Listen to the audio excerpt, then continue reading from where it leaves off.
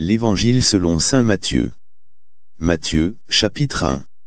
Le livre de la génération de Jésus-Christ, le fils de David, le fils d'Abraham, Abraham engendra Isaac, et Isaac engendra Jacob, et Jacob engendra Judas et ses frères.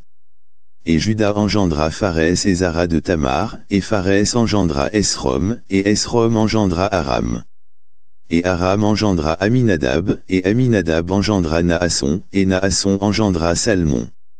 Et Salmon engendra Booz, de Rachab, et Booz engendra Obed, de Ruth, et Obed engendra Jessé. Et Jessé engendra David le roi, et David le roi engendra Salomon, de celle qui avait été la femme d'Uri. Et Salomon engendra Roboam, et Roboam engendra Abia, et Abia engendra Asa. Et Asa engendra Josaphat, et Josaphat engendra Joram, et Joram engendra Osias. Et Osias engendra Joatam, et Joatam engendra Achaz, et Achaz engendra Ézéchias. Et Ézéchias engendra Manassé, et Manassé engendra Amon, et Amon engendra Josias. Et Josias engendra Jéconias et ses frères à peu près à l'époque où ils furent transportés à Babylone.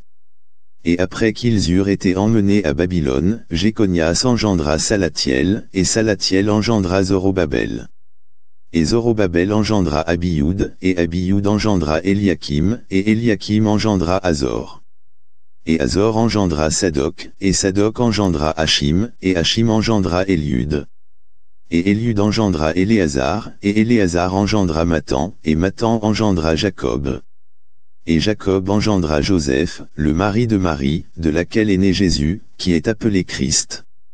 Ainsi, toutes les générations depuis Abraham jusqu'à David sont quatorze générations, et depuis David jusqu'à la transportation à Babylone sont quatorze générations, et depuis la transportation à Babylone jusqu'à Christ sont quatorze générations. Or la naissance de Jésus-Christ arriva de cette manière, comme sa mère, Marie, était fiancée à Joseph, avant qu'ils aient été ensemble, elle se trouva enceinte de l'Esprit Saint. Alors Joseph, son mari, étant un homme juste et ne voulant pas faire d'elle un exemple public, était enclin à la renvoyer discrètement. Mais tandis qu'il pensait à ces choses, voici, l'ange du Seigneur lui apparut dans un rêve, disant, Joseph, toi fils de David, ne crains pas de prendre auprès de toi Marie ta femme, car ce qui est conçu en elle est de l'Esprit Saint. Et elle enfantera un fils, et tu appelleras son nom Jésus, car il sauvera son peuple de leurs péchés. Or tout ceci se fit, afin que puisse être accompli ce dont le Seigneur avait parlé par le prophète, disant, Voici, une vierge sera enceinte, et enfantera un fils et l'on appellera son nom Emmanuel, ce qui signifie Dieu avec nous. Alors Joseph étant réveillé de son sommeil, fit comme l'ange du Seigneur lui avait demandé, et prit sa femme auprès de lui. Et il ne la connut pas jusqu'à ce qu'elle ait enfanté son fils premier-né, et il appela son nom Jésus. Matthieu, chapitre 2. Or Jésus étant né à Bethléem de Judée, durant les jours du roi Hérode, des hommes sages de l'Est arrivèrent à Jérusalem, disant, Où est celui qui est né roi des Juifs? Car nous avons vu son étoile à l'Est, et nous sommes venus l'adorer. Lorsque le roi Hérode entendit ces choses, il fut troublé, et tout Jérusalem avec lui. Et lorsqu'il eut assemblé tous les principaux prêtres et scribes du peuple, il leur demanda où Christ devait naître. Et ils lui dirent, à Bethléem de Judée, car il est ainsi écrit par le prophète, Et toi, Bethléem, en terre de Juda, tu n'es pas la moindre entre les princes de Juda, car de toi viendra un gouverneur qui dirigera mon peuple Israël. Alors Hérode lorsqu'il eut appelé en privé les hommes sages, s'enquit auprès d'eux soigneusement du moment où l'étoile était apparue. Et il les envoya à Bethléem, et dit, Allez, et recherchez soigneusement le jeune enfant, et quand vous l'aurez trouvé, faites-le moi savoir, afin que je puisse aussi aller l'adorer. Lorsqu'ils eurent entendu le roi, ils s'en allèrent, et, voici, l'étoile qu'il avait vue à l'est allait devant eux, jusqu'à ce qu'elle arrive et s'arrête au-dessus du lieu où était le jeune enfant. Quand ils virent l'étoile ils se réjouirent d'une excessive grande joie. Et lorsqu'ils entrèrent dans la maison, ils virent le jeune enfant, avec Marie sa mère, et tombèrent à terre et l'adorèrent, et lorsqu'ils eurent ouvert leur trésor, ils lui présentèrent des cadeaux, de l'or, de l'encens et de la myrrhe. Et étant avertis par Dieu dans un rêve qu'ils ne devaient pas retourner vers Hérode, ils regagnèrent leur pays par un autre chemin. Et lorsqu'ils furent partis, voici, l'ange du Seigneur apparut en rêve à Joseph, disant, Lève-toi, prends le jeune enfant et sa mère, et fuis en Égypte, et demeure là jusqu'à ce que je te le dise, car Hérode cherchera le jeune enfant pour le tuer. Lorsqu'il se leva, il prit de nuit le jeune enfant et sa mère et partit en Égypte, et il y demeura jusqu'à la mort d'Hérode, afin que puisse être accompli ce que le Seigneur avait dit par le prophète, disant, J'ai appelé mon fils hors d'Égypte. Alors Hérode, lorsqu'il vit que les hommes sages s'étaient moqués de lui, fut extrêmement courroucé, et envoya tuer tous les enfants de deux ans et au-dessous qui étaient dans Bethléem et dans toutes ses côtes, selon le moment dont il s'était enquis soigneusement auprès des hommes sages. Alors fut accompli ce qui a été dit par Jérémie le prophète, disant, Une voix a été entendue dans Rama, des lamentations, des pleurs et un grand deuil, Rachel pleurant ses enfants, et elle n'a pas voulu être consolée, parce qu'ils ne sont plus. Mais après que Hérode fut mort, voici, un ange du Seigneur apparut en rêve à Joseph, en Égypte, disant, Lève-toi, prends le jeune enfant et sa mère, et va dans la terre d'Israël, car ceux qui cherchaient à ôter la vie au jeune enfant sont morts. Et il se leva, et prit le jeune enfant et sa mère, et vint dans la terre d'Israël. Mais quand il apprit que Archelaüs régnait en Judée à la place de son père, Hérode, il eut peur d'y aller, toutefois, ayant été averti de Dieu dans un rêve, il se retira dans les régions de la Galilée, et il alla et demeura dans une ville appelée Nazareth, afin que puisse être accompli ce qui avait été dit par les prophètes, il sera appelé un Nazaréen. Matthieu, chapitre 3 En ces jours-là, vint Jean le Baptiste, prêchant dans le désert de Judée, et disant, Repentez-vous, car le royaume du ciel est à portée de la main. Car c'est celui dont il a été parlé par le prophète Ésaïe, disant, La voix d'un homme criant dans le désert, Préparez le chemin du Seigneur, rendez droit ses sentiers. Et ce même Jean avait son habillement de poils de chameau, et une ceinture de cuir autour de ses reins, et sa nourriture était des locustes et du miel sauvage. Alors Jérusalem, et toute la Judée, et toute la région autour du Jourdain, venaient à lui, et ils étaient baptisés par lui dans le Jourdain, confessant leurs péchés. Mais quand il vit venir à son baptême beaucoup de pharisiens et de sadducéens, il leur dit, Ô génération de vipères, qui vous a averti de fuir le courroux à venir. Produisez donc des fruits propres à la repentance, et ne pensez pas à dire en vous-même, Nous avons Abraham pour notre Père, car je vous dis que Dieu est capable de susciter de ces pierres, des enfants à Abraham. Et maintenant aussi la cognée est placée à la racine des arbres, par conséquent tout arbre qui ne produit pas de bons fruits est coupé et jeté au feu. En effet je vous baptise d'eau vers la repentance, mais celui qui vient après moi est plus puissant que moi, et je ne suis pas digne de porter ses chaussures, il vous baptisera de l'Esprit Saint et de feu, son vent est dans sa main, et il nettoiera pleinement son air, et amassera son blé dans le grenier, mais il brûlera la paille avec le feu qui ne s'éteint pas. Puis Jésus vint de Galilée au Jourdain vers Jean, pour être baptisé par lui. Mais Jean l'en empêchait, disant, J'ai besoin d'être baptisé par toi, et tu viens à moi. Et Jésus, répondant, lui dit, Accepte qu'il en soit ainsi maintenant, car c'est de cette manière qu'il nous convient d'accomplir toute droiture. Alors il le laissa faire. Et Jésus après qu'il eut été baptisé monta aussitôt hors de l'eau, et voici les cieux lui furent ouverts, et il vit l'Esprit de Dieu descendant comme une colombe et venant sur lui, et voici une voix du ciel, disant, Celui-ci est mon Fils bien-aimé, en qui je prends grand plaisir. Matthieu, chapitre 4 Alors Jésus fut emmené par l'Esprit dans le désert pour être tenté par le diable. Et lorsqu'il eut jeûné quarante jours et quarante nuits, après cela il eut faim. Et lorsque le tentateur s'approcha de lui, il dit, Si tu es le Fils de Dieu, commande que ces pierres deviennent du pain. Mais il répondit et dit, Il est écrit, L'homme ne vivra pas de pain seulement, mais de chaque parole qui sort de la bouche de Dieu. Alors le diable le transporte dans la ville sainte, et le met sur un pinacle du temple, et il lui dit, Si tu es le Fils de Dieu, jette-toi en bas, car il est écrit, il ordonnera à ses anges à ton sujet, et dans leurs mains ils te porteront, de peur qu'à tout moment tu ne heurtes ton pied contre une pierre. Jésus lui dit, il est encore écrit, tu ne tenteras pas le Seigneur ton Dieu. Le diable le transporte encore sur une extrêmement haute montagne, et lui montre tous les royaumes du monde et leur gloire, et lui dit, Je te donnerai toutes ces choses, si tu tombes à terre et m'adores. Alors Jésus lui dit, Retire-toi d'ici, Satan, car il est écrit, Tu adoreras le Seigneur ton Dieu, et tu le serviras lui seul. Alors le diable le laissa, et, voici, des anges vinrent et le servirent. Or quand Jésus apprit que Jean avait été jeté en prison, il partit en Galilée, et quittant Nazareth, il alla demeurer à Capernaum, qui est au bord de la mer, sur les côtes de Zabulon et de Nephtali, afin que puisse être accompli ce qui avait été dit par Ésaïe le prophète, disant, La terre de Zabulon et la terre de Nephtali, sur le chemin de la mer, au-delà du Jourdain, Galilée des gentils, le peuple qui était assis dans l'obscurité, a vu une grande lumière, et sur ceux qui étaient assis dans la région et dans l'ombre de la mort, la lumière s'est levée. Dès ce moment-là Jésus commença à prêcher et à dire, Repentez-vous, car le royaume du ciel est à portée de la main.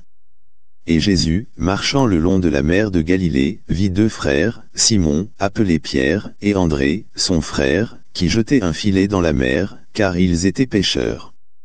Et il leur dit, Suivez-moi, et je vous ferai pêcheurs d'hommes. Et eux, aussitôt, laissèrent leur filet, et le suivirent. Et partant de là, il vit deux autres frères, Jacques, le fils de Zébédée, et Jean, son frère, dans un bateau avec Zébédée, leur père, raccommodant leurs filets, et il les appela. Et immédiatement ils laissèrent leur bateau et leur père, et le suivirent. Et Jésus allait par toute la Galilée, enseignant dans leur synagogue, prêchant l'évangile du royaume, et guérissant toutes sortes de maladies et toutes sortes de maux parmi le peuple et sa renommée se répandit dans toute la Syrie, et on lui amenait tous les malades qui étaient atteints de divers maux et tourments, ceux qui étaient possédés par des diables, et ceux qui étaient lunatiques, et ceux qui étaient atteints de paralysie, et il les guérissait. Et de grandes multitudes de personnes le suivaient de Galilée, et de la Décapole, et de Jérusalem, et de Judée, et d'au-delà du Jourdain. Matthieu, chapitre 5 et voyant les multitudes, il monta sur une montagne, et lorsqu'il s'assit, ses disciples vinrent à lui, et il ouvrit sa bouche, et les enseignait, disant, Bénis sont les pauvres en esprit, car à eux est le royaume du ciel. Bénis sont ceux qui sont dans le deuil, car ils seront consolés. Bénis sont les dociles, car ils hériteront la terre. Bénis sont ceux qui ont faim et soif de droiture, car ils seront rassasiés. Bénis sont les miséricordieux, car ils obtiendront miséricorde. Bénis sont les purs de cœur, car ils verront Dieu. Bénis sont ceux qui procurent la paix, car ils seront appelés enfants de Dieu. Bénis sont ceux qui sont persécutés à cause de la droiture, car à eux est le royaume du ciel. Bénis êtes-vous, quand les hommes vous injurieront, et vous persécuteront, et diront toutes sortes de mal contre vous faussement, à cause de moi. Réjouissez-vous et soyez extrêmement contents, car grande est votre récompense dans le ciel, car ainsi ont été persécutés les prophètes qui étaient avant vous. Vous êtes le sel de la terre, mais si le sel a perdu sa saveur, avec quoi le salera-t-on? Il est dès lors bon à rien, mais à être jeté, et à être piétiné par les hommes. Vous êtes la lumière du monde. Une ville qui est située sur une colline ne peut être cachée. On n'allume pas non plus une bougie, et la mettre sous un boisseau, mais sur un chandelier, et elle donne la lumière à tous ceux qui sont dans la maison. Que votre lumière brille ainsi devant les hommes, afin qu'ils voient vos bonnes œuvres, et qu'ils glorifient votre Père lequel est dans le ciel. Ne pensez pas que je sois venu détruire la loi ou les prophètes, je ne suis pas venu pour détruire, mais pour accomplir car en vérité je vous le dis, jusqu'à ce que le ciel et la terre passent, un seul iota ou un seul trait en aucun cas ne passera de la loi, jusqu'à ce que tout soit accompli. Quiconque donc enfreindra l'un de ces plus petits commandements, et enseignera aux hommes à faire ainsi, sera appelé le plus petit dans le royaume du ciel, mais quiconque les fera et les enseignera, celui-là sera appelé grand dans le royaume du ciel car je vous dis, que si votre droiture ne surpasse la droiture des scribes et des pharisiens, en aucun cas vous n'entrerez dans le royaume du ciel. Vous avez entendu qu'il a été dit par ceux d'autrefois, tu ne tueras pas, et quiconque tuera sera en danger de jugement, mais je vous dis, que quiconque se met en colère contre son frère sans cause sera en danger de jugement, et quiconque dira à son frère, Raka, sera en danger du conseil, mais quiconque dira, toi insensé, sera en danger du feu de l'enfer. Par conséquent si tu apportes ton don à l'autel et que là tu te souviens que ton frère a quelque chose contre toi, laisse là ton don devant l'autel, et va, sois d'abord réconcilié avec ton frère, et après cela viens, et offre ton don. Mets-toi d'accord avec ton adversaire rapidement, pendant que tu es en chemin avec lui, de peur qu'à tout moment l'adversaire ne te livre au juge, et que le juge ne te livre à l'officier, et que tu ne sois jeté en prison. En vérité, je te dis, tu ne sortiras aucunement de là, jusqu'à ce que tu aies payé le dernier sou. Vous avez entendu qu'il a été dit par ceux d'autrefois, tu ne commettras pas d'adultère, mais moi je vous dis que quiconque regarde une femme pour la convoiter a déjà commis un adultère avec elle dans son cœur. Et si ton œil droit est pour toi un sujet d'offense, arrache-le, et jette-le loin de toi, car il est avantageux pour toi qu'un de tes membres périsse, et non que tout ton corps soit jeté en enfer. Et si ta main droite est pour toi un sujet d'offense, coupe-la, et jette-la loin de toi, car il est profitable pour toi qu'un de tes membres périsse, et non que tout ton corps soit jeté en enfer. Il a été dit, que si quelqu'un répudie sa femme, qu'il lui donne une lettre de divorce, mais moi je vous dis que quiconque répudiera sa femme, si ce n'est pour cause de fornication, la fait commettre adultère, et quiconque se mariera à une femme qui est divorcée commet adultère. Vous avez encore entendu qu'il a été dit par ceux d'autrefois, tu ne te parjureras pas, mais tu exécuteras envers le Seigneur tes serments, mais moi je vous dis, ne jurez pas du tout, ni par le ciel, car c'est le trône de Dieu, ni par la terre, car c'est son marchepied, ni par Jérusalem, car c'est la ville du grand roi. Ne jure pas non plus sur ta tête, car tu ne peux rendre un cheveu ni blanc ni noir mais que votre parole soit, oui oui, non non, car quoi que ce soit qui vient en plus, vient du mal. Vous avez entendu qu'il a été dit, œil pour œil et dent pour dent, mais moi, je vous dis, ne résistez pas au mal, mais si quelqu'un te frappe à la joue droite, présente-lui l'autre aussi. Et si un homme veut te faire un procès et prendre ton manteau, laisse-lui aussi ta cape. Et quiconque te contraindra de marcher un mille avec lui, fais-en deux avec lui. Donne à celui qui te demande et ne te détourne pas de celui qui veut t'emprunter de toi. Vous avez entendu qu'il a été dit tu aimeras ton voisin, et tu haïras ton ennemi. Mais moi je vous dis, aimez vos ennemis, bénissez ceux qui vous maudissent, faites du bien à ceux qui vous haïssent, et priez pour ceux qui se servent de vous avec malignité et vous persécutent, afin que vous puissiez être les enfants de votre Père qui est au ciel, car il fait lever son soleil sur les méchants et sur les bons, et il envoie sa pluie sur les justes et sur les injustes. Car si vous aimez ceux qui vous aiment, quelle récompense avez-vous? Les publicains même n'en font-ils pas autant et si vous saluez vos frères seulement, que faites-vous de plus que les autres? Les publicains même n'en font-ils pas autant? Soyez donc parfaits, comme votre Père lequel est au ciel est parfait. Matthieu, chapitre 6 Prenez garde de que vous ne fassiez votre aumône devant les hommes, pour être vu d'eux, autrement vous n'avez pas de récompense de votre Père lequel est au ciel. Par conséquent lorsque tu fais ton aumône, ne fais pas sonner la trompette devant toi, comme font les hypocrites dans les synagogues et dans les rues, afin qu'ils puissent être glorifiés par les hommes. En vérité je vous dis, ils ont leur récompense. Mais quand tu fais l'aumône, que ta main gauche ne sache pas ce que fait ta main droite, afin que ton aumône soit faite en secret, et ton Père qui voit en secret lui-même te récompensera ouvertement. Et quand tu pries, tu ne seras pas comme sont les hypocrites, car ils aiment à prier en se tenant debout dans les synagogues et au coin des rues, afin qu'ils puissent être vus des hommes. En vérité, je vous dis, ils ont leur récompense. Mais toi, quand tu pries, entre dans ton cabinet et ayant fermé ta porte, prie ton Père qui est en secret, et ton Père qui voit en secret te le récompensera ouvertement. Mais quand vous priez, n'utilisez pas de vaines répétitions, comme font les païens, car ils croient qu'ils seront entendus en parlant beaucoup. Ne leur ressemblez donc pas, car votre Père sait ce dont vous avez besoin, avant que vous le lui demandiez. Vous donc priez de cette manière, Notre Père qui es au ciel, ton nom soit sanctifié.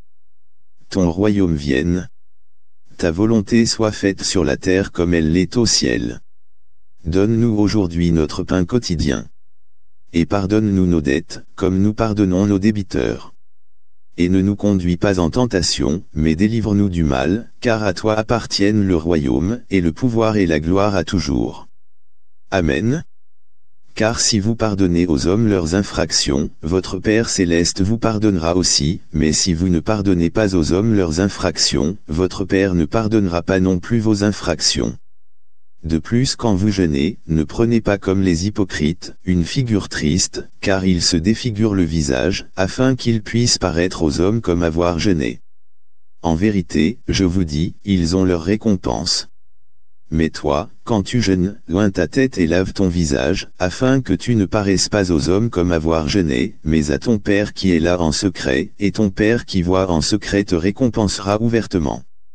Ne vous amassez pas des trésors sur la terre, où les mythes et la rouille détériorent, et où les voleurs enfoncent et volent, mais amassez-vous des trésors dans le ciel, où ni les mythes ni la rouille ne détériorent, et où les voleurs ne fracturent ni ne volent, car là où est votre trésor, là aussi sera votre cœur. La lumière du corps est l'œil, si donc ton œil est net, ton corps tout entier sera plein de lumière. Mais si ton œil est mauvais, ton corps tout entier sera plein d'obscurité. Si donc la lumière qui est en toi est obscurité, combien grande est cette obscurité? Aucun homme ne peut servir deux maîtres, car, ou il haïra l'un et aimera l'autre, ou bien il s'attachera à l'un et méprisera l'autre. Vous ne pouvez servir Dieu et Mammon. Par conséquent je vous dis, ne vous inquiétez pas pour votre vie, de ce que vous mangerez ou de ce que vous boirez, ni pour votre corps de quoi vous serez vêtu. La vie n'est-elle pas plus que la nourriture, et le corps plus que l'habillement? Regardez les oiseaux, car ils ne sèment, ni ne moissonnent, ni n'amassent dans des greniers, cependant votre Père céleste les nourrit. Ne valez-vous pas beaucoup mieux qu'eux? Lequel d'entre vous par ses inquiétudes peut ajouter une coudée à sa stature? Et pourquoi vous inquiétez-vous au sujet d'habillement? Considérez les lys des champs, comment ils grandissent, ils ne travaillent, ni ne filent. Et cependant je vous dis, que même Salomon dans toute sa gloire n'était pas paré comme l'un d'eux. C'est pourquoi si Dieu revêt ainsi l'herbe des champs, qui existe aujourd'hui, et qui demain sera jetée dans le four, ne vous vêtira-t-il pas à plus forte raison, au vous de petite foi? Par conséquent ne vous inquiétez pas, disant, que mangerons-nous? Ou que boirons-nous? Ou de quoi serons-nous vêtus? Car ce sont les gentils qui recherchent toutes ces choses car votre Père céleste sait que vous avez besoin de toutes ces choses-là.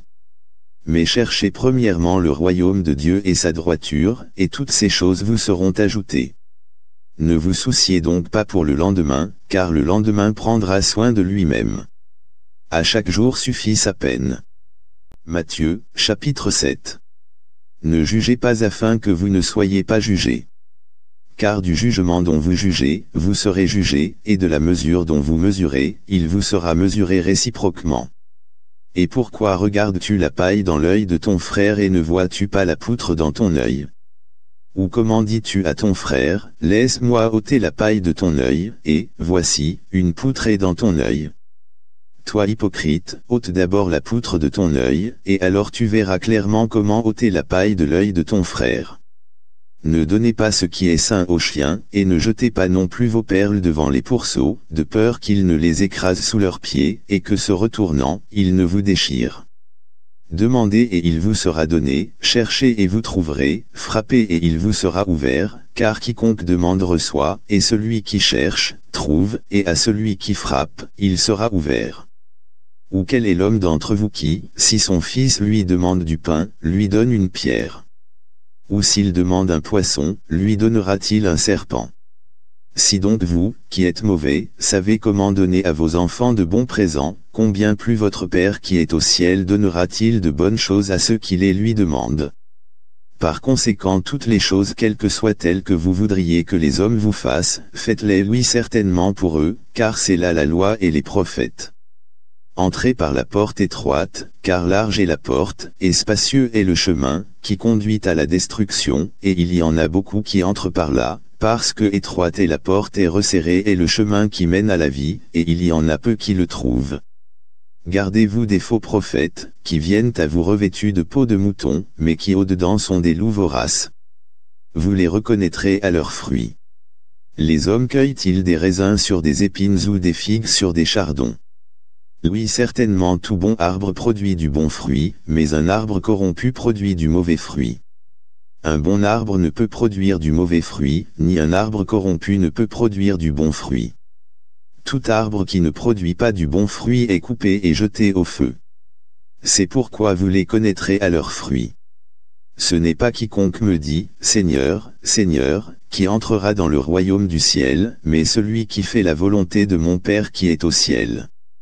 Beaucoup me diront en ce jour-là, Seigneur, Seigneur, n'avons-nous pas prophétisé en ton nom, et chassé les diables en ton nom, et fait beaucoup d'œuvres merveilleuses en ton nom?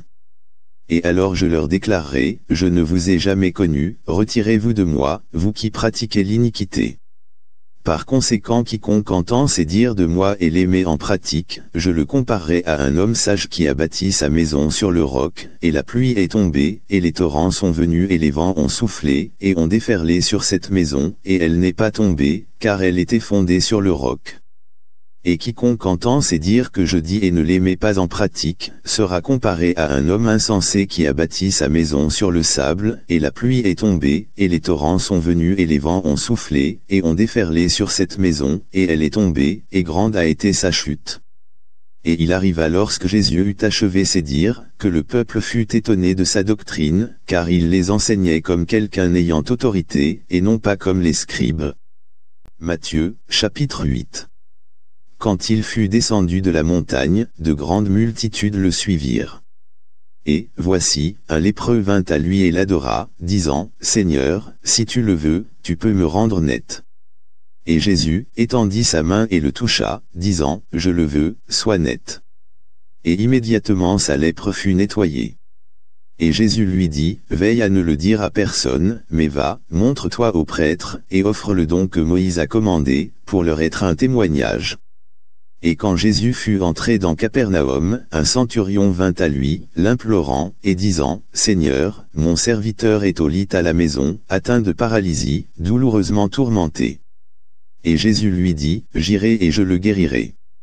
Le centurion répondit et dit, Seigneur, je ne suis pas digne que tu viennes sous mon toit, mais dis seulement la parole, et mon serviteur sera guéri car je suis un homme sous autorité, ayant sous moi des soldats, et je dis à cet homme, va, et il va, et à un autre, viens, et il vient, et à mon serviteur, fais ceci, et il le fait. Lorsque Jésus l'entendit, il fut émerveillé, et il dit à ceux qui le suivaient, En vérité, je vous dis que je n'ai pas trouvé une si grande foi, non, pas même en Israël. Et je vous dis que beaucoup viendront de l'Est et de l'Ouest, et s'assieront avec Abraham, et Isaac et Jacob, dans le royaume du ciel. Mais les enfants du royaume seront jetés dans l'obscurité de dehors, là seront les pleurs et les grincements de dents. Et Jésus dit au centurion, Va, et qu'il te soit fait selon ce que tu as cru. Et son serviteur fut guéri à l'heure même. Et lorsque Jésus fut arrivé à la maison de Pierre, il vit sa belle-mère couchée et étant atteinte d'une fièvre. Et il toucha sa main, et la fièvre la quitta, et elle se leva et les servit. Lorsque le soir fut venu, on lui amena beaucoup de personnes qui étaient possédées de diables, et il chassa les esprits par sa parole, et guérit tous ceux qui étaient malades, afin que puisse être accompli ce qui avait été dit par Ésaïe le prophète, disant, Lui-même a pris nos infirmités, et s'est chargé de nos maladies. Or lorsque Jésus vit de grandes multitudes autour de lui, il donna commandement de passer à l'autre rive. Et un certain scribe vint et lui dit, Maître, je te suivrai n'importe où tu iras. Et Jésus lui dit, Les renards ont des tanières et les oiseaux de l'air ont des nids, mais le Fils de l'homme n'a pas où poser sa tête. Et un autre de ses disciples lui dit, Seigneur, permets que j'aille d'abord enterrer mon Père. Mais Jésus lui dit, Suis-moi, et laisse les morts enterrer leurs morts. Et lorsqu'il entra dans un bateau, ses disciples le suivirent. Et, voici, il s'éleva une grande tempête sur la mer, à tel point que le bateau était couvert par les vagues, mais il dormait. Et ses disciples vinrent à lui, et le réveillèrent, disant, Seigneur, sauve-nous, nous périssons. Et il leur dit, Pourquoi avez-vous peur, ô vous de petite foi? Puis il se leva, et reprit les vents et la mer, et il se fit un grand calme. Mais les hommes s'émerveillèrent, disant, Quelle sorte d'homme est-ce, à qui même les vents et la mer obéissent? Et lorsqu'il fut arrivé de l'autre côté, dans la province des Gergéséniens, là deux hommes possédés de diables, sortant des tombes, vinrent à sa rencontre, extrêmement violents, de sorte qu'aucun homme ne pouvait passer par ce chemin-là. Et, voici, ils criaient, disant, Qu'avons-nous à faire avec toi, Jésus, toi fils de Dieu? Es-tu venu ici pour nous tourmenter avant l'heure? Et il y avait assez loin d'eux un grand troupeau de pourceaux qui se nourrissaient de sorte que les diables l'implorèrent, disant, Si tu nous chasses, permets-nous d'aller dans le troupeau de pourceaux. Et il leur dit, Allez. Et quand ils sortirent, ils allèrent dans le troupeau de pourceaux, et, voici, le troupeau entier de pourceaux descendit avec violence par un endroit escarpé dans la mer, et périt dans les eaux. Et ceux qui les gardaient s'enfuirent, et s'en allèrent dans la ville, et racontèrent tout et ce qui était arrivé à ceux qui étaient possédés de diables. Et voici toute la ville sortit au-devant de Jésus, et lorsqu'ils le virent, ils le supplièrent de se retirer de leur côte. Matthieu, chapitre 9. Et il monta dans un bateau, et passa à l'autre rive, et arriva dans sa propre ville. Et voici on lui amena un homme atteint de paralysie, couché sur un lit, et Jésus, voyant leur foi, dit à celui atteint de paralysie, Fils, et bon courage, tes péchés te sont pardonnés. Et, voici, certains des scribes disaient en eux-mêmes, cet homme blasphème. Et Jésus, connaissant leurs pensées, dit, Pourquoi pensez-vous du mal dans vos cœurs? Car lequel est le plus facile de dire, Tes péchés te sont pardonnés, ou de dire, Lève-toi, et marche mais afin que vous sachiez que le Fils de l'homme a pouvoir sur terre de pardonner les péchés, il dit alors à celui atteint de paralysie Lève-toi, prends ton lit, et va dans ta maison et il se leva, et partit vers sa maison. Mais lorsque les multitudes virent cela, elles s'émerveillèrent, et glorifièrent Dieu d'avoir donné un tel pouvoir aux hommes. Et comme Jésus passait plus loin, il vit un homme, nommé Matthieu, assis au poste de douane, et il lui dit, Suis-moi. Et il se leva, et le suivit.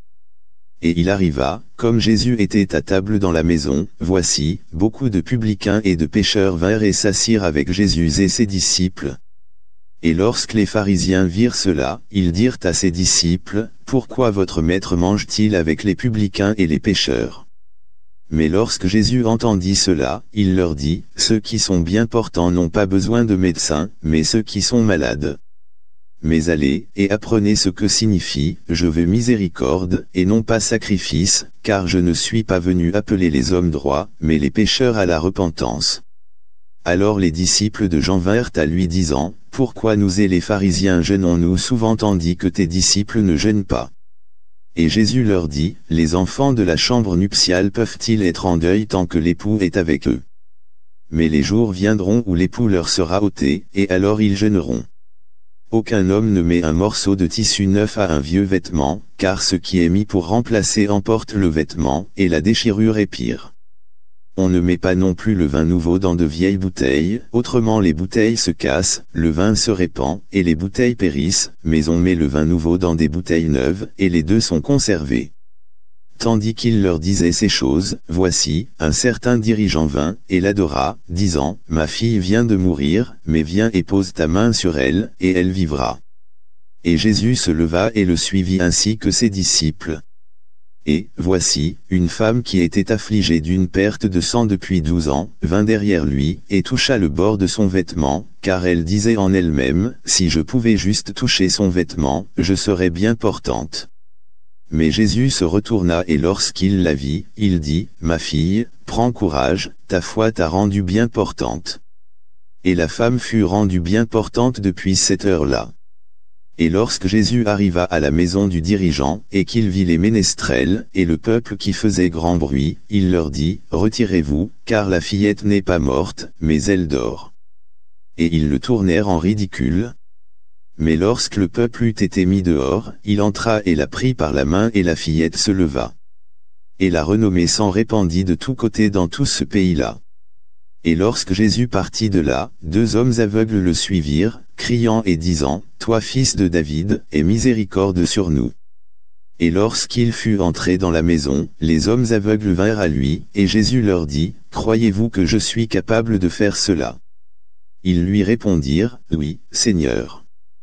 Alors il leur toucha les yeux en disant, Qu'il vous soit fait selon votre foi.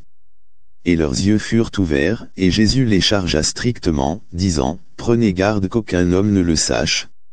Mais eux, lorsqu'ils partirent, répandirent de tous côtés sa renommée dans toute cette province. Et comme il sortait, voici, ils lui amenèrent un homme muet, possédé d'un diable. Et lorsque le diable fut chassé, le muet parla, et les multitudes s'émerveillèrent, disant, Il ne s'est jamais rien vu de semblable en Israël. Mais les pharisiens disaient, Il chasse les diables par le prince des diables.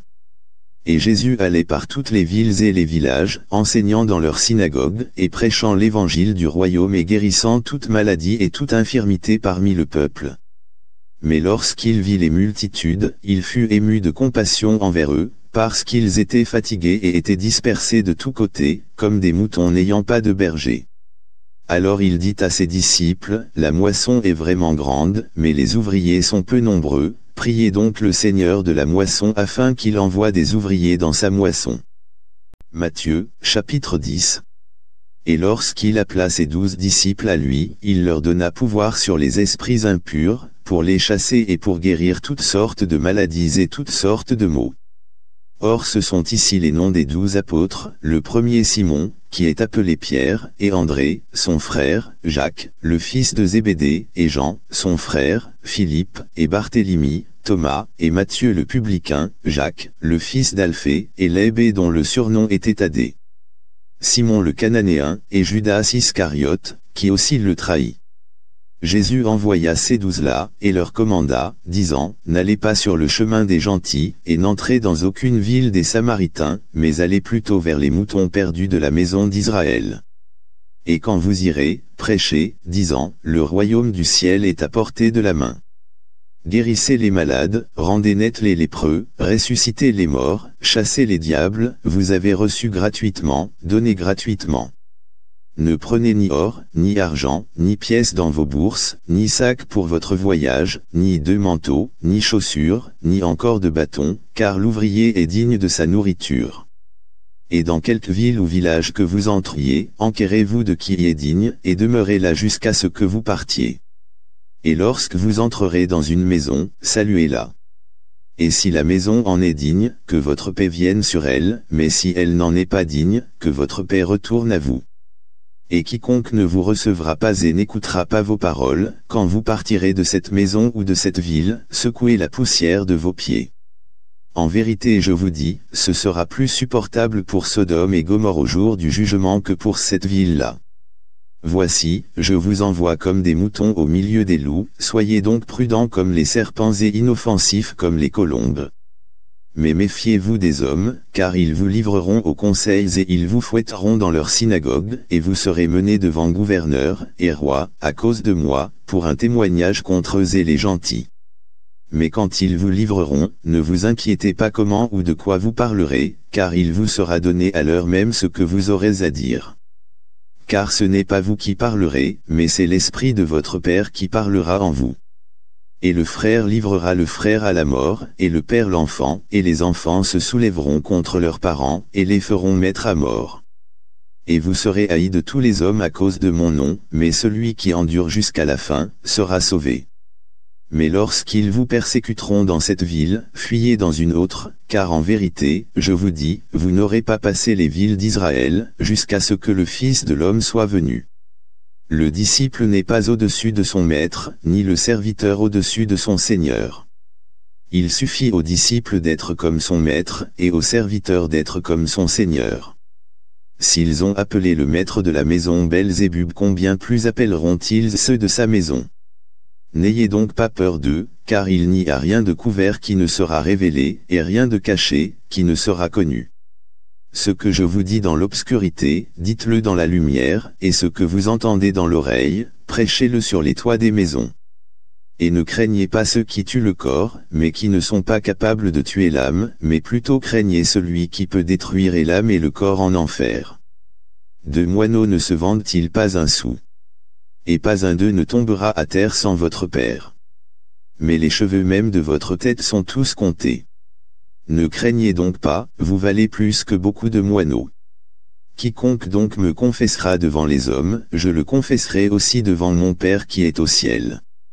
Mais quiconque me reniera devant les hommes, je le renierai aussi devant mon Père lequel est au ciel. Ne pensez pas que je sois venu donner la paix sur la terre, je ne suis pas venu donner la paix mais une épée. Car je suis venu mettre le désaccord entre un homme et son père, et entre la fille et sa mère, et entre la belle-fille et la belle-mère et les ennemis d'un homme seront ceux de sa propre maison. Celui qui aime père ou mère plus que moi n'est pas digne de moi, et celui qui aime fils ou fille plus que moi n'est pas digne de moi. Et celui qui ne prend pas sa croix et ne me suit pas, n'est pas digne de moi. Celui qui trouve sa vie la perdra, et celui qui perd sa vie à cause de moi la trouvera.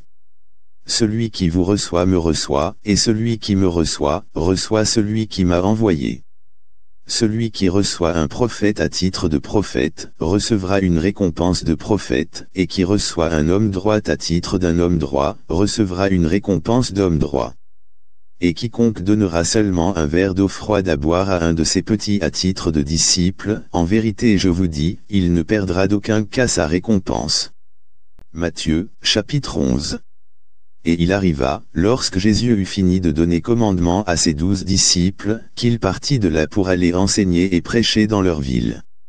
Or lorsque Jean entendit parler dans la prison des œuvres de Christ, il envoya deux de ses disciples, et ils lui dirent, Es-tu celui qui doit venir, ou devons-nous en attendre un autre? Jésus répondit et leur dit, Allez, et déclarez à Jean les choses que vous entendez et voyez. Les aveugles reçoivent leur vue et les boiteux marchent, les lépreux sont rendus nets, et les sourds entendent, les morts ressuscitent, et l'évangile est prêché aux pauvres. Et béni est celui qui ne sera pas offensé à cause de moi. Et comme il s'en allait, Jésus se mit à parler aux multitudes concernant Jean, qu'êtes-vous allé voir au désert? Un roseau agité par le vent. Mais qu'êtes-vous allé voir? Un homme vêtu d'un habillement délicat. Voici, ceux qui portent des tenues délicates sont dans les maisons des rois. Mais qu'êtes-vous allé voir? Un prophète. Oui, vous dis-je, et plus qu'un prophète. Car c'est celui de qui il est écrit, Voici, j'envoie mon messager devant ta face, lequel préparera ton chemin devant toi. En vérité, je vous dis, parmi ceux qui sont nés de femmes, il n'en a pas été suscité de plus grand que Jean le Baptiste, toutefois celui qui est le moindre dans le royaume du ciel est plus grand que lui. Et depuis les jours de Jean le Baptiste jusqu'à maintenant, le royaume du ciel souffre de la violence, et les violents le prennent par force. Car tous les prophètes et la loi ont prophétisé jusqu'à Jean. Et si vous voulez le recevoir, c'est Élie qui devait venir que celui qui a des oreilles pour entendre, entende. Mais à qui comparerai-je cette génération? Elle est semblable aux enfants assis dans les marchés et appelant leurs compagnons, et disant, Nous vous avons joué de la flûte, et vous n'avez pas dansé, nous avons mené deuil pour vous et vous ne vous êtes pas lamenté. Car Jean est venu ne mangeant ni ne buvant, et ils disent, Il a un diable. Le Fils de l'homme est venu mangeant et buvant, et ils disent, Voici un glouton et un ivrogne, un ami des publicains et des pécheurs. Mais la sagesse est justifiée par ses enfants. Alors il commença à faire des reproches aux villes où il avait fait la plupart de ses puissantes œuvres parce qu'elles ne s'étaient pas repenties, Malheur à toi, Corazin. Malheur à toi, Beth Saïda. Car si les puissantes œuvres qui ont été faites au milieu de vous avaient été faites à tirer à Sidon, il y a longtemps qu'elles se seraient repenties vêtues de toile à sac et dans la cendre. Mais je vous dis qu'au jour du jugement ce sera pour tirer Sidon plus supportable que pour vous. Et toi, Capernaum, qui as été élevé jusqu'au ciel, tu seras abaissé jusqu'en enfer, car si les puissantes œuvres qui ont été faites au milieu de toi avaient été faites à Sodome, elles subsisteraient encore aujourd'hui. Mais je vous dis, qu'au jour du jugement ce sera pour le pays de Sodome plus supportable que pour toi. À ce moment-là, Jésus répondit et dit, Je te remercie, ô Père, Seigneur du ciel et de la terre, parce que tu as caché ces choses aux sages et aux prudents, et que tu les as révélées aux bébés. Oui certainement, Père, car cela semble être bon à ta vue toutes choses m'ont été livrées par mon Père, et aucun homme ne connaît le Fils, sinon le Père, et aucun homme ne connaît le Père, sinon le Fils, et celui à qui le Fils le révélera. Venez à moi, vous tous qui peinez et êtes lourdement chargés, et je vous donnerai du repos. Prenez mon joug sur vous et apprenez de moi, car je suis docile et humble de cœur, et vous trouverez repos à vos âmes. Car mon joug est facile et mon fardeau léger. Matthieu, chapitre 12. À ce moment-là, Jésus continuait le jour du sabbat à travers les grains, et ses disciples eurent faim, et commencèrent à arracher des épis de grains et à en manger. Mais lorsque les pharisiens le virent, ils lui dirent, Voici, tes disciples font ce qui n'est pas permis de faire le jour du sabbat. Mais il leur dit, N'avez-vous pas lu ce que fit David, lorsqu'il eut faim, ainsi que ceux qui étaient avec lui, comment il entra dans la maison de Dieu, et mangea le pain de présentation, lequel ne lui était pas permis de manger, ni à ceux qui étaient avec lui, mais seulement aux prêtres. Ou n'avez-vous pas lu dans la loi, comment les jours de sabbat, les prêtres dans le temple profanent le sabbat, et sont irréprochables? Mais je vous dis, que dans ce lieu il y en a un plus grand que le temple. Mais si vous aviez su ce que signifie, j'aurais miséricorde et non pas sacrifice, vous n'auriez pas condamné les innocents. Car le Fils de l'homme est Seigneur, même du jour du sabbat. Et lorsqu'il partit de là, il alla dans leur synagogue, et, voici, il y avait un homme qui avait sa main atrophiée. Et ils lui demandèrent, disant, Est-il permis de guérir les jours de sabbat, afin qu'ils puissent l'accuser Et il leur dit, Quel sera l'homme parmi vous, qui, ayant un mouton, et s'il tombe dans une fosse le jour du sabbat, ne le saisira-t-il pas et ne l'en retirera-t-il pas? Combien donc un homme vaut-il mieux qu'un mouton? C'est pourquoi il est permis de faire du bien les jours de sabbat. Puis il dit à cet homme, étends ta main. Et il l'étendit, et elle fut rendue saine comme l'autre. Puis les pharisiens sortirent et tinrent conseil contre lui, comment ils pourraient le faire tuer. Mais quand Jésus le sut, il s'éloigna de là, et de grandes multitudes le suivirent, et il les guérit tous, et il leur recommanda qu'ils ne le fassent pas connaître, afin que puisse être accompli ce qui avait été dit par Ésaïe le prophète disant, Voici mon serviteur que j'ai choisi, mon bien-aimé, en qui mon âme prend grand plaisir, je mettrai mon esprit sur lui, et il montrera le jugement aux gentils. Il ne s'opposera pas, ni ne criera, et aucun homme n'entendra sa voix dans les rues il ne brisera pas le roseau blessé et il n'éteindra pas le lin fumant, jusqu'à ce qu'il conçoive le jugement en victoire. Et en son nom les gentils se confieront. Puis on lui amena quelqu'un possédé d'un diable, aveugle et muet, et il le guérit, à tel point que l'aveugle et muet parlait et voyait. Et tout le peuple était stupéfait et disait, Celui-ci n'est-il pas le fils de David? Mais lorsque les pharisiens l'entendirent, ils dirent, Cet individu ne chasse les diables que par Belzébub, le prince des diables. Mais Jésus, connaissant leurs pensées, leur dit, Tout royaume divisé contre lui-même est amené à la ruine, et toute ville ou maison divisée contre elle-même ne subsistera pas, et si Satan chasse Satan, il est divisé contre lui-même, comment donc son royaume subsistera-t-il? Et si je chasse les diables par Belzébub, par qui vos fils les chassent-ils? Par conséquent ils seront eux-mêmes vos juges. Mais si je chasse les diables par l'Esprit de Dieu, alors le royaume de Dieu est venu jusqu'à vous. Ou comment quelqu'un pourrait-il entrer dans la maison d'un homme fort, et piller ses biens, s'il n'a auparavant lié cet homme fort? Et alors, il pillera sa maison. Celui qui n'est pas avec moi est contre moi, et celui qui n'assemble pas avec moi disperse de tous côtés. C'est pourquoi je vous dis, toute sorte de péché et de blasphème sera pardonné aux hommes, mais le blasphème contre l'Esprit Saint ne sera pas pardonné aux hommes. Et quiconque dit une parole contre le Fils de l'homme, il lui sera pardonné, mais quiconque parle contre l'Esprit Saint, il ne lui sera pas pardonné, ni dans ce monde, ni dans le monde à venir. Soit vous rendez l'arbre bon, et son fruit bon, ou bien vous rendez l'arbre mauvais, et son fruit mauvais, car l'arbre est connu par son fruit. Aux générations de vipères, comment vous, étant mauvais, pouvez-vous dire de bonnes choses? Car c'est de l'abondance du cœur que la bouche parle. Un homme bon tire de bonnes choses du bon trésor de son cœur, et un homme mauvais tire de mauvaises choses de son mauvais trésor. Mais je vous dis qu'au jour du jugement les hommes rendront compte de toute parole inutile qu'ils auront dite. Car par tes paroles tu seras justifié, et par tes paroles tu seras condamné. Alors quelques-uns des scribes et des pharisiens répondirent, disant, Maître, nous voudrions voir un signe de ta part.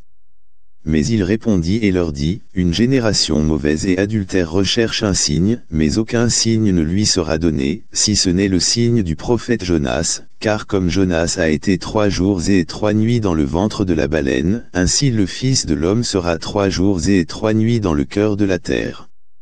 Les hommes de Ninive se lèveront au jugement avec cette génération, et la condamneront, parce qu'ils se repentirent à la prédication de Jonas, et, voici, un plus grand que Jonas est ici.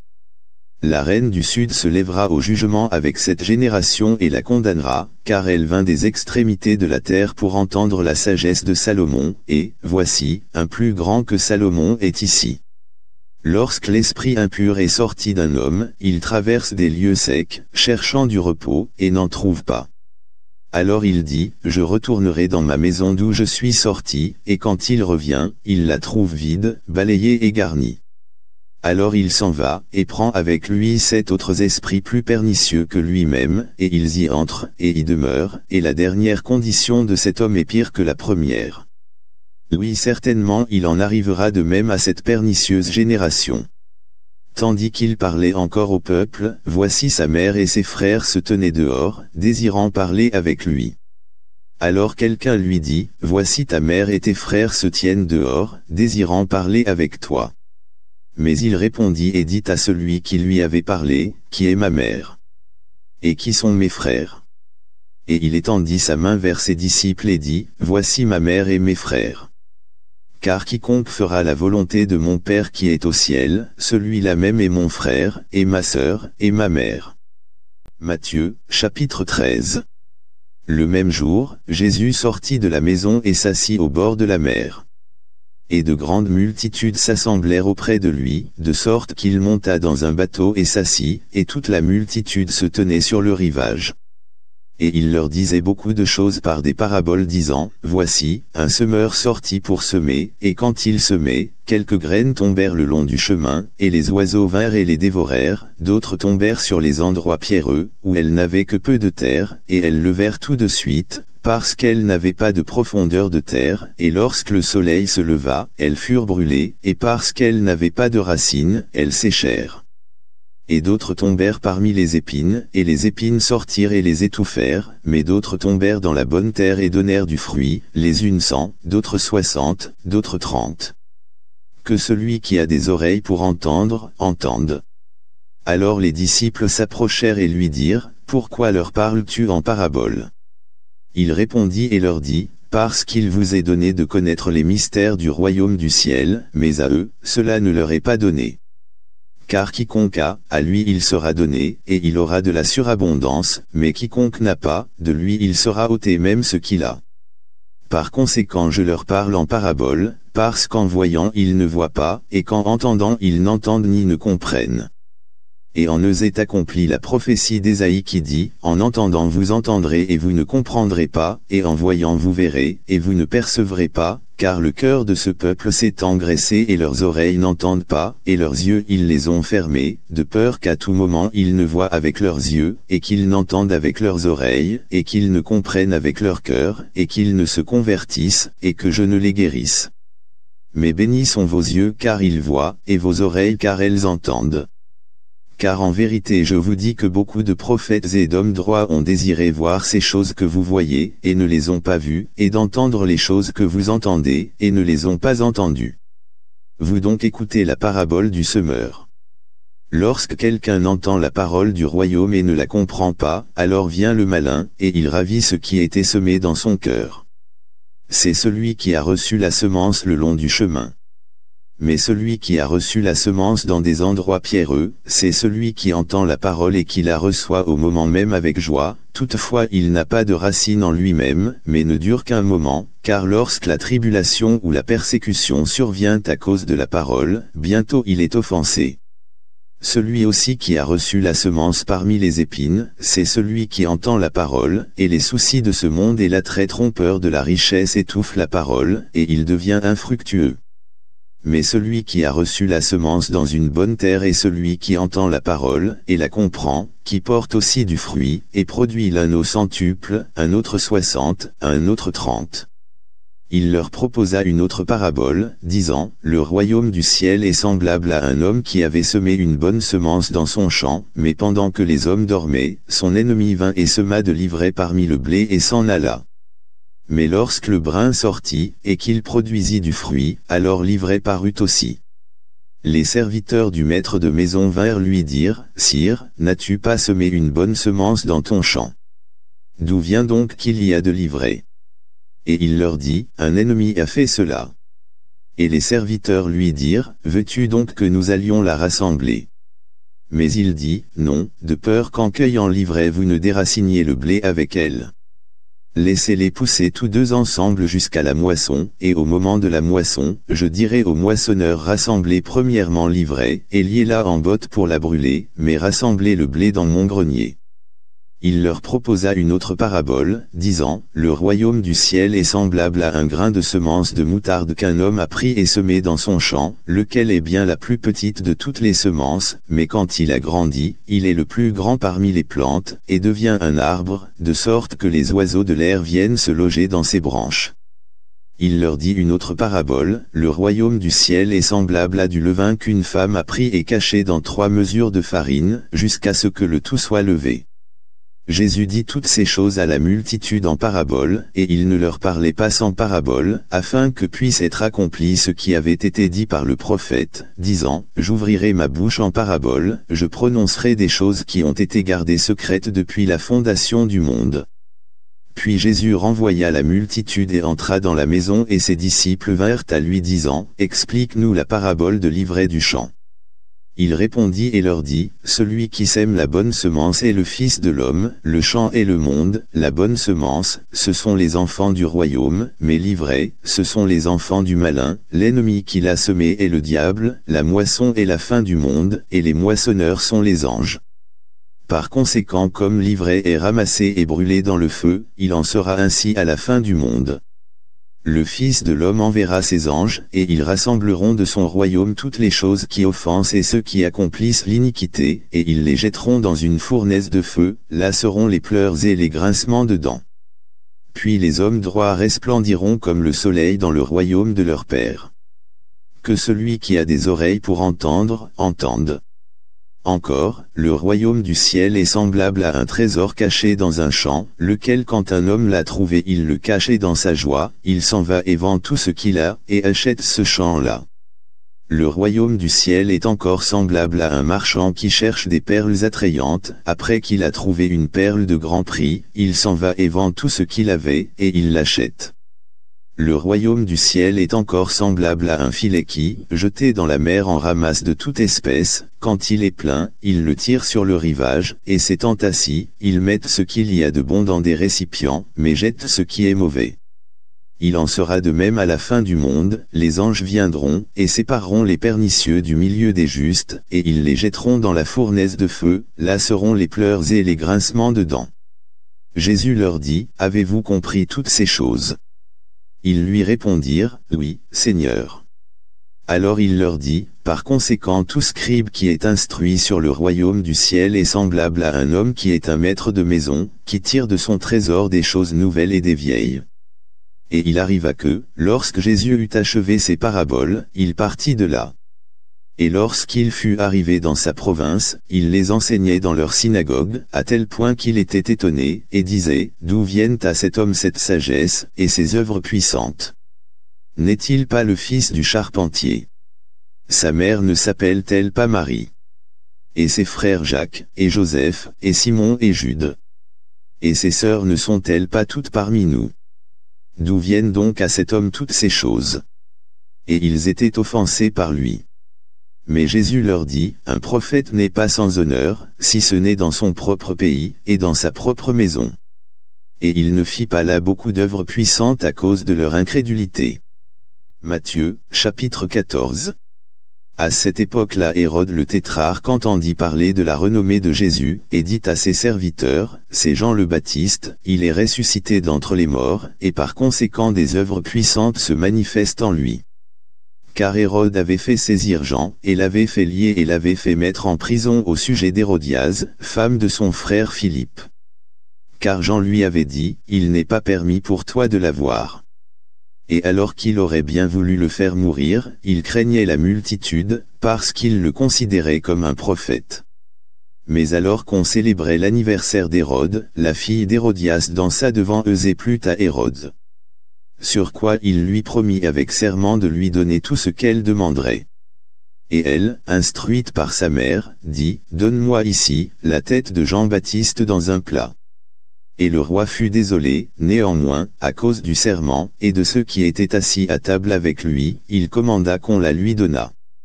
Et il envoya, et fit décapiter Jean dans la prison. Et sa tête fut apportée dans un plat, et donnée à la jeune fille, et elle la porta à sa mère. Et ses disciples vinrent, et emportèrent le corps, et l'enterrèrent, et ils allèrent et le racontèrent à Jésus. Lorsque Jésus l'apprit, il partit de là par bateau en un lieu désert, à part, et quand le peuple l'apprit, ils le suivirent à pied hors des villes. Et Jésus débarqua, et vit une grande multitude, et fut ému de compassion envers eux, et guérit leurs malades. Et comme c'était le soir, ses disciples vinrent à lui, disant, C'est un lieu désert, et l'heure est déjà passée, renvoie la multitude, afin qu'ils puissent aller dans les villages, et qu'ils s'achètent des victuailles. Mais Jésus leur dit, Ils n'ont pas besoin de partir, donnez-leur vous-mêmes à manger. Et ils lui dirent, Nous n'avons ici que cinq pains, et deux poissons. Et il dit, Apportez-les-moi ici.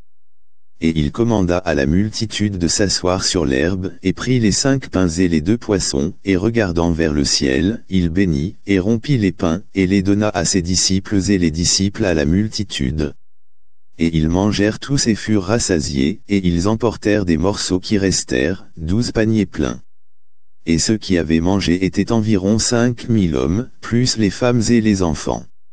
Et aussitôt Jésus obligea ses disciples à monter dans un bateau, et à passer avant lui vers l'autre côté, pendant qu'il renverrait les multitudes.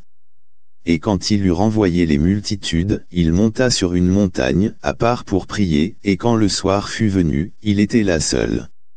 Or le bateau était déjà au milieu de la mer, ballotté par les vagues, car le vent était contraire.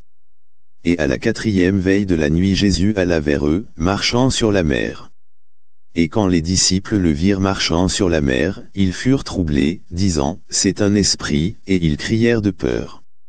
Mais aussitôt Jésus leur parla, disant, Ayez bon courage, c'est moi, n'ayez pas peur.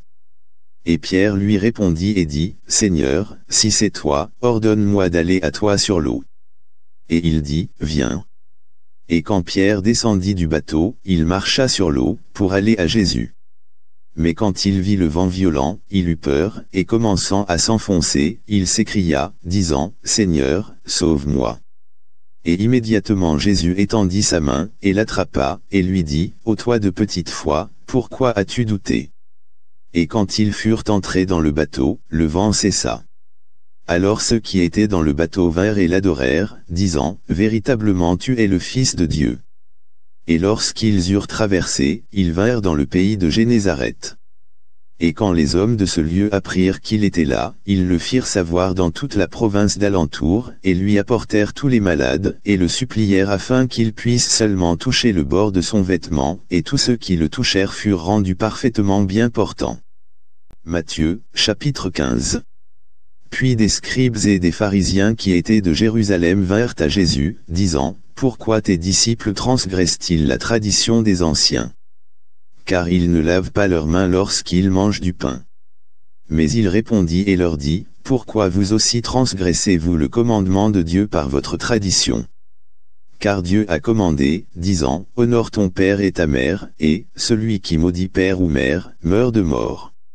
Mais vous, vous dites, quiconque dira à son père ou à sa mère, c'est un don, dont tu aurais pu profiter de ma part, et qu'il n'honore pas son père ou sa mère, il sera libre. Ainsi vous avez rendu inefficace le commandement de Dieu par votre tradition.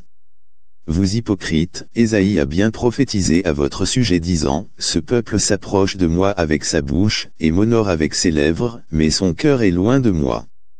Mais il m'adore en vain, en enseignant comme doctrine des commandements d'hommes. Et il appela la multitude, et leur dit, Écoutez, et comprenez, ce n'est pas ce qui entre dans la bouche qui souille l'homme, mais ce qui sort de la bouche, cela souille l'homme. Alors vinrent ses disciples, et lui dirent, Sais-tu que les pharisiens ont été offensés, quand ils ont entendu ces propos? Mais il répondit et dit, Toute plante, que mon Père céleste n'a pas plantée, sera déracinée. Laissez-les, ce sont des aveugles qui conduisent des aveugles. Et si un aveugle conduit un aveugle, tous deux tomberont dans le fossé. Alors Pierre répondit et lui dit, Explique-nous cette parabole.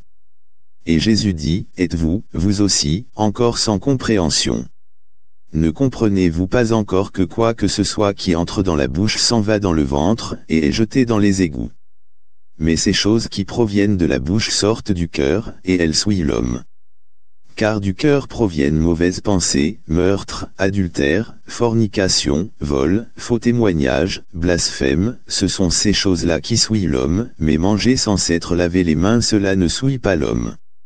Puis Jésus s'en alla de là et partit vers les côtes de Tyr et de Sidon. Et, voici, une femme de Canaan venue de ces côtes-là, et s'écria, lui disant, Aie miséricorde envers moi, ô Seigneur, toi fils de David, ma fille est douloureusement agitée par un diable. Mais il ne lui répondit pas un mot. Et ses disciples vinrent et le prièrent, disant, Renvoie-la, car elle crie contre nous. Mais il répondit et dit, Je ne suis envoyé qu'aux moutons perdus de la maison d'Israël. Alors elle vint et l'adora disant, Seigneur, aide-moi. Mais il lui répondit et dit, Il n'est pas convenable de prendre le pain des enfants, et de le jeter aux chiens. Et elle dit, Cela est vrai, Seigneur, toutefois les chiens mangent les miettes qui tombent de la table de leur maître. Alors Jésus répondit et lui dit, Ô femme, grande est ta foi, qu'il te soit fait comme tu le veux et sa fille fut rendue bien portante à cette heure même. Et Jésus partit de là et arriva près de la mer de Galilée, et monta sur une montagne et s'y assit. Et de grandes multitudes vinrent à lui, ayant avec eux ceux qui étaient boiteux, aveugles, muets, estropiés, et beaucoup d'autres, et elles les mirent aux pieds de Jésus, et il les guérit, à tel point que la multitude s'interrogea lorsqu'ils virent que les muets parlaient, les estropiés étaient en bonne santé, les boiteux marchaient, et les aveugles voyaient, et ils glorifiaient le Dieu d'Israël. Alors Jésus appela ses disciples à lui et dit, J'ai compassion envers la multitude, parce qu'ils sont avec moi depuis déjà trois jours, et ils n'ont rien à manger, et je ne veux pas les renvoyer à jeun, de peur qu'ils ne s'évanouissent en chemin. Et ses disciples lui dirent, D'où pourrions-nous avoir, dans ce lieu désert, assez de pain pour rassasier une si grande multitude? Et Jésus leur dit, Combien avez-vous de pain?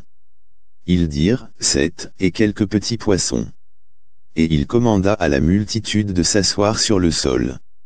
Et il prit les sept pains et les poissons et remercia, et les rompit et les donna à ses disciples, et les disciples les donnèrent à la multitude. Et ils mangèrent tous et furent rassasiés, et ils emportèrent sept paniers pleins des morceaux de nourriture qui restèrent. Et ceux qui avaient mangé étaient quatre mille hommes, sans compter les femmes et les enfants et il renvoya la multitude et monta dans un bateau, et alla vers les côtes de Magdala. Matthieu, chapitre 16 Les pharisiens avec aussi les sadducéens vinrent et le tentant, désirèrent de lui qu'il leur montre un signe du ciel. Il répondit et leur dit, Quand c'est le soir, vous dites, il fera beau temps, car le ciel est rouge.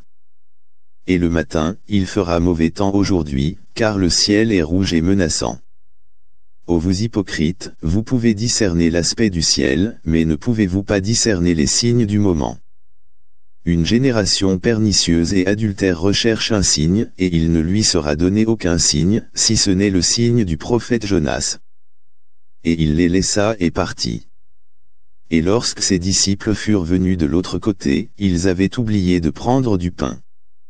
Alors Jésus leur dit, Prenez garde et méfiez-vous du levain des pharisiens et des sadducéens et ils raisonnaient entre eux disant, C'est parce que nous n'avons pas pris de pain. Ce que lorsque Jésus s'en aperçut, il leur dit, Ô vous de petite foi, pourquoi raisonnez-vous entre vous, parce que vous n'avez pas apporté de pain? Ne comprenez-vous pas encore, ne vous souvenez-vous pas non plus des cinq pains des cinq mille, et combien de paniers vous avez ramassés? Ni des sept pains des quatre mille et combien de paniers vous avez ramassés? Comment se fait-il que vous ne compreniez pas que je ne vous l'ai pas dit concernant le pain, que vous deviez vous méfier du levain des pharisiens et des sadducéens? Alors ils comprirent qu'il leur avait dit non pas de se méfier du levain du pain, mais de la doctrine des pharisiens et des sadducéens. Quand Jésus arriva aux côtes de Césarée de Philippe, il interrogea ses disciples, disant, Qui les hommes disent-ils que je suis, moi, le Fils de l'homme? Et ils dirent, Quelques-uns disent que tu es Jean le Baptiste, d'autres, Élie, et d'autres, Jérémie, ou l'un des prophètes. Il leur dit, Mais qui dites-vous que je suis? Et Simon-Pierre répondit et dit, Tu es le Christ, le Fils du Dieu vivant. Et Jésus répondit et lui dit, Béni sois-tu, Simon, Barjona, fils de Jonas car la chair et le sang ne te l'ont pas révélé, mais mon Père qui est au ciel. Et je te dis aussi, tu es Pierre, et sur ce roc je bâtirai mon église, et les portes de l'enfer ne prévaudront pas contre lui et je te donnerai les clés du royaume du ciel, et quoi que ce soit que tu liras sur la terre sera lié dans le ciel, et tout ce que tu délieras sur la terre sera délié dans le ciel. Puis il recommanda à ses disciples qu'ils ne disent à aucun homme qu'il était Jésus le Christ. Dès lors Jésus commença à montrer à ses disciples qu'il lui fallait aller à Jérusalem et souffrir beaucoup de choses de la part des anciens, et des principaux prêtres, et des scribes, et être tué, et être ressuscité le troisième jour.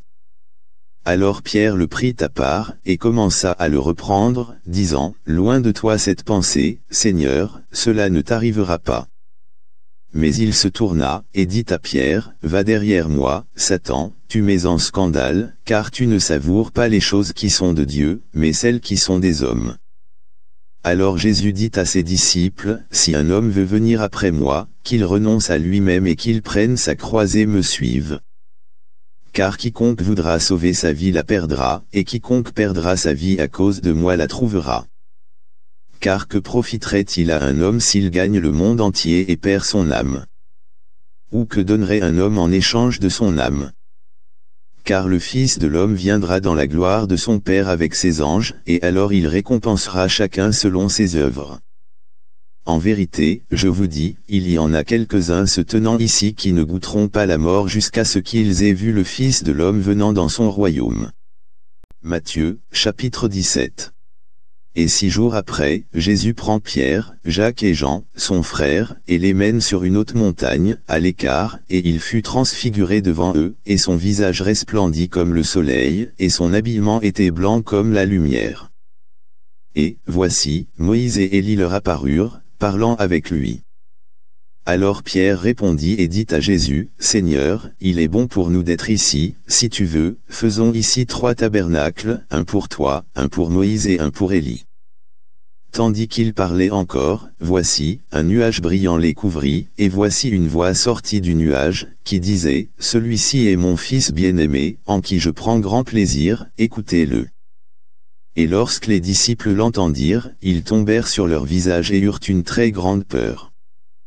Et Jésus vint et les toucha et dit, Levez-vous et n'ayez pas peur. Et lorsqu'ils levèrent leurs yeux, ils ne virent aucun homme, seulement Jésus. Et comme ils descendaient de la montagne, Jésus leur recommanda ceci disant, Ne racontez la vision à aucun homme, jusqu'à ce que le Fils de l'homme soit ressuscité d'entre les morts. Et ses disciples lui demandèrent, disant, Pourquoi donc les scribes disent-ils qu'il faut qu'Élie vienne d'abord? Et Jésus répondit et leur dit, Il est vrai qu'Élie viendra d'abord et rétablira toutes choses. Mais je vous dis qu'Élie est déjà venu et ils ne l'ont pas reconnu, mais ils lui ont fait tout ce qu'ils ont voulu de même aussi le Fils de l'homme souffrira par eux. Alors les disciples comprirent qu'il leur parlait de Jean le Baptiste. Et lorsqu'ils arrivèrent vers la multitude, un certain homme vint à lui, s'agenouillant devant lui et disant, Seigneur, aie miséricorde envers mon fils, car il est lunatique, et fort tourmenté, car il tombe souvent dans le feu et souvent dans l'eau. Et je l'ai amené à tes disciples, et ils n'ont pu le guérir. Alors Jésus répondit et dit, Ô génération sans foi et perverse, jusqu'à quand serai-je avec vous? Jusqu'à quand vous supporterai-je? Amenez-le-moi ici. Et Jésus reprit le diable, et il sortit de lui, et l'enfant fut rétabli à cette heure-là. Alors les disciples vinrent à Jésus le prenant à l'écart et dirent, Pourquoi n'avons-nous pas pu le chasser? Et Jésus leur dit, à cause de votre incrédulité, car en vérité je vous dis, si vous aviez de la foi comme un grain de semence de moutarde, vous diriez à cette montagne, déplace-toi d'ici à là-bas, et elle se déplacerait, et rien ne vous serait impossible.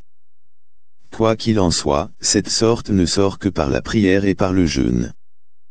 Et tandis qu'ils étaient en Galilée, Jésus leur dit, Le Fils de l'homme sera trahi entre les mains des hommes, et ils le tueront, et le troisième jour il ressuscitera.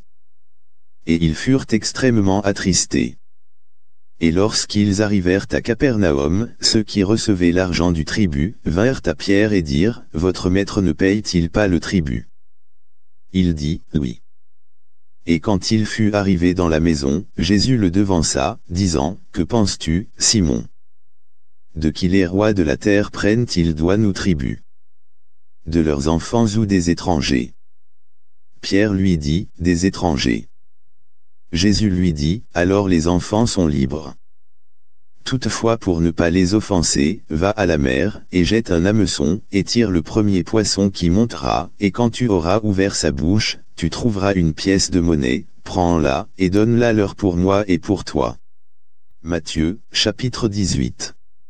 À ce même moment les disciples vinrent à Jésus disant, Qui est le plus grand dans le royaume du ciel?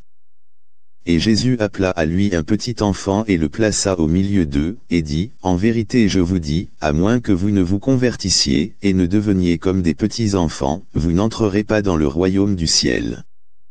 Quiconque donc s'humiliera comme ce petit enfant, celui-là est le plus grand dans le royaume du ciel.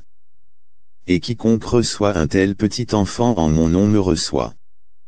Mais quiconque offensera un de ces petits qui croient en moi, il vaudrait mieux pour lui qu'une meule de moulin soit suspendue autour de son cou, et qu'il soit noyé dans les profondeurs de la mer. Malheur au monde à cause des offenses.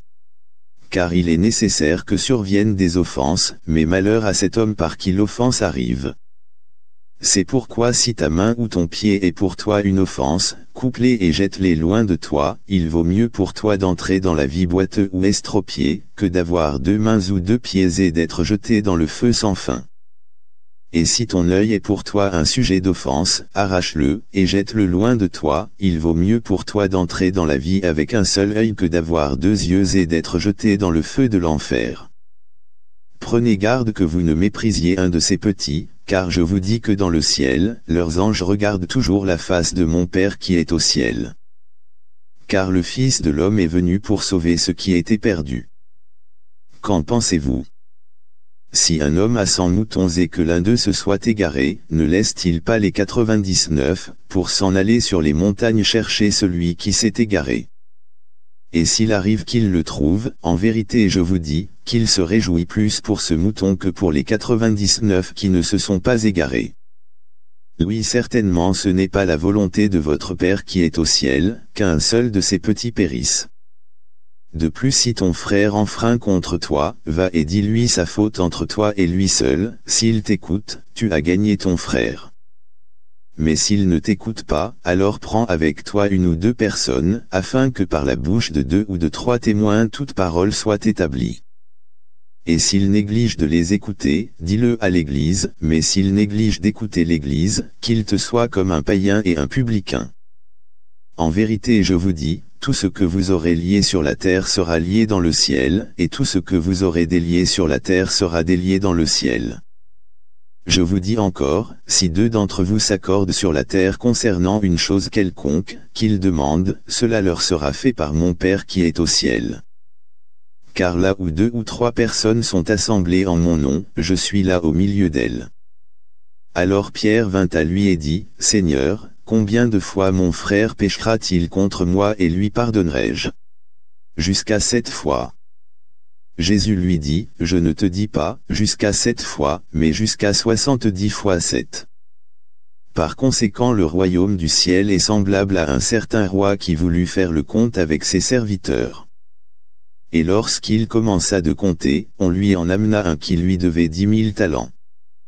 Mais comme il n'avait pas de quoi payer, son seigneur commanda qu'il soit vendu, ainsi que sa femme et ses enfants, et tout ce qu'il avait, et que le paiement soit fait.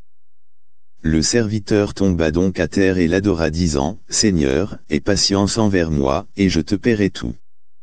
Alors le seigneur de ce serviteur fut ému de compassion et le relâcha et pardonna sa dette. Mais ce même serviteur sortit et rencontra un de ses compagnons de service qui lui devait cent deniers, et il mit ses mains sur lui et le prit à la gorge disant, Paie-moi ce que tu me dois. Et son compagnon de service tomba à terre à ses pieds et le supplia disant, Aie patience envers moi et je te paierai tout. Et il ne voulut pas, mais s'en alla et le jeta en prison jusqu'à ce qu'il ait payé la dette. Aussi lorsque ses compagnons de service virent ce qui s'était passé, ils furent très attristés et allèrent raconter à leur seigneur tout ce qui s'était passé. Alors son seigneur après qu'il l'eut appelé, lui dit, Ô toi, pernicieux serviteur, je t'avais pardonné toute cette dette parce que tu m'en avais supplié, ne devais-tu pas aussi avoir de la compassion envers ton compagnon de service, de même que j'ai eu pitié de toi et son seigneur fut courroucé et le livra au tourmenteur jusqu'à ce qu'il eût payé tout ce qu'il lui devait. Ainsi de même mon Père céleste fera aussi envers vous, si de vos cœurs vous ne pardonnez pas chacun de vous à son frère ses infractions. Matthieu, chapitre 19 Et il arriva que lorsque Jésus eut achevé ses dires, il partit de Galilée et arriva aux côtes de la Judée au-delà du Jourdain, et de grandes multitudes le suivirent, et il les guérit là. Des pharisiens vinrent aussi à lui le tentant et lui disant, Est-il permis à un homme de répudier sa femme pour quelque cause que ce soit? Et il répondit et leur dit, N'avez-vous pas lu que celui qui les a fait au commencement les a fait mâle et femelle Et il dit, Pour ce motif l'homme quittera son père et sa mère et s'attachera à sa femme et les deux seront une seule chair. C'est pourquoi ils ne sont plus deux, mais une seule chair. Ce que Dieu donc a joint, que l'homme ne le sépare pas. Ils lui dirent, Pourquoi donc Moïse a-t-il commandé de donner une lettre de divorce, et de la répudier? Il leur dit, Moïse, à cause de la dureté de vos cœurs, vous a permis de répudier vos femmes, mais il n'en fut pas ainsi dès le commencement. Et je vous dis que quiconque répudiera sa femme, sauf si c'est pour fornication, et en épousera une autre, commet un adultère, et celui qui épouse celle qui a été répudiée commet un adultère. Ses disciples lui dirent, Si telle est la condition de l'homme à l'égard de sa femme, il n'est pas bon de se marier. Mais il leur dit, Tous les hommes ne sont pas capables de recevoir ce propos, sauf ceux à qui cela est donné. Car il y a quelques eunuques qui sont tels des l'utérus de leur mère, et il y a quelques eunuques qui ont été faits eunuques par les hommes, et il y a des eunuques qui se sont faits eunuques eux-mêmes pour le royaume du ciel que celui qui est capable de le recevoir, qu'il le reçoive. Alors on lui amena des petits enfants afin qu'il pose ses mains sur eux et qu'il prie, mais les disciples les reprirent.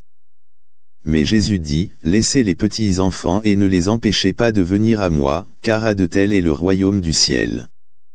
Et il posa ses mains sur eux, et il partit de là. Et, voici, quelqu'un vint et lui dit, Bon maître, quelle bonne chose ferai-je, afin que je puisse avoir la vie éternelle? Et il lui dit, Pourquoi m'appelles-tu bon? Aucun n'est bon, sinon un seul, c'est-à-dire Dieu, mais si tu veux entrer dans la vie, garde les commandements. Il lui dit, Lesquels? Jésus dit, Tu ne perpétreras aucun meurtre, tu ne commettras pas d'adultère, tu ne voleras pas, tu ne diras pas de faux témoignages, honore ton père et ta mère, et tu aimeras ton voisin comme toi-même. Le jeune homme lui dit, J'ai gardé toutes ces choses depuis ma jeunesse, que me manque-t-il encore? Jésus lui dit, Si tu veux être parfait, va, et vends ce que tu as, et donne-le aux pauvres, et tu auras un trésor dans le ciel, et viens et suis-moi. Mais quand le jeune homme entendit ce propos, il s'en alla attristé, car il avait de grandes possessions. Alors Jésus dit à ses disciples, En vérité, je vous dis, qu'un homme riche entrera difficilement dans le royaume du ciel. Et je vous dis encore, il est plus facile à un chameau de passer au travers du trou d'une aiguille, que pour un homme riche d'entrer dans le royaume de Dieu. Lorsque ses disciples l'entendirent, ils furent extrêmement stupéfaits, disant, Qui donc peut être sauvé? Mais Jésus les regarda, et leur dit, À l'homme cela est impossible, mais à Dieu toutes choses sont possibles. Alors Pierre répondit et lui dit, Voici, nous avons tout quitté, et t'avons suivi, qu'aurons-nous donc? Et Jésus leur dit, En vérité je vous dis, que vous qui m'avez suivi, à la régénération, lorsque le Fils de l'homme sera assis sur le trône de sa gloire, vous aussi serez assis sur douze trônes, jugeant les douze tribus d'Israël. Et quiconque aura quitté maison, ou frère, ou sœur, ou père, ou mère, ou femme, ou enfant, ou terre, à cause de mon nom, recevra un centuple et héritera la vie immortelle. Mais beaucoup qui sont les premiers seront les derniers, et les derniers seront les premiers. Matthieu, chapitre 20. Car le royaume du ciel est semblable à un homme qui est un maître de maison, qui sortit tôt le matin afin d'engager des ouvriers pour son vignoble.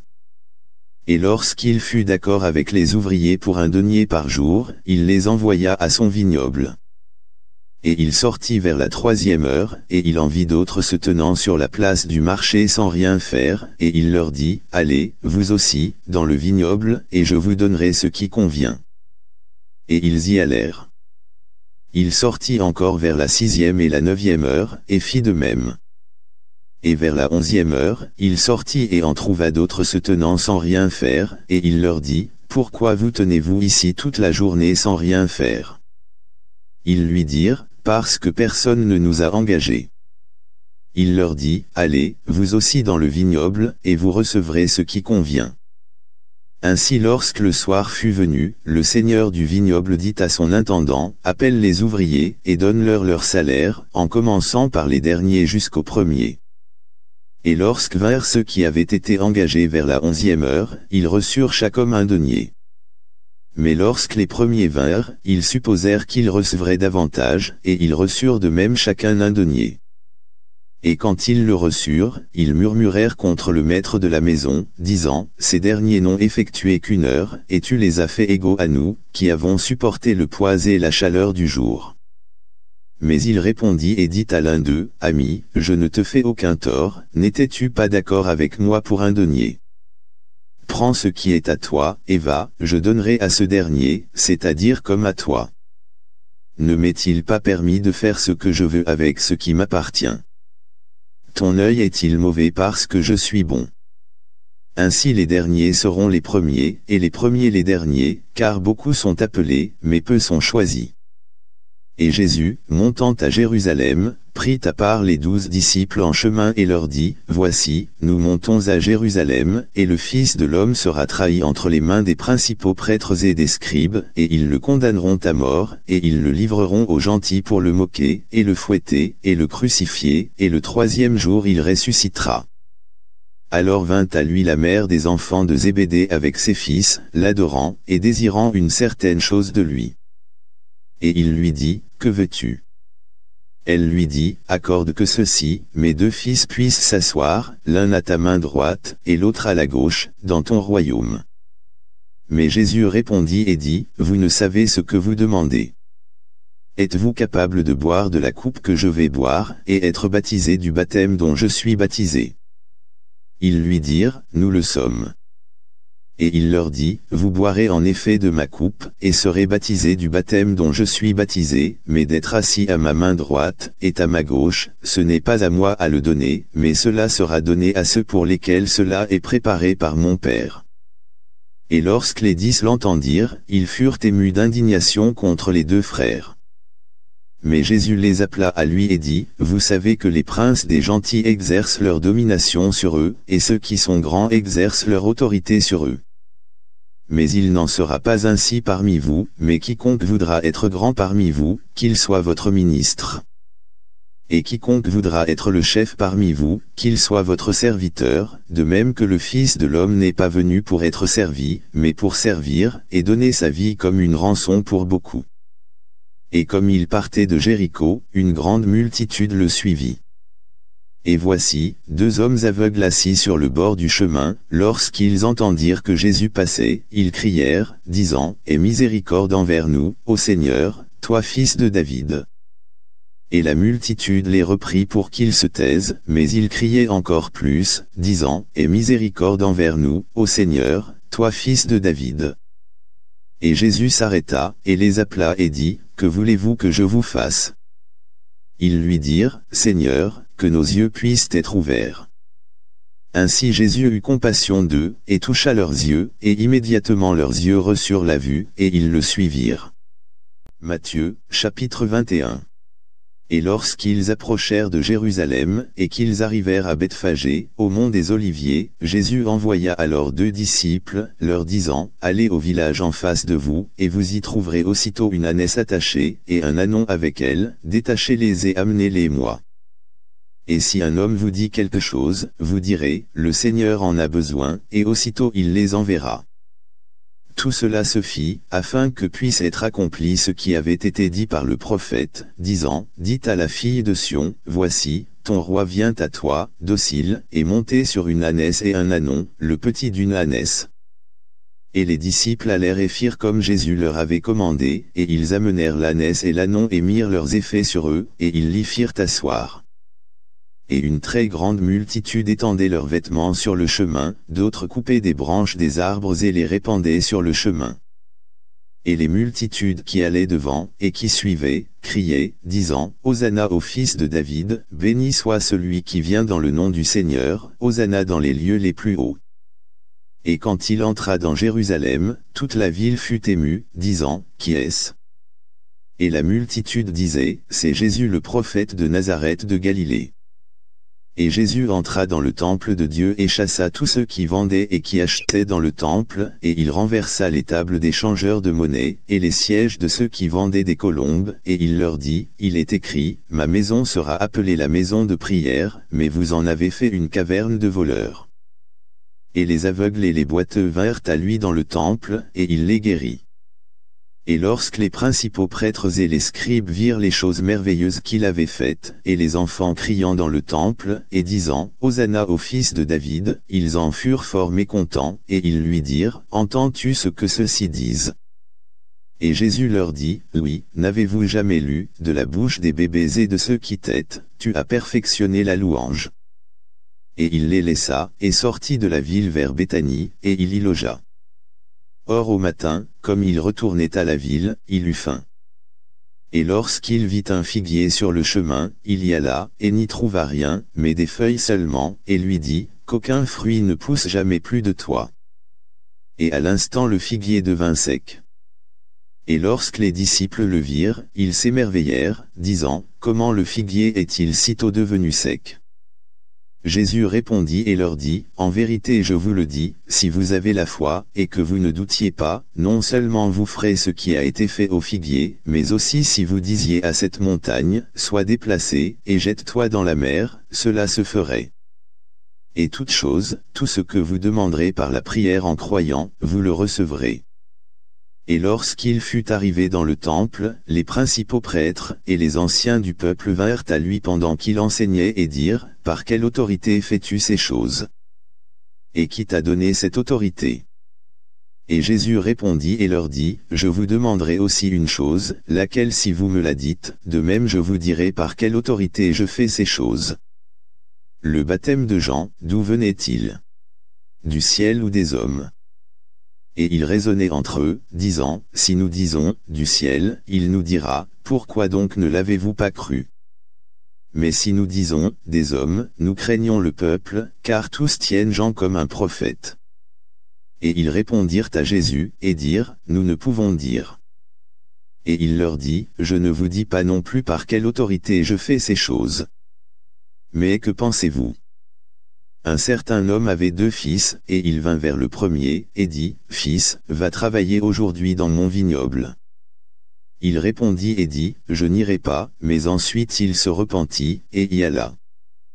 Puis il vint vers le second, et dit de même. Et il répondit et dit, J'y vais, sire, et n'y alla pas. Lequel des deux a fait la volonté de son père? Ils lui dirent, le premier. Jésus leur dit, En vérité, je vous dis, que les publicains et les prostituées vont avant vous dans le royaume de Dieu. Car Jean est venu à vous par le chemin de la droiture et vous ne l'avez pas cru, mais les publicains et les prostituées l'ont cru, et vous, quand vous l'avez vu, vous ne vous êtes pas ensuite repenti pour que vous puissiez le croire. Écoutez une autre parabole, il y avait un certain maître de maison, qui planta un vignoble, et l'entoura du nez et y creusa un pressoir et y bâtit une tour, puis le loua à des viticulteurs, et s'en alla dans un pays lointain, et lorsque la saison des fruits approcha, il envoya ses serviteurs vers les viticulteurs, pour qu'ils puissent en recevoir les fruits. Et les viticulteurs se saisirent des serviteurs, battirent l'un, et tuèrent un autre, et en lapidèrent un autre. De nouveau, il envoya d'autres serviteurs en plus grand nombre que les premiers, et ils leur firent de même. Mais en dernier il envoya vers eux son fils, disant, Ils seront révérencieux envers mon fils.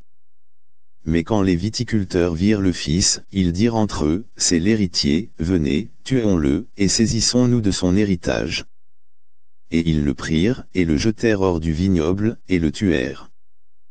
Quand donc le seigneur du vignoble vient, que fera-t-il à ses viticulteurs? Ils lui dirent, il tuera misérablement ces hommes pernicieux, et il louera son vignoble à d'autres viticulteurs, qui lui rendront les fruits en leur saison. Jésus leur dit, N'avez-vous jamais lu dans les Écritures, la pierre que les bâtisseurs ont rejetée, celle-là même est devenue la principale du coin, c'est l'œuvre du Seigneur, et c'est merveilleux à nos yeux. Par conséquent je vous dis, le royaume de Dieu vous sera retiré et sera donné à une nation qui en rendra les fruits. Et quiconque tombera sur cette pierre sera brisé, mais sur quiconque elle tombera, elle le réduira en poudre. Mais lorsque les principaux prêtres et les pharisiens eurent entendu ces paraboles, ils perçurent qu'il parlait d'eux. Mais comme ils cherchaient à mettre les mains sur lui, ils craignirent la multitude, parce qu'ils le prenaient pour un prophète. Matthieu, chapitre 22 et Jésus répondit et leur parla de nouveau en parabole, et dit, Le royaume du ciel est semblable à un certain roi qui prépara le mariage de son fils, et il envoya ses serviteurs pour appeler ceux qui avaient été invités au mariage, et ils ne voulurent pas venir. De nouveau il envoya d'autres serviteurs, disant, Dites à ceux qui ont été invités, Voici, j'ai préparé mon dîner, mes bœufs et mes bêtes grasses sont tués, et toutes les choses sont prêtes, venez au mariage mais ils le prirent à la légère, et s'en allèrent, l'un à sa ferme, un autre à son commerce, et le reste prit ses serviteurs et les traita méchamment et les tua. Mais lorsque le roi l'apprit, il fut courroucé, et il envoya ses armées, et tua ses meurtriers, et brûla leur ville. Alors il dit à ses serviteurs, Le mariage est prêt, mais ceux qui étaient invités n'en étaient pas dignes. Allez donc sur les routes et invitez au mariage tous ceux que vous trouverez. Ainsi ses serviteurs allèrent sur les routes et rassemblèrent autant qu'ils en trouvèrent, tant les mauvais que les bons, et beaucoup d'invités furent au mariage. Et lorsque le roi entra pour voir les invités, il vit un homme qui n'était pas vêtu d'un vêtement de mariage, et il lui dit, Ami, comment es-tu venu ici sans avoir un vêtement de mariage? Et il était sans voix. Alors le roi dit aux serviteurs, liez-le mains et pieds, et emportez-le, et jetez-le dans l'obscurité de dehors, là seront les pleurs et les grincements de dents. Car beaucoup sont appelés, mais peu sont choisis. Alors les pharisiens allèrent et se consultèrent pour savoir comment ils pourraient l'embrouiller dans son discours et ils envoyèrent vers lui leurs disciples avec les Hérodiens, disant, Maître, nous savons que tu es vrai, et que tu enseignes le chemin de Dieu en vérité, et que tu ne te soucies de personne, car tu ne regardes pas à l'apparence des hommes. Dis-nous donc, que penses-tu? Est-il ou non permis de donner tribut à César? Mais Jésus perçut leur vilainie, et dit, Pourquoi me tentez-vous, vous hypocrites? Montrez-moi la monnaie du tribut. Et ils lui apportèrent un denier et il leur dit, De qui est cette image et cette inscription? Ils lui dirent, De César. Alors il leur dit, Rendez donc à César les choses qui sont à César, et à Dieu les choses qui sont à Dieu. Lorsqu'ils entendirent ces paroles, ils s'émerveillèrent, et le laissèrent, et s'en allèrent. Le même jour les Sadducéens vinrent à lui, lesquels disent qu'il n'y a pas de résurrection, et lui demandèrent, disant, Maître, Moïse a dit, si un homme meurt, n'ayant pas d'enfant, son frère épousera sa femme, et suscitera semence à son frère. Or il y avait parmi nous sept frères, et le premier, après s'être marié, décéda, et n'ayant pas de postérité, il laissa sa femme à son frère, de même le second aussi, et le troisième, jusqu'au septième et à la fin la femme aussi mourut. Par conséquent à la résurrection duquel des sept sera-t-elle femme? Car tous l'ont tue. Jésus répondit et leur dit, Vous êtes dans l'erreur, ne connaissant ni les Écritures, ni le pouvoir de Dieu. Car à la résurrection, on ne se marie, ni on est donné en mariage, mais on est comme les anges de Dieu dans le ciel. Mais quant à la résurrection des morts, n'avez-vous pas lu ce qui vous a été dit par Dieu, disant, Je suis le Dieu d'Abraham, et le Dieu d'Isaac, et le Dieu de Jacob Dieu n'est pas le Dieu des morts, mais des vivants. Et lorsque la multitude entendit cela, ils étaient étonnés de sa doctrine. Mais lorsque les pharisiens apprirent qu'il avait réduit au silence les Sadducéens, ils s'assemblèrent. Alors l'un d'eux, qui était un homme de loi, lui posa une question, le tentant, et disant, Maître, quel est le grand commandement de la loi? Jésus lui dit, Tu aimeras le Seigneur ton Dieu de tout ton cœur, et de toute ton âme, et de toute ta pensée. C'est le premier et grand commandement. Et le second lui est semblable, Tu aimeras ton voisin comme toi-même. De ces deux commandements dépendent toute la loi et les prophètes. Tandis que les pharisiens étaient assemblés, Jésus leur demanda, disant, Que pensez-vous de Christ? De qui est-il fils? Ils lui dirent, Le fils de David. Il leur dit, Comment donc David en esprit l'appelle-t-il Seigneur, disant, Le Seigneur a dit à mon Seigneur, Assieds-toi à ma main droite, jusqu'à ce que j'ai fait de tes ennemis ton marchepied. Si donc David l'appelle Seigneur, comment est-il son fils? Et aucun homme ne fut capable de lui répondre un mot, et depuis ce jour-là aucun homme n'osa plus lui demander d'autres questions. Matthieu, chapitre 23 alors Jésus parla à la multitude et à ses disciples, disant, Les scribes et les pharisiens sont assis sur le siège de Moïse, donc tout ce qu'il vous prie d'observer, observez cela et faites, mais ne faites pas suivant leurs œuvres, car ils disent, et ne font pas.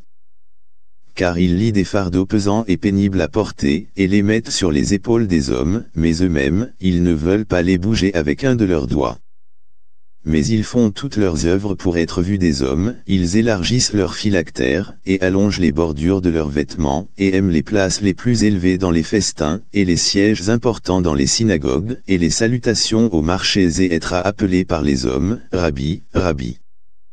Mais ne soyez pas appelés Rabbi, car un seul est votre maître, à savoir Christ, et vous êtes tous frères. Et n'appelez aucun homme sur la terre votre Père, car un seul est votre Père, celui qui est au ciel. Ne vous faites pas non plus appeler maître, car un seul est votre maître, à savoir Christ. Mais celui qui est le plus grand parmi vous sera votre serviteur. Et quiconque s'élèvera sera abaissé, et celui qui s'humiliera sera élevé. Mais malheur à vous, scribes et pharisiens, hypocrites car vous fermez le royaume du ciel aux hommes, car vous n'y entrez pas vous-même, ni ne permettez à ceux qui entrent, d'y entrer. Malheur à vous, scribes et pharisiens, hypocrites. Car vous dévorez les maisons des veuves, et en prétextant faire de longues prières, par conséquent vous recevrez une plus grande damnation. Malheur à vous, scribes et pharisiens, hypocrites car vous parcourez la mer et la terre pour faire un prosélyte, et lorsqu'il l'est devenu, vous le faites deux fois plus l'enfant de l'enfer que vous. Malheur à vous, vous guide aveugle, qui dites, quiconque jurera par le temple, cela n'est rien, mais quiconque jurera par l'or du temple, il est un débiteur.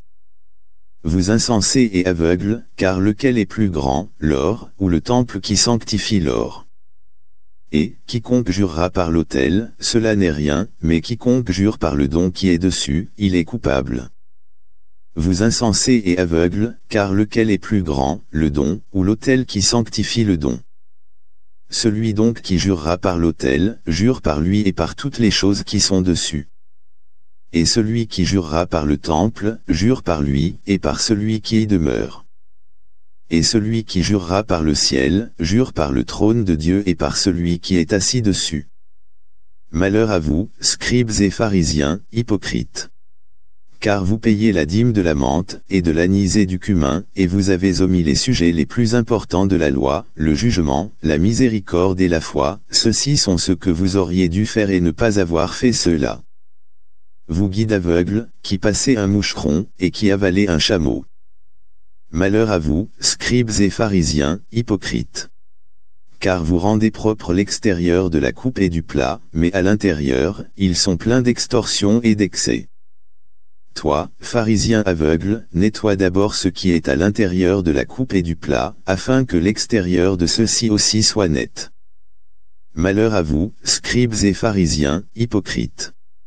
Car vous êtes semblables à des sépulcres blanchis, qui en effet paraissent beaux au dehors, mais au dedans sont pleins d'ossements d'hommes morts, et de toute impureté. Oui certainement vous aussi au dehors vous paraissez droit aux hommes, mais au dedans vous êtes remplis d'hypocrisie et d'iniquité. Malheur à vous, scribes et pharisiens, hypocrites. Parce que vous bâtissez les tombes des prophètes, et vous ornez les sépulcres des hommes droits, et vous dites, si nous avions vécu au jour de nos pères, nous n'aurions pas été participants avec eux dans le sang des prophètes. C'est pourquoi vous êtes témoins à vous-même, que vous êtes les enfants de ceux qui ont tué les prophètes. Mettez donc le comble à la mesure de vos pères. Vous serpents, vous génération de vipères, comment pouvez-vous échapper à la damnation de l'enfer? C'est pourquoi, voici, je vous envoie des prophètes, et des hommes sages, et des scribes, et vous tuerez et crucifierez quelques-uns d'entre eux, et vous fouetterez quelques-uns d'entre eux dans vos synagogues, et vous les persécuterez de ville en ville, afin que puisse venir sur vous tout le sang des hommes droits qui a été versé sur la terre, depuis le sang d'Abel le droit jusqu'au sang de Zacharie, le fils de Baraki, que vous avez tué entre le temple et l'autel.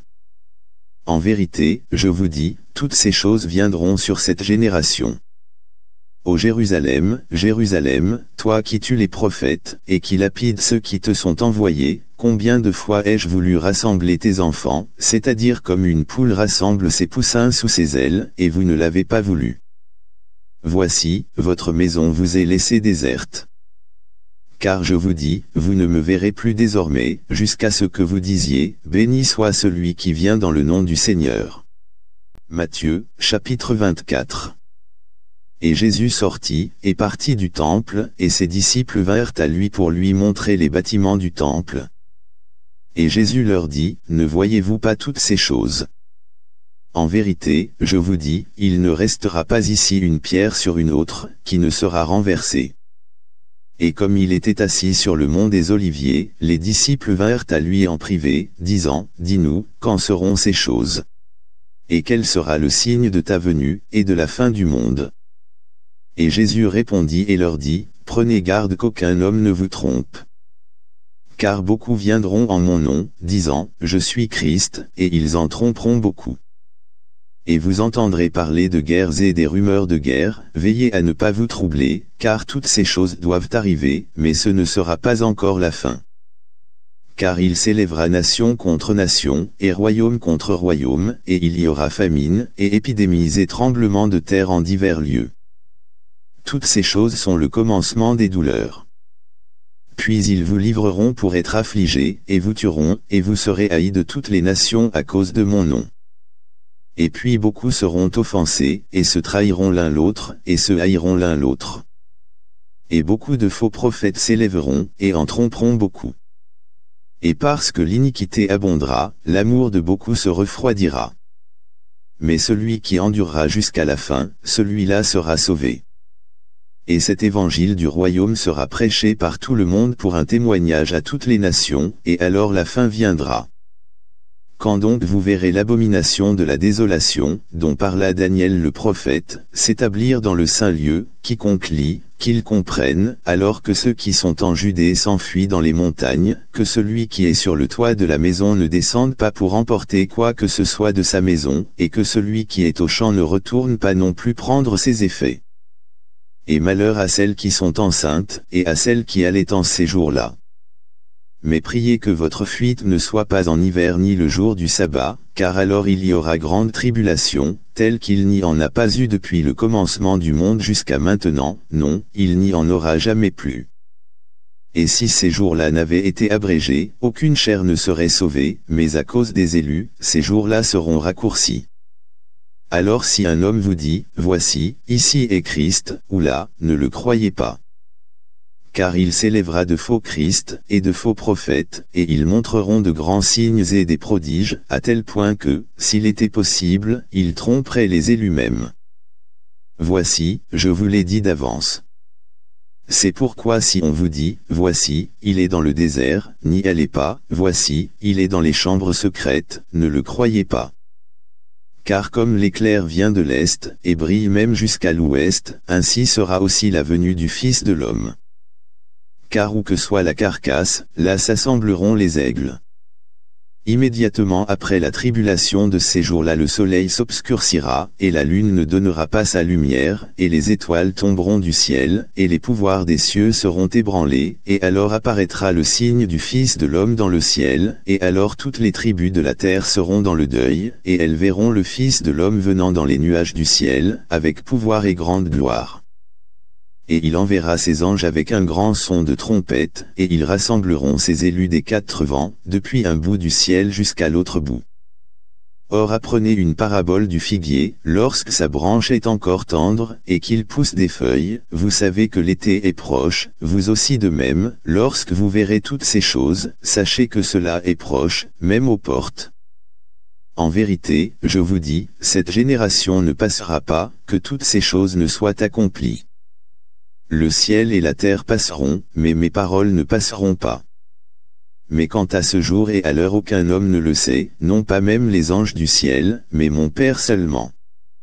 Mais comme il en était au jour de Noé, ainsi sera aussi la venue du Fils de l'homme car comme dans les jours qui étaient avant le déluge, ils mangeaient et buvaient, se mariaient et donnaient en mariage, jusqu'au jour où Noé entra dans l'arche, et ne surent rien jusqu'à ce que le déluge vienne et les emporte tous, ainsi en sera-t-il à la venue du Fils de l'homme.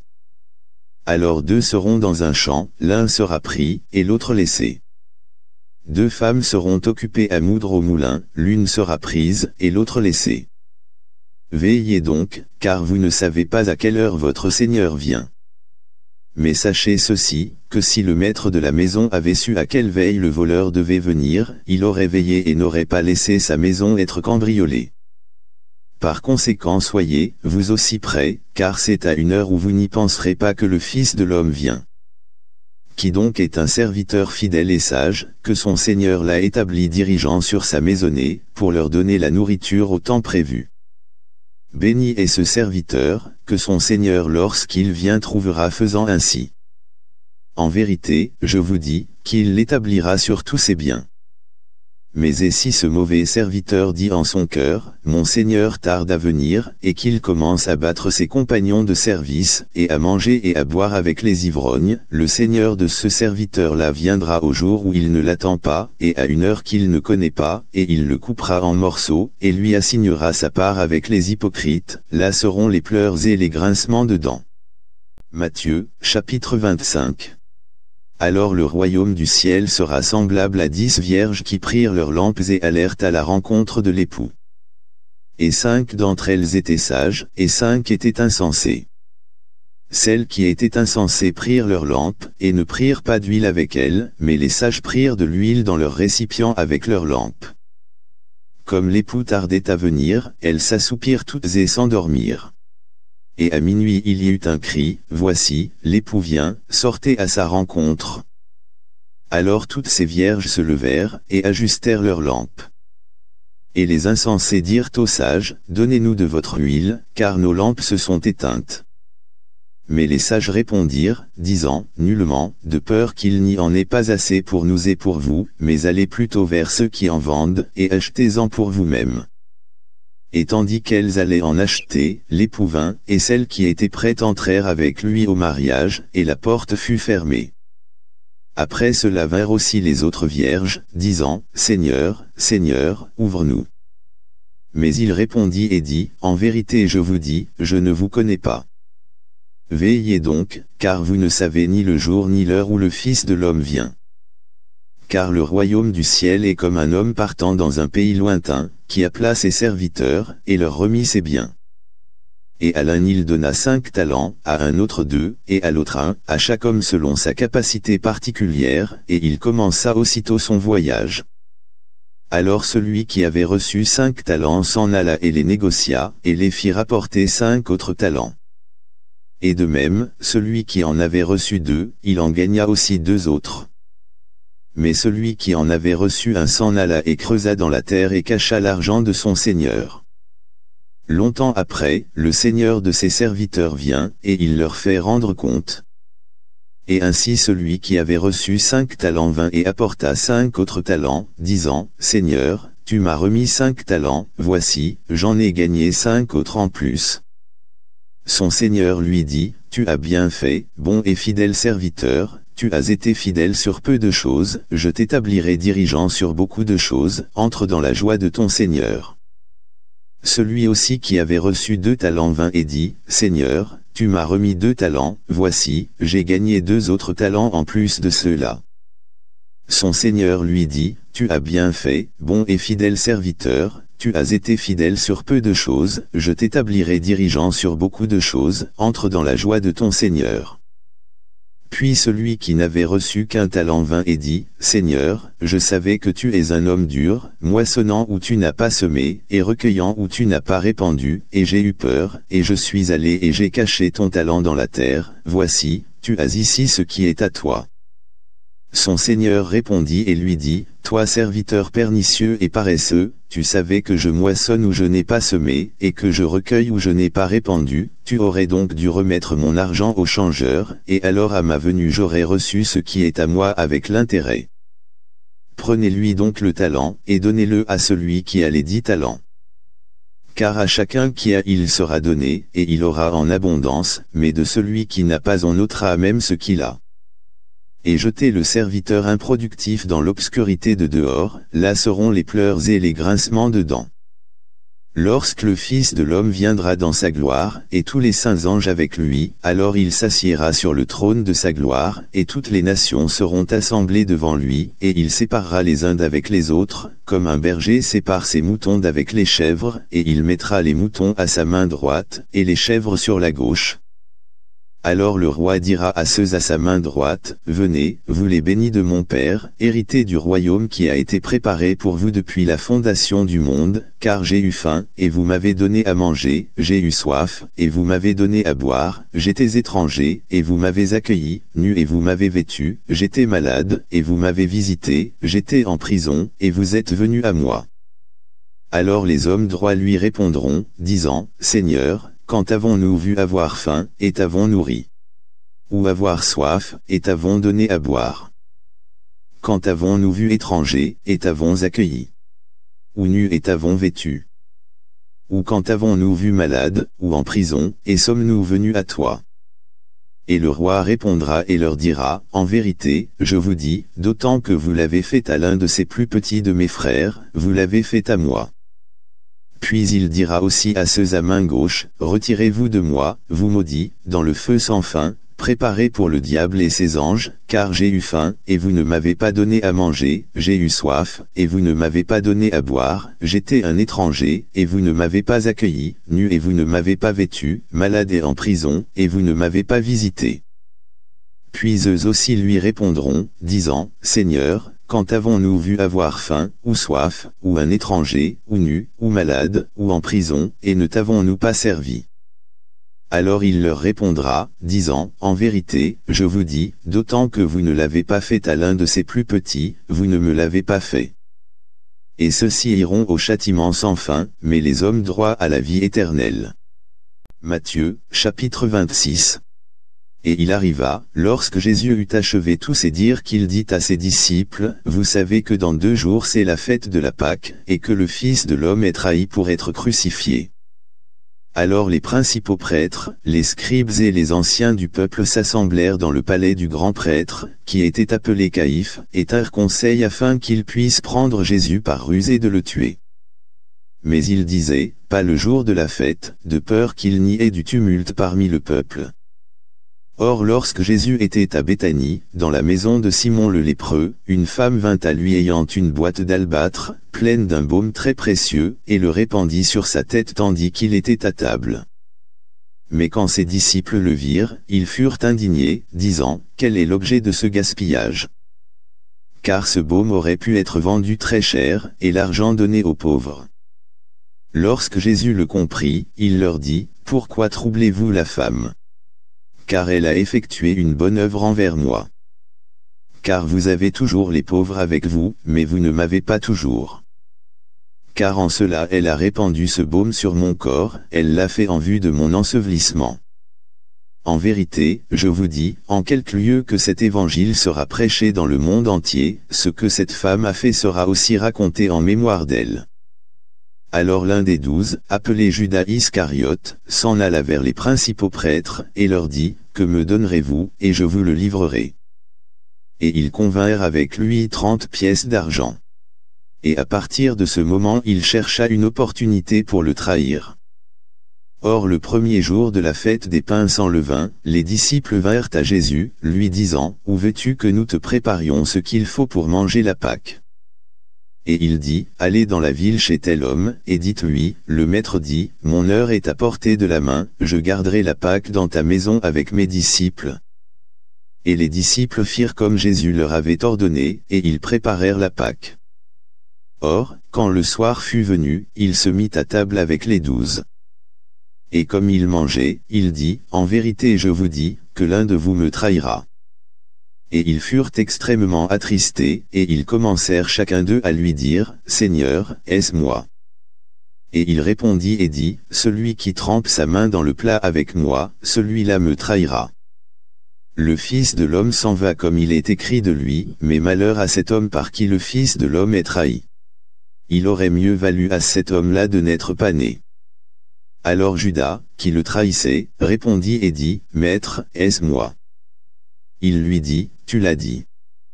Et comme il mangeait, Jésus prit du pain, et le bénit, et le rompit et le donna à ses disciples et dit, Prenez, mangez, ceci est mon corps. Et il prit la coupe, et remercia, et il la leur donna, disant, Buvez-en tous, car ceci est mon sang du Nouveau Testament, lequel est versé pour beaucoup, pour la rémission des péchés mais je vous dis, que désormais je ne boirai plus de ce fruit de la vigne, jusqu'au jour où je le boirai nouveau avec vous dans le royaume de mon Père. Et après qu'ils eurent chanté un hymne, ils partirent pour le mont des Oliviers. Alors Jésus leur dit, Vous serez tous offensés cette nuit à cause de moi, car il est écrit, Je frapperai le berger, et les moutons du troupeau seront dispersés de tous côtés. Mais après que je serai ressuscité, j'irai avant vous en Galilée. Pierre répondit et lui dit, Quand même tous les hommes seraient offensés à cause de toi, cependant je ne serai jamais offensé. Jésus lui dit, En vérité je te dis, que cette nuit, avant que le coq ait chanté, tu me renieras trois fois. Pierre lui dit, Bien que si je devais mourir avec toi, toutefois je ne te renierai pas. Et tous les disciples dirent de même.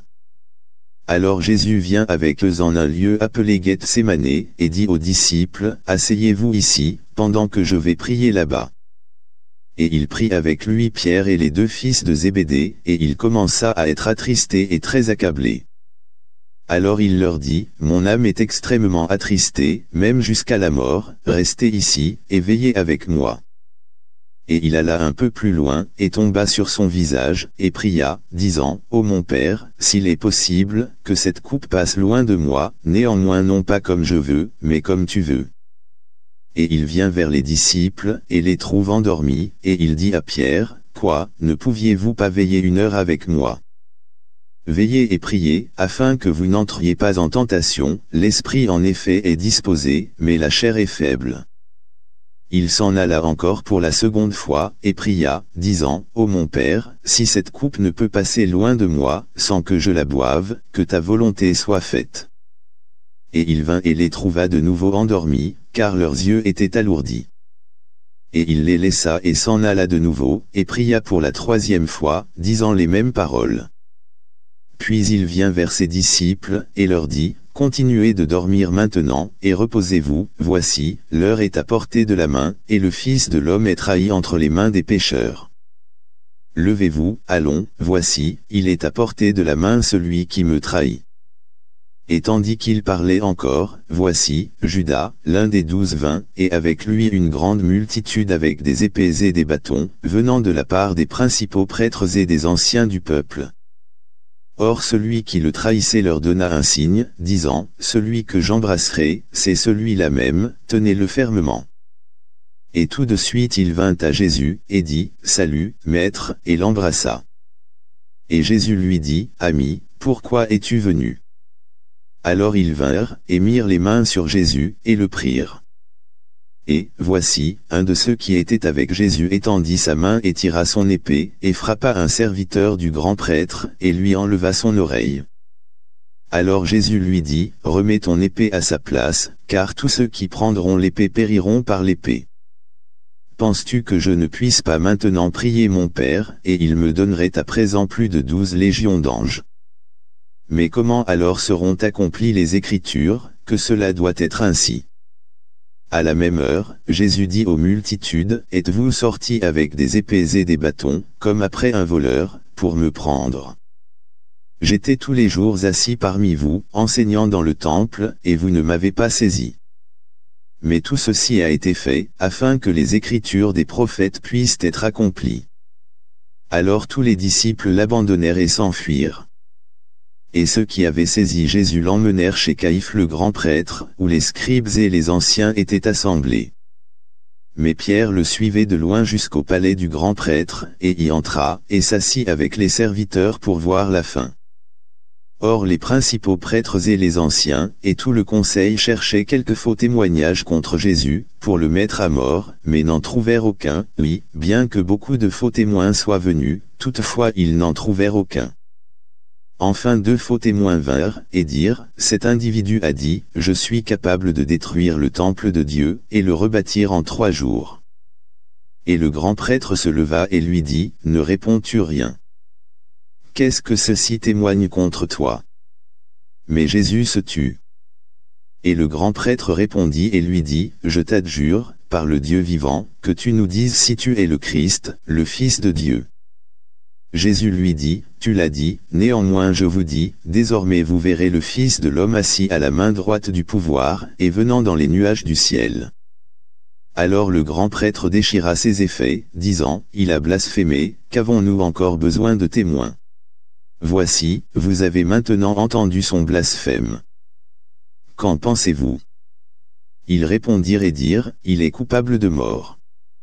Alors ils crachèrent sur son visage, et lui donnèrent des coups de poing, et d'autres le frappaient avec la paume de leurs mains, disant, Prophétise-nous, toi Christ, qui est celui qui t'a frappé. Or Pierre était assis à l'extérieur dans le palais, et une jeune fille vint à lui, disant, Toi aussi tu étais avec Jésus de Galilée mais il le nia devant eux tous, disant, Je ne sais ce que tu dis.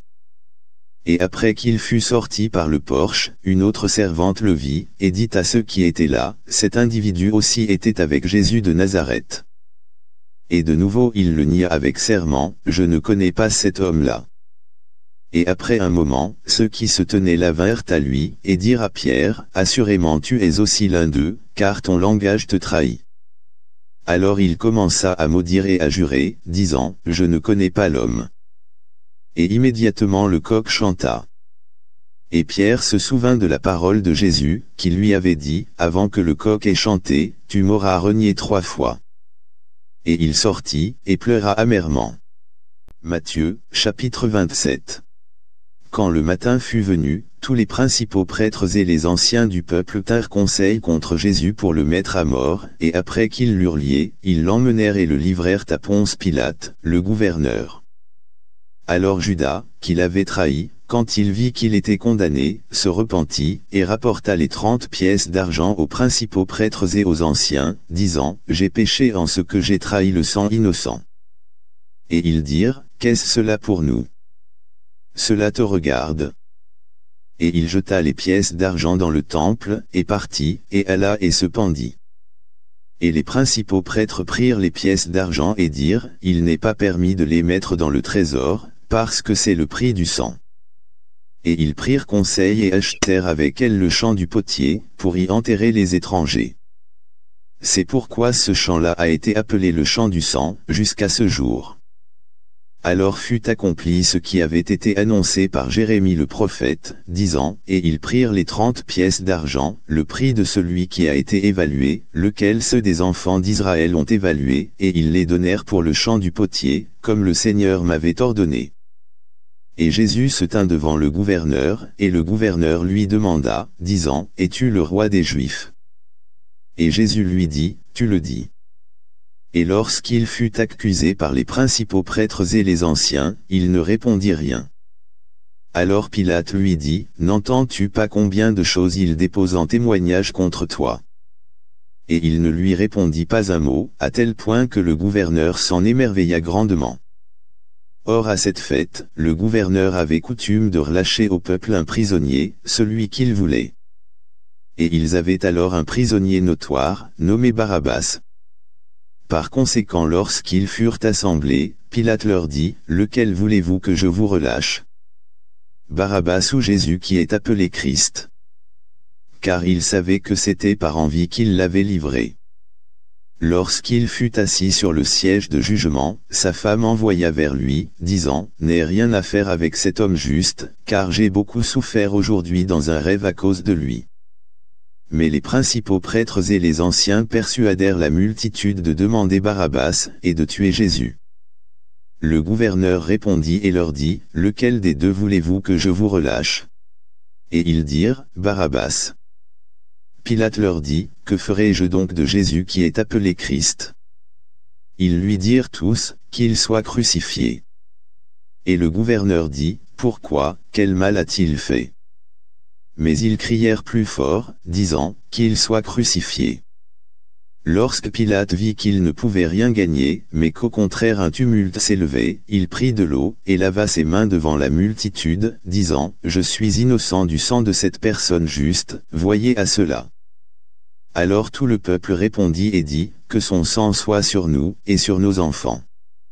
Alors il leur relâcha Barabbas, et quand il eut fait fouetter Jésus, il le livra pour être crucifié. Alors les soldats du gouverneur amenèrent Jésus dans la salle commune, et ils assemblèrent autour de lui toute la bande de soldats. Et ils le dévêtirent, et mirent sur lui une robe écarlate. Et quand ils eurent tressé une couronne d'épines, ils la mirent sur sa tête, et un roseau dans sa main droite, et ils fléchirent le genou devant lui, et ils se moquaient de lui, disant, Salut, roi des Juifs. Et ils crachèrent sur lui, et prirent le roseau et lui en frappèrent la tête.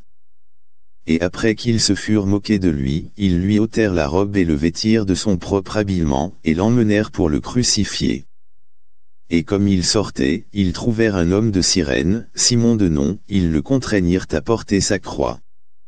Et quand ils arrivèrent vers un lieu appelé Golgotha, c'est-à-dire, un lieu d'un crâne, ils lui donnèrent à boire du vinaigre mêlé avec du fiel, et quand il l'eut goûté, il ne voulut pas boire et ils le crucifièrent et partagèrent ses vêtements, tirant au sort, afin que puisse être accompli ce qui a été dit par le prophète, ils se sont partagés mes vêtements, et ils ont tiré ma vesture au sort. Et s'asseyant, ils le regardaient là, et ils placèrent au-dessus de sa tête son accusation, écrite, Celui-ci est Jésus le roi des Juifs. Puis deux voleurs furent crucifiés avec lui, l'un à main droite, et l'autre sur la gauche, et ceux qui passaient l'injuriaient, secouant leur tête, et disant, Toi qui détruis le temple, et qui le rebâtis en trois jours, sauve-toi toi-même. Si tu es le Fils de Dieu, descends de la croix. De même aussi les principaux prêtres, avec les scribes et les anciens, se moquant de lui, disaient, Il a sauvé les autres, il ne peut pas se sauver lui-même. S'il est le roi d'Israël, qu'il descende maintenant de la croix, et nous le croirons. Il s'est confié en Dieu, qu'il le délivre maintenant, s'il le veut, car il a dit, Je suis le Fils de Dieu. Les voleurs aussi, qui étaient crucifiés avec lui, l'injuriaient de la même manière. Or à partir de la sixième heure il y eut de l'obscurité sur tout le pays, jusqu'à la neuvième heure. Et vers la neuvième heure, Jésus s'écria d'une voix retentissante, disant, Élie, Élie, lama sabachthani. C'est-à-dire, Mon Dieu, mon Dieu, pourquoi m'as-tu abandonné? Quelques-uns de ceux qui se tenaient là, quand ils entendirent cela, disaient, Cet homme appelle Élie. Et aussitôt l'un d'entre eux courut, et prit une éponge, et la remplit de vinaigre, il la mit au bout d'un roseau, et lui donna à boire. Et les autres disaient, Laisse, voyons si Élie viendra le sauver. Jésus, après qu'il eut de nouveau crié d'une voix retentissante, rendit l'esprit. Et, voici, le voile du temple se déchira en deux, depuis le haut jusqu'en bas, et la terre trembla, et les rocs se fendirent, et les tombeaux s'ouvrirent, et beaucoup de corps de saints qui étaient endormis, ressuscitèrent, et sortirent des tombeaux après sa résurrection, et entrèrent dans la sainte cité, et apparurent à beaucoup. Or quand le centurion, et ceux qui étaient avec lui veillant Jésus, virent le tremblement de terre, et ces choses qui étaient arrivées, ils eurent grand peur, disant, Vraiment celui-ci était le Fils de Dieu. Et beaucoup de femmes étaient là regardant de loin, lesquelles avaient suivi Jésus depuis la Galilée en le servant, parmi elles étaient Marie Magdeleine et Marie la mère de Jacques et de Joseph, et la mère des enfants de Zébédée. Lorsque le soir fut venu, il vint un homme riche d'Arimathée, nommé Joseph, qui lui-même était aussi un disciple de Jésus, il alla vers Pilate et implora pour le corps de Jésus. Alors Pilate commanda que le corps lui soit livré. Et quand Joseph eut pris le corps, il l'enveloppa dans une étoffe de lin et le mit dans son propre tombeau neuf, qu'il s'était fait tailler dans le roc, et il roula une grande pierre à l'entrée du sépulcre, et s'en alla et Marie Magdeleine, et l'autre Marie étaient là assises en face du sépulcre. Or le lendemain, qui suivait le jour de la préparation, les principaux prêtres et les pharisiens allèrent ensemble vers Pilate, disant, Sire, nous nous souvenons que cet imposteur disait, quand il était encore en vie, dans trois jours je ressusciterai commande donc que le sépulcre soit rendu bien sécurisé jusqu'au troisième jour, de peur que ses disciples ne viennent de nuit, et ne le volent, et qu'ils ne disent au peuple, il est ressuscité des morts, ainsi la dernière erreur serait pire que la première. Pilate leur dit, Vous avez une garde, allez, rendez-le aussi sûr que vous le pouvez. Ainsi ils s'en allèrent, et rendirent le sépulcre sûr, en scellant la pierre, et en y mettant la garde. Matthieu, chapitre 28 à la fin du sabbat, comme l'aube commençait sur le premier jour de la semaine, Marie Magdeleine et l'autre Marie vinrent pour voir le sépulcre. Et, voici, il y eut un grand tremblement de terre, car l'ange du Seigneur descendit du ciel, vint et roula la pierre de devant l'entrée, et s'assit dessus. Sa figure était comme un éclair et son habillement blanc comme neige, et ayant peur de lui les gardes tremblèrent, et devinrent comme des hommes morts. Et l'ange répondit et dit aux femmes, Vous, n'ayez pas peur, car je sais que vous cherchez Jésus, qui a été crucifié. Il n'est pas ici, car il est ressuscité, comme il l'avait dit. Venez, voyez le lieu où le Seigneur était placé. Et allez vite et dites à ses disciples qu'il est ressuscité des morts, et, voici, il va au-devant de vous en Galilée, là vous le verrez, voici, je vous l'ai dit. Et elles partirent rapidement du sépulcre avec peur et grande joie, et coururent porter la nouvelle à ses disciples. Et comme elles allaient le raconter à ses disciples, voici, Jésus vint à leur rencontre, disant, Salut à vous. Et elles vinrent, et le tinrent par les pieds, et l'adorèrent. Alors Jésus leur dit, N'ayez pas peur, allez dire à mes frères qu'ils aillent en Galilée, et là, ils me verront. Or quand elles s'en allèrent, voici, quelques-uns de la garde vinrent à la ville, et déclarèrent aux principaux prêtres toutes les choses qui avaient été faites. Et lorsqu'ils s'assemblèrent avec les anciens, et qu'ils eurent pris conseil, ils donnèrent une grosse somme d'argent aux soldats, disant, Dites, ces disciples sont venus de nuit, et l'ont volé pendant que nous dormions. Et si cela vient aux oreilles du gouverneur, nous le persuaderons, et nous vous mettrons en sécurité. Ainsi ils prirent l'argent, et firent comme ils avaient été instruits, et ce propos s'est couramment répandu parmi les Juifs jusqu'à ce jour. Puis les onze disciples s'en allèrent en Galilée, sur une montagne que Jésus leur avait désignée. Et quand ils le virent, ils l'adorèrent, mais quelques-uns doutèrent. Et Jésus vint et leur parla, disant, Tout pouvoir m'est donné dans le ciel et sur terre. Allez donc et enseignez toutes les nations, les baptisant dans le nom du Père et du Fils et de l'Esprit Saint, les enseignant à garder toutes les choses que je vous ai commandées, et, voici, je suis avec vous toujours, même jusqu'à la fin du monde. Amen. L'Évangile selon Saint Marc. Marc, chapitre 1 le commencement de l'évangile de Jésus-Christ, le Fils de Dieu, comme il est écrit dans les prophètes, Voici, j'envoie mon messager devant ta face, lequel préparera ton chemin devant toi. La voix d'un homme criant dans le désert, Préparez le chemin du Seigneur, rendez droit ses sentiers. Jean baptisait dans le désert, et prêchait le baptême de repentance pour la rémission des péchés. Et on venait à lui de tout le pays de Judée, et de Jérusalem, et étaient tous baptisés par lui dans le fleuve du Jourdain, confessant leurs péchés. Et Jean était vêtu de poils de chameau, et d'une ceinture de cuir autour de ses reins, et il mangeait des locustes et du miel sauvage, et il prêchait, disant, Il vient après moi un plus puissant que moi, duquel je ne suis pas digne de me baisser et de délier le lacet de ses chaussures. En effet, je vous ai baptisé avec l'eau, mais il vous baptisera avec l'Esprit Saint. Et il arriva en ces jours-là, que Jésus vint de Nazareth de Galilée, et fut baptisé par Jean dans le Jourdain. Et aussitôt remontant de l'eau, il vit les cieux ouverts, et l'Esprit comme une colombe descendant sur lui, et il vint une voix du ciel, disant, Tu es mon Fils bien-aimé, en qui je prends grand plaisir. Et immédiatement l'Esprit le conduisit dans le désert. Et il fut là dans le désert quarante jours, tenté par Satan, et il était avec les bêtes sauvages, et les anges le servaient. Or après que Jean eut été mis en prison, Jésus vint en Galilée, prêchant l'évangile du royaume de Dieu, et disant, Le moment est accompli, et le royaume de Dieu est à portée de la main, repentez-vous, et croyez l'évangile. Or comme il marchait le long de la mer de Galilée, il vit Simon et André son frère, jetant un filet dans la mer, car ils étaient pêcheurs. Et Jésus leur dit, Venez après moi, et je vous ferai devenir pêcheurs d'hommes. Et aussitôt, ils laissèrent leur filet, et le suivirent. Et comme il allait un peu plus loin de là, il vit Jacques, le fils de Zébédée, et Jean son frère, qui étaient aussi dans un bateau, raccommodant leurs filets. Et aussitôt il les appela, et ils laissèrent leur père Zébédée dans le bateau avec les salariés, et le suivirent. Et ils allèrent à Capernaum, et aussitôt le jour du sabbat il entra dans la synagogue, et enseigna et ils étaient étonnés de sa doctrine, car il les enseignait comme quelqu'un qui avait autorité, et non pas comme les scribes. Et il y avait dans leur synagogue un homme qui avait un esprit impur, et il s'écria, disant, Laisse-nous, qu'avons-nous à faire avec toi, toi Jésus de Nazareth? Es-tu venu pour nous détruire? Je sais qui tu es, le Saint de Dieu.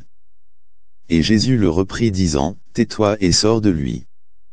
Et lorsque l'esprit impur l'eut déchiré, et qu'il eut crié d'une voix retentissante, il sortit de lui. Et ils furent tous stupéfaits, à tel point qu'ils se demandaient entre eux, disant, Quelle est cette chose? Quelle est cette nouvelle doctrine? Car il commande avec autorité même aux esprits impurs, et ils lui obéissent. Et immédiatement sa renommée se répandit de tous côtés à travers toute la région autour de la Galilée. Et tout de suite, lorsqu'ils furent sortis de la synagogue, ils entrèrent dans la maison de Simon et d'André, avec Jacques et Jean. Mais la mère de la femme de Simon était au lit, avec de la fièvre, et au moment même ils lui parlèrent d'elle. Et il alla et la prit par la main, et la fit lever, et immédiatement la fièvre la quitta, et elle les servit. Et le soir, lorsque le soleil fut couché, ils amenèrent à lui tous ceux qui se portaient mal, et ceux qui étaient possédés de diables et toute la ville était assemblée à la porte. Et il en guérit beaucoup qui étaient atteints de divers maux, et chassa beaucoup de diables et ne permit pas aux diables de parler, parce qu'ils le connaissaient. Et le matin, s'étant levé bien avant le jour, il sortit et partit dans un lieu solitaire, et là il pria. Et Simon, et ceux qui étaient avec lui, le suivirent. Et lorsqu'ils l'eurent trouvé, ils lui dirent, Tous les hommes te cherchent et il leur dit, Allons dans les villes voisines, afin que je puisse y prêcher aussi, car c'est pour cela que je suis venu. Et il prêchait dans leur synagogue à travers toute la Galilée, et il chassait les diables. Et un lépreux vint à lui, l'implorant et s'agenouillant devant lui, et lui disant, Si tu veux, tu peux me rendre net. Et Jésus, ému de compassion, étendit sa main, et le toucha, et lui dit, Je le veux, sois net et dès qu'il eut parlé, immédiatement la lèpre se retira de lui, et il fut rendu net. Et il lui recommanda strictement, et il le renvoya, et lui dit, Veille à ce que tu ne dises rien à personne, mais va, montre-toi au prêtre, et offre pour ta purification ces choses que Moïse a commandées, pour leur servir de témoignage. Mais il sortit, et commença à le publier largement et à divulguer de tous côtés le sujet, à tel point que Jésus ne pouvait plus entrer ouvertement dans la ville, mais était à l'extérieur dans des lieux déserts, et on venait à lui de toutes parts. Marc, chapitre 2 Et de nouveau il entra à Capernaum quelques jours plus tard, et on entendit dire qu'il était dans la maison.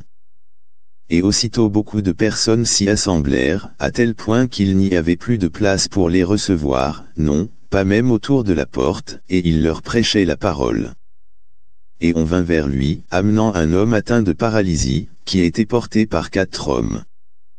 Et lorsqu'ils ne purent venir jusqu'à lui à cause de la foule, ils découvrirent le toit où il était, et lorsqu'ils l'eurent démantelé, ils laissèrent descendre le lit sur lequel était placé l'homme atteint de paralysie. Lorsque Jésus vit leur foi, il dit à l'homme atteint de paralysie, Fils, tes péchés te sont pardonnés. Mais il y avait certains scribes assis là, et qui raisonnaient dans leur cœur, pourquoi cet homme profère-t-il ainsi des blasphèmes? Qui peut pardonner les péchés sinon Dieu seul? Et immédiatement lorsque Jésus perçut en son esprit qu'ils raisonnaient ainsi en eux-mêmes, il leur dit, Pourquoi faites-vous ces raisonnements dans vos cœurs concernant ces choses-là? Lequel est le plus facile de dire à l'homme atteint de paralysie, Tes péchés te sont pardonnés, ou dire, Lève-toi, et prends ton lit, puis, marche mais afin que vous sachiez que le Fils de l'homme a pouvoir sur la terre de pardonner les péchés, il dit à l'homme atteint de paralysie, Je te dis, lève-toi, et prends ton lit, et va dans ta maison. Et immédiatement il se leva, prit le lit, et sortit devant eux tous, à tel point qu'ils étaient tous stupéfaits, et glorifia Dieu, disant, Nous n'avons jamais rien vu de cette façon. Et il sortit de nouveau le long de la mer, et toute la multitude allait jusqu'à lui, et il les enseignait. Et comme il passait, il vit Lévi, le fils d'Alphée assis au poste de douane, et il lui dit, Suis-moi. Et il se leva, et le suivit. Et il arriva que, comme Jésus était assis à table dans sa maison, beaucoup de publicains et de pécheurs s'assirent aussi avec Jésus et ses disciples, car ils étaient nombreux et ils le suivaient.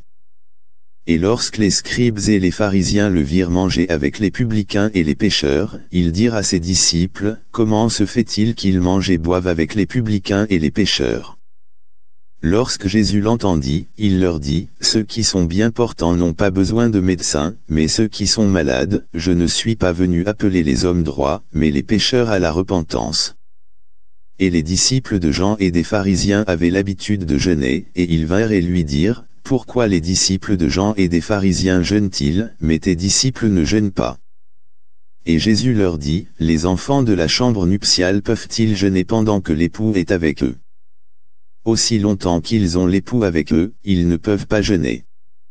Mais les jours viendront, où l'époux leur sera ôté, et alors ils jeûneront en ces jours-là. Aussi aucun homme ne coud un morceau de tissu neuf à un vieux vêtement, autrement le morceau neuf qui a servi à le rapiécer emporte le vieux, et la déchirure est pire. Et aucun homme ne met du vin nouveau dans de vieilles bouteilles, autrement le vin nouveau fait éclater les bouteilles, et le vin se répand, et les bouteilles seront endommagées, mais le vin nouveau doit être mis dans des bouteilles neuves.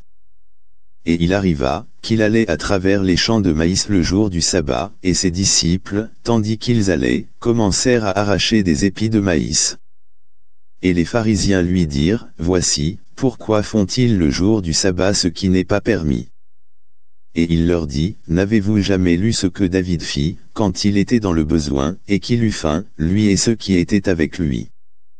Comment il entra dans la maison de Dieu, au jour d'Abiatar, le grand prêtre, et mangea le pain de présentation, ce qui n'est pas permis de manger, sauf pour les prêtres, et il en donna aussi à ceux qui étaient avec lui.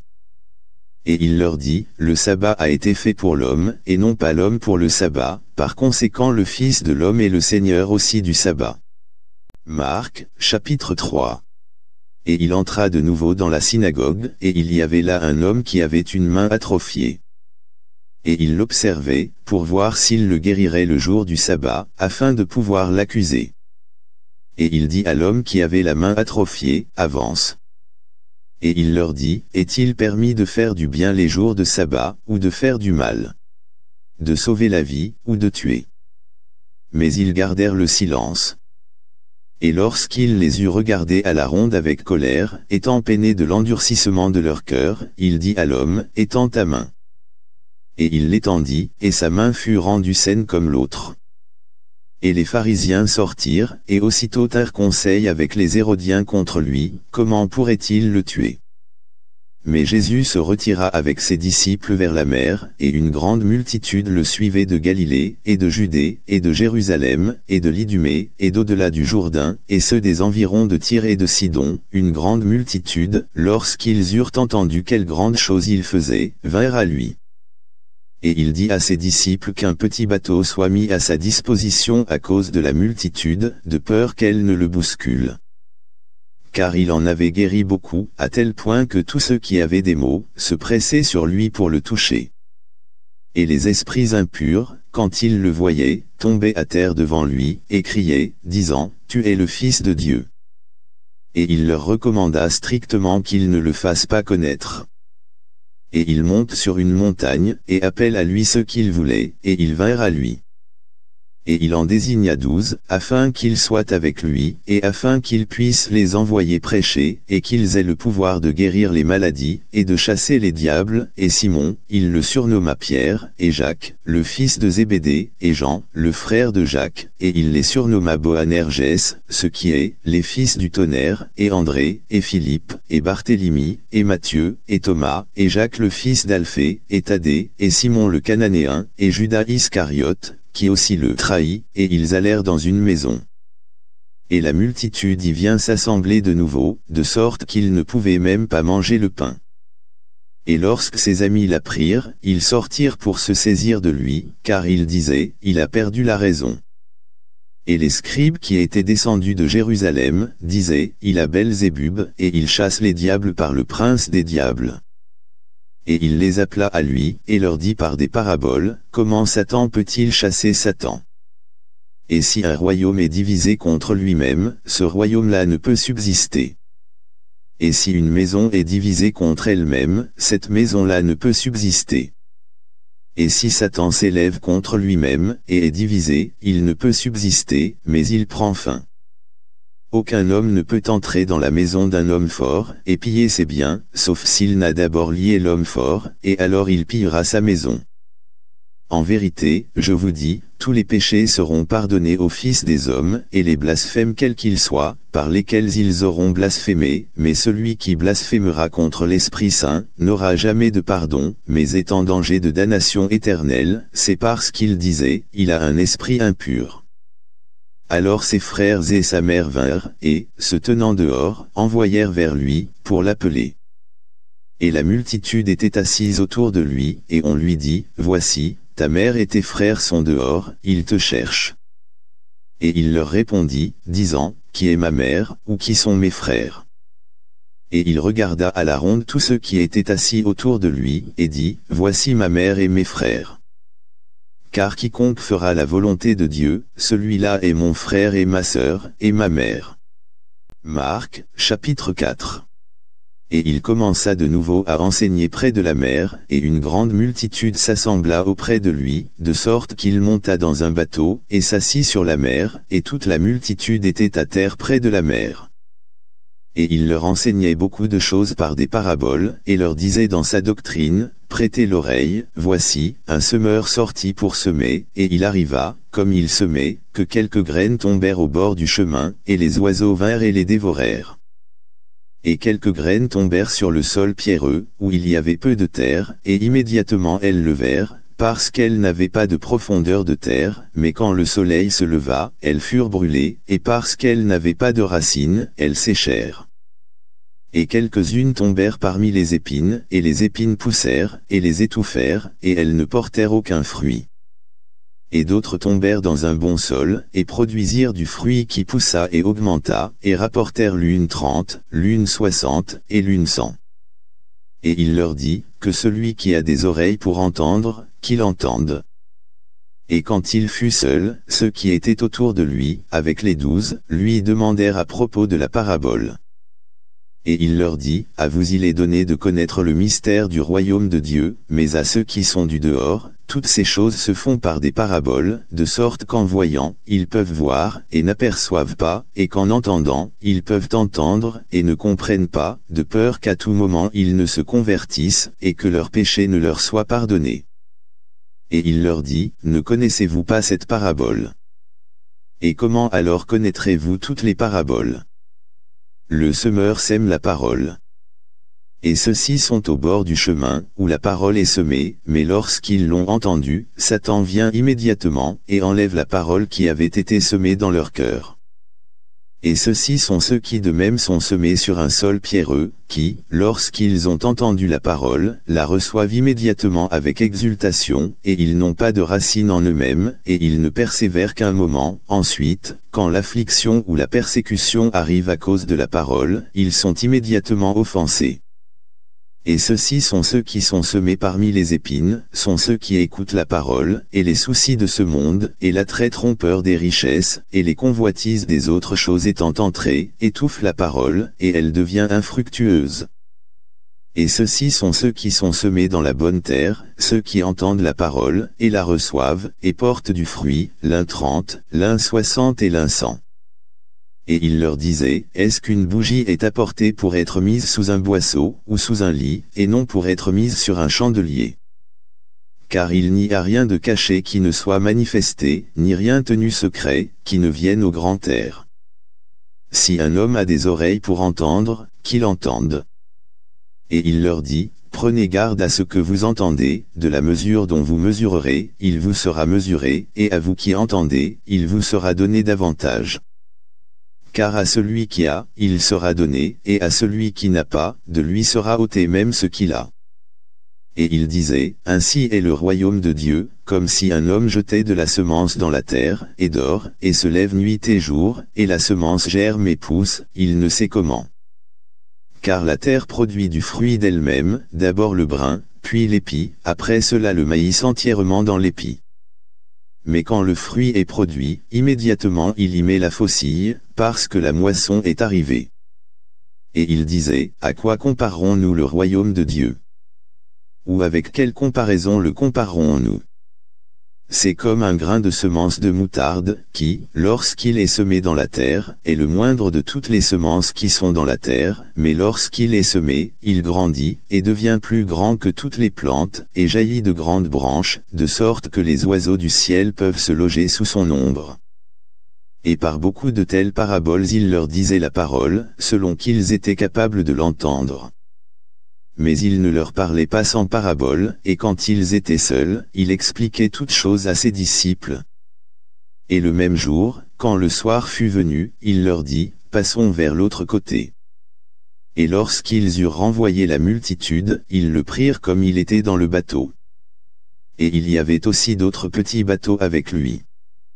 Et il s'éleva une grande tourmente de vent, et les vagues s'abattaient dans le bateau, de sorte qu'il était déjà plein et il était à la poupe du bateau, endormi sur un oreiller, et ils le réveillèrent et lui dirent, Maître, ne te soucies-tu pas de ce que nous périssons? Et il se leva, et reprit le vent, et dit à la mer, Paix, sois tranquille. Et le vent cessa, et il se fit un grand calme. Et il leur dit, Pourquoi êtes-vous si craintifs? Comment se fait-il que vous n'ayez aucune foi? Et ils eurent extrêmement peur, et se disaient l'un l'autre, quelle sorte d'homme est-ce, à qui même le vent et la mer obéissent. Marc, chapitre 5 Et ils arrivèrent jusqu'à l'autre côté de la mer, dans la province des Gadaréniens. Et lorsqu'il fut sorti du bateau, immédiatement un homme ayant un esprit impur, vint des tombes à sa rencontre, qui avait sa demeure parmi les tombes, et aucun homme ne pouvait le lier, non, pas même avec des chaînes, parce qu'il avait été souvent lié de fers et de chaînes, et il avait arraché les chaînes, et brisé les fers en morceaux, aucun homme ne pouvait le dompter. Et il était tout le temps, nuit et jour, dans les montagnes, et dans les tombes, criant et se coupant avec des pierres. Mais quand il vit Jésus de loin, il accourut et l'adora, et cria d'une voix retentissante, et dit, Qu'ai-je à faire avec toi, Jésus, toi fils du Dieu le plus haut? Je t'adjure par Dieu, que tu ne me tourmentes pas. Car il lui disait, Sors de cet homme, toi esprit impur.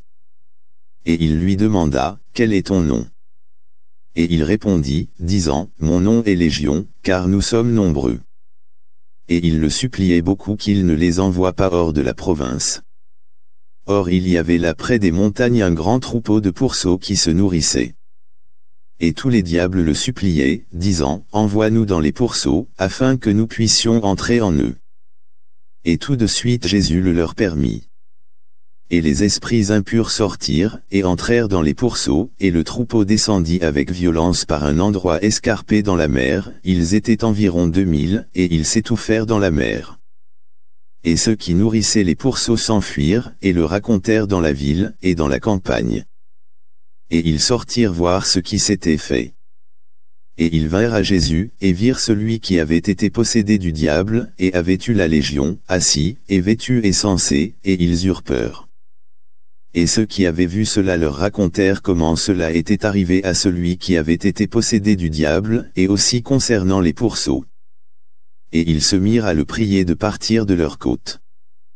Et quand il monta dans le bateau, celui qui avait été possédé du diable le pria afin qu'il puisse être avec lui. Quoi qu'il en soit Jésus ne le lui permit pas, mais lui dit, Va chez toi, vers tes amis, et raconte-leur quelle grande chose le Seigneur t'a faite, et comment il a eu compassion de toi. Et il partit et commença à publier dans la décapole quelle grande chose Jésus avait faite pour lui, et tous les hommes s'émerveillèrent. Et lorsque Jésus fut repassé en bateau jusqu'à l'autre côté, un grand nombre de personnes s'assemblèrent auprès de lui, et il était près de la mer. Et, voici, un des dirigeants de la synagogue, nommé Jairus, vient. Et quand il le vit, il tomba à ses pieds, et le supplia grandement, disant, Ma petite fille est sur le point de mourir, je te prie, viens poser tes mains sur elle, afin qu'elle puisse être guérie, et elle vivra. Et Jésus alla avec lui, et un grand nombre de personnes le suivaient, et le bousculaient et une certaine femme, qui avait une perte de sang depuis douze ans, et avait souffert beaucoup de choses par de nombreux médecins, et avait dépensé tout ce qu'elle avait, et n'était pas mieux, mais cela empirait plutôt, lorsqu'elle entendit parler de Jésus, vint dans la foule par derrière, et toucha son vêtement. Car elle disait, si je peux seulement toucher ses effets, je serai bien portante. Et aussitôt le flux de son sang tarit, et elle sentit dans son corps qu'elle était guérie de ce fléau. Et Jésus, immédiatement reconnaissant en lui-même qu'une vertu était sortie de lui, se tourna dans la foule, et dit, Qui a touché mes effets?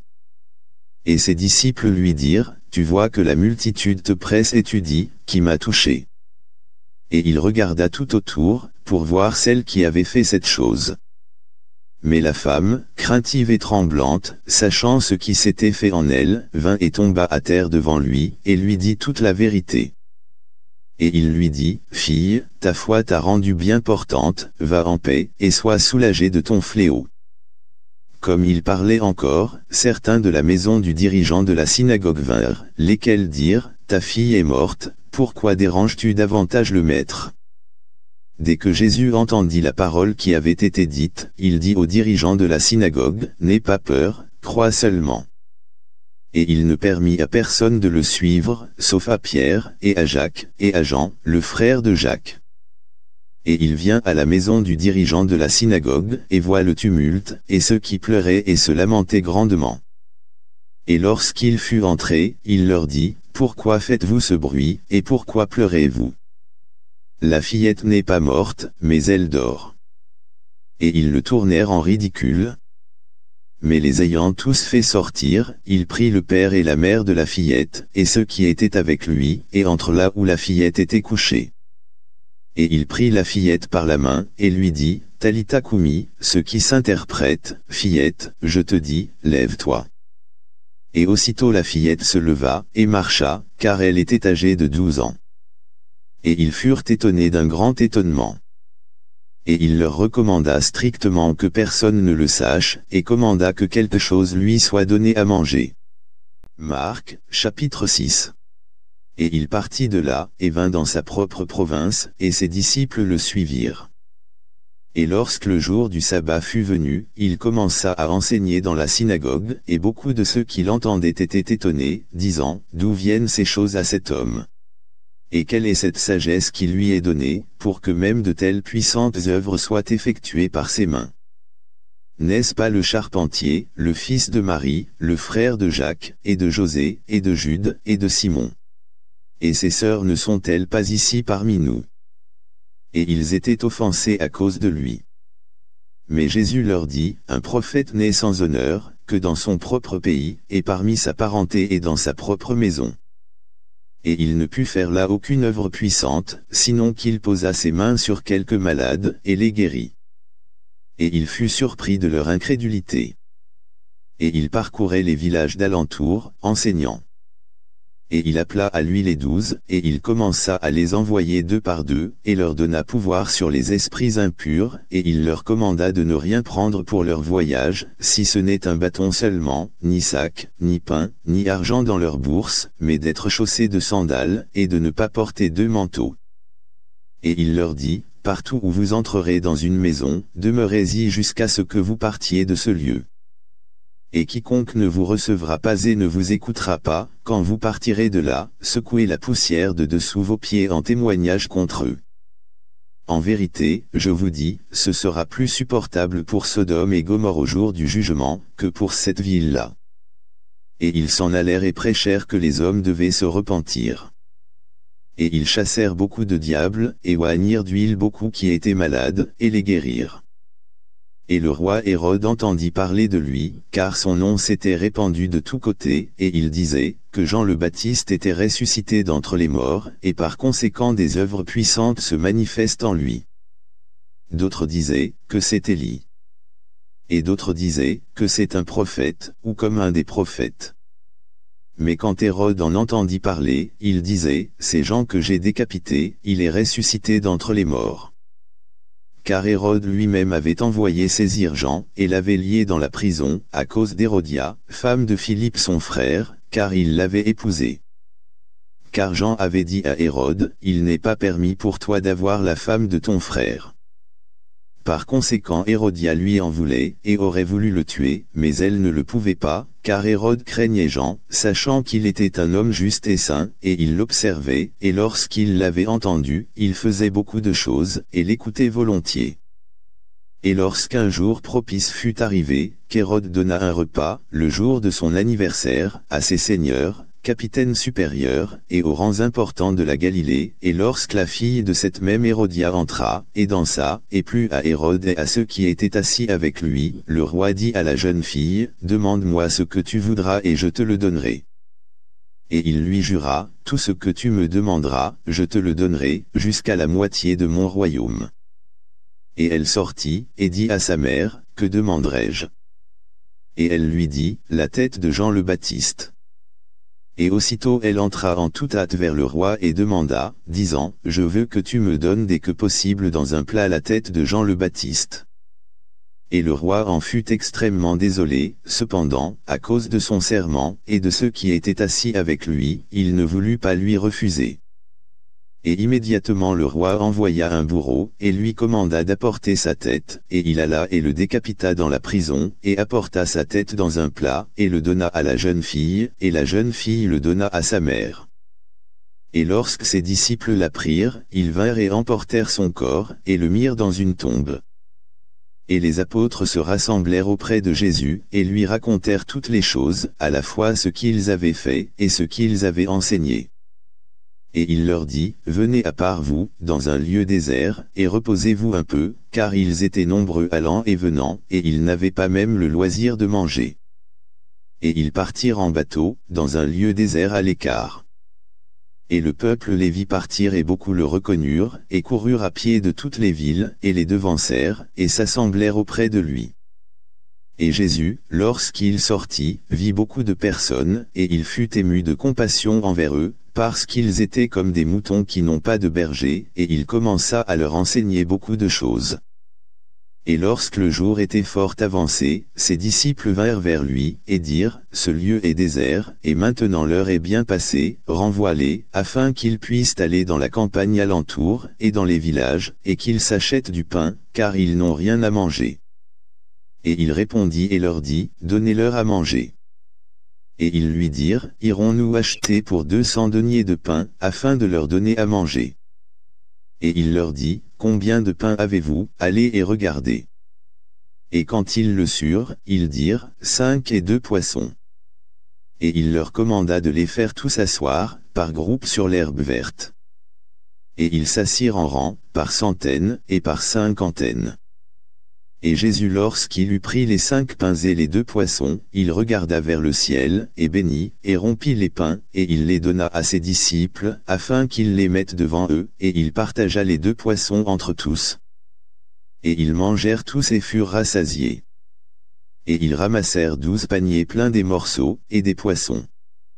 Et ceux qui avaient mangé les pains étaient environ cinq mille hommes.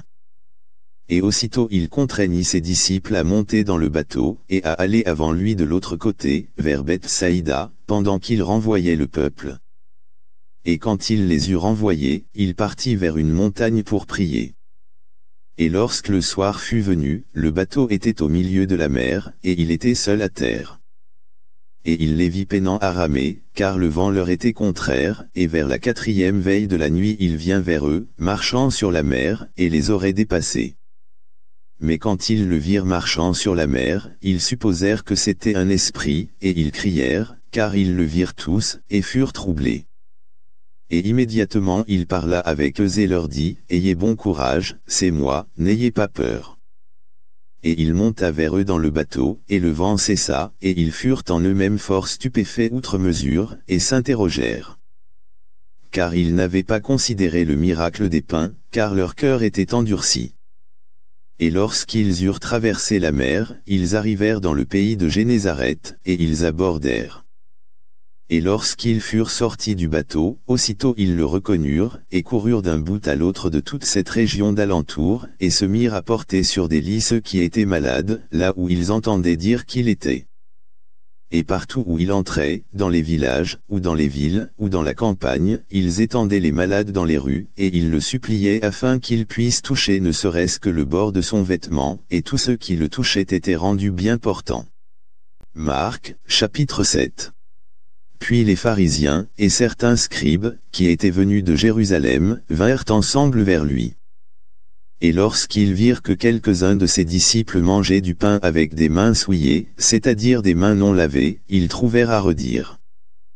Car les pharisiens, et tous les juifs, ne mangent pas à moins qu'ils ne lavent souvent leurs mains, retenant la tradition des anciens. Et lorsqu'ils reviennent du marché, ils ne mangent pas à moins qu'ils ne se soient lavés et il y a beaucoup d'autres choses qu'ils ont reçues pour les retenir, comme le lavage des coupes, et des pots, des ustensiles en cuivre, et des tables. Puis les pharisiens et les scribes lui demandèrent, Pourquoi tes disciples ne se conduisent-ils pas selon la tradition des anciens, mais mangent du pain sans se laver les mains? Il répondit et leur dit, Ésaïe a bien prophétisé à votre sujet, hypocrite, comme il est écrit, ce peuple m'honore avec leurs lèvres, mais leur cœur est loin de moi. Quoi qu'il en soit c'est en vain qu'il m'adore, enseignant pour doctrine les commandements d'hommes. Car en laissant de côté le commandement de Dieu, vous retenez la tradition des hommes, comme le lavage des posés des coupes, et beaucoup d'autres choses semblables que vous faites. Et il leur dit, vous rejetez fort bien le commandement de Dieu, afin que vous puissiez garder votre propre tradition. Car Moïse a dit, Honore ton père et ta mère, et, que celui qui maudit père ou mère, qu'il soit mis à mort, mais vous dites, si un homme dit à son père ou à sa mère, c'est corban, c'est-à-dire, un don, par lequel tu aurais pu profiter de ma part, il sera libre. Et vous ne lui permettez plus de rien faire pour son père ou pour sa mère, rendant la parole de Dieu sans effet par votre tradition, que vous avez transmise, et vous faites beaucoup d'autres choses semblables. Et lorsqu'il eut appelé tout le peuple à lui, il leur dit, Prêtez-moi l'oreille, chacun de vous, et comprenez, il n'y a rien de l'extérieur de l'homme qui, entrant en lui, puisse le souiller, mais les choses qui sortent de lui, celles-ci sont celles qui souillent l'homme. Si un homme a des oreilles pour entendre, qu'il entende. Et lorsqu'il fut entré dans la maison, loin du peuple, ses disciples lui demandèrent concernant la parabole. Et il leur dit, Êtes-vous donc aussi sans compréhension?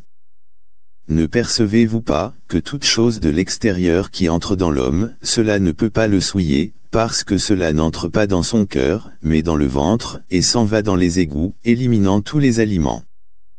Et il disait, ce qui sort de l'homme, c'est ce qui souille l'homme. Car de l'intérieur, du cœur des hommes, proviennent mauvaises pensées, adultère, fornication, meurtre, vol, convoitise, pratique immorale, tromperie, lascivité, œil mauvais, blasphème, fierté, absurdité, toutes ces choses mauvaises viennent de l'intérieur, et souillent l'homme. Et il se leva de là, et s'en alla aux frontières de Tyr et de Sidon, et entra dans une maison, et ne voulait qu'aucun homme ne le sache, mais il ne put être caché.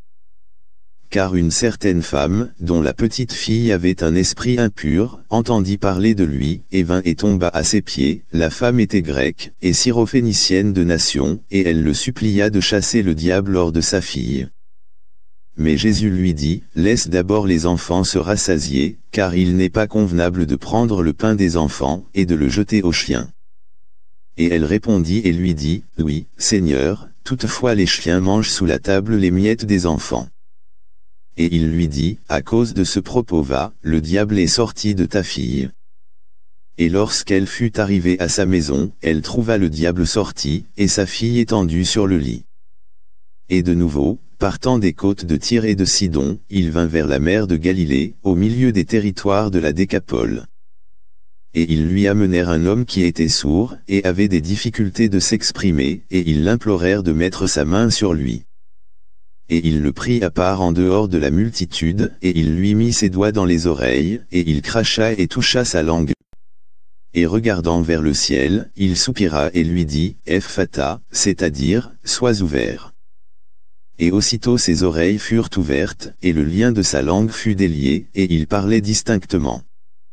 Et il leur recommanda qu'ils ne le disent à aucun homme, mais plus il leur recommandait, plus il le publiait, et ils étaient étonnés outre mesure, disant, Il a fait toutes choses bien, il fait que les sourds entendent et que les muets parlent.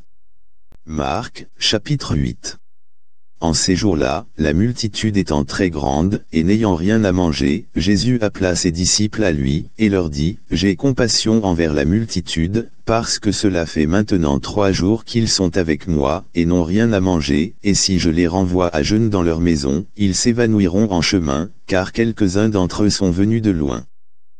Et ses disciples lui répondirent, D'où pourrait-on rassasier de pain ces hommes ici dans le désert? Et il leur demanda, Combien avez-vous de pain? Et ils dirent, Sept. Et il commanda au peuple de s'asseoir sur le sol, et il prit les sept pains, et remercia, et les rompit, et les donna à ses disciples pour les mettre devant eux, et ils les mirent devant le peuple. Et ils avaient quelques petits poissons, et il les bénit, et commanda de les mettre aussi devant eux. Ainsi ils mangèrent et furent rassasiés, et ils ramassèrent des morceaux de nourriture qui étaient restés, sept paniers. Et ceux qui avaient mangé étaient environ quatre mille, et il les renvoya. Et aussitôt il monta dans un bateau avec ses disciples, et arriva dans les quartiers de Dalmanuta. Et les pharisiens sortirent, et commencèrent à discuter avec lui, cherchant de lui un signe du ciel en le tentant. Et il soupira profondément en son esprit, et dit, Pourquoi cette génération cherche-t-elle un signe? En vérité, je vous dis, aucun signe ne sera donné à cette génération. Et il les laissa, et entrant dans le bateau de nouveau partit de l'autre côté. Or les disciples avaient oublié de prendre du pain, ils n'avaient avec eux dans le bateau pas plus d'un pain. Et il leur recommanda, disant, Prenez garde, et méfiez-vous du levain des pharisiens, et du levain d'Hérode et ils raisonnaient entre eux, disant, C'est parce que nous n'avons pas de pain. Et lorsque Jésus le sut, il leur dit, Pourquoi raisonnez-vous de ce que vous n'avez pas de pain Ne percevez-vous pas encore et ne comprenez-vous pas Avez-vous encore votre cœur endurci Ayant des yeux, ne voyez-vous pas Ayant des oreilles, n'entendez-vous pas Et ne vous souvenez-vous pas Lorsque je rompis les cinq pains aux cinq mille hommes, combien de paniers pleins de morceaux avez-vous ramassé Ils lui dirent, douze. Et lorsque je rompis les sept pains aux quatre mille, combien de paniers pleins de morceaux avez-vous ramassé Ils lui dirent, sept. Et il leur dit, Comment se fait-il que vous ne comprenez pas? Et il vient à Beth Saïda, et ils lui amenèrent un homme aveugle, et il le supplia de le toucher. Et il prit l'homme aveugle par la main, et le mena hors de la ville, et lorsqu'il eut craché sur ses yeux, et mis ses mains sur lui, il lui demanda s'il voyait quelque chose. Et il leva les yeux, et dit, Je vois des hommes semblables à des arbres, marchant. Après cela il mit de nouveau ses mains sur ses yeux, et lui fit regarder vers le haut, et il fut rétabli, et il voyait chaque homme clairement. Et il le renvoya à sa maison, disant, Ne rentre pas dans la ville, et ne le dis à personne dans la ville. Et Jésus s'en alla, ainsi que ses disciples, dans les villes de Césarée de Philippe, et en chemin il demanda à ses disciples, leur disant, Qui les hommes disent-ils que je suis? Et ils répondirent, Jean le Baptiste, mais quelques-uns disent, Élie, et d'autres, l'un des prophètes. Et il leur dit, Mais vous, qui dites-vous que je suis? Et Pierre répond et lui dit, Tu es le Christ. Et il leur recommanda qu'ils ne parlent de lui à aucun homme et il commença à leur enseigner que le Fils de l'homme doit souffrir beaucoup de choses, et soit rejeté des anciens, et des principaux prêtres, et des scribes, et soit tué, et après trois jours il ressuscitera. Et il dit cela ouvertement. Et Pierre le prit avec lui, et commença à le reprendre. Mais lorsqu'il se retourna et regarda ses disciples, il reprit Pierre, disant, Va derrière moi, Satan, car tu ne savoures pas les choses qui sont de Dieu, mais les choses qui sont des hommes.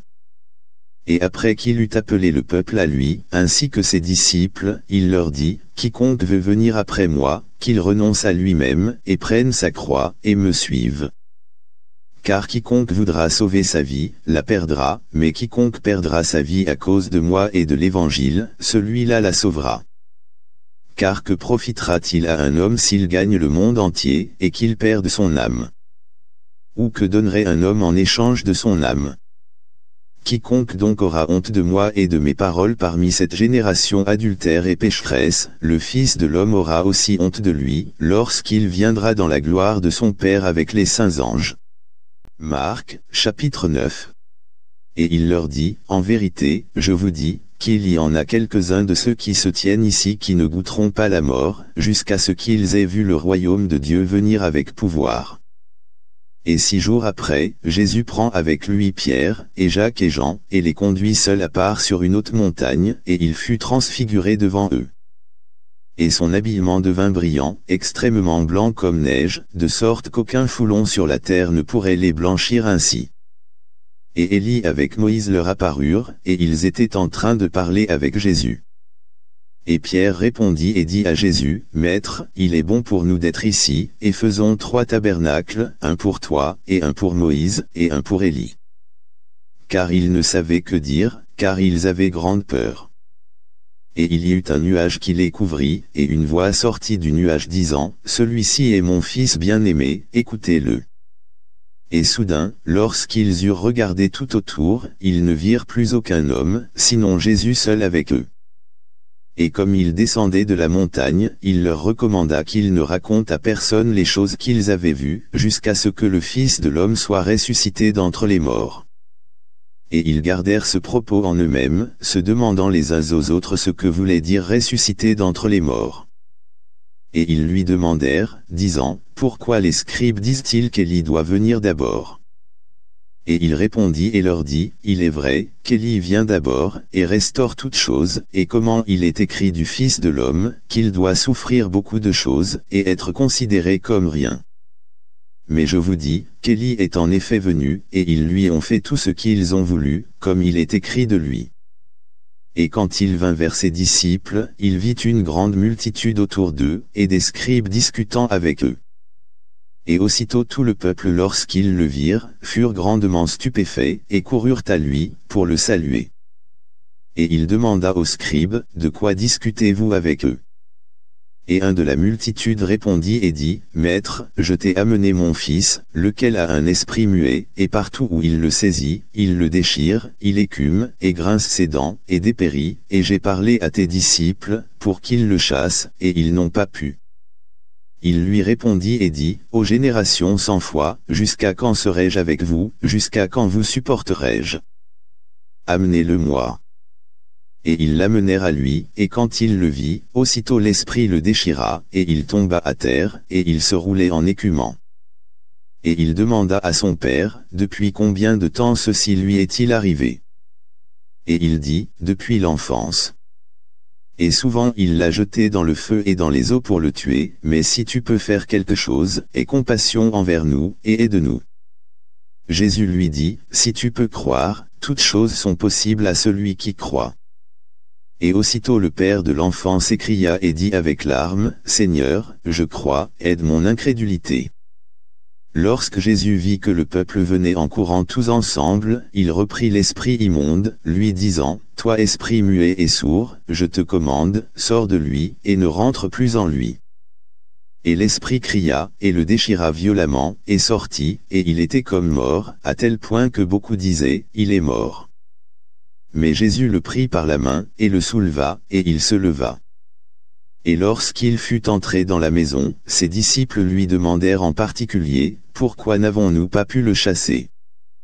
Et il leur dit, Cette sorte ne peut sortir autrement que par la prière et le jeûne. Et ils partirent de là et traversèrent la Galilée, et ils ne voulaient qu'aucun homme le sache, car il enseignait ses disciples, et il leur disait, Le Fils de l'homme est livré aux mains des hommes, et ils le tueront, et après qu'il aura été tué, il ressuscitera le troisième jour. Mais ils ne comprenaient pas ce propos, et ils avaient peur de lui demander. Et il vint à Capernaum, et étant dans la maison, il leur demanda, À quel sujet vous disputiez-vous en chemin? Mais ils se turent, car ils s'étaient disputés entre eux en chemin à propos de qui devait être le plus grand. Et il s'assit et appela les douze et leur dit, Si un homme désire être le premier, celui-ci sera le dernier de tous, et le serviteur de tous. Et il prit un enfant, et le mit au milieu d'eux, et après qu'il l'eut pris dans ses bras, il leur dit. Quiconque recevra un de ces enfants en mon nom, me reçoit, et quiconque me recevra, ne reçoit pas moi, mais celui qui m'a envoyé. Et Jean lui répondit, disant, Maître, nous avons vu quelqu'un chasser les diables en ton nom et il ne nous suit pas, et nous l'avons empêché, parce qu'il ne nous suit pas. Mais Jésus dit, Ne l'en empêchez pas, car il n'y a aucun homme qui fasse un miracle en mon nom, et qui puisse facilement parler mal de moi. Car celui qui n'est pas contre nous est pour nous. Car quiconque vous donnera un verre d'eau en mon nom, parce que vous appartenez à Christ, en vérité, je vous dis qu'il ne perdra pas sa récompense. Et quiconque offensera l'un de ces petits qui croient en moi, mieux vaudrait pour lui qu'une meule soit suspendue autour de son cou, et qu'il soit jeté dans la mer. Et si ta main t'offense, coupe-la, il vaut mieux pour toi entrer dans la vie estropiée que d'avoir deux mains et aller en enfer, dans le feu qui ne sera jamais éteint, où leur verre ne meurt pas, et où le feu ne s'éteint pas. Et si ton pied t'offense, coupe-le, il vaut mieux pour toi entrer dans la vie boiteux, que d'avoir deux pieds, et être jeté en enfer, dans le feu qui ne sera jamais éteint, où leur verre ne meurt pas, et où le feu ne s'éteint pas. Et si ton œil t'offense, arrache-le, il vaut mieux pour toi entrer dans le royaume de Dieu n'ayant qu'un œil, que d'avoir deux yeux, et être jeté dans l'enfer de feu, où leur verre ne meurt pas, et où le feu ne s'éteint pas car chacun sera salé de feu, et tout sacrifice sera salé de sel. Le sel est bon, mais si le sel perd sa salure, avec quoi l'assaisonnerez-vous? Ayez du sel en vous-même, et soyez en paix entre vous. Marc, chapitre 10 Et de là il se leva, et vient aux côtes de la Judée, par le côté le plus éloigné du Jourdain, et le peuple allait vers lui de nouveau, et, il les enseignait encore, comme il en avait l'habitude, et les pharisiens vinrent à lui et lui demandèrent, Est-ce permis pour un homme de répudier sa femme, le tentant? Et il répondit et leur dit, Qu'est-ce que Moïse vous a commandé? Et ils dirent, Moïse a permis d'écrire une lettre de divorce, et de la répudier. Et Jésus répondit et leur dit, Il vous a écrit ce précepte à cause de la dureté de votre cœur. Mais depuis le commencement de la création Dieu les fit mâles et femelles. Pour ce motif l'homme quittera son père et sa mère, et s'attachera à sa femme, et les deux seront une seule chair, ainsi ils ne sont plus deux, mais une seule chair. Par conséquent ce que Dieu a joint, que l'homme ne le sépare pas. Et dans la maison, ses disciples lui demandèrent encore sur le même sujet. Et il leur dit, Quiconque répudiera sa femme, et en épousera une autre, commet un adultère contre elle. Et si une femme répudie son mari, et est mariée à un autre, elle commet un adultère. Et ils lui amenèrent de jeunes enfants afin qu'il les touche, et ses disciples reprenaient ceux qui les amenaient. Mais lorsque Jésus le vit, il fut très mécontent, et leur dit, Laissez venir vers moi les petits enfants, et ne les en empêchez pas, car à de tel est le royaume de Dieu. En vérité, je vous dis, quiconque ne recevra pas le royaume de Dieu comme un petit enfant n'y entrera pas. Et il les prit dans ses bras, posa ses mains sur eux, et les bénit. Et lorsqu'il sortit sur le chemin, quelqu'un accourut, et se mit à genoux devant lui, et lui demanda, Bon maître, que dois-je faire pour que je puisse hériter la vie éternelle? Et Jésus lui dit, Pourquoi m'appelles-tu bon? Aucun n'est bon, sinon un seul, c'est-à-dire, Dieu. Tu connais les commandements, ne commets pas d'adultère, ne tue pas, ne vole pas, ne dis pas de faux témoignages, n'escroque pas, honore ton père et ta mère. Et il répondit et lui dit, Maître, je les ai tous observés depuis ma jeunesse. Alors Jésus le regardant, l'aima et lui dit, Il te manque une chose, va, vends tout ce que tu as, et donne-le aux pauvres, et tu auras un trésor dans le ciel, et viens, prends la croix, et suis-moi mais il fut attristé à ce propos, et s'en alla peiner, car il avait de grandes possessions. Et Jésus regarda tout autour et dit à ses disciples, Combien difficilement ceux qui ont de la richesse entreront-ils dans le royaume de Dieu? Et les disciples étaient étonnés par ces paroles.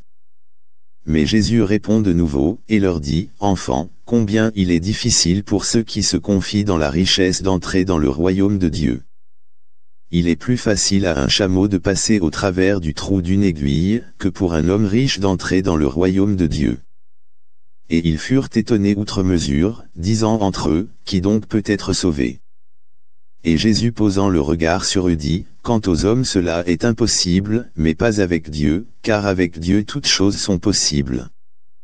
Alors Pierre commença à lui dire, Voici, nous avons tout quitté et nous t'avons suivi. Et Jésus répondit et dit, En vérité, je vous dis, il n'y a aucun homme qui ait quitté maison, ou frère, ou sœur, ou père, ou mère, ou femme, ou enfant, ou terre, à cause de moi et de l'Évangile, mais il recevra au centuple maintenant en ce temps-ci, maison, et frères, et sœurs, et mères, et enfants, et terre, avec persécution, et dans le monde à venir la vie éternelle. Mais beaucoup qui sont les premiers seront les derniers, et les derniers les premiers. Et ils étaient en chemin, montant à Jérusalem, et Jésus allait devant eux, et ils étaient stupéfaits, et tandis qu'ils le suivaient, ils étaient effrayés. Et il prit encore les douze, et commença à leur dire les choses qui devaient lui arriver, disant, Voici, nous montons à Jérusalem et le Fils de l'homme sera livré aux principaux prêtres, et aux scribes, et ils le condamneront à mort, et le livreront aux gentils, et ils se moqueront de lui, et le fouetteront, et cracheront sur lui, et le tueront, et le troisième jour il ressuscitera. Et Jacques et Jean, les fils de Zébédée, vinrent vers lui, disant, Maître, nous voudrions que tu fasses pour nous tout ce que nous désirerons. Et il leur dit, Que voulez-vous que je fasse pour vous? Ils lui dirent, Accorde-nous que dans ta gloire, nous puissions être assis, l'un à ta main droite, et l'autre à ta main gauche. Mais Jésus leur dit, Vous ne savez ce que vous demandez, pouvez-vous boire la coupe que je bois, et être baptisé du baptême dont je suis baptisé? Et ils lui dirent, Nous le pouvons.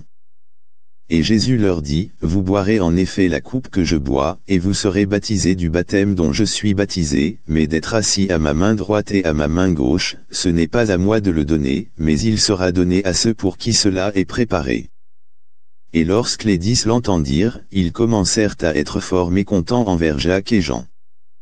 Mais Jésus les appela à lui et leur dit, Vous savez que ceux qui sont considérés pour gouverner sur les gentils exercent sur eux une domination, et que leurs grands exercent leur autorité sur eux.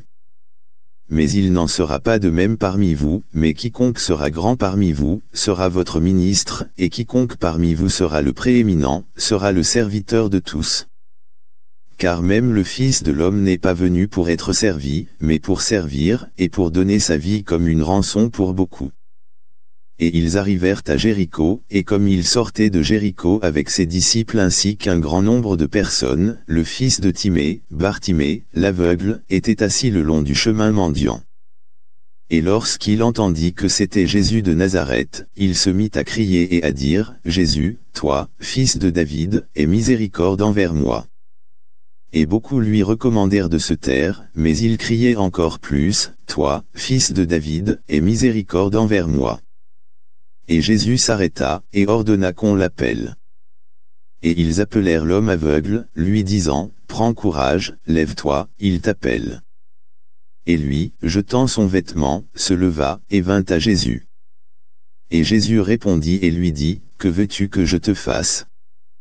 Et l'homme aveugle lui dit, Seigneur, que je puisse recevoir ma vue. Et Jésus lui dit, Va, ta foi t'a rendu bien portant. Et immédiatement il reçut la vue, et suivait Jésus dans le chemin. Marc, chapitre 11. Et lorsqu'ils approchèrent de Jérusalem, vers Bethphagée et Béthanie, au mont des Oliviers, il envoya deux de ses disciples, et leur dit, Allez au village en face de vous, et dès que vous y serez entrés, vous trouverez un anon attaché, sur lequel jamais aucun homme ne s'est assis, détachez-le, et amenez-le. Et si un homme vous dit, Pourquoi faites-vous cela? Dites que le Seigneur en a besoin, et aussitôt il l'enverra ici. Et ils s'en allèrent, et trouvèrent l'anon attaché dehors près de la porte, à la croisée de deux chemins, et ils le détachèrent.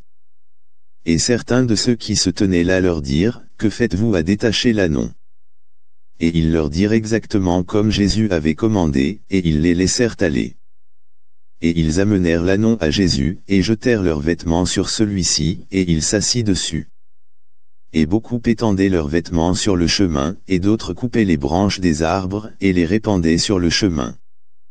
Et ceux qui allaient devant, et ceux qui suivaient, criaient, disant, Hosanna, béni soit celui qui vient dans le nom du Seigneur, béni soit le royaume de notre Père David, qui vient dans le nom du Seigneur, Hosanna dans les lieux les plus hauts.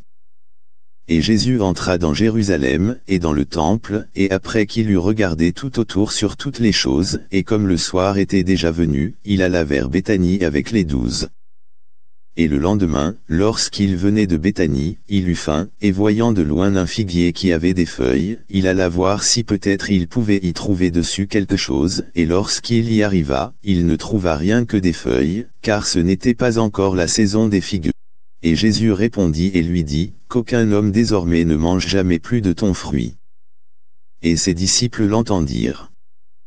Et ils arrivèrent à Jérusalem, et Jésus entra dans le temple, et commença par chasser ceux qui vendaient et qui achetaient dans le temple, et renversa les tables des changeurs d'argent, et les sièges de ceux qui vendaient des colombes, et il ne laissait aucun homme porter aucun récipient à travers le temple, et il enseignait en leur disant, N'est-il pas écrit, Ma maison sera appelée la maison de prière par toutes les nations, mais vous en avez fait une caverne de voleurs.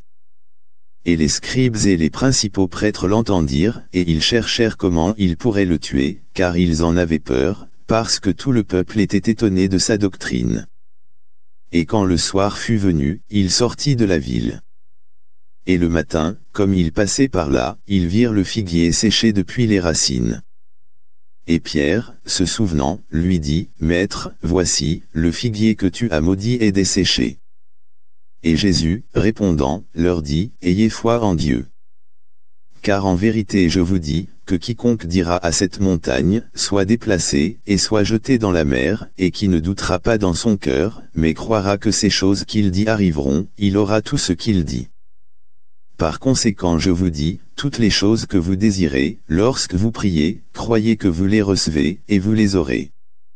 Et quand vous êtes debout priant, pardonnez, si vous avez quelque chose contre quelqu'un, afin que votre Père aussi qui est dans le ciel puisse vous pardonner vos infractions. Mais si vous ne pardonnez pas, votre Père qui est dans le ciel ne vous pardonnera pas non plus vos infractions. Et ils vinrent de nouveau à Jérusalem, et comme ils marchaient dans le temple, les principaux prêtres, les scribes et les anciens viennent à lui, et lui disent, Par quelle autorité fais-tu ces choses?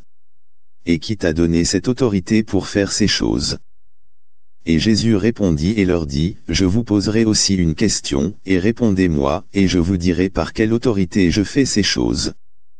Le baptême de Jean, était-il du ciel, ou des hommes, répondez-moi. Et ils raisonnaient entre eux, disant, Si nous disons, du ciel, il dira, Pourquoi donc ne l'avez-vous pas cru? Mais si nous disons, des hommes, ils craignent le peuple, car tous les hommes considéraient que Jean était en effet un prophète. Et ils répondirent et dirent à Jésus, Nous ne pouvons le dire. Et Jésus répondant leur dit, Moi non plus, je ne vous dirai pas par quelle autorité je fais ces choses. Marc, chapitre 12 Et il se mit à leur parler en parabole, un certain homme planta un vignoble et il l'entoura du nez, et y creusa un emplacement pour la cuve à vin, et y bâtit une tour, et la loua à des viticulteurs et s'en alla dans un pays lointain. Et à la saison il envoya un serviteur vers les viticulteurs, afin qu'ils puissent recevoir des viticulteurs du fruit du vignoble. Et ils l'attrapèrent et le battirent, et le renvoyèrent les mains vides. Et de nouveau il leur envoya un autre serviteur, et à celui-là ils jetèrent des pierres, et le blessèrent à la tête, et le renvoyèrent l'ayant traité honteusement. Et de nouveau il en envoya un autre, et celui-là ils le tuèrent, et beaucoup d'autres, battant les uns, et tuant les autres. Ayant donc encore un fils, son bien-aimé, il le leur envoya aussi, le dernier, disant, Ils révéreront mon fils. Mais ces viticulteurs dirent entre eux, Celui-ci est l'héritier, venez, tuons-le, et l'héritage sera à nous. Et ils le prirent et le tuèrent et le jetèrent hors du vignoble. Que fera donc le seigneur du vignoble? Il viendra et fera tuer les viticulteurs, et donnera le vignoble à d'autres. Et n'avez-vous pas lu cette écriture, la pierre que les bâtisseurs ont rejetée est devenue la principale du coin, ceci a été fait par le Seigneur, et c'est merveilleux à nos yeux. Et il cherchait à se saisir de lui, mais il craignait le peuple, car il savait qu'il avait dit la parabole contre eux, et ils le laissèrent et s'en allèrent.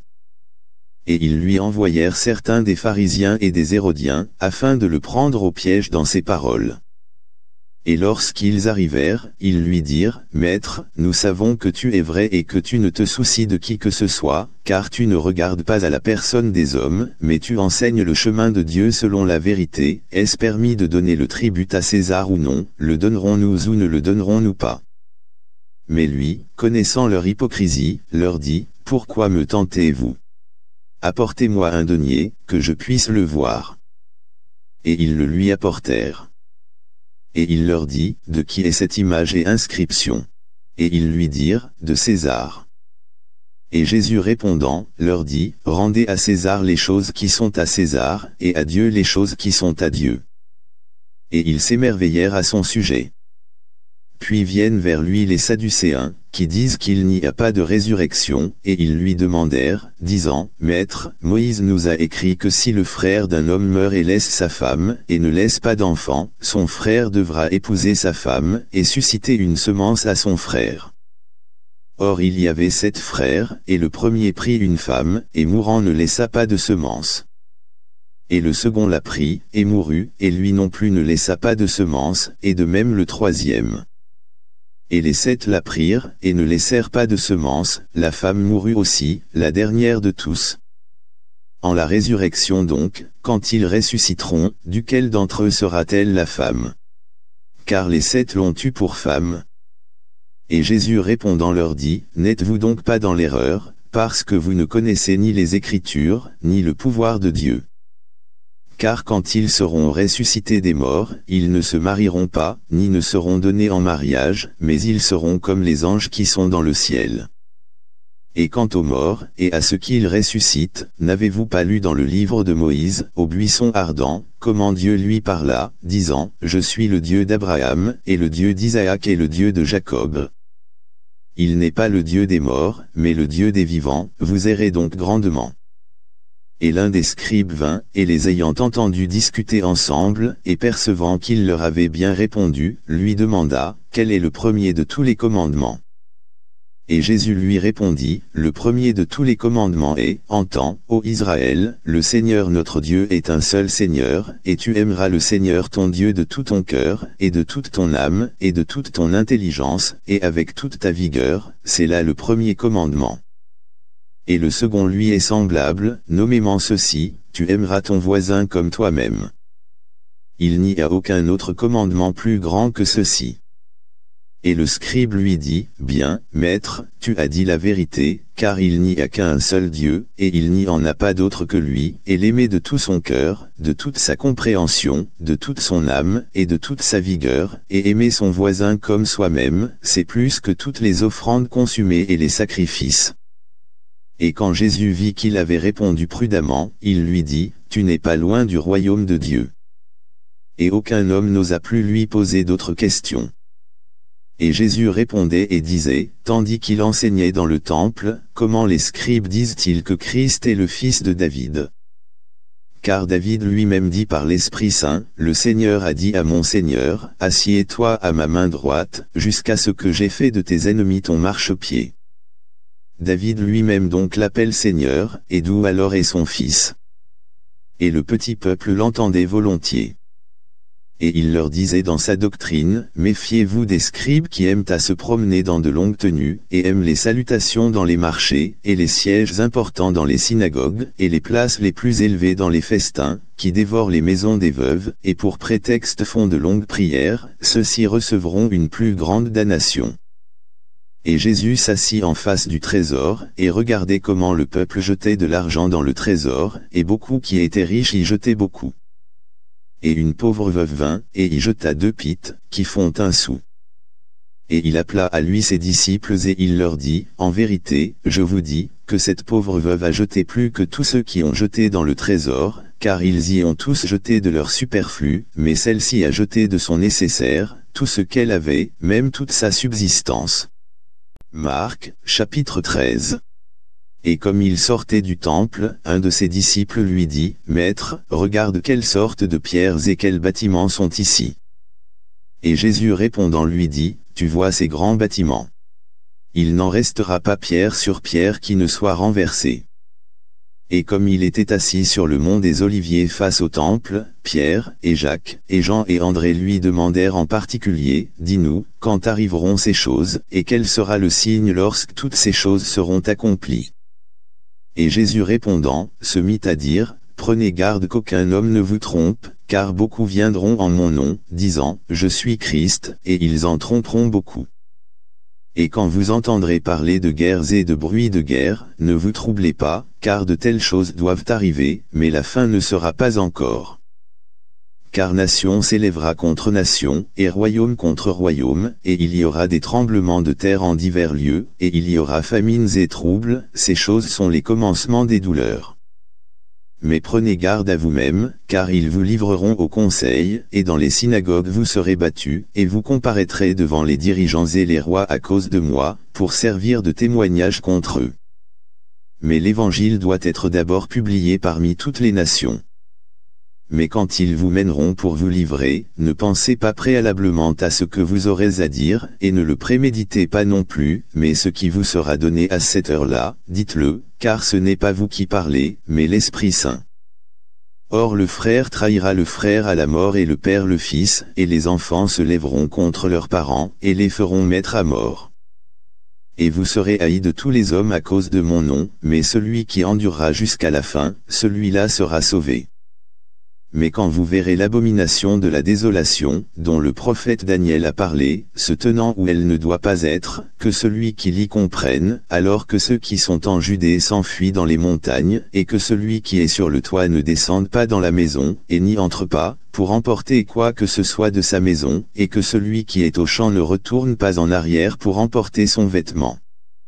Mais malheur à celles qui seront enceintes et à celles qui allaiteront en ces jours-là et priez que votre fuite n'arrive pas en hiver. Car en ces jours-là il y aura une affliction, telle qu'il n'y en a pas eu de semblable depuis le commencement de la création que Dieu a créée, jusqu'à maintenant, et qu'il n'y en aura plus.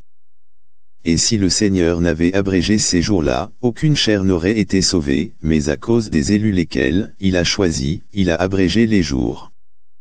Et alors, si un homme vous dit, Voici, Christ est ici, ou, Voici, il est là, ne le croyez pas, car de faux Christs et de faux prophètes s'élèveront et manifesteront des signes et des prodiges pour séduire, s'il était possible, même les élus. Mais prenez garde, voici, je vous ai prédit toutes choses. Mais en ces jours-là, après cette tribulation, le soleil sera obscurci, et la lune ne donnera pas sa lumière, et les étoiles du ciel tomberont, et les pouvoirs qui sont dans le ciel seront secoués.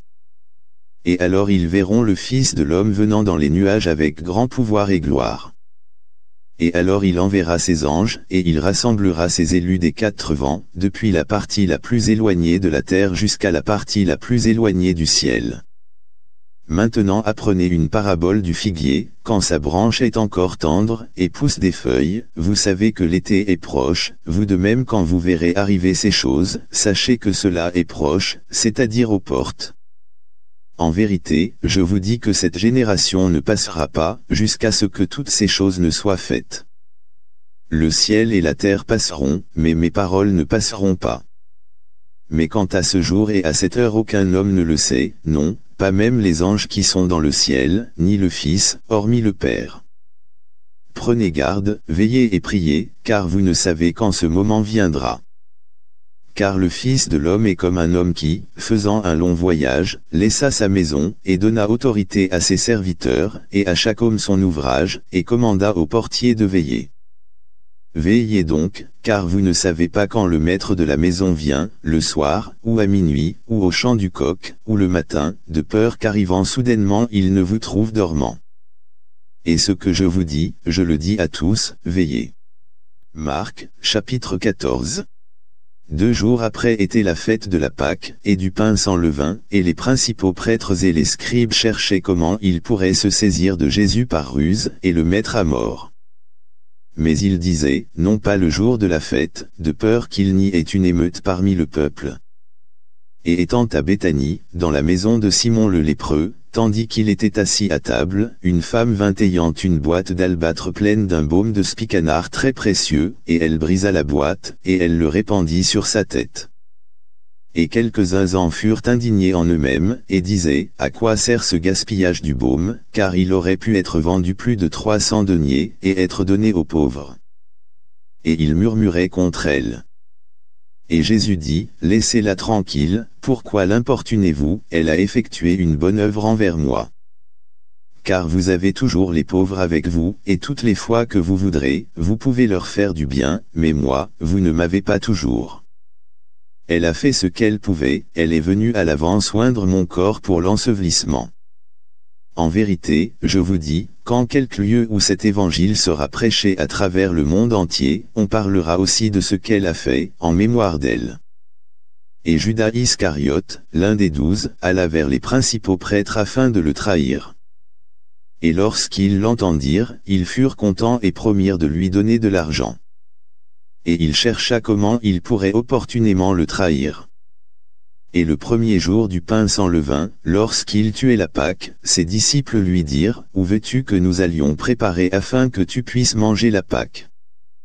Et il envoya deux de ses disciples et leur dit, Allez à la ville, et là, un homme viendra à votre rencontre, portant une cruche d'eau, suivez-le. Et en quelque lieu qu'il entre, dit au maître de la maison, le maître dit, Où est la salle d'invités, où je mangerai la Pâque avec mes disciples? Et il vous montrera une grande pièce en haut, meublée et préparée, là faites-nous les préparatifs. Et ses disciples partirent, et vinrent à la ville, et trouvèrent tout comme il leur avait dit, et ils préparèrent la Pâque. Et le soir il vint avec les douze. Et comme ils étaient assis et qu'ils mangeaient, Jésus dit, En vérité, je vous dis, l'un de vous qui mange avec moi, me trahira. Et ils commencèrent à être attristés, et lui dirent l'un après l'autre, Est-ce moi? Et un autre dit, Est-ce moi? Et il répondit et leur dit, C'est l'un des douze qui trempe avec moi dans le plat. Le Fils de l'homme en effet s'en va, selon ce qui est écrit de lui, mais malheur à l'homme par qui le Fils de l'homme est trahi il eût été bon pour cet homme qu'il ne fût jamais né. Et comme il mangeait, Jésus prit du pain, et bénit, et le rompit, et le leur donna, et dit, Prenez, mangez, ceci est mon corps. Et il prit la coupe et lorsqu'il eut remercié, il la leur donna, et ils en burent tous. Et il leur dit, Ceci est mon sang du Nouveau Testament, lequel est versé pour beaucoup. En vérité, je vous dis, que je ne boirai plus du fruit de la vigne, jusqu'au jour où je le boirai nouveau dans le royaume de Dieu. Et lorsqu'ils eurent chanté un hymne, ils allèrent au mont des Oliviers. Et Jésus leur dit, Vous serez tous offensés cette nuit à cause de moi, car il est écrit, Je frapperai le berger, et les moutons seront dispersés. Mais après que je serai ressuscité, j'irai au-devant de vous en Galilée. Mais Pierre lui dit, Quand même tous seraient offensés, cependant je ne le serai pas. Et Jésus lui dit, En vérité, je te dis, qu'aujourd'hui c'est-à-dire cette nuit, avant que le coq ait chanté deux fois, tu m'auras renié trois fois. Mais il parlait avec encore plus de véhémence, si je devais mourir avec toi, je ne te renierai en aucun cas.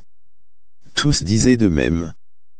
Et ils arrivèrent dans un lieu appelé Gethsemane, et il dit à ses disciples, Asseyez-vous ici, pendant que je vais prier. Et il prit avec lui Pierre, et Jacques et Jean, et il commença à être fort stupéfait et à être très accablé, et leur dit, Mon âme est extrêmement attristée jusqu'à la mort, demeurez ici éveillé. Et il alla un peu plus loin, et tomba au sol, et priait que, s'il était possible, l'heure puisse passer loin de lui et il disait, Abba, Père, toutes choses te sont possibles, retire cette coupe de moi, néanmoins non pas ce que je veux, mais ce que tu veux. Et il vient, et les trouve endormis, et dit à Pierre, Simon, dors-tu, ne pouvais-tu pas veiller une heure? Veillez et priez, de peur que vous n'entriez en tentation. L'esprit en vérité est prêt, mais la chair est faible. Et il s'éloigna de nouveau, et pria, et prononça les mêmes paroles. Et lorsqu'il revint, il les trouva de nouveau endormis, car leurs yeux étaient alourdis, ni ne savaient que lui répondre. Et il vient pour la troisième fois, et leur dit, Dormez maintenant, et reposez-vous, c'est assez, l'heure est venue, voici, le Fils de l'homme est trahi entre les mains des pécheurs. Levez-vous, allons, voici, celui qui me trahit est à portée de la main. Et immédiatement, comme il parlait encore, Judas, l'un des douze, arrive, et avec lui une grande multitude avec des épées et des bâtons, envoyés par les principaux prêtres, les scribes et les anciens. Et celui qui le trahissait leur avait donné un indice, disant, Quiconque j'embrasserai, c'est celui-là, prenez-le, et emmenez-le en lieu sûr. Et dès qu'il fut arrivé, il va aussitôt à lui et dit, Maître, Maître, et l'embrassa et ils mirent les mains sur lui, et le prirent. Et un de ceux qui se tenaient là tira une épée, et frappa un serviteur du grand prêtre, et coupa son oreille. Et Jésus répondit et leur dit, Êtes-vous sortis, comme après un voleur, avec des épées et avec des bâtons pour me prendre? J'étais tous les jours avec vous dans le temple enseignant, et vous ne m'avez pas pris, mais les Écritures doivent être accomplies. Et tous l'abandonnèrent et s'enfuirent.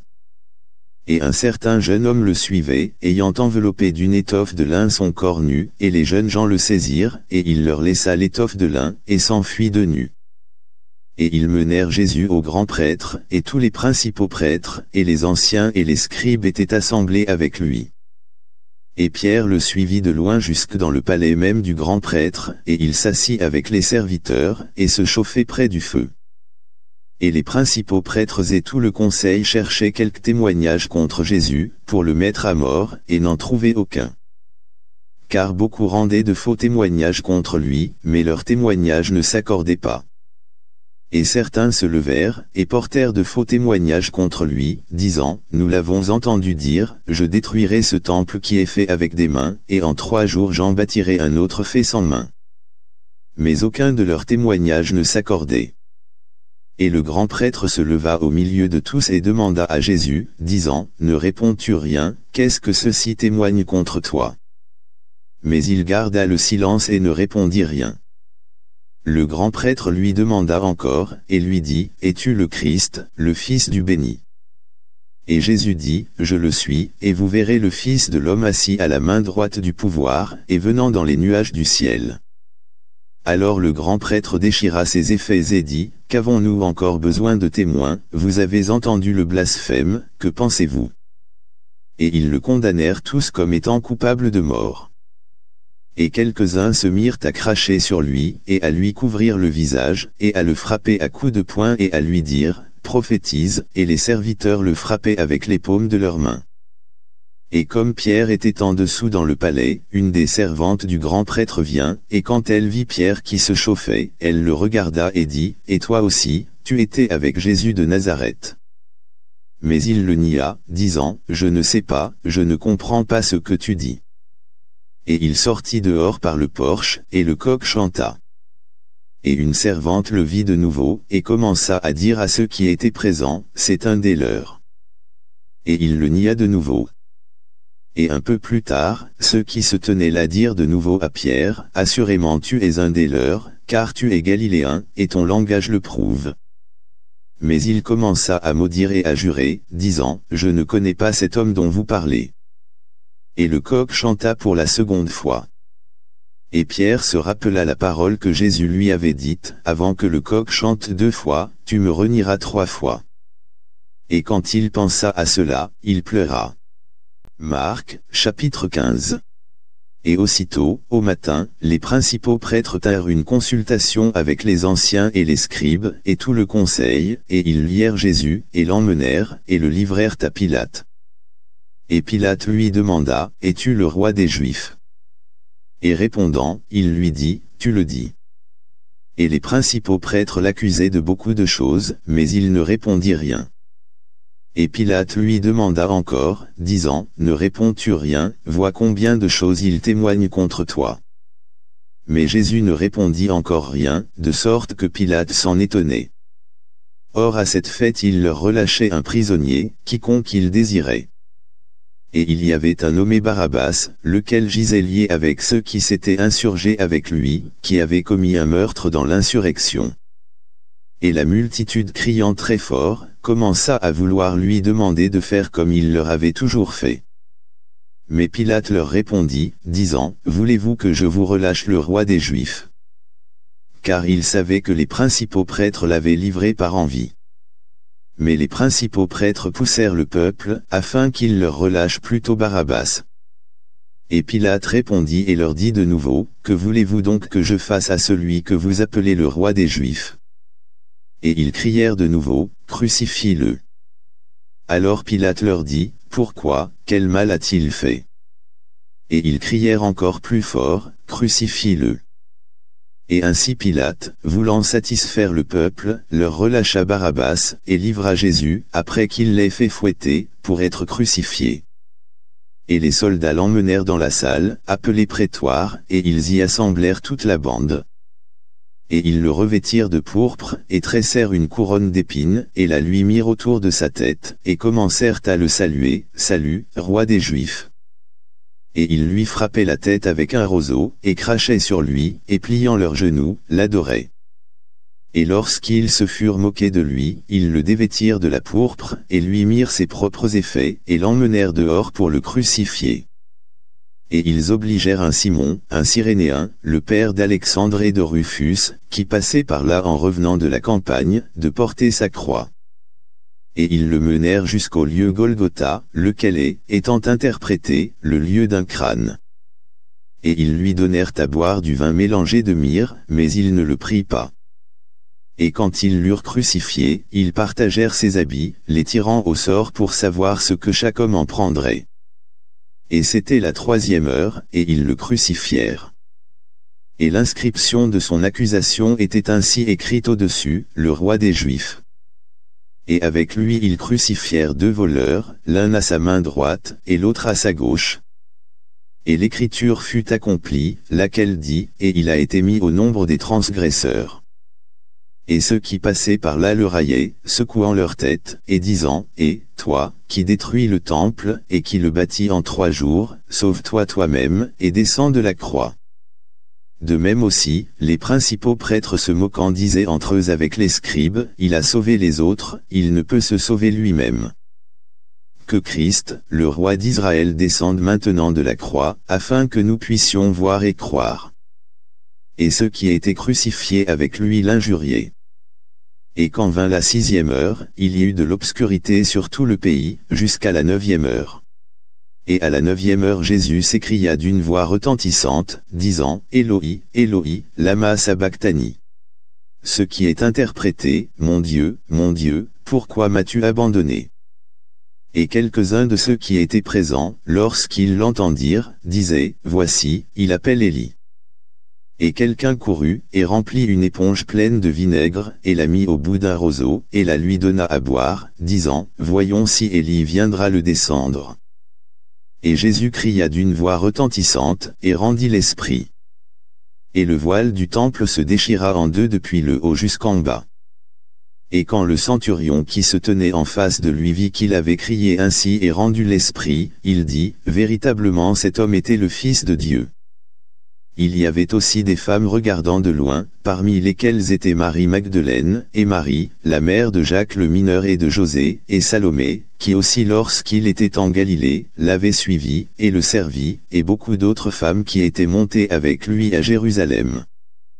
Et donc quand le soir fut venu, parce que c'était la préparation, c'est-à-dire, la veille du sabbat, Joseph d'Arimathée, un conseiller honorable, qui aussi attendait le royaume de Dieu, vint, et se présenta avec hardiesse auprès de Pilate, et sollicita le corps de Jésus. Et Pilate s'émerveilla qu'il soit déjà mort, et fit appeler à lui le centurion, il lui demanda s'il y avait longtemps qu'il était mort. Et lorsqu'il l'apprit du centurion, il donna le corps à Joseph, et il acheta du lin fin, et le descendit, et l'enveloppa dans le lin, et le plaça dans un sépulcre qui était taillé dans le roc, et roula une pierre contre la porte du sépulcre. Et Marie Magdeleine et Marie, la mère de José, regardaient où il était mis. Marc, chapitre 16 Et lorsque le sabbat fut passé, Marie Magdeleine, et Marie, la mère de Jacques, et Salomé, avaient acheté des épices parfumées, afin qu'elles puissent aller loindre. Et très tôt le matin du premier jour de la semaine, elles vinrent vers le sépulcre, au lever du soleil. Et elles disaient entre elles, Qui nous roulera la pierre de l'entrée du sépulcre Et lorsqu'elles regardèrent, elles virent que la pierre était roulée, car elle était très grosse. Et entrant dans le sépulcre, elles virent un jeune homme assis du côté droit, vêtu d'un long vêtement blanc, et elles furent effrayées. Et il leur dit, Ne soyez pas effrayés, vous cherchez Jésus de Nazareth qui a été crucifié, il est ressuscité, il n'est pas ici, voici la place où on l'avait mis. Mais allez, dites à ses disciples et à Pierre qu'il va au-devant de vous en Galilée, là-bas vous le verrez, comme il vous l'a dit. Et elles sortirent rapidement, et s'enfuirent du sépulcre, car elles tremblaient et étaient stupéfaites, elles ne dirent rien à personne, car elles étaient effrayées. Or lorsque Jésus fut ressuscité tôt, le premier jour de la semaine, il apparut d'abord à Marie Magdeleine, de laquelle il avait chassé sept diables. Et elle s'en alla le raconter à ceux qui avaient été avec lui, tandis qu'ils étaient dans le deuil et pleuraient. Et eux, quand ils apprirent qu'il était vivant, et avait été vu d'elle, ne crurent pas. Après cela il apparut sous une autre forme à deux d'entre eux, tandis qu'ils marchaient, pour aller à la campagne et ils allèrent le raconter au reste, ils ne les crurent pas non plus. Plus tard il apparut aux onze, comme ils étaient assis à table, et leur reprocha leur incrédulité et leur dureté de cœur, parce qu'ils n'avaient pas cru ce qu'il avait vu après qu'il fut ressuscité. Et il leur dit, Allez par tout le monde, et prêchez l'évangile à toute créature. Celui qui croit et est baptisé sera sauvé, mais celui qui ne croit pas sera damné. Et ces signes accompagneront ceux qui croient, ils chasseront les diables en mon nom, ils parleront de nouvelles langues, ils saisiront les serpents, et s'ils boivent une quelconque chose mortelle, cela ne leur fera pas de mal, ils poseront les mains sur les malades, et ils se porteront bien. Ainsi donc après que le Seigneur leur eut parlé, il fut reçu au ciel, et s'assit à la main droite de Dieu. Et ils partirent, et prêchèrent partout, le Seigneur œuvrant avec eux, et confirmant la parole par des signes qui s'en suivaient. Amen. L'Évangile selon Saint Luc. Luc, chapitre 1 étant donné que beaucoup ont entrepris de mettre en ordre une déclaration de ces choses qui sont les plus assurément crues parmi nous, comme nous les ont transmises ceux qui dès le commencement ont été les témoins oculaires, et les ministres de la parole, il m'a aussi semblé bon, ayant eu une parfaite compréhension de toutes les choses depuis le tout commencement, de te les écrire par ordre, très excellent Théophile, afin que tu puisses connaître la certitude des choses, dans lesquelles tu as été instruit. Il y avait au temps d'Hérode, roi de Judée, un certain prêtre nommé Zacharie, du rang d'Abia, et sa femme était des filles d'Aaron, et son nom était Élisabeth. Et ils étaient tous deux droits devant Dieu, marchant irréprochables dans tous les commandements et toutes les ordonnances du Seigneur. Et ils n'avaient pas d'enfants, parce qu'Élisabeth était stérile et ils étaient tous deux maintenant bien avancés en âge.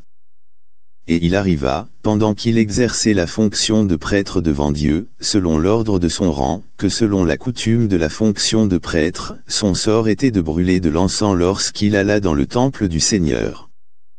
Et toute la multitude du peuple était dehors en train de prier, au moment de l'encens. Et un ange du Seigneur lui apparut se tenant debout à droite de l'autel de l'encens. Et lorsque Zacharie le vit, il fut troublé, et la peur tomba sur lui. Mais l'ange lui dit, N'aie pas peur, Zacharie, car ta prière a été entendue, et ta femme Élisabeth t'enfantera un fils, et tu appelleras son nom Jean. Et tu en auras joie et exultation, et beaucoup se réjouiront à sa naissance. Car il sera grand à la vue du Seigneur, et ne boira ni vin, ni boisson forte, et il sera rempli de l'Esprit Saint, des mêmes l'utérus de sa mère. Et beaucoup des enfants d'Israël se tourneront vers le Seigneur leur Dieu et il ira devant lui dans l'esprit et le pouvoir d'Élie, pour tourner les cœurs des pères vers les enfants, et les désobéissants à la sagesse des justes, afin de préparer un peuple prédisposé pour le Seigneur. Et Zacharie dit à l'ange, À quoi connaîtrai-je cela? Car je suis un homme âgé, et ma femme est bien avancée en âge. Et l'ange répondant, lui dit, Je suis Gabriel, qui me tient dans la présence de Dieu, et suis envoyé pour te parler, et te déclarer ces heureuses nouvelles. Et, voici, tu seras muet, et incapable de parler, jusqu'au jour où ces choses seront exécutées, parce que tu n'as pas cru à mes paroles, qui se réaliseront en leur temps. Et le peuple attendait Zacharie, et était surpris de ce qu'il tardait si longtemps dans le temple, et quand il sortit, il ne pouvait leur parler, et ils perçurent qu'il avait eu une vision dans le temple, car il leur faisait des signes, et resta sans voix. Et il arriva que, dès que les jours de son ministère furent accomplis, il partit pour sa propre maison. Et après ces jours, sa femme Élisabeth conçut, et se cacha durant cinq mois, disant, Le Seigneur a ainsi agi avec moi au jour où il m'a regardé, pour ôter mon outrage du milieu des hommes. Et au sixième mois, l'ange Gabriel fut envoyé par Dieu dans une ville de Galilée, appelée Nazareth, vers une vierge fiancée à un homme de la maison de David, dont le nom était Joseph, et le nom de la vierge était Marie. Et l'ange entra chez elle, et dit, Salut, toi qui es grandement favorisé, le Seigneur est avec toi, béni es-tu parmi les femmes. Et lorsqu'elle le vit, elle fut troublée par son propos, et elle réfléchissait quelle sorte de salutation cela pouvait être. Et l'ange lui dit, N'aie pas peur, Marie, car tu as trouvé faveur devant Dieu. Et, voici, tu concevras dans ton utérus, et tu enfanteras un fils, et tu appelleras son nom Jésus. Il sera grand, et sera appelé le Fils du Plus-Haut, et le Seigneur Dieu lui donnera le trône de son père David, et il régnera sur la maison de Jacob pour toujours, et son royaume sera sans fin. Alors Marie dit à l'ange, Comment cela se fera-t-il, puisque je ne connais pas d'homme? Et l'ange répondit et lui dit, L'Esprit Saint viendra sur toi, et le pouvoir du Plus-Haut te couvrira de son ombre, par conséquent cette sainte chose qui naîtra de toi sera appelée le Fils de Dieu. Et, voici, ta cousine Élisabeth, elle a aussi conçu un fils en sa vieillesse, et elle est dans son sixième mois, elle qui était appelée stérile car avec Dieu rien ne sera impossible. Et Marie dit, Voici la servante du Seigneur, qu'il me soit fait selon ta parole. Et l'ange partit d'auprès d'elle. Et Marie se leva en ces jours-là, et s'en alla en hâte vers la province des collines, dans une ville de Juda, et entra dans la maison de Zacharie, et salua Élisabeth. Et il arriva, lorsqu'Élisabeth entendit la salutation de Marie, que le bébé tressaillit dans son utérus, et Élisabeth fut remplie de l'Esprit Saint, et elle s'exprima d'une voix retentissante, et dit, Béni es-tu parmi les femmes, et béni est le fruit de ton utérus. Et d'où me vient ceci, que la mère de mon Seigneur vienne à moi car, voici, dès que la voix de ta salutation a résonné à mes oreilles, le bébé a sursauté dans mon utérus. Et bénie est celle qui a cru, car il y aura une réalisation de ces choses qui lui ont été dites de la part du Seigneur. Et Marie dit, Mon âme magnifie le Seigneur, et mon esprit s'est réjoui en Dieu mon Sauveur. Car il a regardé la bassesse de sa servante, car, voici, désormais toutes les générations m'appelleront béni. Car celui qui est puissant m'a fait de grandes choses, et saint est son nom et sa miséricorde est sur ceux qui le craignent de génération en génération. Il a montré la vigueur de son bras, il a dispersé les orgueilleux dans l'imagination de leur cœur. Il a fait tomber les puissants du haut de leur siège, et a élevé ceux de basse condition, il a rassasié l'affamé de bonnes choses, et le riche il l'a renvoyé à vide. Il a aidé son serviteur Israël, en souvenir de sa miséricorde, comme il avait parlé à nos pères, à Abraham, et à sa semence pour toujours. Et Marie demeura avec elle environ trois mois, et retourna dans sa propre maison. Or le terme d'Élisabeth arriva où elle devait accoucher, et elle mit au monde un fils. Et ses voisins et ses cousins apprirent comment le Seigneur avait montré sa grande miséricorde sur elle, et ils se réjouirent avec elle. Et il arriva qu'au huitième jour ils vinrent pour circoncire l'enfant, et ils l'appelèrent Zacharie, d'après le nom de son père. Et sa mère répondit et dit, Non pas ainsi, mais il sera appelé Jean. Et ils lui dirent, Il n'y a personne de ta parenté qui soit appelé par ce nom. Et ils firent des signes à son père, comment voulait-il qu'il fût appelé? Et il demanda une tablette et écrivit disant, Son nom est Jean. Et ils furent tous surpris. Et immédiatement sa bouche fut ouverte, et sa langue fut déliée, et il parlait et louait Dieu. Et la crainte vint sur tous ceux qui demeuraient autour d'eux, et tous ces dires se propagèrent de tous côtés dans toute la province des collines de Judée. Et tous ceux qui les entendirent, les mirent dans leur cœur, disant, Que sera donc cet enfant? Et la main du Seigneur était avec lui. Et son père Zacharie fut rempli de l'Esprit Saint, et prophétisa, disant, Béni soit le Seigneur Dieu d'Israël, car il a visité et racheté son peuple, et nous a suscité une corne de salut dans la maison de son serviteur David, comme il en avait parlé par la bouche de ses saints prophètes, qui ont été depuis le commencement du monde, que nous devions être sauvés de nos ennemis, et de la main de tous ceux qui nous haïssent, pour exécuter la miséricorde promise à nos pères, et se souvenir de sa sainte alliance, le serment qu'il a juré à Abraham notre père, qu'il nous accorderait, qu'étant délivrés de la main de nos ennemis, nous puissions le servir sans crainte, en sainteté et droiture devant lui, tous les jours de notre vie.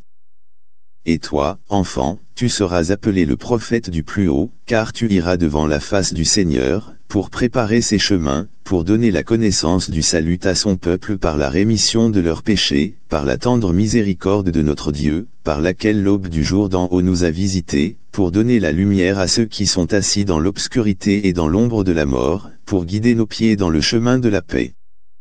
Et l'enfant grandissait et se fortifiait en esprit, et il était dans les déserts jusqu'au jour de sa manifestation à Israël.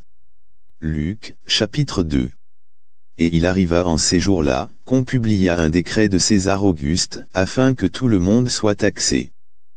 Et cette taxation fut faite pour la première fois lorsque Cyrénius était gouverneur de Syrie. Et tous allaient pour être taxés, chacun dans sa propre ville. Et Joseph aussi monta de Galilée, de la ville de Nazareth, en Judée, dans la ville de David, qui est appelée Bethléem, parce qu'il était de la maison et de la lignée de David, pour être taxé avec Marie, engagée à être sa femme, laquelle était avancée dans sa grossesse. Et ce fut ainsi, pendant qu'ils étaient là, que les jours où elle devait accoucher furent accomplis. Et elle mit au monde son fils premier-né, et l'emmaillota, et le coucha dans une crèche, parce qu'il n'y avait pas de place pour eux dans l'hôtellerie. Et il y avait dans la même province des bergers restant dans les champs, et veillant leurs troupeaux pendant la nuit. Et, voici, l'ange du Seigneur vint sur eux, et la gloire du Seigneur resplendit tout autour d'eux, et ils eurent grande peur. Et l'ange leur dit, N'ayez pas peur, car, voici, je vous apporte de bonnes nouvelles de grande joie, qui seront pour tous les peuples car aujourd'hui vous est né, dans la ville de David, un Sauveur, qui est Christ le Seigneur. Et cela sera un signe pour vous, vous trouverez le bébé emmailloté, couché dans une crèche. Et soudain il y eut avec l'ange une multitude de l'armée céleste louant Dieu et disant, Gloire à Dieu dans les lieux les plus hauts, et sur terre paix, bonne volonté envers les hommes. Et il arriva, lorsque les anges les eurent quittés pour retourner dans le ciel, que les bergers se dirent l'un l'autre, Allons maintenant jusqu'à Bethléem, et voyons cette chose qui est arrivée, ce que le Seigneur nous a fait connaître. Et ils vinrent en hâte, et trouvèrent Marie, et Joseph, et le bébé couché dans une crèche. Et lorsqu'ils l'eurent vu, ils firent connaître de tous côtés ce qui leur avait été dit concernant cet enfant. Et tous ceux qui l'entendirent, étaient surpris de ces choses qui leur étaient racontées par les bergers.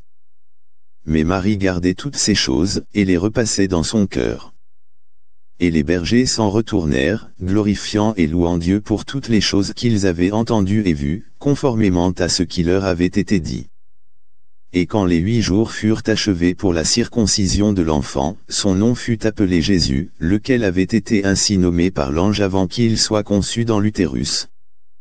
Et quand les jours de la purification de Marie, selon la loi de Moïse, furent accomplis, ils l'amenèrent à Jérusalem, pour le présenter au Seigneur, comme il est écrit dans la loi du Seigneur, tout mâle qui ouvre l'utérus sera appelé saint au Seigneur, et pour offrir un sacrifice selon ce qui est dit dans la loi du Seigneur, une paire de tourterelles, ou deux jeunes pigeons. Et, voici, il y avait à Jérusalem, un homme dont le nom était Siméon, et cet homme était juste et dévot, attendant la consolation d'Israël, et l'Esprit Saint était sur lui. Et il lui avait été révélé par l'Esprit Saint, qu'il ne verrait pas la mort, avant qu'il n'ait vu le Christ du Seigneur.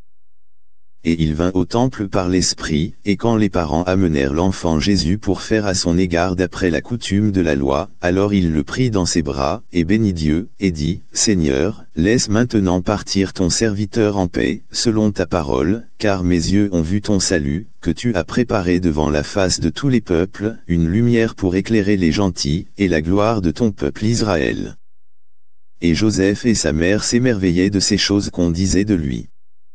Et Siméon les bénit, et dit à Marie sa mère, Voici, cet enfant est établi pour la chute et le relèvement de beaucoup en Israël, et pour un signe contre lequel on parlera, oui, une épée transpercera aussi d'un bout à l'autre ta propre âme, afin que les pensées de beaucoup de cœurs puissent être révélées. Et il y avait Anne, une prophétesse, la fille de Phanuel, de la tribu d'Azer, elle était d'un grand âge, et avait vécu avec son mari sept ans depuis sa virginité, et elle était veuve, âgée d'environ 84 ans, laquelle ne quittait pas le temple, mais servait Dieu par des jeûnes et des prières nuit et jour. Et elle, arrivant à cet instant, de même remercia le Seigneur, et parlait de lui à tous ceux qui à Jérusalem attendaient la rédemption. Et lorsqu'ils eurent exécuté toutes les choses selon la loi du Seigneur, ils retournèrent en Galilée, à Nazareth, leur propre ville. Et l'enfant grandissait et se fortifiait en esprit, rempli de sagesse, et la grâce de Dieu était sur lui.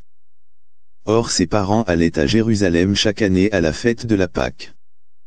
Et quand il eut douze ans, ils montèrent à Jérusalem, suivant la coutume de la fête. Et lorsque les jours furent révolus, comme ils s'en retournaient, l'enfant Jésus s'attarda à Jérusalem, et Joseph et sa mère ne le savaient pas. Mais eux, supposant qu'il avait été en leur compagnie, firent une journée de chemin, et ils le cherchèrent parmi leurs parentés et connaissances. Et lorsqu'ils ne le trouvèrent pas, ils retournèrent à Jérusalem, le cherchant. Et il arriva qu'après trois jours ils le trouvèrent dans le temple, assis au milieu des docteurs, les écoutant et leur posant des questions. Et tous ceux qui l'entendaient étaient étonnés de sa compréhension et de ses réponses. Et lorsqu'ils le virent, ils furent stupéfaits, et sa mère lui dit, Fils, pourquoi as-tu ainsi agi avec nous? Voici ton père et moi te cherchions, étant affligés. Et il leur dit, Pourquoi me cherchiez-vous, ne saviez-vous pas que je dois m'occuper des affaires de mon père? Et ils ne comprirent pas le propos qu'il leur disait. Et il descendit avec eux et vint à Nazareth, et il leur était soumis, mais sa mère gardait tous ses dires dans son cœur. Et Jésus augmentait en sagesse, et en stature et en faveur devant Dieu et devant les hommes. Luc, chapitre 3 Or en la quinzième année du règne de Tibère César, Ponce Pilate étant gouverneur de la Judée, Hérode, tétrarque de la Galilée, et son frère Philippe, tétrarque de l'Iturée et de la région de la Trachonite, et Lysanias tétrarque d'Abilène, Anne et Caïphe, étant les grands prêtres, la parole de Dieu vint à Jean, fils de Zacharie, dans le désert. Et il vint dans toute la province des environs du Jourdain, prêchant le baptême de repentance pour la rémission des péchés, comme il est écrit dans le livre des paroles d'Ésaïe le prophète, disant, La voix d'un homme criant dans le désert, Préparez le chemin du Seigneur, rendez droit ses sentiers. Toute vallée sera comblée, et toute montagne et toute colline seront abaissées, et ce qui est tortueux sera rendu droit, et les chemins déformés seront aplanis, et toute chair verra le salut de Dieu.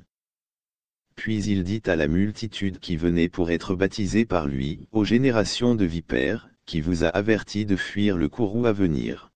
Produisez donc des fruits dignes de repentance, et ne commencez pas à dire en vous-même, nous avons Abraham pour notre père, car je vous dis, que Dieu est capable de susciter des enfants à Abraham à partir de ces pierres. Et maintenant aussi la cognée est placée contre la racine des arbres, par conséquent tout arbre qui ne produit pas de bons fruits est coupé et jeté au feu. Et le peuple lui demanda, disant, Que ferons-nous donc? Il répondit, et leur dit, Que celui qui a deux manteaux, qu'il donne à celui qui n'en a pas, et que celui qui a de la nourriture, fasse de même. Puis vinrent aussi des publicains pour être baptisés, et ils lui dirent, Maître, que ferons-nous? Et il leur dit, N'exigez rien de plus que ce qui vous a été assigné. Et les soldats de même lui demandèrent, disant, Et que ferons-nous?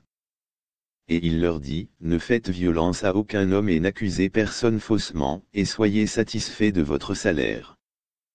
Et comme le peuple était dans l'attente et que tous les hommes réfléchissaient en leur cœur à l'égard de Jean, s'il était le Christ ou pas, Jean répondit, disant à eux tous, Je vous baptise en effet avec l'eau, mais un plus puissant que moi vient, dont je ne suis pas digne de délier le lacet de ses chaussures, il vous baptisera avec l'Esprit Saint et avec du feu, son vent est dans sa main, et il nettoiera pleinement son air, et il amassera le blé dans son grenier, mais il brûlera la paille au feu qui ne peut être éteint et dans ses exhortations, il prêchait beaucoup d'autres choses au peuple. Mais Hérode le tétrarque étant réprimandé par lui au sujet d'Hérodias, femme de Philippe son frère, et pour tous les maux qu'Hérode avait faits, ajouta encore par-dessus toutes les autres celles-ci, qu'il enferma Jean en prison. Or quand tout le peuple fut baptisé, il arriva que Jésus étant aussi baptisé et priant, le ciel s'ouvrit, et l'Esprit Saint descendit sur lui en une forme corporelle comme une colombe, et une voix vint du ciel, qui dit, Tu es mon Fils bien-aimé, en toi je prends grand plaisir. Et Jésus lui-même venait d'avoir environ trente ans étant, comme on le supposait, le fils de Joseph, qui était le fils d'Élie, qui était le fils de Matha, qui était le fils de Lévi, qui était le fils de Melchi, qui était le fils de Jana, qui était le fils de Joseph, qui était le fils de Mattathias, qui était le fils d'Amos, qui était le fils de Nahum, qui était le fils d'Élie, qui était le fils de Nagj, qui était le fils de Maat, qui était le fils de Mattathias, qui était le fils de Sémi, qui était le fils de Joseph, qui était le fils de Judas, qui était le fils de Johanna, qui était le fils de Reza, qui était le fils de Zorobabel, qui était le fils de Salatiel, qui était le fils de Néri, qui était le fils de Melchi, qui était le fils d'Adi, qui était le fils de Kosam, qui était le fils d'Elmodam, qui était le fils de Er, qui était le fils de José, qui était le fils d'Eliezer, qui était le fils de Jorim, qui était le fils de Mata, qui était le fils de Lévi, qui était le fils de Siméon, qui était le fils de Judas, qui était le fils de Joseph, qui était le fils de Jonan, qui était le fils d'Eliakim, qui était le fils de Méléa, qui était le fils de Ménan, qui était le fils de Matata, qui était le fils de Nathan, qui était le fils de David, qui était le fils de Jessé, qui était le fils d'Obed, qui était le fils de Booz, qui était le fils de Salmon, qui était le fils de Nasson, qui était le fils d'Aminadab, qui était le fils d'Aram, qui était le fils d'Esrom, qui était le fils de Phares, qui était le fils de Judas, qui était le fils de Jacob, qui était le fils d'Isaac, qui était le fils d'Abraham, qui était le fils de Tara, qui était le fils de Nacor, qui était le fils de Sarush, qui était le fils de Ragahu, qui était le fils de Phalek, qui était le fils de Héber, qui était le fils de Salah, qui était le fils de Caïn, qui était le fils d'Arphaxad, qui était le fils de Sem, qui était le fils de Noé, qui était le fils de Lamech, qui était le fils de Mathusala, qui était le fils d'Enoch, qui était le fils de Jared, qui était le fils de Malaléel, qui était le fils de Caïn, qui était le fils d'Enos, qui était le fils de Seth, qui était le fils d'Adam, qui était le fils de Dieu. Luc, chapitre 4 Et Jésus étant rempli de l'Esprit Saint revint du Jourdain, et fut conduit par l'Esprit dans le désert, étant pendant quarante jours tenté par le diable. Et il ne mangea rien durant ces jours-là, et lorsqu'ils furent terminés, ensuite il eut faim. Et le diable lui dit, Si tu es le Fils de Dieu, commande à cette pierre afin qu'elle devienne du pain. Et Jésus lui répondit, disant, Il est écrit, que l'homme ne vivra pas de pain seulement, mais de toute parole de Dieu. Et le diable le menant sur une haute montagne, lui montra en l'espace d'un moment tous les royaumes du monde. Et le diable lui dit, Je te donnerai tout ce pouvoir, et leur gloire, car cela m'est remis, et je le donnerai à qui je veux. Si donc tu m'adores, tout sera à toi. Et Jésus répondit et lui dit, Va derrière moi, Satan, car il est écrit, Tu adoreras le Seigneur ton Dieu, et lui seul tu serviras. Et il le mena à Jérusalem, et il le plaça sur un pinacle du temple, et lui dit, Si tu es le Fils de Dieu, jette-toi d'ici en bas, car il est écrit, Il donnera à ses anges de se charger de toi, pour te garder, et ils te porteront dans leurs mains, de peur qu'en aucun moment tu ne heurtes ton pied contre une pierre. Et Jésus répondant, lui dit, Il est dit, Tu ne tenteras pas le Seigneur ton Dieu. Et lorsque le diable eut achevé toute la tentation, il se retira de lui pour un temps. Et Jésus retourna en Galilée dans le pouvoir de l'Esprit, et sa renommée se répandit dans toute la région d'alentour.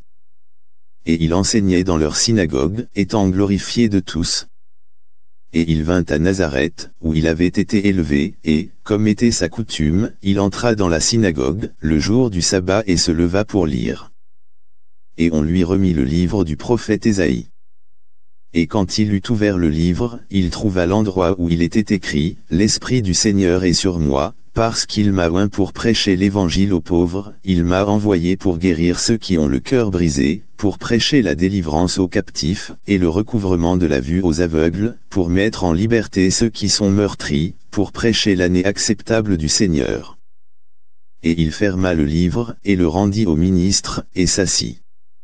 Et les yeux de tous ceux qui étaient dans la synagogue étaient fixés sur lui. Et il commença à leur dire, Aujourd'hui cette écriture est accomplie dans vos oreilles. Et tous lui rendaient témoignage, et étaient surpris par les paroles gracieuses qui procédaient de sa bouche. Et il disait, N'est-il pas le fils de Joseph? Et il leur dit, Vous me direz sûrement ce proverbe, Médecin, guéris-toi toi-même, tout ce que nous avons entendu dire avoir été fait à Capernaum, fais-le aussi ici dans ton pays. Et il dit, En vérité je vous dis, aucun prophète n'est reçu dans son propre pays. Mais je vous dis une vérité, il y avait beaucoup de veuves en Israël au temps d'Élie, lorsque le ciel fut fermé trois ans et six mois, quand il y eut une grande famine dans tout le pays, mais Élie ne fut envoyé vers aucune d'elles, sauf à Sarepta, une ville de Sidon, chez une femme qui était veuve et il y avait beaucoup de lépreux en Israël à l'époque d'Élisée le prophète, et aucun d'eux ne fut rendu net, sauf Naaman, le Syrien. Et tous dans la synagogue, quand ils entendirent ces choses, furent remplis de courroux, et ils se levèrent, et l'expulsèrent de la ville, et le menèrent jusqu'au bord escarpé de la colline sur laquelle leur ville était bâtie, pour qu'ils puissent le précipiter en bas la tête la première. Mais lui passant au milieu d'eux, poursuivit son chemin, et descendit à Capernaum, une ville de Galilée, et les enseignait les jours de sabbat. Et ils étaient étonnés de sa doctrine, car sa parole était avec pouvoir. Et il y avait dans la synagogue un homme, qui avait un esprit d'un diable impur, et il cria d'une voix retentissante, disant, Laisse-nous tranquilles, qu'avons-nous à faire avec toi, toi Jésus de Nazareth, es-tu venu pour nous tuer, je sais qui tu es, le Saint de Dieu. Et Jésus le reprit, disant, Tais-toi, et sors de lui. Et quand le diable l'eut jeté au milieu de tous, il sortit de lui, et ne lui fit aucun mal. Et ils furent tous stupéfaits, et parlaient entre eux, disant, Quelle parole est celle-ci, car il commande avec autorité et pouvoir aux esprits impurs, et ils sortent. Et sa renommée se répandit dans chaque endroit de la province alentour. Et il se leva et sortit de la synagogue, et entra dans la maison de Simon. Et la belle-mère de Simon avait une forte fièvre, et ils le supplièrent pour elle. Et il se pencha sur elle, et reprit la fièvre, et celle-ci la quitta, et immédiatement elle se leva et les servit. Or lorsque le soleil fut couché, tous ceux qui avaient des malades atteints de divers maux, les lui amenèrent, et il posa ses mains sur chacun d'eux, et les guérit. Et les diables sortaient aussi de beaucoup, criant et disant, Tu es Christ le Fils de Dieu. Et lui, les reprenant ne leur permettait pas de parler, car il savait qu'il était Christ. Et lorsqu'il fit jour, il partit et alla dans un lieu désert, et le peuple le chercha, et vint jusqu'à lui et le retint, afin qu'il ne les quitte pas. Et il leur dit, Je dois prêcher le royaume de Dieu à d'autres villes aussi, car c'est pour cela que je suis envoyé. Et il prêchait dans les synagogues de Galilée. Luc, chapitre 5 et il arriva, comme le peuple se pressait autour de lui pour entendre la parole de Dieu, qu'il se tint sur le bord du lac de Génézareth, et il vit deux bateaux se trouvant au bord du lac, mais les pêcheurs en étaient descendus et étaient en train de laver leurs filets. Et il monta dans l'un des bateaux, lequel était à Simon, et le pria de s'éloigner un peu du rivage. Et il s'assit, et enseignait le peuple depuis le bateau. Or quand il eut cessé de parler, il dit à Simon, Prends le large dans l'eau profonde, et lâchez vos filets pour une prise. Et Simon répondant, lui dit, Maître, nous avons travaillé toute la nuit, et n'avons rien pris, néanmoins à ta parole, je lâcherai le filet. Et lorsqu'ils eurent fait cela, ils enfermèrent une grande multitude de poissons, et leurs filets se rompaient. Et ils firent signe à leurs partenaires, qui étaient dans l'autre bateau, afin qu'ils viennent les aider. Et ils vinrent, et remplirent les deux bateaux, de sorte qu'ils commençaient à couler.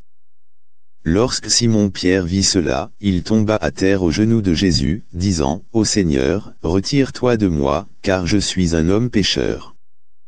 Car il était étonné, et tous ceux qui étaient avec lui, à la prise de poisson qu'ils avaient faite, et Jacques aussi l'était, et Jean, les fils de Zébédée, qui étaient partenaires de Simon. Et Jésus dit à Simon, N'aie pas peur, désormais tu attraperas des hommes. Et quand ils eurent ramené leur bateau à terre, ils abandonnèrent tout et le suivirent.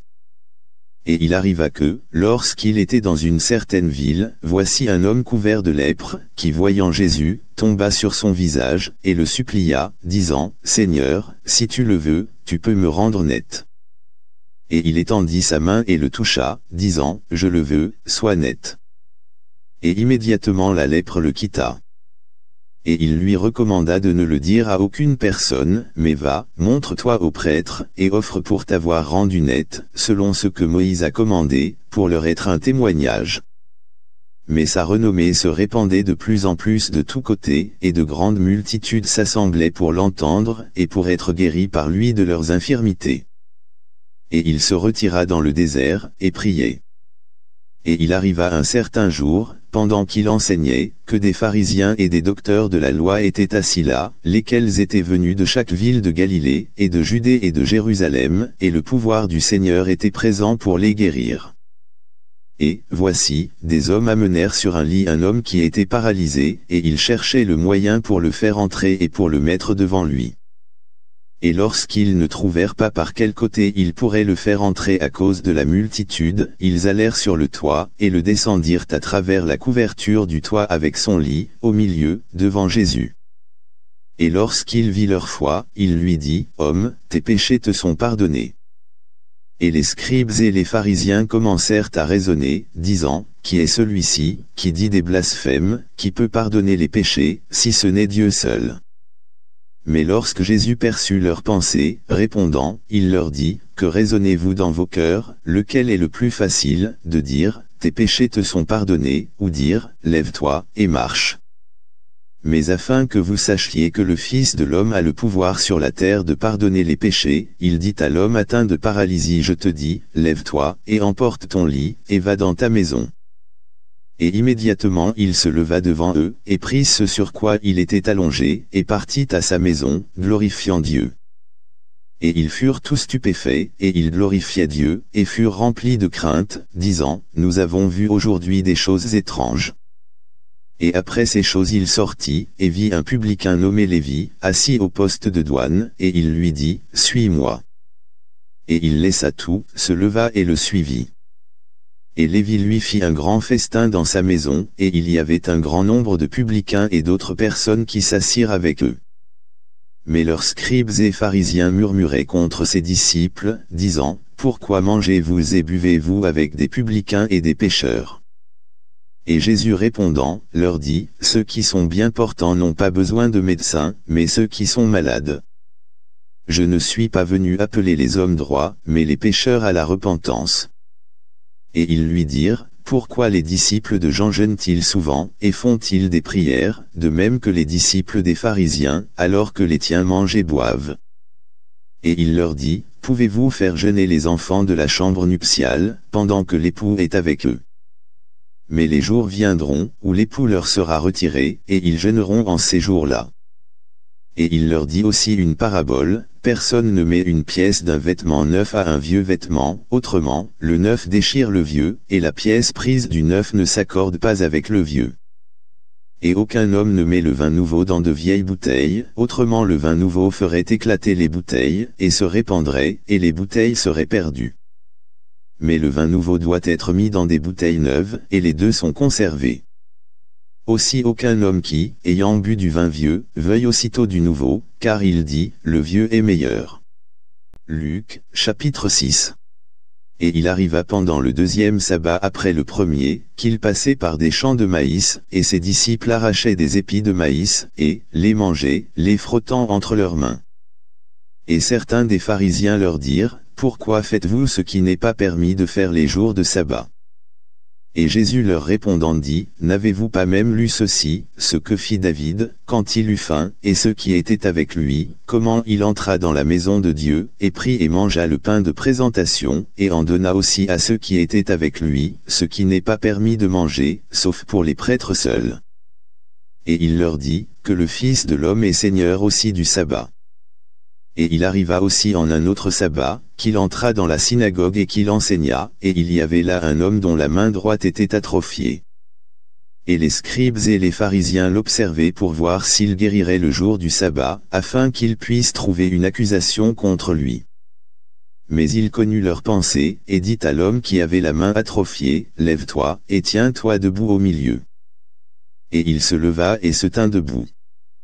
Alors Jésus leur dit, Je vous demanderai une chose, est-il permis les jours de sabbat de faire du bien, ou de faire du mal, de sauver une vie ou de la détruire? Et les regardant tous à la ronde, il dit à l'homme, Étends ta main. Et il le fit, et sa main fut restaurée entièrement comme l'autre.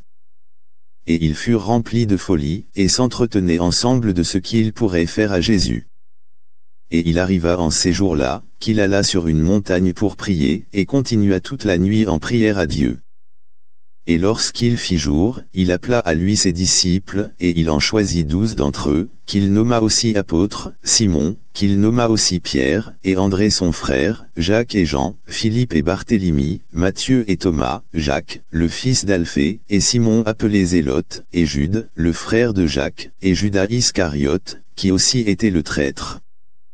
Et il descendit avec eux, et se tint dans la plaine, et en compagnie de ses disciples et d'une grande multitude de personnes de toute la Judée et de Jérusalem, et de la côte maritime de Tyr et de Sidon, lesquels étaient venus pour l'entendre, et pour être guéris de leurs maux, et ceux qui étaient tourmentés par des esprits impurs, et ils furent guéris. Et toute la multitude cherchait à le toucher, car une vertu sortait de lui, et les guérissait tous, et il leva ses yeux sur ses disciples et dit, Béni êtes-vous, vous pauvres, car à vous est le royaume de Dieu. Béni êtes-vous, vous qui avez faim maintenant, car vous serez rassasiés. Béni êtes-vous, vous qui pleurez maintenant, car vous rirez. Béni serez-vous quand les hommes vous haïront, et quand ils vous sépareront de leur compagnie, et vous outrageront et rejetteront votre nom comme mauvais, à cause du Fils de l'homme. Réjouissez-vous en ce jour-là, et sautez de joie, car, voici, votre récompense est grande dans le ciel, car leurs pères ont agi de la même manière envers les prophètes. Mais malheur à vous qui êtes riches, car vous avez reçu votre consolation.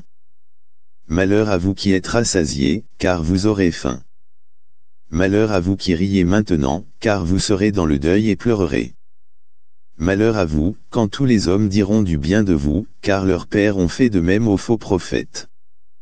Mais je vous dis à vous qui entendez, aimez vos ennemis, faites du bien à ceux qui vous haïssent, bénissez ceux qui vous maudissent, et priez pour ceux qui avec malignité se servent de vous. Et à celui qui te frappe sur une joue, offre aussi l'autre, et à celui qui te prend ta cape, ne l'empêche pas de prendre ton manteau aussi.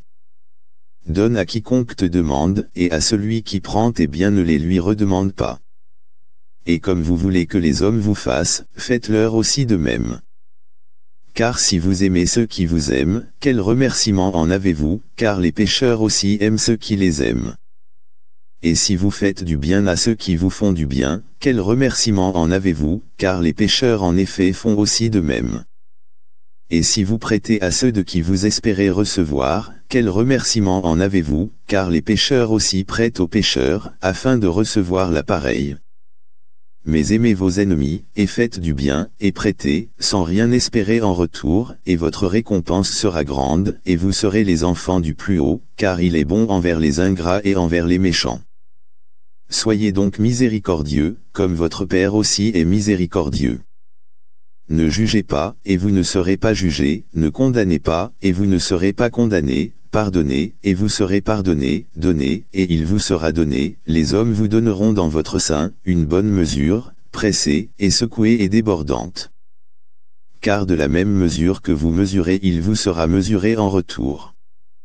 Et il leur disait une parabole, un aveugle peut-il conduire un aveugle, ne tomberont-ils pas tous deux dans le fossé? Le disciple n'est pas au-dessus de son maître, mais celui qui est parfait sera comme son maître. Et pourquoi regardes-tu la paille qui est dans l'œil de ton frère, et ne discernes-tu pas la poutre qui est dans ton propre œil? Ou comment peux-tu dire à ton frère, Frère, laisse-moi ôter la paille qui est dans ton œil, quand toi-même ne vois pas la poutre qui est dans ton propre œil toi hypocrite, retire d'abord la poutre de ton propre œil, et alors tu verras clairement pour retirer la paille qui est dans l'œil de ton frère. Car un bon arbre ne produit pas de mauvais fruits, pas plus qu'un arbre mauvais ne produit de bons fruits. Car chaque arbre est connu par son propre fruit. Car les hommes ne recueillent pas des figues sur des épines, et ne recueillent pas non plus des raisins sur un buisson de ronces. Un homme bon du bon trésor de son cœur sort ce qui est bon, et un homme mauvais du mauvais trésor de son cœur sort ce qui est mauvais, car de l'abondance du cœur sa bouche parle. Et pourquoi m'appelez-vous, Seigneur, Seigneur, et ne faites pas ce que je dis? Quiconque vient à moi, et entend mes dires, et les met en pratique, je vous montrerai à qui il est semblable, il est semblable à un homme lequel bâtit une maison, et creusa profondément, et posa la fondation sur un roc, et lorsque l'inondation s'éleva, le torrent frappa avec véhémence contre cette maison, et il n'a pu l'ébranler, car elle était fondée sur un roc. Mais celui qui entend, et qui ne met pas en pratique, est comme un homme qui bâtit sans une fondation une maison sur la terre, contre laquelle le torrent a frappé avec véhémence, et immédiatement elle est tombée, et la ruine de cette maison a été grande. Luc, chapitre 7 Or lorsqu'il eut achevé tous ses propos devant le peuple, il entra dans Capernaum. Et le serviteur d'un certain centurion, qui lui était cher, était malade, et près de mourir. Et lorsqu'il entendit parler de Jésus, il envoya vers lui des anciens des Juifs, l'implorant de venir guérir son serviteur. Et quand ils vinrent à Jésus, ils le supplièrent instamment, disant, que celui pour lequel il ferait cela était digne, car il aime notre nation, et il nous a bâti une synagogue. Alors Jésus alla avec eux.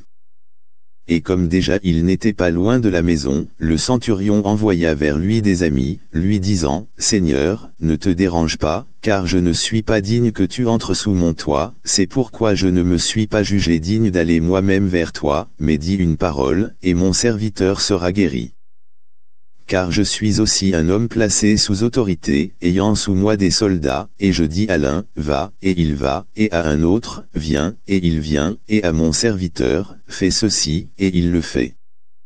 Lorsque Jésus entendit ces choses, il s'émerveilla de lui, et se retourna et dit au peuple qui le suivait, Je vous le dis, je n'ai pas trouvé de si grande foi, non, pas même en Israël. Et ceux qui avaient été envoyés, de retour à la maison, trouvèrent le serviteur qui avait été malade, se portant bien. Et il arriva le jour suivant, qu'il alla dans une ville appelée Naïn, et beaucoup de ses disciples allèrent avec lui, et un grand nombre de personnes.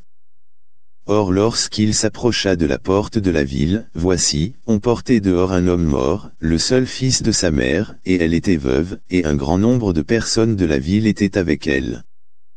Et quand le Seigneur la vit, il eut compassion d'elle, et lui dit, Ne pleure pas. Et il s'approcha, et toucha la bière, et ceux qui le portaient s'arrêtèrent. Et il dit, Jeune homme, je te dis, lève-toi. Et celui qui était mort s'assit, et commença à parler. Et il le rendit à sa mère. Et ils furent tous saisis de crainte, et ils glorifièrent Dieu, disant, qu'un grand prophète s'est levé parmi nous, et, que Dieu a visité son peuple. Et cette rumeur à son sujet se répandit dans toute la Judée, et dans toute la région d'alentour. Et les disciples de Jean lui déclarèrent toutes ces choses. Et Jean ayant appelé à lui deux de ses disciples, les envoya à Jésus, disant, Es-tu celui qui devait venir, ou devons-nous en attendre un autre? Quand les hommes furent arrivés à lui, ils dirent, Jean-Baptiste nous a envoyés vers toi, disant, Es-tu celui qui devait venir, ou devons-nous en attendre un autre? Et à cette même heure, il en rétablit beaucoup de leurs infirmités, et de leurs maux et d'esprits mauvais, et il donna la vue à beaucoup qui étaient aveugles. Alors Jésus répondant, leur dit, Allez, et dites à Jean les choses que vous avez vues et entendues, comment les aveugles voient, les boiteux marchent, les lépreux sont rendus nets, les sourds entendent, les morts ressuscitent, l'évangile est prêché aux pauvres. Et béni est quiconque, qui ne sera pas offensé à cause de moi. Et quand les messagers de Jean furent partis, il commença à parler au peuple concernant Jean, Qu'êtes-vous allé voir au désert, un roseau secoué par le vent? Mais qu'êtes-vous allé voir, un homme vêtu d'habillement délicat? Voici, ceux qui sont magnifiquement revêtus, et qui vivent dans l'opulence, sont dans les cours des rois. Mais qu'êtes-vous allé voir? Un prophète. Oui, vous dis-je, et bien plus qu'un prophète. C'est celui dont il est écrit, Voici, j'envoie mon messager devant ta face, lequel préparera ton chemin devant toi. Car je vous dis, Parmi ceux qui sont nés des femmes, il n'y a pas un plus grand prophète que Jean le Baptiste, mais celui qui est le moindre dans le royaume de Dieu est plus grand que lui. Et tout le peuple qui l'entendait, et les publicains, justifiaient Dieu, ayant été baptisés du baptême de Jean. Mais les pharisiens et les hommes de loi rejetaient le conseil de Dieu contre eux-mêmes, n'ayant pas été baptisés par lui. Et le Seigneur dit, À qui donc comparerai-je les hommes de cette génération, et à qui sont-ils semblables? Ils sont semblables à des enfants assis sur la place du marché, et appelant les uns aux autres, et disant, Nous vous avons joué de la flûte, et vous n'avez pas dansé, nous avons mené deuil pour vous, et vous n'avez pas pleuré. Car Jean le Baptiste est venu ne mangeant pas de pain, ni ne buvant de vin, et vous dites, Il a un diable. Le Fils de l'homme est venu mangeant et buvant, et vous dites, Voici un homme glouton, et un ivrogne, un ami des publicains et des pécheurs mais la sagesse est justifiée par tous ses enfants. Et un des pharisiens désira qu'il vienne manger chez lui. Et il alla dans la maison du pharisien, et s'assit à table. Et, voici, une femme dans la ville, qui était une pécheresse, quand elle sut que Jésus était assis à table dans la maison du pharisien, apporta une boîte d'albâtre pleine de baume, et se tint à ses pieds derrière lui, pleurant, et commença à laver ses pieds de ses larmes, et les essuyait avec les cheveux de sa tête, et embrassait ses pieds, et les oignait avec le baume. Or lorsque le pharisien qui l'avait convié le vit, il parla en lui-même, disant, Cet homme, s'il était un prophète, aurait su qui est quelle sorte de femme est celle qui le touche, car elle est une pécheresse. Et Jésus répondant, lui dit, Simon, j'ai quelque chose à te dire. Et il dit, Maître, dis-le. Il y avait un certain créancier qui avait deux débiteurs, l'un devait cinq cents deniers, et l'autre cinquante et lorsqu'ils n'avaient pas de quoi payer, il leur pardonna sincèrement à tous deux. Dis-moi donc, lequel des deux l'aimera le plus? Simon répondit et dit, Je suppose que c'est celui à qui il a le plus pardonné. Et il lui dit, Tu as jugé droitement.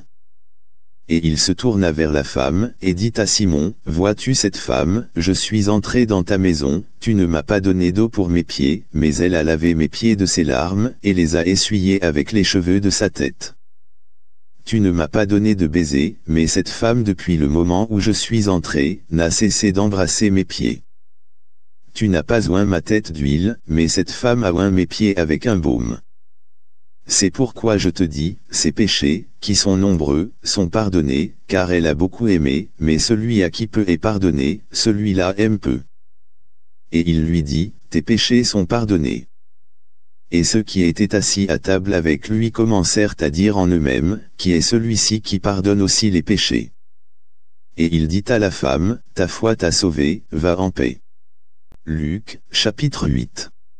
Et il arriva après cela, qu'il traversa chaque ville et village, prêchant et démontrant les heureuses nouvelles du royaume de Dieu, et les douze étaient avec lui, et certaines femmes qui avaient été guéries d'esprits mauvais et d'infirmités, savoir, Marie appelée Magdeleine, de laquelle étaient sortis sept diables, et Jeanne, femme de Chusa, intendant d'Hérode, et Suzanne, et beaucoup d'autres, qui le servaient de leur substance.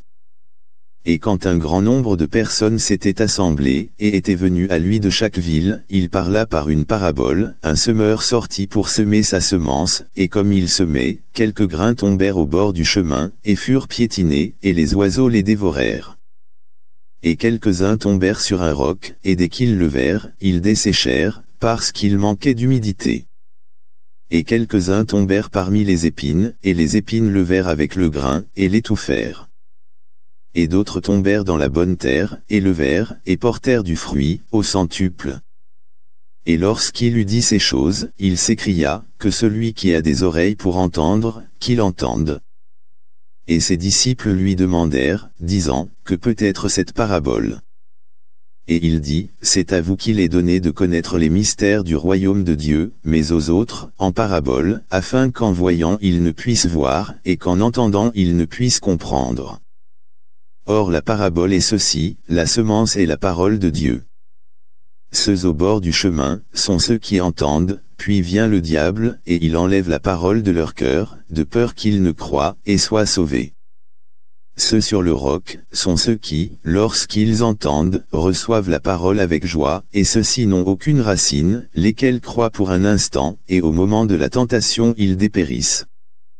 Et ceux qui tombent parmi les épines, ce sont ceux qui, quand ils ont entendu, s'en vont, et sont étouffés par les soucis, et la richesse et les plaisirs de cette vie, et ils ne portent aucun fruit à maturité. Mais ceux qui tombent dans la bonne terre ce sont ceux, qui ayant entendu la parole la retiennent dans un cœur honnête et bon, et portent du fruit avec patience.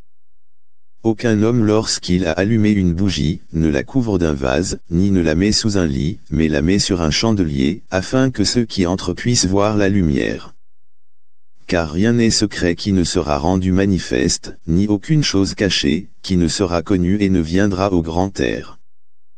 Prenez donc garde comment vous entendez, car quiconque a, à lui il sera donné, et quiconque n'a pas, de lui il sera pris même ce qu'il semble avoir. Alors sa mère et ses frères vinrent à lui, et il ne pouvait l'approcher à cause de la foule.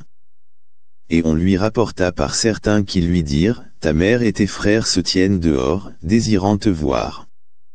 Et il répondit et leur dit, Ma mère et mes frères sont ceux qui entendent la parole de Dieu, et la pratiquent. Or il arriva un certain jour, qu'il alla dans un bateau avec ses disciples, et il leur dit, Allons vers l'autre côté du lac. Et ils prirent le large. Mais comme il faisait voile, il s'endormit, et une tourmente de vent descendit sur le lac, et ils étaient submergés par l'eau, et ils étaient en péril. Et ils vinrent à lui et le réveillèrent, disant, Maître, Maître, nous périssons. Alors il se leva, et reprit le vent et la furie de l'eau, et ils cessèrent, et il y eut le calme. Et il leur dit, Où est votre foi? Et eux, ayant peur se demandèrent, disant l'un à l'autre, quelle sorte d'homme est-ce, car il commande même aux vents et à l'eau, et ils lui obéissent. Et ils arrivèrent à la province des Gadaréniens, qui est de l'autre côté face à la Galilée. Et lorsqu'il descendit à terre, un certain homme le rencontra hors de la ville, lequel était possédé de diable depuis longtemps, et ne portait pas d'effet, et ne demeurait dans aucune maison, mais dans les tombes. Quand il vit Jésus, il cria et tomba à terre devant lui, et dit d'une voix retentissante, Qu'ai-je à faire avec toi, Jésus, toi fils du Dieu le plus haut, je t'en implore, ne me tourmente pas. Car il avait commandé à l'esprit impur de sortir de l'homme. Car il l'avait souvent saisi, et il était gardé lié avec des chaînes et des fers, et il rompait les liens, et était poussé par le diable dans le désert. Et Jésus lui demanda, disant, Quel est ton nom? Et il dit, Légion, parce que beaucoup de diables étaient entrés en lui. Et il le suppliait qu'il ne leur commande pas d'aller dans l'abîme. Et il y avait là un troupeau de nombreux pourceaux se nourrissant sur la montagne, et il le suppliait qu'il leur permette d'entrer en eux. Et il le leur permit. Alors les diables sortirent de l'homme et entrèrent dans les pourceaux, et le troupeau descendit avec violence l'endroit escarpé dans le lac, et s'étouffèrent. Quand ceux qui les nourrissaient virent ce qui était arrivé, ils s'enfuirent et allèrent le raconter dans la ville et dans le pays. Alors ils sortirent pour voir ce qui s'était passé, et vinrent à Jésus, et trouvèrent l'homme duquel les diables étaient partis, assis aux pieds de Jésus, vêtu et sensé, et ils eurent peur. Ceux aussi qui l'avaient vu, leur racontèrent de quelle manière celui qui était possédé par les diables avait été guéri. Alors toute la multitude de Gadaréniens le supplia de partir de chez eux, car ils étaient pris d'une grande peur, et il monta dans le bateau et s'en retourna. Or, l'homme duquel les diables étaient partis, le supplia de lui permettre d'être avec lui, mais Jésus le renvoya, disant, Retourne dans ta propre maison, et déclare quelle grande chose Dieu t'a faite. Et il s'en alla, et publia par toute la ville quelle grande chose Jésus lui avait faite. Et il arriva, que lorsque Jésus fut de retour, le peuple le reçut volontiers, car tous l'attendaient. Et, voici, un homme vint, nommé Jairus, et il était un dirigeant de la synagogue, et il tomba à terre aux pieds de Jésus, et le supplia pour qu'il vienne dans sa maison, car il avait une seule fille, d'environ douze ans, et elle était couchée mourante.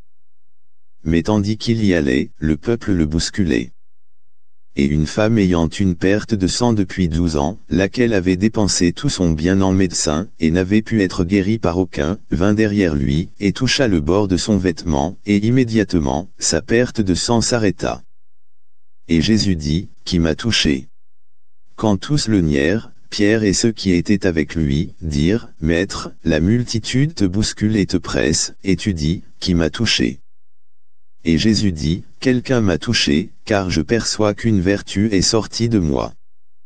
Et lorsque la femme vit qu'elle n'était pas cachée, elle vint en tremblant, et tombant devant lui, elle lui déclara devant tout le peuple pour quelle raison elle l'avait touché, et comment elle avait été guérie immédiatement. Et il lui dit, Fille, prends courage, ta foi t'a rendue bien portante, va en paix. Comme il parlait encore, quelqu'un vint de la maison du dirigeant de la synagogue, lui disant, Ta fille est morte, ne dérange pas le maître. Mais lorsque Jésus l'entendit, il lui répondit, disant, Ne crains pas, crois seulement, et elle sera rendue bien portante. Et quand il fut arrivé à la maison, il ne laissa entrer personne sauf Pierre, Jacques et Jean, et le père et la mère de la fillette. Et tous pleuraient et se lamentaient sur elle, mais il dit, Ne pleurez pas, elle n'est pas morte, mais elle dort. Et ils le tournèrent en ridicule, sachant qu'elle était morte. Et il les mit tous dehors, et il la prit par la main et appela, disant, Fillette, lève-toi. Et son esprit revint, et elle se leva aussitôt, et il commanda de lui donner à manger. Et ses parents furent étonnés, mais il leur recommanda qu'ils ne disent à personne ce qui était arrivé. Luc, chapitre 9. Alors il appela ensemble ses douze disciples, et leur donna pouvoir et autorité sur tous les diables, et de traiter les maladies. Et il les envoya prêcher le royaume de Dieu et guérir les malades. Et il leur dit, Ne prenez rien pour votre voyage, ni bâton, ni sac, ni pain, ni argent, n'ayez pas non plus chacun deux manteaux. Et dans quelque maison que vous entriez, demeurez-y et de la partez. Et quiconque ne vous recevra pas, quand vous partirez de cette ville-là, secouez la poussière même de vos pieds, en témoignage contre eux. Et ils partirent et traversèrent les villes, prêchant l'évangile et guérissant partout. Or Hérode le tétrarque entendit parler de tout ce qui était fait par lui, et il était perplexe, parce que quelques-uns disaient, que Jean était ressuscité d'entre les morts, et quelques-uns, qu'Élie était apparu, et d'autres, que l'un des anciens prophètes était ressuscité. Et Hérode disait, J'ai décapité Jean, mais qui est celui-ci, dont j'entends de telles choses? Et il désirait le voir. Et les apôtres, lorsqu'ils furent de retour, lui racontèrent tout ce qu'ils avaient fait.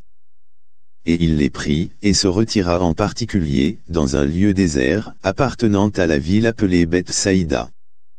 Et le peuple, quand il le sut, le suivit, et il les reçut, et leur parlait du royaume de Dieu, et guérissait ceux qui avaient besoin d'être guéris.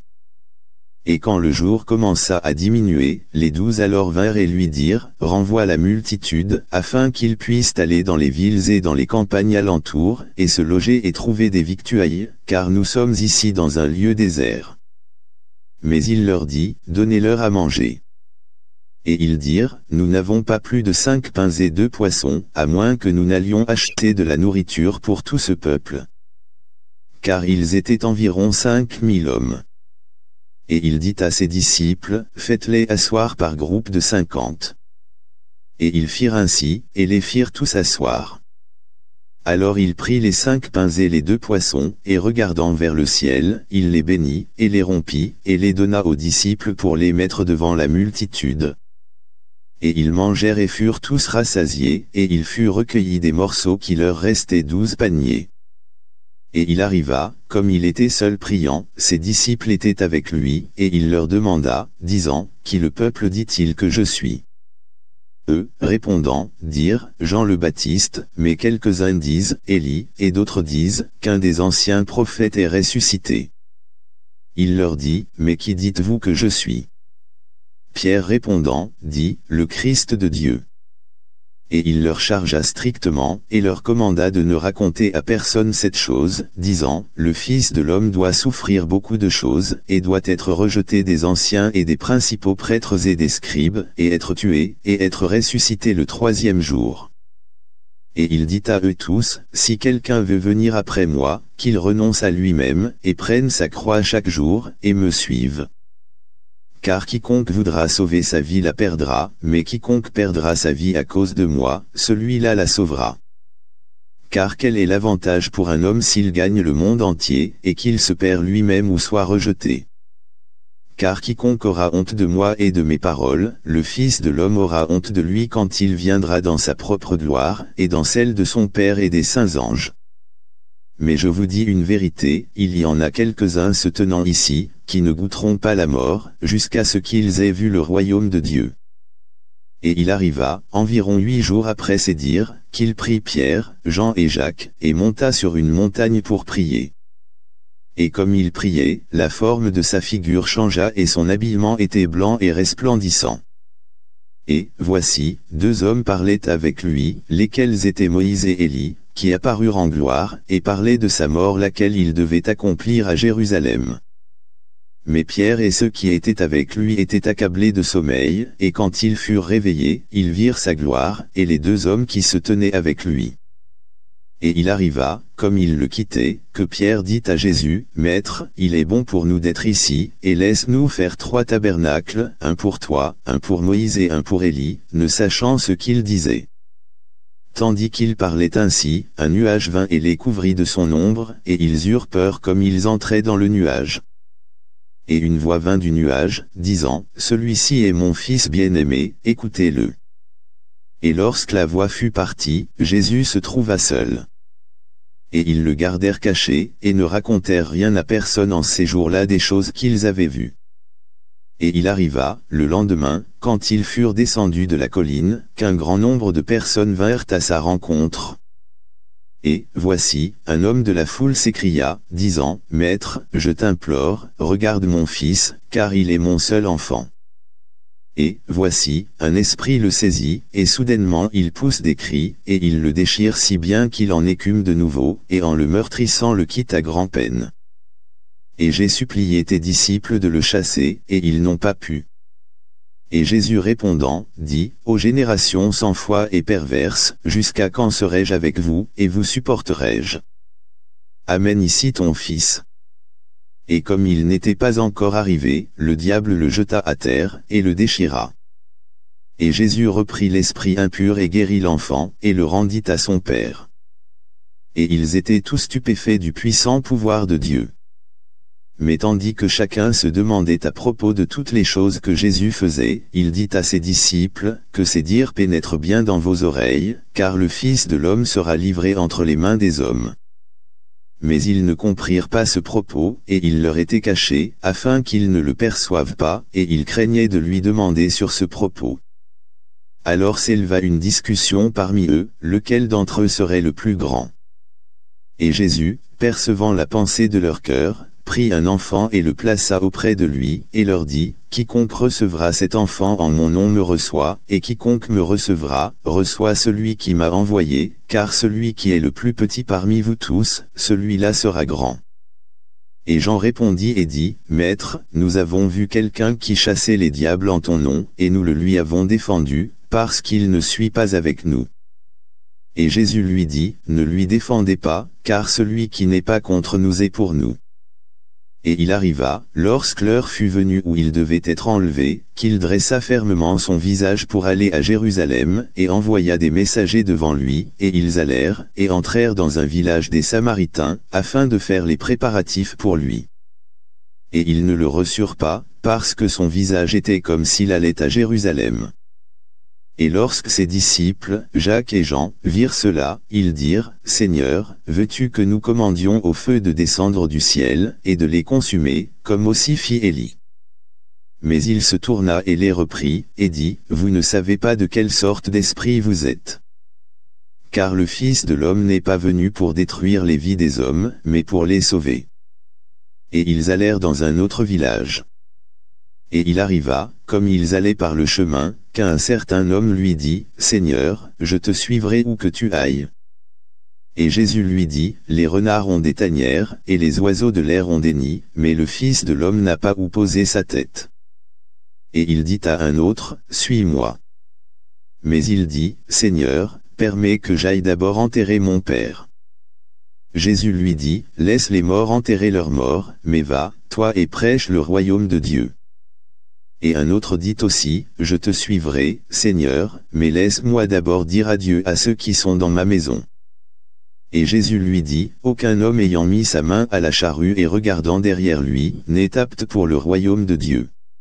Luc, chapitre 10 Après ces choses, le Seigneur en désigna aussi soixante-dix autres, et les envoya deux par deux devant lui, dans chaque ville et en tout lieu où il devait lui-même aller.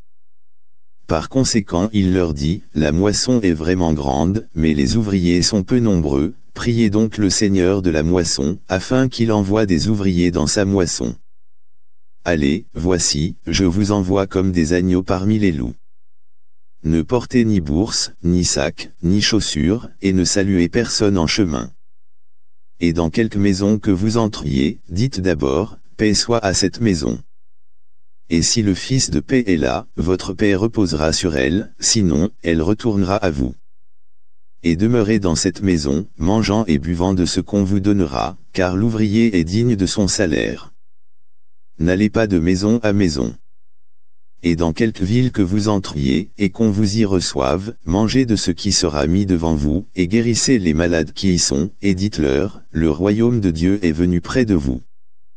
Mais dans quelque ville que vous entriez, et où ils ne vous reçoivent pas, allez dans ces rues, et dites, la poussière même de votre ville qui s'attache à nous, nous l'essuyons contre vous, toutefois soyez sûrs de ceci, que le royaume de Dieu est venu près de vous. Mais je vous dis que ce sera plus supportable pour Sodome en ce jour-là que pour cette ville-là. Malheur à toi, Corazin, malheur à toi, Bethsaïda, car si les puissantes œuvres qui ont été faites au milieu de vous, avaient été faites à Tyr à Sidon, il y a longtemps qu'elles se seraient repenties, en s'asseyant, vêtues de toile à sac et de cendres. Mais ce sera plus supportable pour Tyr et Sidon au jugement, que pour vous. Et toi, Capernaum, qui est exalté jusqu'au ciel, tu seras poussé en bas en enfer. Celui qui vous entend m'entend, et celui qui vous méprise me méprise, et celui qui me méprise, méprise celui qui m'a envoyé. Et les soixante-dix revinrent avec joie, disant, Seigneur, même les diables nous sont assujettis par ton nom.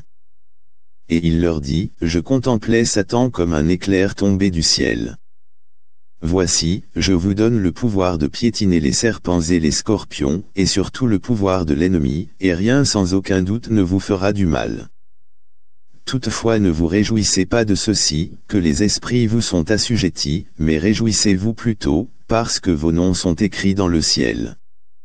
En cette même heure, Jésus se réjouit en esprit, et dit, Je te remercie, ô Père, Seigneur du ciel et de la terre, de ce que tu as caché ces choses aux sages et aux prudents, et les as révélées aux bébés, oui certainement, Père, car cela semble bon à ta vue. Toutes choses me sont données de mon Père, et aucun homme ne connaît qui est le Fils, seulement le Père, et qui est le Père, seulement le Fils, et celui à qui le Fils le révélera. Et il se tourna vers ses disciples, et dit en particulier, Bénis sont les yeux qui voient les choses que vous voyez, car je vous dis que beaucoup de prophètes et de rois ont désiré voir ces choses que vous voyez, et ne les ont pas vues, et d'entendre ces choses que vous entendez, et ne les ont pas entendues. Et voici un certain homme de loi se leva, et le tenta, disant, Maître, que dois-je faire pour hériter la vie éternelle? Il lui dit, Qu'est-il écrit dans la loi, comment lis-tu? Et répondant il dit, Tu aimeras le Seigneur ton Dieu de tout ton cœur, et de toute ton âme, et de toute ta vigueur, et avec toute ton intelligence, et ton voisin comme toi-même. Et il lui dit, Tu as correctement répondu, fais cela, et tu vivras. Mais lui, voulant se justifier, dit à Jésus, Et qui est mon voisin? Et Jésus, répondant, dit, Un certain homme descendit de Jérusalem à Jéricho, et tomba parmi les voleurs, qui le dépouillèrent de son habillement, et le blessèrent, et partirent, le laissant à demi-mort. Et par chance un certain prêtre descendait par ce chemin-là, et quand il le vit, il passa de l'autre côté. Et de même un Lévite lorsqu'il arriva à l'endroit, vint et le regarda, et passa de l'autre côté. Mais un certain Samaritain, qui voyageait, arriva où il était, et quand il le vit, il eut compassion de lui, et alla vers lui, et banda ses blessures, versant de l'huile et du vin, et le mit sur sa propre bête, et le mena à une hôtellerie, et prit soin de lui. Et le lendemain, quand il partit, il tira deux deniers, et les donna à l'hôtelier, et lui dit, Prends soin de lui, et tout ce que tu dépenseras de plus, lorsque je reviens, je te le rembourserai. Lequel donc de ces trois, penses-tu, était le voisin de celui qui tomba parmi les voleurs? Et il dit, celui qui a manifesté de la miséricorde envers lui. Alors Jésus lui dit, Va, et fais de même.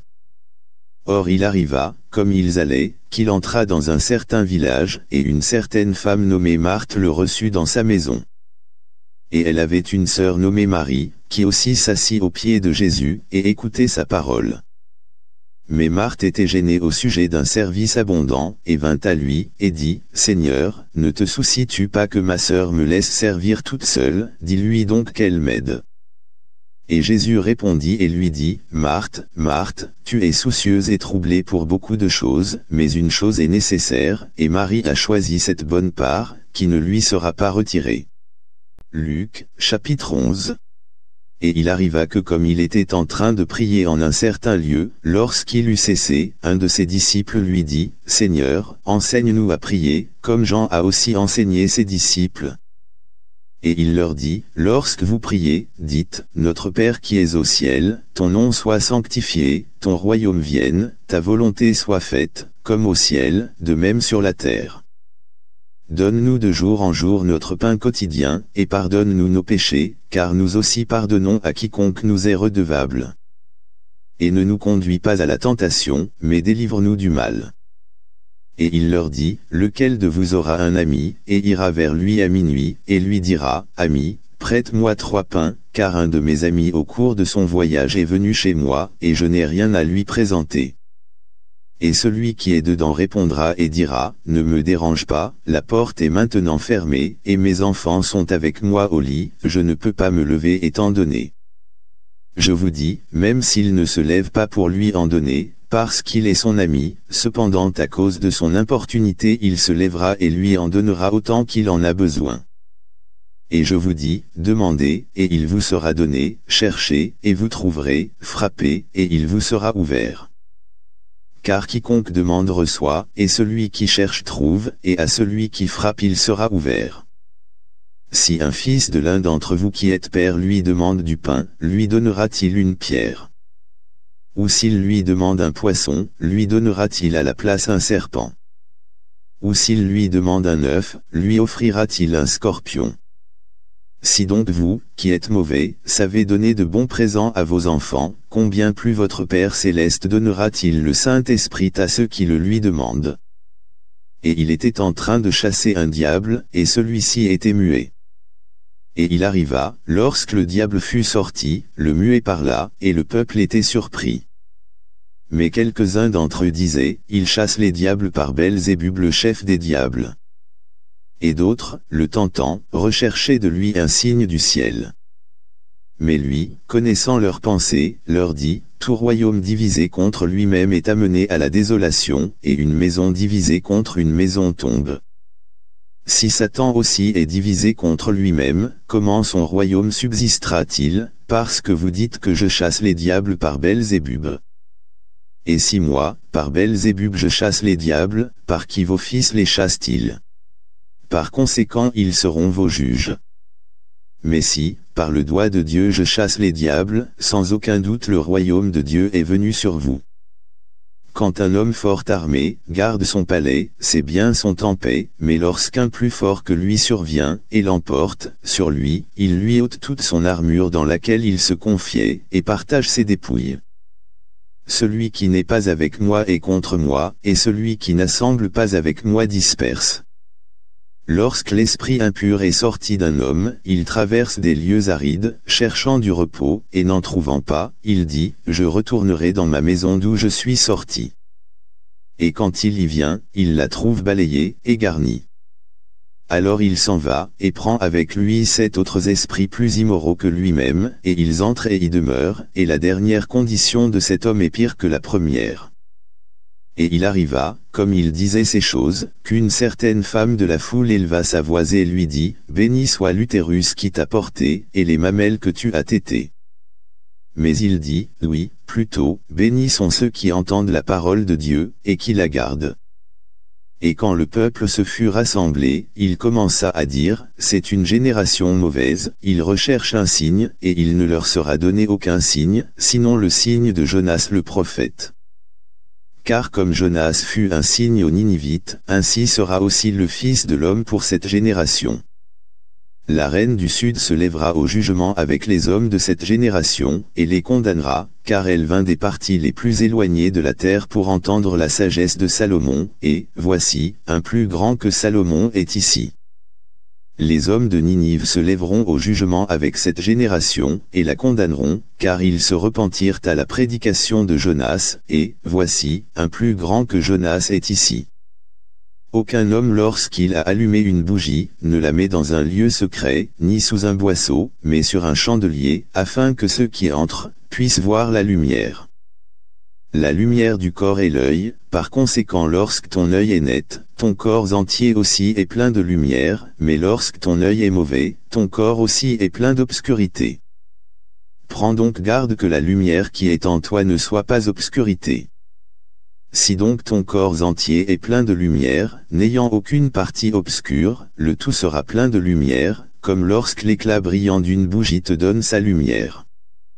Et comme il parlait, un certain pharisien le supplia de dîner chez lui, et il entra et s'assit à table. Et lorsque le pharisien le vit, il fut surpris de ce qu'il ne s'était pas d'abord lavé avant le dîner. Et le Seigneur lui dit, Maintenant, vous pharisiens, vous nettoyez l'extérieur de la coupe et du plat, mais votre intérieur est plein de voracité et d'immoralité. Vous insensés, celui qui a fait l'extérieur, n'a-t-il pas aussi fait l'intérieur?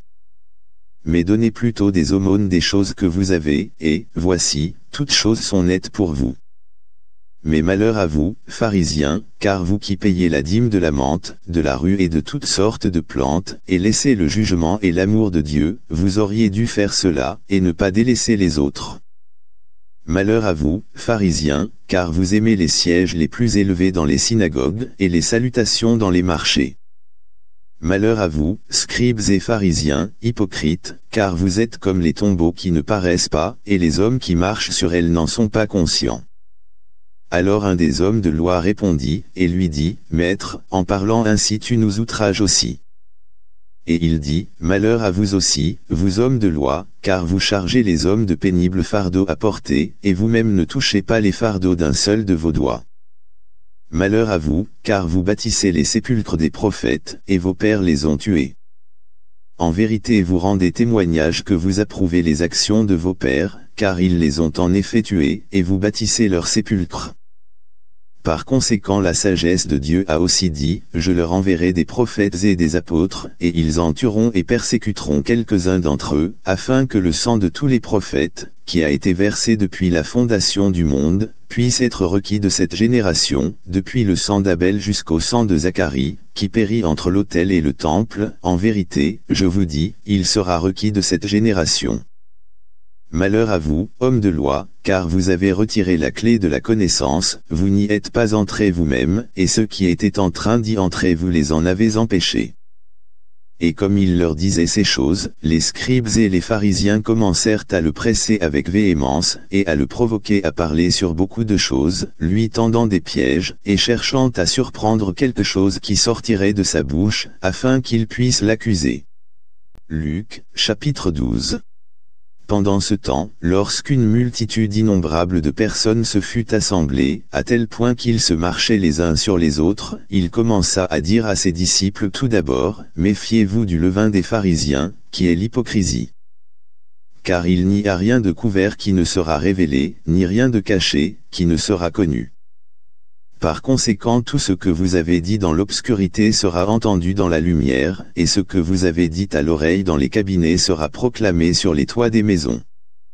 Et je vous dis à vous mes amis, n'ayez pas peur de ceux qui tuent le corps, et après cela, ils ne peuvent rien faire de plus.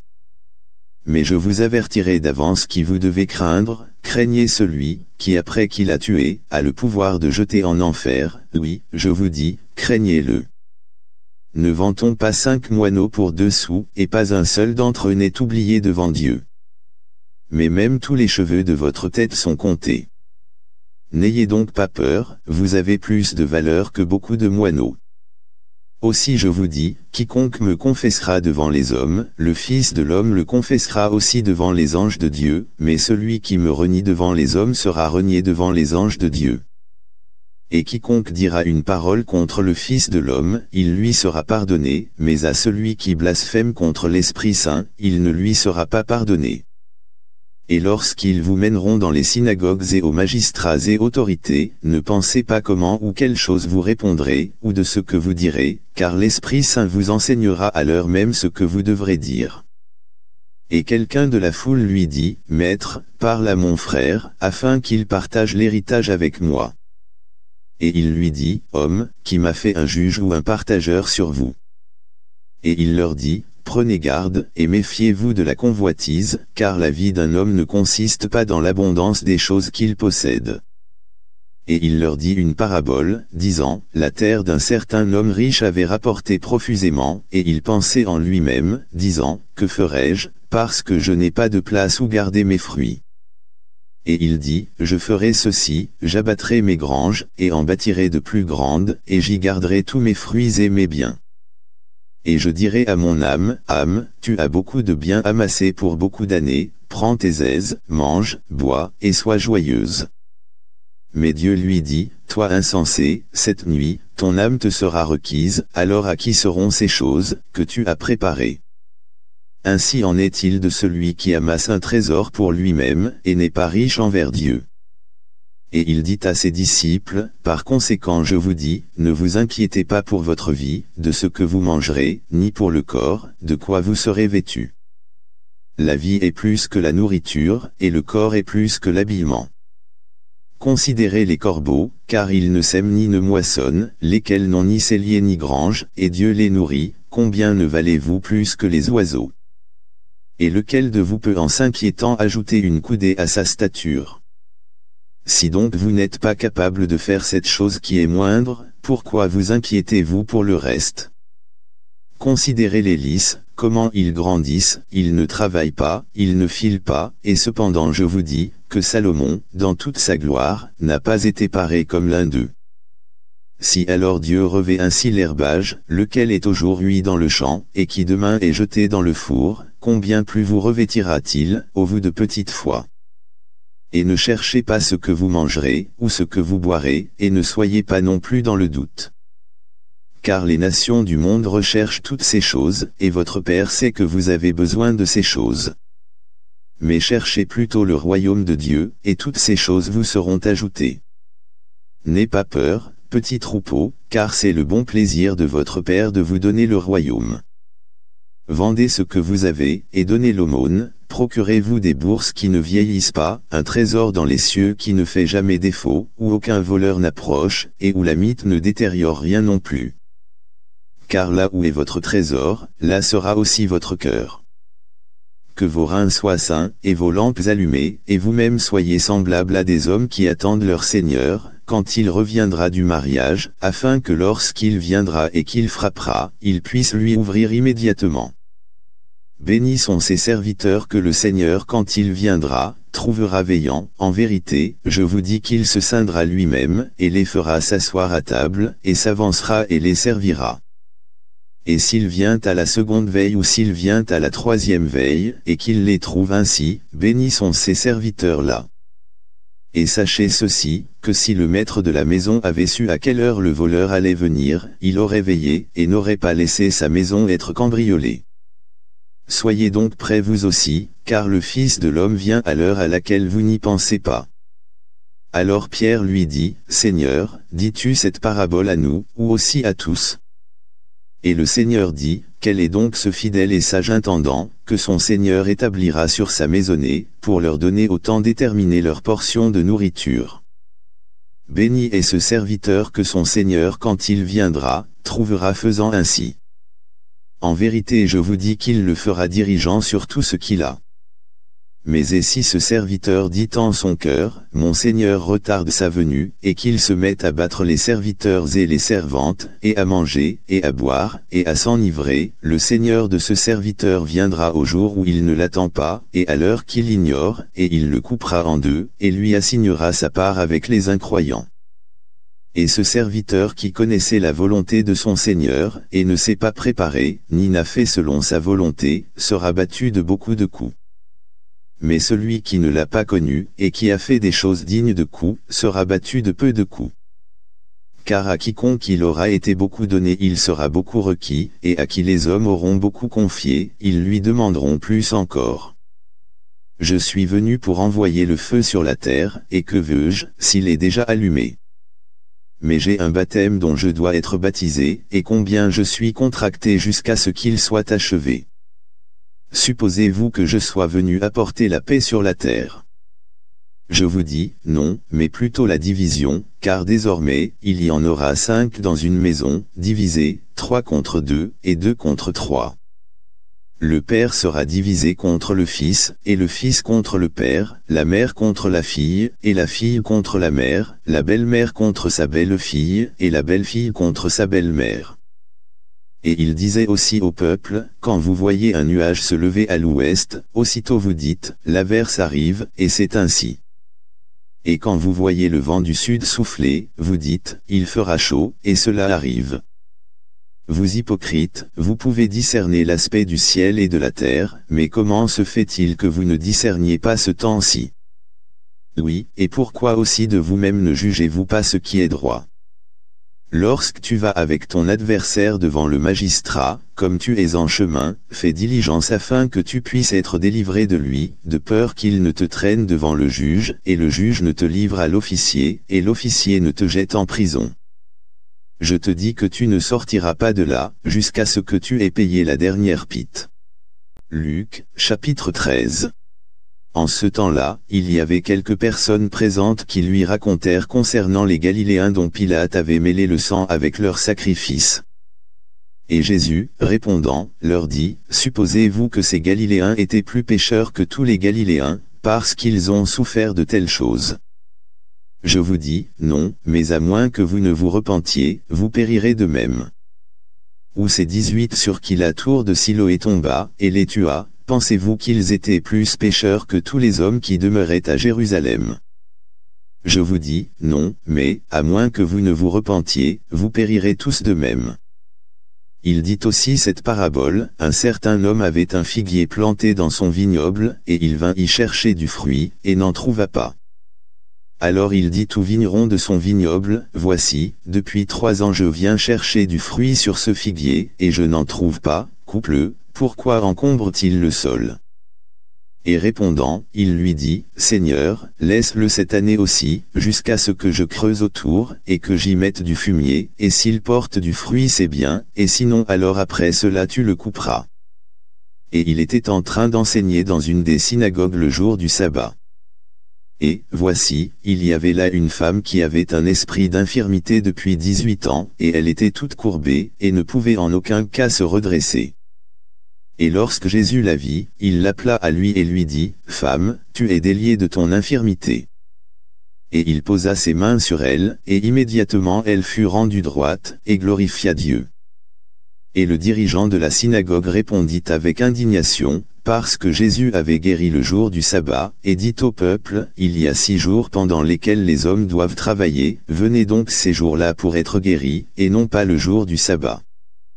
Le Seigneur alors lui répondit, et dit, Toi, hypocrite, chacun de vous ne détache-t-il pas son bœuf ou son âne de l'étable le jour du sabbat, et ne le mène-t-il pas à boire? Et cette femme, étant une fille d'Abraham, que Satan avait liée voici dix-huit ans, ne fallait-il pas qu'elle soit détachée de ce lien le jour du sabbat? Et lorsqu'il eut dit ces choses, tous ses adversaires furent honteux, et tout le peuple se réjouissait de toutes les choses glorieuses qui étaient faites par lui. Alors il dit, À quoi est semblable le royaume de Dieu, et à quoi l'identifierai-je? Il est comme un grain de semence de moutarde, qu'un homme prit et jeta dans son jardin, et il poussa et devint un grand arbre, et les oiseaux du ciel logeaient dans ses branches. Et de nouveau il dit, À quoi comparerai-je le royaume de Dieu?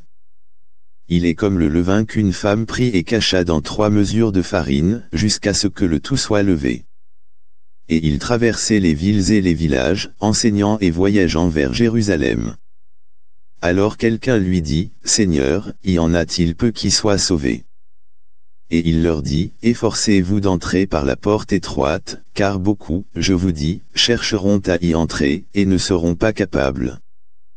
Une fois que le maître de la maison se sera levé, et aura fermé la porte, et que vous commencerez à vous tenir dehors, et à frapper à la porte, disant, Seigneur, Seigneur, ouvre-nous, et il vous répondra et vous dira, Je ne sais pas d'où vous êtes, alors vous commencerez à dire, Nous avons mangé et bu en ta présence, et tu as enseigné dans nos rues. Mais il dira, Je vous dis, je ne sais pas d'où vous êtes, retirez-vous de moi, vous tous ouvriers d'iniquité il y aura des pleurs et des grincements de dents, quand vous verrez Abraham, et Isaac, et Jacob et tous les prophètes dans le royaume de Dieu, et vous vous-même serez jetés dehors. Et ils viendront de l'Est et de l'Ouest, et du Nord et du Sud, et s'assiéront dans le royaume de Dieu. Et, voici, il y a des derniers qui seront les premiers, et il y a des premiers qui seront les derniers. Le même jour, certains des pharisiens vinrent, lui disant, Va-t'en, et pars d'ici, car Hérode te tuera. Et il leur dit, Allez et dites à ce renard, Voici, je chasse les diables et je soigne aujourd'hui et demain, et le troisième jour j'aurai accompli. Néanmoins je dois marcher aujourd'hui, et demain, et le jour suivant, car il ne se peut qu'un prophète périsse hors de Jérusalem. Ô Jérusalem, Jérusalem, laquelle tue les prophètes, et lapide ceux qui te sont envoyés, combien de fois ai-je voulu rassembler tes enfants, comme une poule rassemble sa couvée sous ses ailes, et vous ne l'avez pas voulu.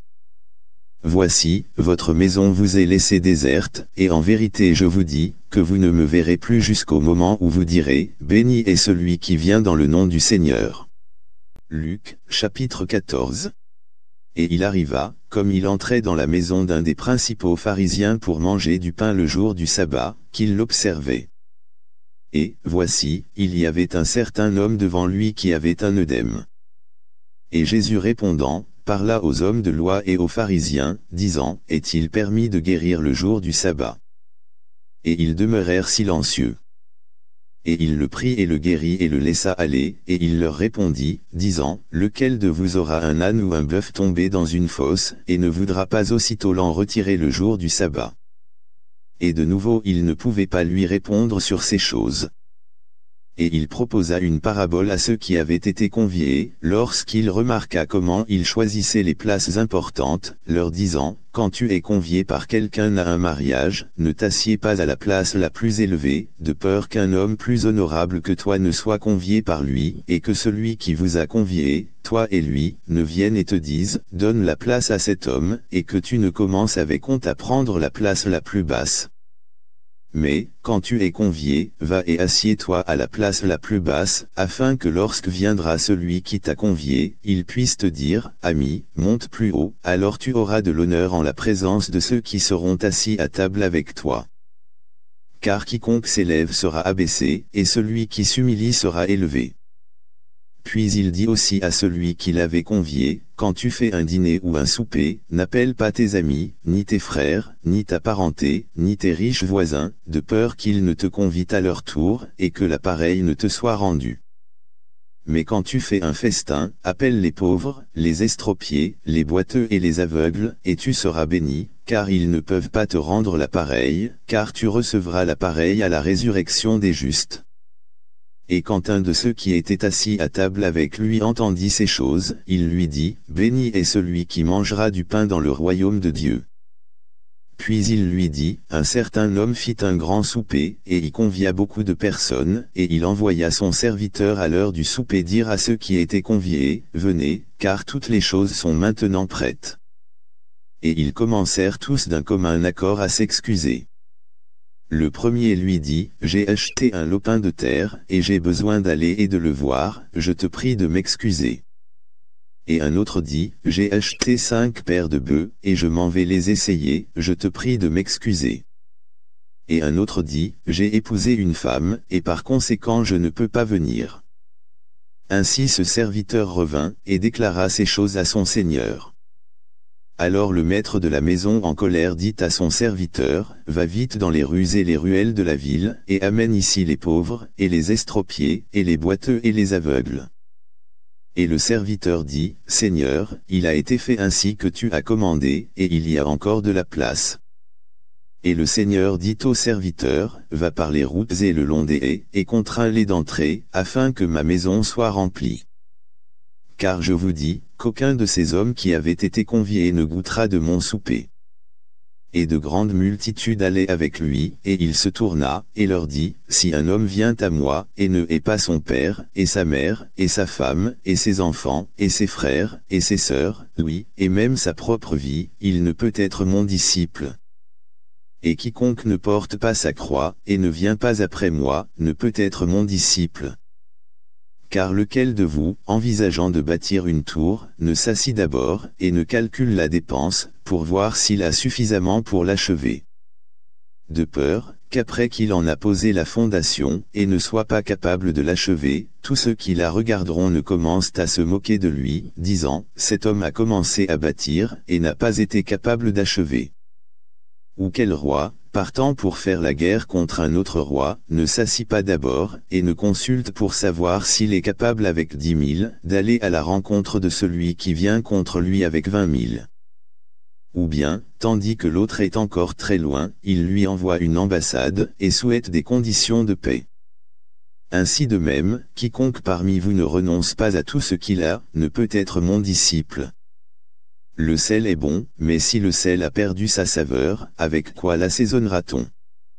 Ce n'est ni bon pour la terre, ni même pour le fumier, mais les hommes le jettent dehors. Celui qui a des oreilles pour entendre, qu'il entende. Luc, chapitre 15. Puis tous les publicains et les pécheurs s'approchèrent de lui pour l'entendre. Et les pharisiens et les scribes murmuraient, disant, Cet homme reçoit les pécheurs, et mange avec eux. Et il leur dit cette parabole, disant, Quel homme parmi vous, ayant cent moutons, s'il en perd un, ne laisse les quatre-vingt-dix-neuf au désert, et ne va après celui qui est perdu, jusqu'à ce qu'il le trouve. Et quand il l'a trouvé, il le met sur ses épaules, se réjouissant. Et quand il arrive à la maison, il réunit ses amis et voisins, leur disant, Réjouissez-vous avec moi, car j'ai trouvé mon mouton qui était perdu. Je vous dis, que de même il y aura de la joie dans le ciel pour un seul pécheur qui se repent, plus que pour 99 personnes justes qui n'ont pas besoin de repentance. Ou quelle femme ayant dix pièces d'argent, si elle en a perdu une, n'allume une bougie, et ne balaye la maison et ne cherche soigneusement jusqu'à ce qu'elle l'ait trouvée. Et quand elle l'a trouvée, elle réunit ses amis et ses voisines, disant, Réjouissez-vous avec moi, car j'ai trouvé la pièce que j'avais perdue. De même, je vous dis, il y a de la joie en la présence des anges de Dieu pour un seul pécheur qui se repent. Et il dit, un certain homme avait deux fils, et le plus jeune des deux dit à son père, Père, donne-moi la part des biens qui me revient. Et il leur partagea son avoir. Et peu de jours après, le plus jeune fils ramassa tout et alla en voyage pour un pays éloigné, et y gaspilla sa substance en vivant par une vie dissolue. Et lorsqu'il eut tout dépensé, il survint une grande famine dans cette terre, et il commença à être dans le besoin. Et il alla, et se joignit à l'un des citoyens de ce pays, et il l'envoya dans ses champs pour nourrir les pourceaux. Et il aurait volontiers rempli son ventre d'écosses que les pourceaux mangeaient, et personne ne lui donnait rien. Et quand il fut revenu à lui-même, il dit, Combien de serviteurs salariés de mon père ont du pain plus qu'il ne leur en faut, et moi, je meurs de faim. Je me lèverai et j'irai vers mon père, et lui dirai, Père, j'ai péché contre le ciel, et devant toi, et je ne suis plus digne d'être appelé ton fils, traite-moi comme l'un de tes serviteurs salariés. Et il se leva et vint à son père. Mais lorsqu'il était encore très loin, son père le vit, et eut compassion, et courut, et se jeta à son cou et l'embrassa. Et le fils lui dit, Père, j'ai péché contre le ciel, et à ta vue, et je ne suis plus digne d'être appelé ton fils. Mais le père dit à ses serviteurs, apportez la plus belle robe, et l'en revêtez, et mettez-lui un anneau à sa main, et des chaussures à ses pieds, et amenez ici le veau gras, et tuez-le, et mangeons et soyons joyeux, car mon fils que voici était mort, et il est de nouveau en vie, il était perdu, et il est retrouvé. Et ils commencèrent à être joyeux. Or son fils aîné était dans le champ, et comme il venait, et approchait de la maison, il entendit de la musique et des danses et il appela un des serviteurs, et demanda ce que ces choses voulaient dire. Et il lui dit, Ton frère est venu, et ton père a tué le veau gras, parce qu'il l'a reçu sain et sauf. Et il se mit en colère et ne voulait pas entrer, par conséquent son père sortit, et l'implora et lui répondant, dit à son père, Voici, depuis ces nombreuses années je te sers, je n'ai à aucun moment transgressé ton commandement, et cependant tu ne m'as jamais donné un chevreau, afin que je puisse me divertir avec mes amis, mais dès que celui-ci, ton fils est venu, lequel a dévoré ton avoir avec des prostituées, tu as tué pour lui le veau gras. Et il lui dit, Fils, tu es toujours avec moi, et tout ce que j'ai est à toi il était bon que nous nous divertissions et que nous soyons contents, car celui-ci, ton frère était mort, et est de nouveau en vie, et était perdu, et est retrouvé. Luc, chapitre 16 Et il disait aussi à ses disciples, il y avait un certain homme riche, qui avait un intendant, et celui-ci fut accusé devant lui d'avoir gaspillé ses biens. Et il l'appela et lui dit, Comment se fait-il que j'entende dire ceci de toi, rends compte de ton intendance, car tu ne peux plus être intendant. Alors l'intendant dit en lui-même, Que ferai-je, car mon Seigneur m'ôte l'intendance, je ne peux pas creuser, j'ai honte de mendier. J'ai résolu ce que je vais faire, afin que, quand je serai renvoyé de l'intendance, ils puissent me recevoir dans leur maison. Ainsi il appela à lui chacun des débiteurs de son seigneur, et dit au premier, Combien dois-tu à mon seigneur? Et il dit, Sans mesure d'huile. Et il lui dit, Prends ton relevé, et assieds-toi vite, et écris cinquante. Puis il dit à un autre, Et toi, combien dois-tu? Et il dit, Sans mesure de blé. Et il lui dit, Prends ton relevé, et écris quatre-vingts. Et le Seigneur loua l'intendant injuste, parce qu'il avait agi avec sagesse, car les enfants de ce monde sont plus sages dans leur génération, que les enfants de lumière. Et je vous dis, faites-vous des amis du mammon de l'injustice, afin que, lorsque vous viendrez à manquer, ils puissent vous recevoir dans les habitations éternelles. Celui qui est fidèle dans ce qui est moindre, est aussi fidèle dans beaucoup, et celui qui est inique dans les moindres est aussi inique dans beaucoup. Si donc vous n'avez pas été fidèle dans le mammon dépravé, qui vous confiera la vraie richesse? Et si vous n'avez pas été fidèle dans ce qui est à un autre, qui vous donnera ce qui est vôtre? Nul serviteur ne peut servir deux maîtres, car ou il haïra l'un et aimera l'autre, ou bien il s'attachera à l'un et méprisera l'autre. Vous ne pouvez servir Dieu et Mammon. Et les pharisiens aussi, qui étaient convoiteux, entendaient toutes ces choses, et ils le bafouaient.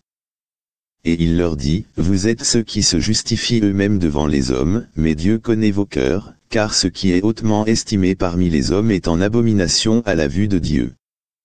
La loi et les prophètes étaient jusqu'à Jean, depuis ce moment-là le royaume de Dieu est prêché, et tout homme s'y presse. Et il est plus facile au ciel et à la terre de passer, qu'à un seul trait de lettre de la loi de faire défaut. Quiconque répudie sa femme et se marie à une autre, commet adultère, et quiconque se marie à celle que son mari a répudiée, commet adultère. Il y avait un certain homme riche, qui était vêtu de pourpre et de fin lin, et qui vivait pompeusement chaque jour, et il y avait un certain mendiant, nommé Lazare, lequel était étendu à sa porte, tout couvert d'ulcères, et désirant se nourrir des miettes qui tombaient de la table de l'homme riche, de plus les chiens venaient lécher ses ulcères. Et il arriva, que le mendiant mourut, et fut porté par les anges dans le sein d'Abraham, l'homme riche mourut aussi, et fut enterré. Et en enfer il lève ses yeux, étant dans les tourments, et voit Abraham au loin, et Lazare dans son sein. Et il s'écria, et dit, Père Abraham, aie miséricorde envers moi, et envoie Lazare, afin qu'il puisse tremper dans l'eau le bout de son doigt, et rafraîchir ma langue, car je suis tourmenté dans cette flamme. Mais Abraham dit, Fils, souviens-toi que pendant ta vie tu as reçu tes bonnes choses, et de même Lazare les mauvaises choses, mais maintenant il est consolé, et toi tu es tourmenté. Et en plus de tout cela, il y a un grand gouffre établi entre nous et vous, de sorte que ceux qui voudraient passer d'ici à vous ne le peuvent, ceux qui voudraient passer de là jusqu'à nous ne le peuvent non plus. Alors il dit, Je te prie donc, Père, que tu l'envoies à la maison de mon Père, car j'ai cinq frères, afin qu'ils puissent leur témoigner, de peur qu'ils ne viennent aussi dans ce lieu de tourment. Abraham lui dit, Ils ont Moïse et les prophètes, qu'ils les entendent. Et il dit, Non, Père Abraham, mais si quelqu'un va des morts vers eux, ils se repentiront. Et il lui dit, S'ils n'entendent pas Moïse et les prophètes, ils ne seront pas non plus persuadés, même si quelqu'un ressuscité d'entre les morts. Luc, chapitre 17 puis il dit aux disciples, Il est impossible que des offenses n'arrivent, mais malheur à celui, par lequel elles arrivent. Il vaudrait mieux pour lui qu'une meule de moulin soit suspendue autour de son cou, et qu'il soit jeté dans la mer, que s'il devait offenser un de ses petits. Prenez garde à vous, si ton frère enfreint contre toi, reprends-le, et s'il se repent, pardonne-lui. Et s'il enfreint contre toi sept fois en un jour, et que sept fois en un jour il retourne à toi, disant, Je me repens, tu lui pardonneras. Et les apôtres dirent au Seigneur, Augmente notre foi. Et le Seigneur dit, Si vous aviez de la foi comme un grain de semence de moutarde, vous pourriez dire à ce sycomore, Sois déraciné, et sois planté dans la mer, et il vous obéirait. Mais lequel d'entre vous, ayant un serviteur labourant ou nourrissant le bétail, lui dira sans tarder, lorsqu'il revient des champs, va et assieds-toi à table Ne lui dira-t-il pas plutôt, prépare-moi de quoi je puisse souper et ceins-toi, et sers-moi, jusqu'à ce que j'ai mangé et bu, et ensuite tu mangeras et boiras. Remerciera-t-il ce serviteur parce qu'il aura fait les choses qui lui avaient été commandées? Je ne crois pas. Ainsi vous de même, quand vous aurez fait toutes ces choses qui vous sont commandées, dites, nous sommes des serviteurs improductifs, nous avons fait ce qu'il était notre devoir de faire. Et il arriva, comme il allait à Jérusalem, qu'il passa par le milieu de la Samarie et de la Galilée. Et comme il entrait dans un certain village, là dix hommes qui étaient lépreux le rencontrèrent, lesquels se tenaient éloignés, et ils élevèrent leur voix et dirent, Jésus, Maître, aie miséricorde envers nous. Et quand il les vit, il leur dit, Allez vous montrer au prêtre? Et il arriva, comme il s'en allait, qu'ils furent rendus nets. Et l'un d'eux, quand il vit qu'il était guéri, revint et d'une voix retentissante glorifia Dieu, et tomba à terre sur son visage à ses pieds, le remerciant, et il était samaritain. Et Jésus répondant, dit, N'était-il pas dix rendus nets? Mais où sont les neuf autres? Il ne s'en est pas trouvé qui soit revenu donner gloire à Dieu, sauf cet étranger. Et il lui dit, Lève-toi, va, ta foi t'a rendu bien portant. Et quand les pharisiens lui demandèrent, quand le royaume de Dieu viendrait, il leur répondit et dit, Le royaume de Dieu ne vient pas, de manière à être observé, ils ne diront pas non plus, Voici ici, ou voici là, car, voici, le royaume de Dieu est au-dedans de vous. Et il dit aux disciples, Les jours viendront, lorsque vous désirerez voir un des jours du Fils de l'homme, et vous ne le verrez pas. Et ils vous diront, Regardez ici, ou, Regardez là, n'allez pas après eux, et ne les suivez pas. Car tel l'éclair, qui éclaire d'une partie sous le ciel, brille jusqu'à l'autre partie sous le ciel, ainsi sera aussi le Fils de l'homme en son jour. Mais d'abord il faut qu'il souffre beaucoup de choses, et soit rejeté de cette génération. Et comme il en était au jour de Noé, ainsi en sera-t-il aussi au jour du Fils de l'homme. Ils mangeaient, ils buvaient, ils prenaient femme, ils étaient donnés en mariage, jusqu'au jour où Noé entra dans l'arche, et le déluge vint et les tua tous. De même aussi comme ce fut au jour de Lot, ils mangeaient, ils buvaient, ils achetaient, ils vendaient, ils plantaient, ils bâtissaient, mais le jour même où Lot sortit de Sodome, il plut feu et souffre du ciel, et cela les tua tous. Il en sera de même au jour où le Fils de l'homme sera révélé. En ce jour-là, celui qui sera sur le toit, et aura ses affaires dans la maison, qu'il ne descende pas pour les emporter, et de même que celui qui est dans le champ ne retourne pas. Souvenez-vous de la femme de Lot. Quiconque cherchera à sauver sa vie la perdra, et quiconque perdra sa vie la préservera. Je vous dis qu'en cette nuit-là il y aura deux hommes dans un lit, l'un sera pris et l'autre sera laissé. Deux femmes moudront ensemble, l'une sera prise, et l'autre laissée.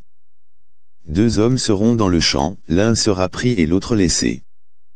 Et ils répondirent et lui dirent, Où, Seigneur? Et il leur dit, En quelque lieu où le corps est, là s'assembleront les aigles. Luc, chapitre 18 et il leur dit une parabole en conclusion, que les hommes doivent toujours prier, et ne pas défaillir, disant, il y avait dans une ville un juge, qui ne craignait pas Dieu, qui n'avait non plus d'égard pour personne, et il y avait dans cette ville une veuve, et elle vint vers lui, disant, Venge-moi de mon adversaire. Et il ne le voulut pas pendant un certain temps, mais plus tard il dit en lui-même, Bien que je ne craigne pas Dieu, et n'ai d'égard pour personne, cependant, parce que cette veuve me dérange, je la vengerai, de peur que par ses visites continuelles elle ne me lasse. Et le Seigneur dit, Entendez ce que le juge injuste dit. Et Dieu ne vengera-t-il pas ses propres élus qui crient vers lui jour et nuit, bien qu'il les supporte longuement? Je vous dis qu'il les vengera rapidement. Néanmoins lorsque le Fils de l'homme viendra, trouvera-t-il la foi sur la terre? Et il dit cette parabole à certains qui se confiaient en eux-mêmes qu'ils étaient droits, et qui méprisaient les autres, deux hommes montèrent au temple pour prier, l'un pharisien et l'autre publicain. Le pharisien se tenait debout et priait ainsi en lui-même, Dieu, je te remercie, de ce que je ne suis pas comme d'autres hommes sont, extorqueurs, injustes, adultères, ou même comme ce publicain.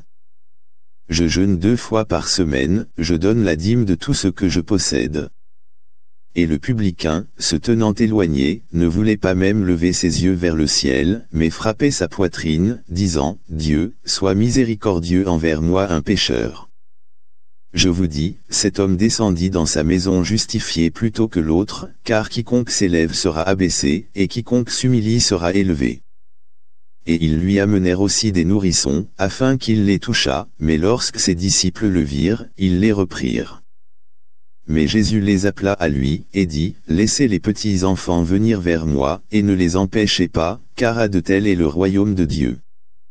En vérité je vous dis, quiconque ne recevra pas le royaume de Dieu comme un petit enfant n'y entrera en aucun cas. Et un certain dirigeant lui demanda, disant, Bon maître, que ferai-je pour hériter la vie éternelle?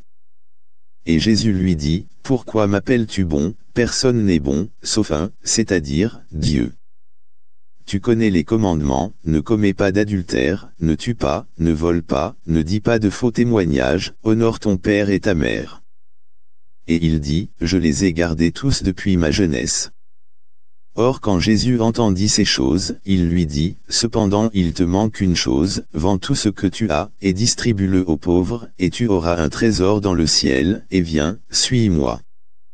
Et quand il entendit cela, il fut très attristé, car il était très riche. Et quand Jésus vit qu'il était très attristé, il dit, Combien difficilement ceux qui ont de la richesse entreront-ils dans le royaume de Dieu, car il est plus facile à un chameau de passer au travers du trou d'une aiguille, que pour un homme riche d'entrer dans le royaume de Dieu. Et ceux qui l'entendaient dire, Qui donc peut être sauvé? Et il dit, Les choses qui sont impossibles aux hommes sont possibles à Dieu. Alors Pierre dit, Voici, nous avons tout quitté, et t'avons suivi. Et il leur dit, En vérité je vous dis, il n'y a aucun homme qui ait laissé maison, ou parents, ou frères, ou femmes, ou enfants, à cause du royaume de Dieu, qui ne recevra multiples fois plus en ce moment présent, et dans le monde à venir, la vie immortelle. Puis il prit auprès de lui les douze, et leur dit, Voici, nous montons à Jérusalem, et toutes les choses qui sont écrites par les prophètes concernant le Fils de l'homme, arriveront car il sera livré aux gentils, et sera moqué, et traité malignement, et l'on crachera sur lui, et ils le fouetteront, et le mettront à mort, et le troisième jour il ressuscitera. Et ils ne comprirent aucune de ces choses, et ce propos leur était caché, ils ne connaissaient pas non plus les choses qui étaient dites. Et il arriva, comme il s'était approché de Jéricho, qu'un certain aveugle assis au bord du chemin, mendiait, et entendant la multitude qui passait, il demanda ce que cela signifiait. Et ils lui dirent que Jésus de Nazareth passait. Et il cria, disant, Jésus, toi fils de David, aie miséricorde envers moi. Et ceux qui allaient devant le réprimandèrent afin qu'il se taise, mais il criait encore plus fort, Toi, fils de David, aie miséricorde envers moi. Et Jésus s'arrêta, et commanda qu'on le lui amène, et quand il fut venu près de lui, il lui demanda, disant, Que veux-tu que je te fasse? Et il dit, Seigneur, que je puisse recevoir ma vue. Et Jésus lui dit, Reçois ta vue, ta foi t'a sauvé. Et immédiatement il reçut sa vue, et le suivit, glorifiant Dieu, et tout le peuple quand il vit cela, loua Dieu. Luc, chapitre 19 et Jésus entra et traversa Jéricho. Et, voici, il y avait un homme appelé Zachée, lequel était le chef parmi les publicains, et il était riche. Et il cherchait à voir lequel était Jésus, et ne le pouvait à cause de la foule, parce qu'il était petit de stature. Et il courut devant, et monta sur un sycomore pour le voir, car il devait passer par ce chemin. Et quand Jésus arriva à l'endroit, il regarda en haut, et le vit, et lui dit, Zachée, hâte-toi et descends, car aujourd'hui je dois demeurer dans ta maison. Et il se hâta, et descendit et le reçut joyeusement. Et lorsqu'ils virent cela, tous murmurèrent, disant qu'il était parti pour être l'invité d'un homme qui est pécheur. Et Zachée se tint debout, et dit au Seigneur, Voici, Seigneur, je donne la moitié de mes biens aux pauvres, et si j'ai pris quelque chose à un homme quelconque par une fausse accusation, je lui rends le quadruple. Et Jésus lui dit, Le salut est venu aujourd'hui dans cette maison, d'autant qu'il est aussi un fils d'Abraham. Car le Fils de l'homme est venu chercher et sauver ce qui était perdu. Et comme ils entendaient ces choses, il ajouta, et dit une parabole, parce qu'il était près de Jérusalem, et parce qu'il pensait que le royaume de Dieu devait immédiatement paraître. Il dit donc, un certain homme noble s'en alla dans un pays lointain pour recevoir un royaume, et revenir. Et il appela ses dix serviteurs, et leur donna dix livres, et leur dit, Commercez jusqu'à ce que je revienne. Mais ses citoyens le haïssaient et envoyèrent un message après lui, disant, Nous n'aurons pas cet homme régner sur nous. Et il arriva, lorsqu'il fut de retour, ayant reçu le royaume, qu'il commanda que soient alors appelés auprès de lui ses serviteurs auxquels il avait donné l'argent, afin qu'ils puissent savoir combien chaque homme avait gagné par son commerce. Puis vint le premier, disant, Seigneur, ta livre a rapporté dix livres. Et il lui dit, C'est bien, toi bon serviteur, parce que tu as été fidèle en très peu, et autorité sur dix villes. Et le second vint, disant, Seigneur, ta livre a rapporté cinq livres.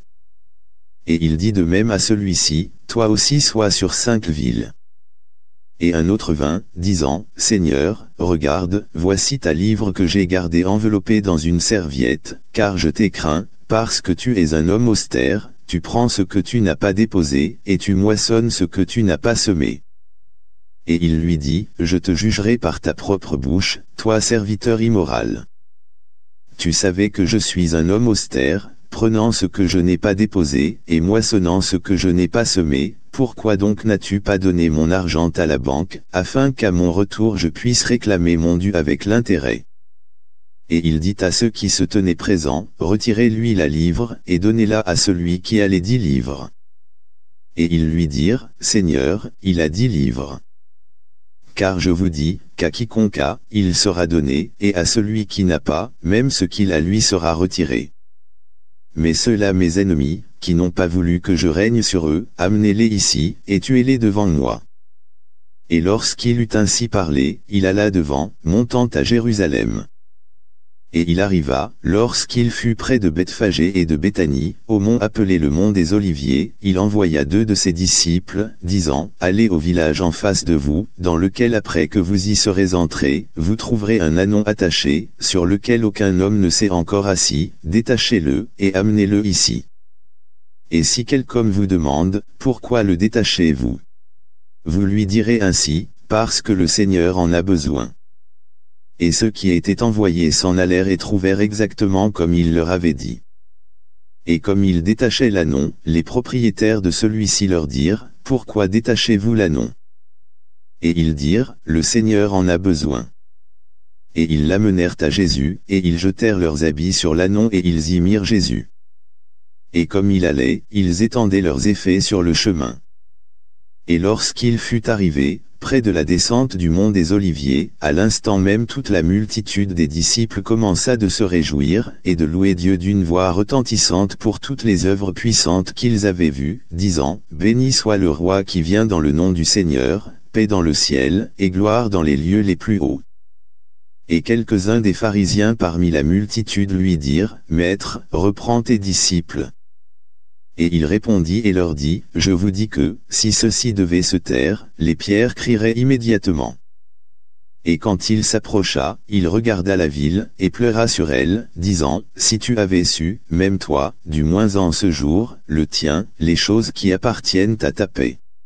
Mais maintenant elles sont cachées à tes yeux car les jours viendront sur toi, où tes ennemis t'entoureront d'une tranchée, et t'encercleront et t'enserreront de tous côtés, et ils t'abattront à même le sol, et tes enfants au milieu de toi, et ils ne laisseront pas en toi pierre sur pierre, parce que tu n'as pas connu l'heure de ta visitation. Et il entra dans le temple et commença à chasser ceux qui y vendaient et y achetaient, leur disant, Il est écrit, Ma maison est la maison de prière, mais vous en avez fait une caverne de voleurs et il enseignait tous les jours dans le temple. Mais les principaux prêtres et les scribes, et les chefs du peuple cherchaient à le tuer, et ne pouvaient trouver ce qu'ils pourraient faire, car tout le peuple était très attentif à l'écouter. Luc, chapitre 20 et il arriva que l'un de ces jours-là, comme il enseignait le peuple dans le temple, et prêchait l'évangile, les principaux prêtres et les scribes tombèrent sur lui avec les anciens, et lui parlèrent, disant, Dis-nous par quelle autorité fais-tu ces choses, ou qui est celui qui t'a donné cette autorité? Et il répondit et leur dit, Je vous demanderai aussi une chose, et répondez-moi, le baptême de Jean, était-il du ciel, ou des hommes? Et ils raisonnaient entre eux, disant, Si nous disons, du ciel, il dira, Pourquoi alors ne l'avez-vous pas cru? Mais et si nous disons, des hommes, tout le peuple nous lapidera, car ils sont persuadés que Jean était un prophète. Et ils répondirent qu'ils ne pouvaient dire d'où il était.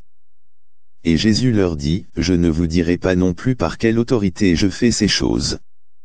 Alors il commença à dire au peuple cette parabole, un certain homme planta un vignoble, et le loua à des viticulteurs, et alla dans un pays lointain pendant longtemps. Et à la saison, il envoya un serviteur vers les viticulteurs, afin qu'il lui donne du fruit du vignoble, mais les viticulteurs le battirent et le renvoyèrent à vide. Et de nouveau il envoya un autre serviteur, et ils le battirent aussi, et le traitèrent honteusement et le renvoyèrent à vide. Et de nouveau il envoya un troisième, et ils le blessèrent aussi, et le jetèrent dehors. Alors le seigneur du vignoble dit, Que ferai-je? J'enverrai mon fils bien-aimé, peut-être qu'ils le révéreront quand ils le verront. Mais quand les viticulteurs le virent, ils raisonnèrent entre eux, disant, Celui-ci est l'héritier, venez, tuons-le, afin que l'héritage puisse être à nous. Ainsi ils le jetèrent hors du vignoble, et le tuèrent que leur fera donc le Seigneur du vignoble Il viendra et tuera ses viticulteurs, et donnera le vignoble à d'autres. Et quand ils entendirent cela, ils dirent, Dieu nous en garde. Et il les regarda, et dit, Qu'est-ce donc ce qui est écrit, la pierre que les bâtisseurs ont rejetée, celle-là même est devenue la principale du coin.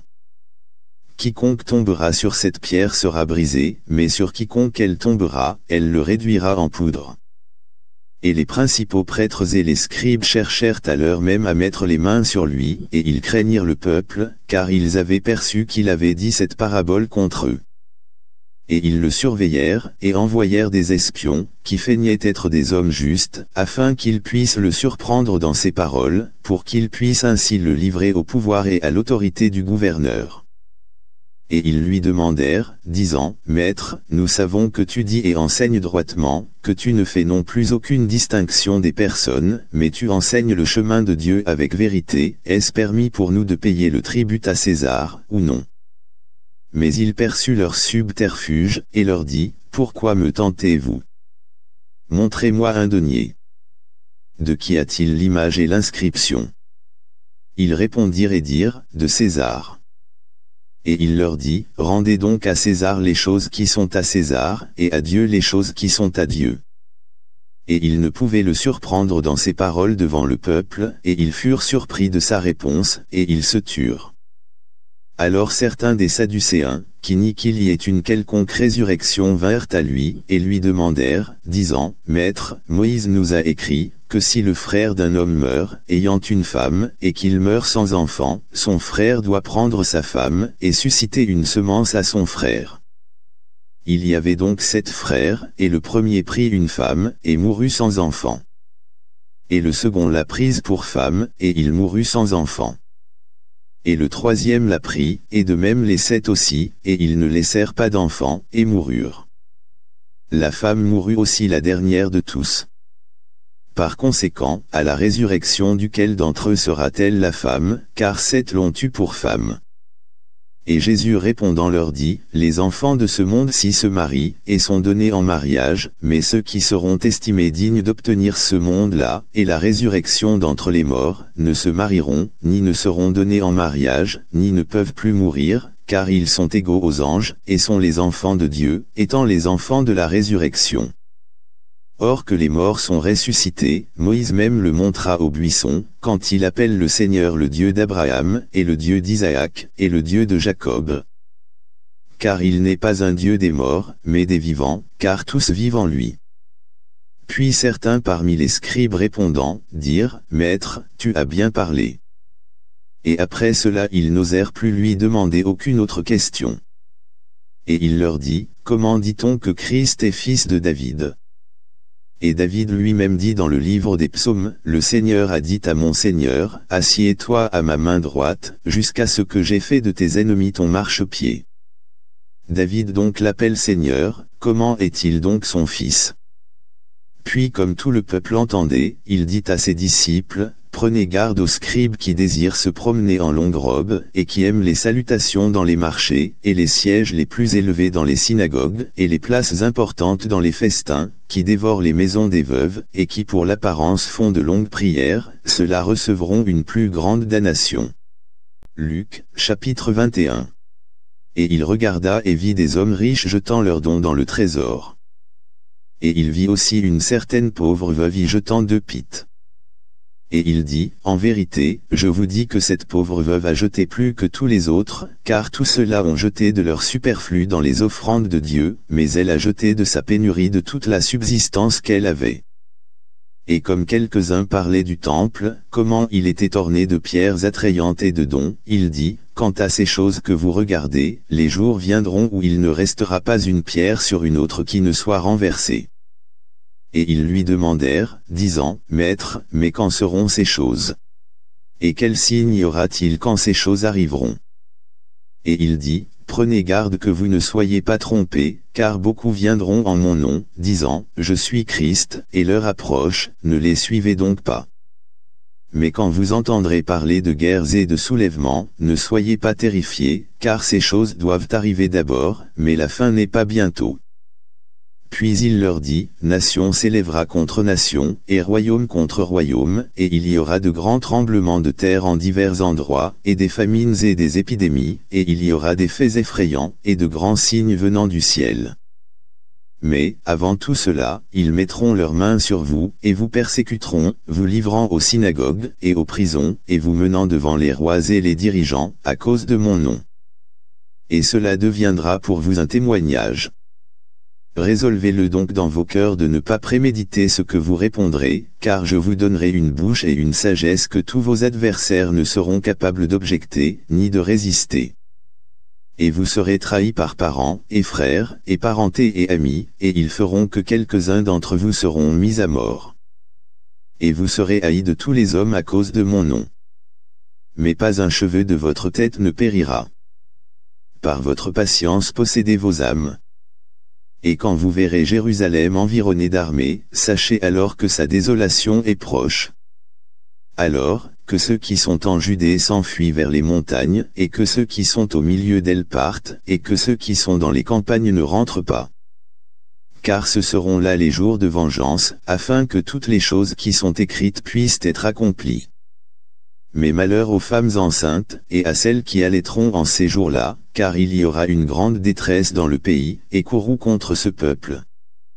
Et ils tomberont sous le tranchant de l'épée, et seront menés captifs dans toutes les nations, et Jérusalem sera piétinée par les gentils, jusqu'à ce que les temps des gentils soient révolus et il y aura des signes dans le soleil, et dans la lune, et dans les étoiles, et sur la terre, détresse des nations, ainsi que perplexité, la mer et les vagues rugissantes, les cœurs des hommes défailliront de peur, et de l'attente des choses qui surviendront sur la terre, car les pouvoirs du ciel seront ébranlés. Et alors ils verront le Fils de l'homme venant dans un nuage, avec pouvoir et grande gloire. Et quand ces choses commenceront à arriver, alors regardez en haut, et levez vos têtes, car votre rédemption approche. Et il leur dit une parabole, regardez le figuier et tous les arbres, quand déjà ils bourgeonnent, vous voyez et savez de vous-même, que l'été est à portée de la main. Vous aussi de même, lorsque vous verrez ces choses arriver, sachez que le royaume de Dieu est à portée de la main. En vérité je vous dis que cette génération ne passera pas, jusqu'à ce que tout ne soit accompli. Le ciel et la terre passeront, mais mes paroles ne passeront pas. Et prenez garde à vous-même, de peur qu'à tout moment vos cœurs ne soient alourdis par l'excès, et l'ivrognerie et les soucis de cette vie, et qu'ainsi ce jour-là ne vous arrive à l'improviste. Car il viendra comme un piège sur tous ceux qui demeurent sur la face de la terre entière. Veillez donc, et priez sans cesse, afin que vous soyez estimés dignes d'échapper à toutes ces choses qui arriveront, et de vous tenir debout devant le Fils de l'homme. Et pendant le jour il enseignait dans le temple, et la nuit, il sortait et demeurait sur le mont qui est appelé le mont des Oliviers. Et tôt le matin, tout le peuple venait à lui dans le temple pour l'entendre. Luc, chapitre 22 Or la fête des pains sans levain approchait, laquelle est appelée la Pâque et les principaux prêtres et les scribes cherchaient comment ils pourraient le tuer, car ils craignaient le peuple. Alors Satan entra dans Judas, surnommé Iscariote, qui était du nombre des douze. Et il s'en alla, et s'entretint avec les principaux prêtres et les capitaines, comment ils pourraient le trahir.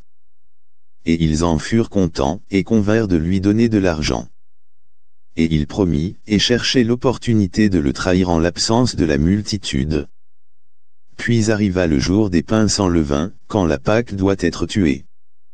Et il envoya Pierre et Jean, disant, Allez et préparez-nous la Pâque, afin que nous puissions manger. Et ils lui dirent, Où veux-tu que nous la préparions? Et il leur dit, Voici lorsque vous serez entrés dans la ville, il viendra un homme à votre rencontre, portant une cruche d'eau, suivez-le dans la maison où il entrera. Et vous direz au maître de la maison, le maître te dit, où est la salle d'invité où je mangerai la Pâque avec mes disciples? Et il vous montrera une grande pièce garnie en haut, là, faites les préparatifs. Et ils allèrent, et trouvèrent comme il leur avait dit, et ils préparèrent la Pâque. Et quand l'heure fut venue, il s'assit à table, et les douze apôtres avec lui. Et il leur dit, Avec désir j'ai désiré de manger cette Pâque avec vous, avant que je souffre, car je vous dis que je ne la mangerai plus, jusqu'à ce qu'elle soit accomplie dans le royaume de Dieu. Et il prit la coupe, et remercia et dit, Prenez ceci, et partagez-la entre vous, car je vous dis, que je ne boirai pas du fruit de la vigne, jusqu'à ce que le royaume de Dieu soit venu. Et il prit du pain, et remercia, et le rompit, et le leur donna, disant, Ceci est mon corps qui est donné pour vous, faites ceci en mémoire de moi. De même aussi la coupe après le souper, disant, Cette coupe est le Nouveau Testament en mon sang, lequel est versé pour vous. Mais voici, la main de celui qui me trahit est avec moi sur la table. Et selon la vérité le Fils de l'homme s'en va, comme il a été déterminé, mais malheur à cet homme par qui il est trahi. Et ils commencèrent à s'enquérir les uns aux autres lequel parmi eux était celui qui ferait cette chose. Et il y eut aussi une querelle parmi eux, lequel d'entre eux serait estimé le plus grand. Et il leur dit, les rois des gentils exercent la seigneurie sur eux, et ceux qui exercent leur autorité sur eux sont appelés bienfaiteurs. Mais vous ne serez pas ainsi, mais celui qui est le plus grand parmi vous, qu'il soit comme le plus jeune, et celui qui est chef, comme celui qui sert. Car qui est le plus grand, celui qui est assis à table, ou celui qui sert N'est-ce pas celui qui est assis à table? Mais je suis parmi vous comme celui qui sert. Vous êtes ceux qui avez continué avec moi dans mes tentations. Et je vous assigne un royaume, comme mon Père m'en a assigné un, afin que vous puissiez manger et boire à ma table dans mon royaume, et être assis sur des trônes, jugeant les douze tribus d'Israël. Et le Seigneur dit, Simon, Simon, voici, Satan a désiré vous avoir, afin qu'il puisse vous passer au crible comme le blé, mais j'ai prié pour toi, afin que ta foi ne défaille pas, et quand tu seras converti, fortifie tes frères. Et il lui dit, Seigneur, je suis prêt à aller avec toi, et en prison et à la mort. Et il dit, Pierre, je te dis, le coq ne chantera pas aujourd'hui, avant que tu n'aies nié trois fois que tu me connais. Et il leur dit, Lorsque je vous ai envoyé sans bourse, et sans sac, et sans chaussures, avez-vous manqué de quelque chose? Et ils dirent, De rien. Alors il leur dit, Mais maintenant que celui qui a une bourse, qu'il la prenne, et de même son sac, et que celui qui n'a pas d'épée, vende son vêtement, et en achète une. Car je vous dis, que ce qui est écrit doit encore être accompli en moi, et il a été compté parmi les transgresseurs, car les choses me concernant ont une fin. Et ils dirent, Seigneur, voici il y a ici deux épées. Et il leur dit, C'est assez.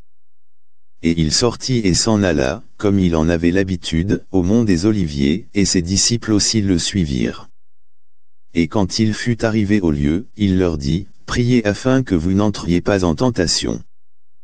Et il s'éloigna d'eux d'environ un jet de pierre, et s'agenouilla et pria, disant, Père, si tu le veux, retire cette coupe de moi, néanmoins non pas ma volonté, mais que la tienne soit faite. Et un ange lui apparut du ciel, le fortifiant. Et étant en agonie, il priait plus intensément, et sa sueur était comme de grosses gouttes de sang coulant sur le sol. Et quand il se releva de sa prière, et fut venu à ses disciples, il les trouva endormis de tristesse, et il leur dit, pourquoi dormez-vous, levez-vous et priez, de peur que vous n'entriez en tentation. Et tandis qu'il parlait encore, voici une multitude, et celui qui s'appelait Judas, l'un des douze, vint devant eux, et s'approcha de Jésus pour l'embrasser. Mais Jésus lui dit, Judas, trahis-tu le Fils de l'homme par un baiser? Quand ceux qui étaient autour de lui virent ce qui allait suivre, ils lui dirent, Seigneur, frapperons-nous de l'épée et l'un d'eux frappa le serviteur du grand prêtre et lui coupa l'oreille droite. Et Jésus répondit et dit, Laissez faire jusqu'ici. Et il toucha son oreille, et le guérit. Puis Jésus dit aux principaux prêtres, et aux capitaines du temple, et aux anciens, qui étaient venus à lui, Êtes-vous sortis, comme après un voleur, avec des épées et des bâtons? Lorsque j'étais tous les jours dans le temple avec vous, vous n'avez pas étendu les mains contre moi, mais c'est votre heure et le pouvoir de l'obscurité. Alors ils le prirent, et le conduisirent et l'emmenèrent dans la maison du grand prêtre. Et Pierre suivait de loin. Et quand ils eurent allumé un feu au milieu de la salle et qu'ils se furent assis ensemble, Pierre s'assit parmi eux. Mais une certaine servante le vit comme il était assis auprès du feu, et le regarda intensément, et dit, Cet homme était aussi avec lui. Et il le nia, disant, Femme, je ne le connais pas. Et après un petit moment, un autre le vit et dit, Tu es aussi de ceux-là. Et Pierre dit, Homme, je n'en suis pas. Et environ une heure après, un autre affirmait avec assurance, disant, En vérité, cet individu était aussi avec lui, car il est galiléen. Et Pierre dit, Homme, je ne sais ce que tu dis. Et immédiatement, tandis qu'il parlait encore, le coq chanta. Et le Seigneur se retourna et regarda Pierre. Et Pierre se souvint de la parole du Seigneur, comment il lui avait dit, avant que le coq ait chanté, Tu me renieras trois fois. Et Pierre sortit, et pleura amèrement. Et les hommes qui tenaient Jésus, se moquaient de lui et le frappaient. Et lorsqu'ils lui eurent bandé les yeux, ils le frappèrent au visage et lui demandaient, disant, Prophétise, qui est celui qui t'a frappé? Et ils disaient beaucoup d'autres choses blasphématoires contre lui. Et dès que le jour fut venu, les anciens du peuple, et les principaux prêtres et les scribes s'assemblèrent et le menèrent devant leur conseil, disant, Es-tu le Christ, dis-le-nous. Et il leur dit, Si je vous le dis, vous ne le croirez pas, et si je vous interroge aussi, vous ne me répondrez pas, ni ne me laisserez aller. Désormais le Fils de l'homme s'assiera à la main droite du pouvoir de Dieu. Alors ils dirent tous, Es-tu alors le Fils de Dieu? Et il leur dit, Vous dites que je le suis. Et ils dirent, Qu'avons-nous besoin de plus de témoignages, car nous-mêmes l'avons entendu de sa propre bouche. Luc, chapitre 23. Et toute leur multitude se leva et le conduisit vers Pilate. Et ils commencèrent à l'accuser, disant, Nous avons trouvé cet individu pervertissant la nation et défendant de donner le tribut à César, disant que lui-même est Christ, un roi. Et Pilate lui demanda, disant, Es-tu le roi des Juifs? Et il lui répondit et dit, Tu le dis. Alors Pilate dit aux principaux prêtres et au peuple, Je ne trouve aucune faute en cet homme. Et ils étaient encore plus violents, disant, Il incite le peuple, enseignant dans toute la juiverie, en commençant depuis la Galilée jusqu'ici. Quand Pilate entendit parler de la Galilée, il demanda si l'homme était un Galiléen et dès qu'il apprit qu'il appartenait à la juridiction d'Hérode, il l'envoya à Hérode, qui était, lui-même aussi à Jérusalem à ce moment-là. Et quand Hérode vit Jésus, il fut extrêmement content, car il désirait le voir depuis longtemps, parce qu'il avait entendu dire beaucoup de choses de lui, et il espérait le voir faire quelques miracles. Puis il l'interrogea avec beaucoup de paroles, mais il ne lui répondit rien et les principaux prêtres et les scribes se tenaient là et l'accusaient avec véhémence. Et Hérode, avec ses hommes de guerre en fit peu de cas, et se moqua de lui, et le para d'une robe splendide, et l'envoya de nouveau à Pilate. Et ce même jour, Pilate et Hérode devinrent amis, car auparavant ils étaient en inimitié entre eux. Et Pilate lorsqu'il eut convoqué ensemble les principaux prêtres et les dirigeants, et le peuple, il leur dit, Vous m'avez amené cet homme comme quelqu'un qui pervertissait le peuple, et, voici, moi, l'ayant examiné devant vous, je n'ai trouvé en cet homme aucune faute concernant ces choses dont vous l'accusez, non, ni même Hérode, car je vous ai envoyé à lui, et, voici, rien ne lui a été fait qui soit digne de mort. Je le châtirai donc, et le relâcherai car il était nécessaire qu'il leur relâche quelqu'un à la fête. Et ils s'écrièrent tous à la fois, disant, Débarrasse-nous de cet homme, et relâche-nous Barabbas, qui avait été jeté en prison pour une certaine sédition faite dans la ville, et pour meurtre. Pilate donc voulant relâcher Jésus, leur parla de nouveau. Mais ils s'écriaient, disant, Crucifie-le, crucifie-le. Et il leur dit pour la troisième fois, Pourquoi, quel mal a-t-il fait? Je n'ai trouvé en lui aucune cause qui soit digne de mort, je le châtirai donc et le laisserai aller. Et ils insistaient d'une voix retentissante, réclamant qu'il soit crucifié. Et leur voix et celle des principaux prêtres prévalurent. Et Pilate prononça la sentence qu'il soit fait comme il réclamait. Et il leur relâcha celui qui avait été jeté en prison pour sédition et pour meurtre, celui qu'il désirait, mais il livra Jésus à leur volonté et comme ils l'emmenaient, ils saisirent un certain Simon, un Cyrénéen, qui revenait de la campagne, et le chargèrent de la croix, afin qu'ils puissent la porter après Jésus. Et une grande compagnie du peuple, et des femmes le suivaient, qui aussi pleuraient et se lamentaient sur lui. Mais Jésus, se tournant vers elle, dit, Fille de Jérusalem, ne pleurez pas pour moi, mais pleurez pour vous-mêmes et pour vos enfants. Car voici, les jours viennent où ils diront, Bénis sont les stériles, et les utérus qui n'ont jamais enfanté, et les mamelles qui n'ont jamais allaité. Alors ils se mettront à dire aux montagnes, Tombez sur nous, et aux collines, couvrez-nous. Car s'ils font ces choses à un arbre vert, que sera-t-il fait à l'arbre sec? Et il y avait aussi deux autres malfaiteurs, menés avec lui pour être mis à mort. Et quand ils furent arrivés au lieu qui est appelé Calvaire, là, ils le crucifièrent, ainsi que les malfaiteurs, l'un à main droite, et l'autre à gauche. Puis Jésus dit, Père, pardonne-leur, car ils ne savent pas ce qu'ils font. Et ils partagèrent son habillement et le tirèrent au sort.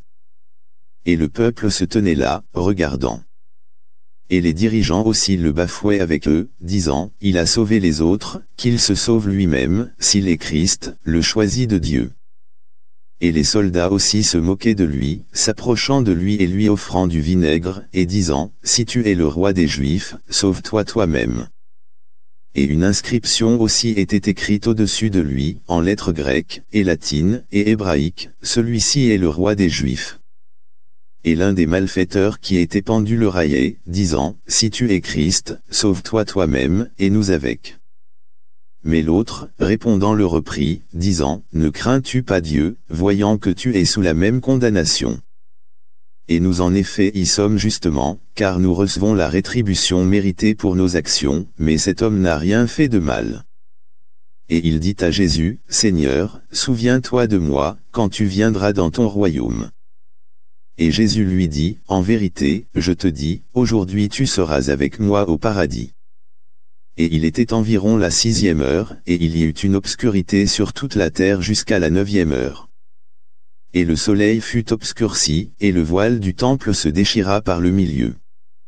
Et lorsque Jésus se fut écrié d'une voix retentissante, il dit, Père, entre tes mains, je remets mon esprit, et ayant dit cela, il rendit l'esprit. Or lorsque le centurion vit ce qui était arrivé, il glorifia Dieu, disant, Certainement celui-ci était un homme droit. Et tout le peuple qui s'était assemblé à cette vue, regardant les choses qui étaient arrivées, ils frappèrent leur poitrine, et s'en retournèrent. Et tous ceux de sa connaissance, et les femmes qui l'avaient suivi depuis la Galilée, se tenaient au loin, regardant ces choses. Et, voici, il y avait un homme appelé Joseph, un conseiller, et il était un homme bon, et injuste, celui-ci n'avait pas consenti à leur conseil, ni à leur action, il était d'Arimathée, ville des Juifs, qui lui-même aussi attendait le royaume de Dieu. Cet homme alla vers Pilate, et implora pour le corps de Jésus. Et il le descendit, et l'enveloppa dans du lin, et le mit dans un sépulcre qui était taillé dans la pierre, où aucun homme n'avait encore été placé et c'était le jour de la préparation, et le sabbat approchait. Et les femmes aussi, qui étaient venues avec lui de Galilée le suivirent, et regardèrent le sépulcre, et comment son corps y était placé. Et elles retournèrent et préparèrent des aromates et des baumes, et elles se reposèrent le jour du sabbat, selon le commandement. Luc, chapitre 24 Or au premier jour de la semaine, très tôt le matin, elles vinrent près du sépulcre, apportant les aromates qu'elles avaient préparés, et certaines autres avec elles. Et elles trouvèrent la pierre roulée de devant le sépulcre. Et elles entrèrent, et ne trouvèrent pas le corps du Seigneur Jésus. Et il arriva, comme elles en étaient très perplexes, que voici deux hommes se tinrent près d'elles, en habits brillants, et comme elles étaient effrayées, et qu'elles baissaient leur visage vers la terre, ils leur dirent, pourquoi cherchez-vous le vivant parmi les morts? Il n'est pas ici, mais il est ressuscité, souvenez-vous comment il vous parlait, quand il était encore en Galilée, disant, Le Fils de l'homme doit être livré entre les mains d'hommes pécheurs, et être crucifié, et le troisième jour ressuscité. Et elles se souvinrent de ces paroles, et quittant le sépulcre, elles s'en retournèrent et racontèrent toutes ces choses aux onze, et à tout le reste. C'était Marie Magdeleine, et Jeanne, et Marie, la mère de Jacques, et d'autres femmes qui étaient avec elle, qui dirent ces choses aux apôtres. Et leurs paroles leur semblèrent comme des contes à dormir debout, et ils ne les crurent pas. Alors Pierre se leva et courut vers le sépulcre, et se baissant, il vit les linges en l'imposé à part, et il s'en alla, se demandant en lui-même ce qui était arrivé. Et, voici, deux dès leurs ce même jour allaient à un village, nommé Emmaüs, lequel était à environ soixante stades de Jérusalem. Et ils parlaient entre eux de toutes ces choses qui étaient arrivées. Et il arriva, tandis qu'ils s'entretenaient ensemble et discutaient, que Jésus lui-même s'approcha, et alla avec eux. Mais leurs yeux étaient retenus afin qu'ils ne le reconnaissent pas. Et il leur dit, Quelle sorte de conversation teniez-vous ensemble, tandis que vous marchiez, et qui vous rendent triste? Et l'un d'eux, dont le nom est Cléopas, répondant lui dit, Es-tu seulement un étranger à Jérusalem, et ne sais-tu pas les choses qui y sont arrivées ces jours-ci? Et il leur dit, Quelle chose Et ils lui dirent, concernant Jésus de Nazareth, qui était un prophète puissant en actes et en paroles devant Dieu et devant tout le peuple, et comment les principaux prêtres et nos dirigeants l'ont livré pour être condamné à mort, et l'ont crucifié. Mais nous avions confiance qu'il était celui qui devait racheter Israël, et en plus de cela, c'est aujourd'hui le troisième jour depuis que ces choses ont eu lieu. Oui, et certaines femmes aussi des nôtres nous ont fort étonnés, lesquelles étaient allées tôt au sépulcre, et quand elles n'ont pas trouvé son corps, elles sont venues, disant qu'elles avaient aussi vu une vision d'ange, lesquelles ont dit qu'il est en vie. Et certains de ceux qui étaient avec nous, sont allés au sépulcre, et l'ont trouvé oui certainement comme les femmes avaient dit, mais lui, ils ne l'ont pas vu. Alors il leur dit, Ô insensés, et d'un cœur lent à croire tout ce que les prophètes ont dit, ne fallait-il pas que Christ souffrit ces choses et qu'il entrât dans sa gloire? Et commençant par Moïse et par tous les prophètes, il leur exposa, dans toutes les Écritures, les choses le concernant. Et ils approchèrent du village où ils allaient, et ils faisaient comme s'ils voulaient aller plus loin. Mais ils le contraignirent, disant, Reste avec nous, car le soir approche, et le jour est bien avancé. Et il entra pour rester avec eux. Et il arriva que, comme il était assis à table avec eux, il prit du pain et le bénit, et le rompit, et le leur donna. Et leurs yeux furent ouverts, et ils le reconnurent, et il disparut de devant eux et ils se dirent l'un à l'autre, Notre cœur ne brûlait-il pas au-dedans de nous, pendant qu'il nous parlait en chemin, et pendant qu'il nous ouvrait les Écritures? Et ils se levèrent à l'heure même et retournèrent à Jérusalem, et trouvèrent les onze ensemble, et ceux qui étaient avec eux, disant, Le Seigneur est en effet ressuscité, et est apparu à Simon. Et ils racontèrent les choses qui étaient arrivées en chemin, et comment il avait été reconnu d'eux en rompant le pain. Et comme il parlait ainsi, Jésus lui-même se tint au milieu d'eux, et leur dit, Paix soit envers vous. Mais ils étaient terrifiés et effrayés, et ils supposaient qu'ils avaient vu un esprit. Et il leur dit, Pourquoi êtes-vous troublés, et pourquoi s'élèvent-ils des pensées dans vos cœurs? Regardez mes mains et mes pieds, que c'est moi-même, touchez-moi, et voyez, car un esprit n'a ni chair ni os, comme vous voyez que j'ai. Et quand il leur eut parlé ainsi, il leur montra ses mains et ses pieds. Et comme de joie, tandis qu'ils ne croyaient pas encore, et qu'ils s'interrogeaient, il leur dit, Avez-vous ici quelque nourriture? Et ils lui donnèrent un morceau de poisson grillé et d'un rayon de miel. Et il le prit, et mangea devant eux. Et il leur dit, Ce sont là les paroles que je vous disais lorsque j'étais encore avec vous, que toutes les choses qui sont écrites dans la loi de Moïse, et dans les prophètes et dans les psaumes, me concernant, doivent être accomplies. Alors il leur ouvrit leur compréhension, afin qu'ils puissent comprendre les Écritures, et leur dit, Ainsi il est écrit, et ainsi il incombait à Christ de souffrir, et de ressusciter d'entre les morts le troisième jour, et que la repentance et la rémission des péchés devraient être prêchées en son nom parmi toutes les nations, en commençant à Jérusalem. Et vous êtes témoins de ces choses. Et, voici, j'envoie la promesse de mon Père sur vous, mais restez dans la ville de Jérusalem, jusqu'à ce que vous soyez dotés du pouvoir d'en haut. Et il les mena dehors jusqu'à Béthanie, et il leva ses mains, et les bénit. Et il arriva, tandis qu'il les bénissait, qu'il fut séparé d'eux et fut emporté au ciel. Et ils l'adorèrent, et retournèrent à Jérusalem avec grande joie, et ils étaient continuellement dans le temple, louant et bénissant Dieu. Amen. L'Évangile selon Saint Jean. Jean, chapitre 1. Au commencement était la parole, et la parole était avec Dieu, et la parole était Dieu. Celui-ci était au commencement avec Dieu. Toutes choses ont été faites par lui, et sans lui aucune chose n'a été faite de ce qui a été fait. En lui était la vie, et la vie était la lumière des hommes. Et la lumière brille dans l'obscurité, et l'obscurité ne l'a pas comprise. Il y eut un homme envoyé de Dieu, dont le nom était Jean. Celui-ci vint comme un témoin, pour rendre témoignage de la lumière, afin que tous les hommes par lui puissent croire. Il n'était pas cette lumière, mais il était envoyé pour rendre témoignage de cette lumière. Qui était la vraie lumière, qui éclaire tout homme qui vient au monde? Il était dans le monde et le monde a été fait par lui, et le monde ne l'a pas connu. Il est venu chez les siens, et les siens ne l'ont pas reçu.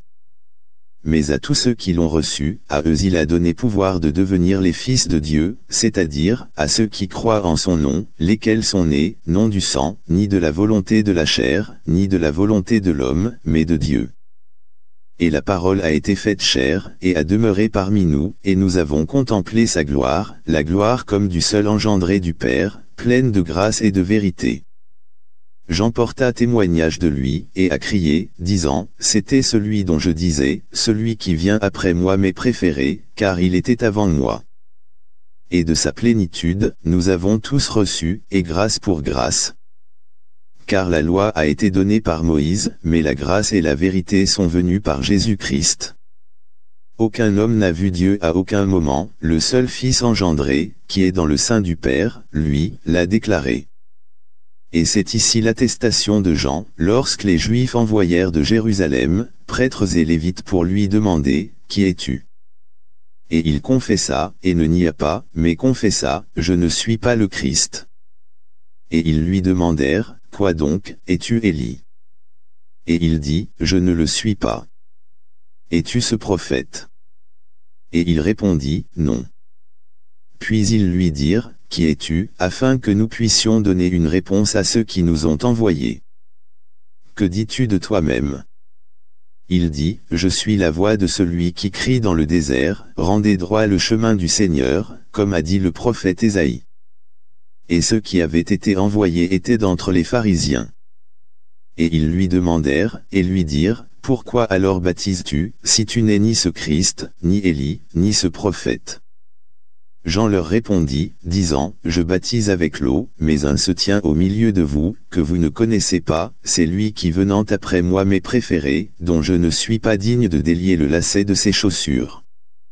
Ces choses arrivèrent à Bethabara, au-delà du Jourdain, où Jean baptisait. Le lendemain, Jean voit Jésus venant vers lui, et dit, Voici l'agneau de Dieu, lequel ôte le péché du monde. C'est celui duquel je disais, après moi vient un homme qui m'est préféré, car il était avant moi.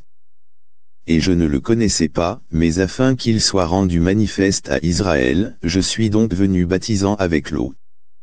Et Jean attesta, disant, J'ai vu l'Esprit descendant du ciel comme une colombe, et il demeura sur lui et je ne le connaissais pas, mais celui qui m'a envoyé baptiser avec l'eau, celui-là m'avait dit, celui sur qui tu verras l'Esprit descendre et demeurer sur lui, celui-là est celui qui baptise avec l'Esprit Saint. Et j'ai vu, et ai attesté que c'est lui le Fils de Dieu. De nouveau le lendemain, Jean se tenait avec deux de ses disciples, et regardant Jésus tandis qu'il marchait, il dit, Voici l'agneau de Dieu. Et les deux disciples l'entendirent parler, et ils suivirent Jésus. Alors Jésus se retourna et les vit le suivant, et leur dit, Que cherchez-vous? Ils lui dirent, Rabbi, ce qui veut dire, étant interprété, Maître, où demeures-tu? Il leur dit, Venez et voyez. Ils vinrent et virent où il demeurait, et restèrent avec lui ce jour-là, car il était environ la dixième heure. Un des deux qui avait entendu Jean parler et l'avait suivi, était André, frère de Simon-Pierre il trouva d'abord son propre frère Simon, et lui dit, Nous avons trouvé le Messie, qui est, étant interprété, le Christ. Et il l'amena à Jésus. Et lorsque Jésus le regarda, il dit, Tu es Simon, le fils de Jonas, tu seras appelé Céphas qui est par interprétation, une pierre. Le jour suivant, Jésus voulut aller en Galilée, et trouve Philippe, et lui dit, Suis-moi. Or Philippe était de Bethsaïda, la ville d'André et de Pierre. Philippe trouve Nathanaël, et lui dit, Nous l'avons trouvé, celui duquel Moïse dans la loi et les prophètes ont écrit, Jésus de Nazareth, le fils de Joseph. Et Nathanaël lui dit, Peut-il venir quelque chose de bon de Nazareth? Philippe lui dit, Viens et vois. Jésus vit Nathanaël venant à lui, et il dit de lui, Voici en effet un Israélite, en qui il n'y a aucune duplicité. Nathanaël lui dit, D'où me connais-tu? Jésus répondit et lui dit, Avant que Philippe t'ait appelé, quand tu étais sous le figuier, je te voyais. Nathanaël répondit et lui dit, Rabbi, tu es le Fils de Dieu, tu es le roi d'Israël. Jésus répondit et lui dit, Parce que je t'ai dit, que je te voyais sous le figuier, tu crois. Tu verras de plus grandes choses que celles-ci. Et il lui dit, En vérité, en vérité, je vous dis, désormais vous verrez le ciel ouvert, et les anges de Dieu montant et descendant sur le Fils de l'homme. Jean, chapitre 2 Et le troisième jour, il y eut un mariage à Cana de Galilée, et la mère de Jésus était là, et Jésus fut convié au mariage, ainsi que ses disciples. Et lorsqu'ils manquèrent de vin, la mère de Jésus lui dit, Ils n'ont pas de vin. Jésus lui dit, Femme, qu'ai-je à faire avec toi, mon heure n'est pas encore venue. Sa mère dit au serviteur, Quoi que ce soit qu'il vous dise, faites-le. Et il y avait là six cruches de pierre, placées suivant la manière de la purification des Juifs, contenant chacune deux ou trois maîtrettes. Jésus leur dit, Remplissez d'eau les cruches. Et ils les remplirent jusqu'au bord. Et il leur dit, puisez maintenant, et portez vers le majordome du festin. Et ils emportèrent. Quand le responsable du festin eut goûté l'eau qui était devenue vin, et ne savait pas d'où il venait, mais les serviteurs qui avaient puisé l'eau le savaient, le majordome du festin appela l'époux, et lui dit, Tout homme sert le bon vin au début, et lorsque les hommes ont bien bu, alors celui qui est moins bon, mais tu as gardé le bon vin jusqu'à maintenant. Ce commencement de miracle, Jésus le fit à Cana de Galilée, et il manifesta sa gloire, et ses disciples crurent en lui.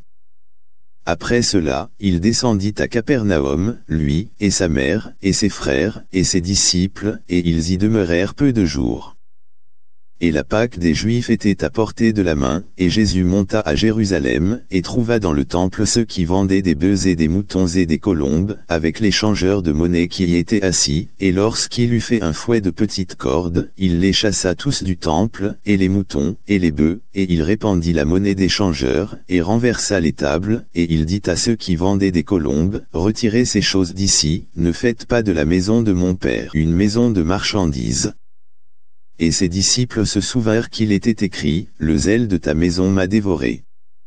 Alors les Juifs répondirent et lui dirent, Quel signe nous manifestes-tu, puisque tu fais ces choses? Jésus répondit et leur dit, Détruisez ce temple et en trois jours je le relèverai. Alors les Juifs dirent, On a mis quarante-six ans à bâtir ce temple, et tu l'érigeras en trois jours. Mais il parlait du temple de son corps. Lorsqu'il fut donc ressuscité d'entre les morts, ses disciples se souvinrent qu'il leur avait dit cela, et ils crurent l'écriture et la parole que Jésus avait dite. Or lorsqu'il était à Jérusalem durant la Pâque, au jour de la fête, beaucoup crurent en son nom, lorsqu'ils virent les miracles qu'il faisait. Mais Jésus ne se fiait pas à eux, parce qu'il connaissait tous les hommes, et n'avait pas besoin que quelqu'un témoigne de l'homme, car il savait ce qui était dans l'homme. Jean, chapitre 3 il y avait un homme d'entre les pharisiens, nommé Nicodème, un dirigeant des Juifs, celui-ci vint de nuit à Jésus et lui dit, Rabbi, nous savons que tu es un enseignant venu de Dieu, car aucun homme ne peut faire ces miracles que tu fais, à moins que Dieu ne soit avec lui. Jésus répondit et lui dit, En vérité, en vérité je te dis, à moins qu'un homme ne soit né de nouveau, il ne peut voir le royaume de Dieu. Nicodème lui dit, Comment un homme peut-il naître quand il est vieux? Peut-il entrer une seconde fois dans l'utérus de sa mère, et naître? Jésus répondit, En vérité, en vérité je te dis, à moins qu'un homme ne soit né d'eau et de l'esprit, il ne peut entrer dans le royaume de Dieu. Ce qui est né de la chair est chair, et ce qui est né de l'esprit est esprit. Ne sois pas surpris de ce que je t'ai dit, vous devez être né de nouveau. Le vent souffle où il veut, et tu en entends le son, mais tu ne peux dire d'où il vient, et où il va, il en est de même de tout homme qui est né de l'Esprit. Nicodème répondit et lui dit, Comment ces choses peuvent-elles être? Jésus répondit et lui dit, Tu es un maître d'Israël, et ne sais pas ces choses. En vérité, en vérité, je te dis, nous parlons de ce que nous savons, et témoignons de ce que nous avons vu, et vous ne recevez pas notre témoignage. Si je vous ai dit des choses terrestres, et vous ne croyez pas, comment croirez-vous, si je vous dis des choses célestes? Et aucun homme n'est monté au ciel, sinon celui qui est descendu du ciel, c'est-à-dire, le Fils de l'homme qui est dans le ciel. Et comme Moïse éleva le serpent dans le désert, oui certainement le Fils de l'homme doit être élevé, afin que quiconque croit en lui ne périsse pas, mais ait la vie éternelle car Dieu aima tant le monde, qu'il donna son seul Fils engendré, afin que quiconque croit en lui ne périsse, mais ait la vie sempiternelle. Car Dieu n'a pas envoyé son Fils dans le monde pour condamner le monde, mais afin que par lui le monde puisse être sauvé. Celui qui croit en lui n'est pas condamné, mais celui qui ne croit pas, est déjà condamné, parce qu'il n'a pas cru dans le nom du seul Fils engendré de Dieu. Et c'est ici la condamnation, que la lumière est venue dans le monde, et les hommes ont mieux aimé l'obscurité que la lumière, parce que leurs actions étaient mauvaises. Car tout homme qui fait le mal est la lumière, et ne vient pas à la lumière, de peur que ses actions ne soient désapprouvées. Mais celui qui pratique la vérité vient à la lumière, afin que ses actions puissent être rendues manifestes, qu'elles sont effectuées en Dieu. Après ces choses, Jésus et ses disciples vinrent dans la terre de Judée, et il s'y attarda avec eux, et baptisait. Et Jean baptisait aussi à Hénon, près de Salim, parce qu'il y avait là beaucoup d'eau, et il venait, et était baptisé. Car Jean n'avait pas encore été jeté en prison. Puis une question s'éleva entre quelques disciples de Jean et les Juifs, au sujet de la purification. Et ils vinrent vers Jean, et lui dirent, Rabbi, celui qui était avec toi au-delà du Jourdain, à qui tu as rendu témoignage, voici, celui la baptise, et tous les hommes viennent à lui. Jean répondit et dit, Un homme ne peut rien recevoir, à moins que cela ne lui soit donné du ciel. Vous, vous-même me rendez témoignage, que j'ai dit, je ne suis pas le Christ, mais que je suis envoyé avant lui. Celui qui a l'épouse l'époux, mais l'ami de l'époux, qui se tient là et l'entend, se réjouit grandement à cause de la voix de l'époux, cette mienne joie est donc accomplie. Il doit croître, mais je dois diminuer. Celui qui vient d'en haut est au-dessus de tous, celui qui vient de la terre est terrestre, et parle de la terre, celui qui vient du ciel est au-dessus de tous. Et ce qu'il a vu et entendu, de cela il témoigne, et aucun homme ne reçoit son témoignage. Celui qui a reçu son témoignage, a marqué de son sceau que Dieu est vrai. Car celui que Dieu a envoyé prononce les paroles de Dieu, car Dieu ne lui donne pas l'esprit par mesure. Le Père aime le Fils et a donné toutes choses en sa main. Celui qui croit au Fils a la vie sempiternelle, et celui qui ne croit pas le Fils ne verra pas la vie, mais le courroux de Dieu demeure sur lui. Jean, chapitre 4 quand donc le Seigneur sut que les pharisiens avaient entendu dire que Jésus faisait et baptisait plus de disciples que Jean, toutefois Jésus ne baptisait pas lui-même, mais ses disciples, il quitta la Judée et partit de nouveau en Galilée. Et il devait traverser la Samarie. Puis il vient à une ville de Samarie, qui est appelée Sichar près de la parcelle de terre que Jacob donna à son fils Joseph. Or le puits de Jacob se trouvait là. Jésus donc, étant fatigué de son voyage, s'assit ainsi sur le puits, et c'était environ la sixième heure. Il vient une femme de Samarie pour puiser de l'eau, Jésus lui dit, Donne-moi à boire. Car ses disciples étaient partis dans la ville pour acheter de la nourriture. Alors la femme de Samarie lui dit, Comment se fait-il que toi, étant un juif, me demandes à boire, à moi qui suis une femme de Samarie, car les Juifs n'ont aucun contact avec les Samaritains. Jésus répondit et lui dit, Si tu connaissais le don de Dieu, et qui est celui qui te dit, Donne-moi à boire, tu lui aurais demandé, et il t'aurait donné de l'eau vive. La femme lui dit, Sire, tu n'as rien pour puiser, et le puits est profond, d'où as-tu donc cette eau vive? Es-tu plus grand que notre père Jacob, qui nous a donné ce puits, et qui en a bu lui-même, et ses enfants et son bétail?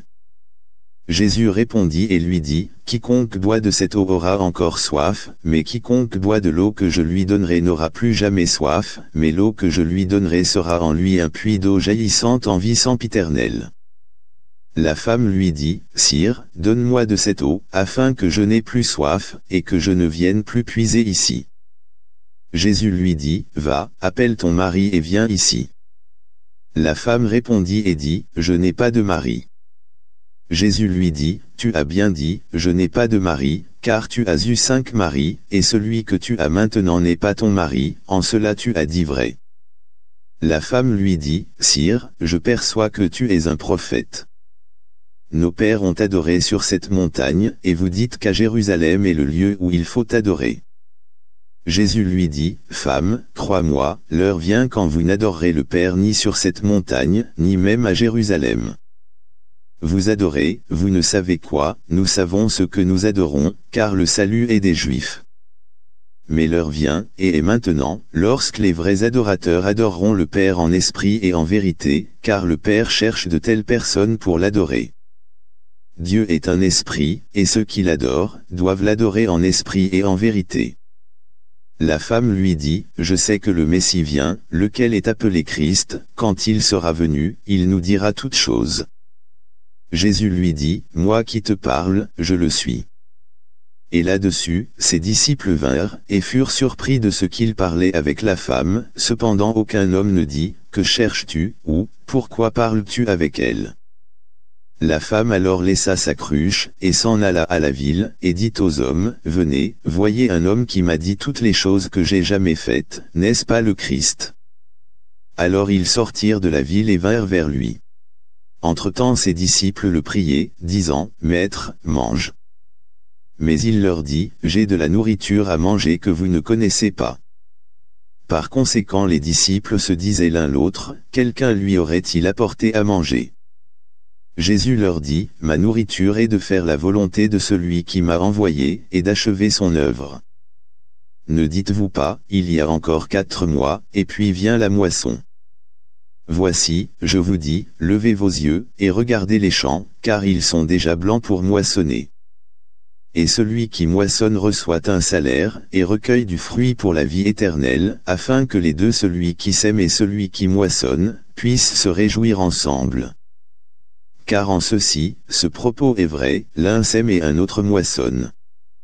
Je vous ai envoyé moissonner sur quoi vous n'avez concédé aucun labeur, d'autres hommes ont travaillé, et vous êtes entrés dans leur labeur. Et beaucoup de Samaritains de cette ville-là crurent en lui à cause du propos de la femme, qui témoigna, il m'a dit tout ce que j'ai jamais fait.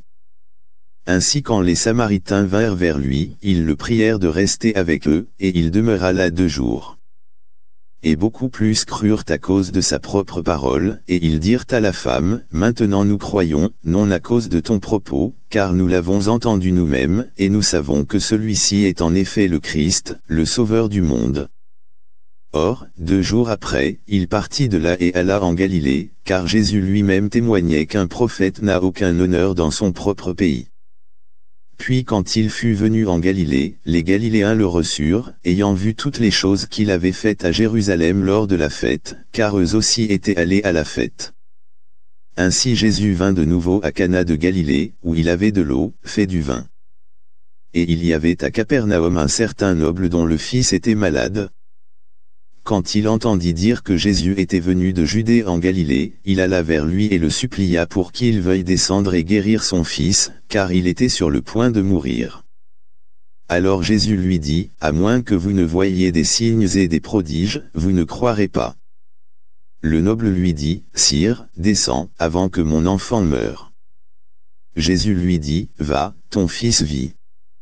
Et l'homme crut la parole que Jésus lui avait dite, et il s'en alla et comme déjà il descendait, ses serviteurs vinrent à sa rencontre, et lui parlèrent, disant, Ton fils vit. Alors il leur demanda à quelle heure il avait commencé à se trouver mieux. Et ils lui dirent, Hier, à la septième heure, la fièvre le quitta. Alors le Père sut que c'était à l'heure même, à laquelle Jésus lui avait dit, Ton fils vit, et lui-même crut, ainsi que toute sa maison. Ceci est encore le second miracle que Jésus fit quand il fut venu de Judée en Galilée. Jean, chapitre 5 Après cela, il y eut une fête des Juifs, et Jésus monta à Jérusalem. Or il y a à Jérusalem, près du marché aux moutons, un réservoir, qui est appelé en hébreu Bethesda, ayant cinq porches, dans lesquels était étendue une grande multitude de gens perclus, d'aveugles, de boiteux, aux membres atrophiés qui attendaient le mouvement de l'eau. Car un ange descendait à un certain moment dans le réservoir, et agitait l'eau, quiconque donc entrait le premier après que l'eau avait été agitée, était rendu bien portant, quel que fût son mal. Et il y avait là un certain homme qui était infirme depuis trente-huit ans. Lorsque Jésus le vit étendu, et sut qu'il était dans cet état depuis longtemps, il lui dit, Veux-tu être rendu bien portant? L'homme perclus lui répondit, Sire, je n'ai personne pour me mettre dans le réservoir quand l'eau est agitée, mais pendant que j'y vais, un autre descend avant moi. Jésus lui dit, Lève-toi, prends ton lit, et marche. Et immédiatement l'homme fut rendu bien portant, et prit son lit, et marcha, et ce jour-là était le sabbat. Les Juifs donc disaient à celui qui avait été rétabli, C'est le jour du sabbat, il ne t'est pas permis de porter ton lit. Il leur répondit, Celui qui m'a rendu bien portant, celui-là même m'a dit, Prends ton lit, et marche. Alors ils lui demandèrent, Qui est cet homme qui t'a dit, Prends ton lit, et marche Et celui qui avait été guéri ne savait qui c'était, car Jésus s'était retiré de là, une multitude étant dans ce lieu. Ensuite Jésus le trouve dans le temple, et lui dit, Voici, tu es bien portant, ne pêche plus, de peur que quelque chose de pire ne t'arrive. L'homme partit et dit aux Juifs que c'était Jésus, qui l'avait rendu bien portant. Et par conséquent les Juifs persécutaient Jésus, et cherchaient à le tuer, parce qu'il avait fait ces choses le jour du sabbat. Mais Jésus leur répondit, Mon Père travaille jusqu'à maintenant, et je travaille.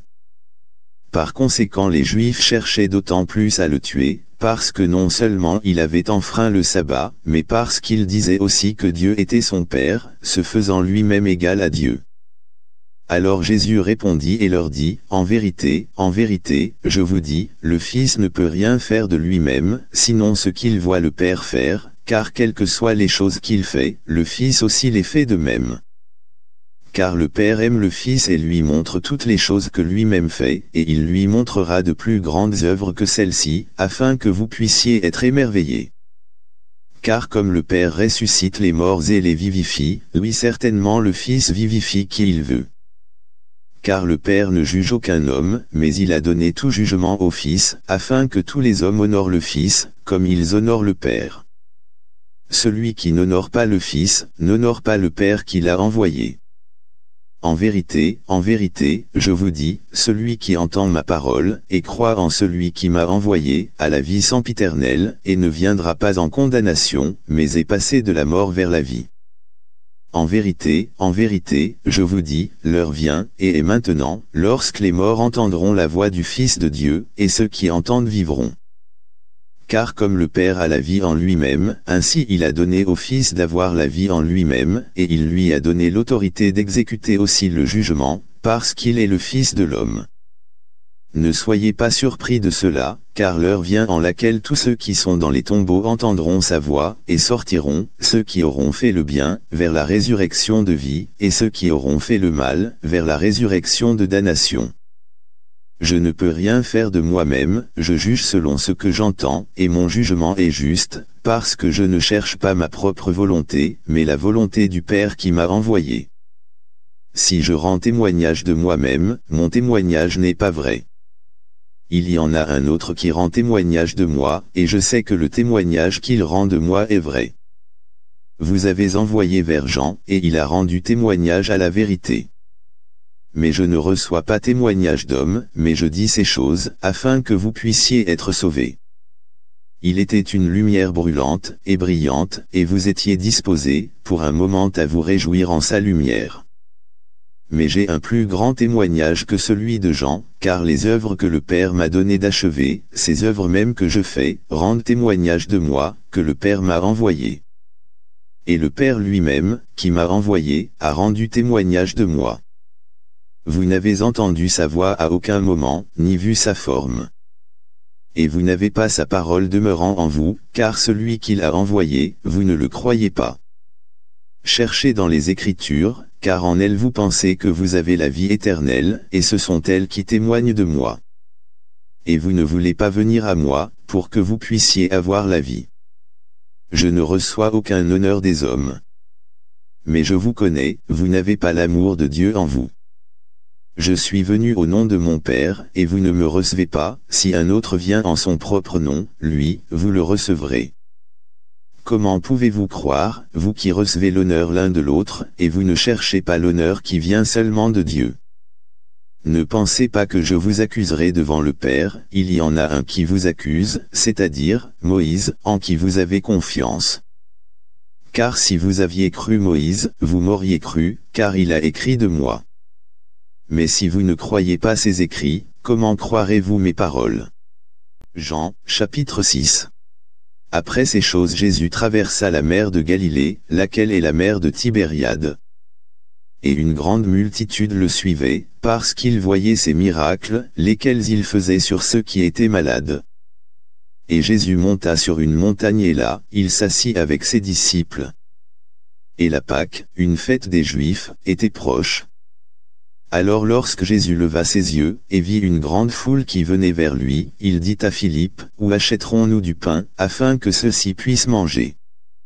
Et il disait cela pour l'éprouver, car lui-même savait ce qu'il allait faire. Philippe lui répondit, Deux cents deniers de pain ne leur suffiraient pas pour que chacun d'eux puisse en prendre un peu. L'un de ses disciples, André, frère de Simon-Pierre, lui dit, Il y a ici un jeune garçon qui a cinq pains d'orge et deux petits poissons, mais qu'est-ce que cela parmi tant de personnes?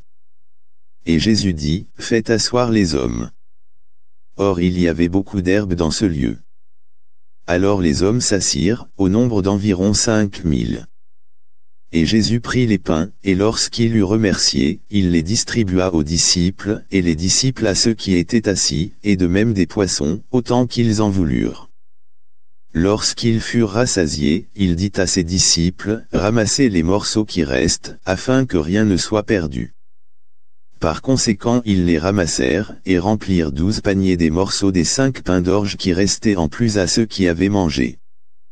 Alors ces hommes, lorsqu'ils virent le miracle que Jésus avait fait, dirent, Celui-ci est en vérité ce prophète qui devait venir dans le monde. Lorsque Jésus donc perçut qu'ils allaient venir le prendre de force, pour le faire roi, il partit de nouveau sur une montagne, tout seul. Et lorsque le soir fut donc venu, ses disciples descendirent vers la mer, et entrèrent dans un bateau et traversèrent la mer vers Capernaum et il faisait déjà sombre, et Jésus n'était pas venu à eux. Et la mer s'éleva à cause d'un grand vent qui soufflait. Ainsi lorsqu'ils eurent ramé environ vingt-cinq ou trente stades, ils virent Jésus marchant sur la mer, et s'approchant du bateau, et ils eurent peur. Mais il leur dit, C'est moi, n'ayez pas peur. Alors ils le reçurent volontiers dans le bateau, et immédiatement le bateau toucha terre là où ils allaient. Le lendemain, lorsque le peuple qui se tenait de l'autre côté de la mer vit qu'il n'y avait pas là d'autre barque sauf celle dans laquelle ses disciples étaient entrés, et que Jésus n'était pas allé avec ses disciples dans la barque, mais que ses disciples étaient partis seuls, quoi qu'il en soit d'autres barques étaient arrivées de Tibériade, près du lieu où ils avaient mangé le pain, après que le Seigneur eut remercié, lorsque le peuple donc vit que Jésus n'était pas là, ni ses disciples, ils prirent aussi des bateaux, et vinrent à Capernaum, cherchant Jésus. Et quand ils l'eurent trouvé de l'autre côté de la mer, ils lui dirent, Rabbi, quand es-tu venu ici? Jésus leur répondit et dit, En vérité, en vérité, je vous dis, vous me cherchez, non parce que vous avez vu les miracles, mais parce que vous avez mangé des pains, et que vous avez été rassasiés. Peinez, non pas pour la nourriture qui périt, mais pour cette nourriture qui demeure jusqu'à la vie sempiternelle, que le Fils de l'homme vous donnera, car c'est lui que Dieu le Père a marqué de son sceau. Puis ils lui dirent, Que ferons-nous, afin que nous puissions faire les œuvres de Dieu? Jésus répondit et leur dit, Ceci est l'œuvre de Dieu, que vous croyez en celui qu'il a envoyé. Ils lui dirent donc, Quel signe alors montres-tu, afin que nous puissions voir et te croire, quelle œuvre fais-tu? Nos pères ont mangé la manne dans le désert, comme c'est écrit, il leur donna du pain du ciel à manger. Alors Jésus leur dit, En vérité, en vérité, je vous dis, Moïse ne vous a pas donné ce pain du ciel, mais mon Père vous donne le vrai pain du ciel. Car le pain de Dieu est celui qui descend du ciel, et donne la vie au monde. Alors ils lui dirent, Seigneur, donne-nous toujours ce pain-là. Et Jésus leur dit, Je suis le pain de vie, celui qui vient à moi n'aura jamais faim, et celui qui croit en moi n'aura jamais soif. Mais je vous ai dit, que vous aussi m'avez vu, et ne croyez pas. Tout ce que le Père me donne viendront à moi, et en aucun cas je ne jetterai dehors celui qui vient à moi. Car je suis descendu du ciel, non pour faire ma propre volonté, mais la volonté de celui qui m'a envoyé. Et ceci est la volonté du Père qui m'a envoyé, que je ne perde rien de tout ce qu'il m'a donné, mais que je le ressuscite au dernier jour. Et cela est la volonté de celui qui m'a envoyé, que quiconque voit le Fils, et croit en lui, ait la vie sempiternelle, et je le ressusciterai au dernier jour. Les Juifs alors murmuraient à son sujet parce qu'il disait, Je suis le pain qui est descendu du ciel. Et il disait, N'est-ce pas Jésus, le fils de Joseph, dont nous connaissons le Père et la Mère? Comment se fait-il alors, qu'ils disent, Je suis descendu du ciel? Jésus donc répondit et leur dit, Ne murmurez pas entre vous. Aucun homme ne peut venir à moi, à moins que le Père qui m'a envoyé ne l'attire, et je le ressusciterai au dernier jour. Il est écrit dans les prophètes, et ils seront tous enseignés de Dieu. Tout homme donc qui a entendu, et a appris du Père, vient vers moi.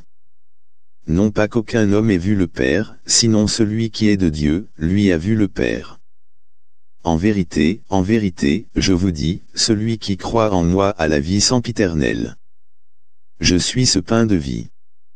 Vos pères ont mangé la manne dans le désert, et sont morts. Ceci est le pain qui descend du ciel, afin qu'un homme puisse en manger et ne pas mourir.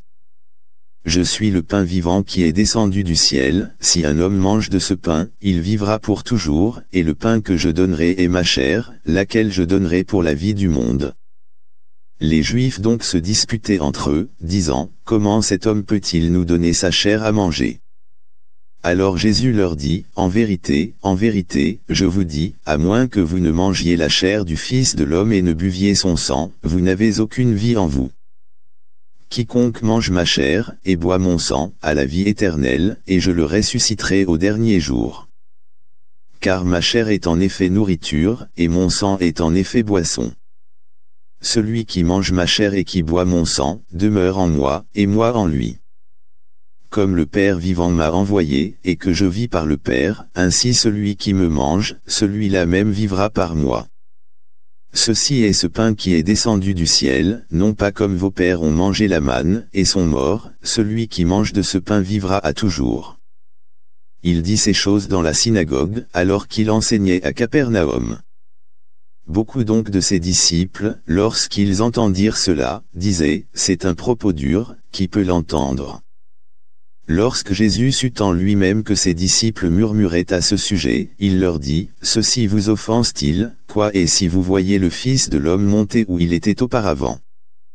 C'est l'Esprit qui vivifie, la chair ne profite de rien, les paroles que je vous dis, elles sont esprit et elles sont vie. Mais il y en a quelques-uns parmi vous qui ne croient pas car Jésus savait depuis le commencement qui étaient ceux qui ne croyaient pas, et qui le trahiraient.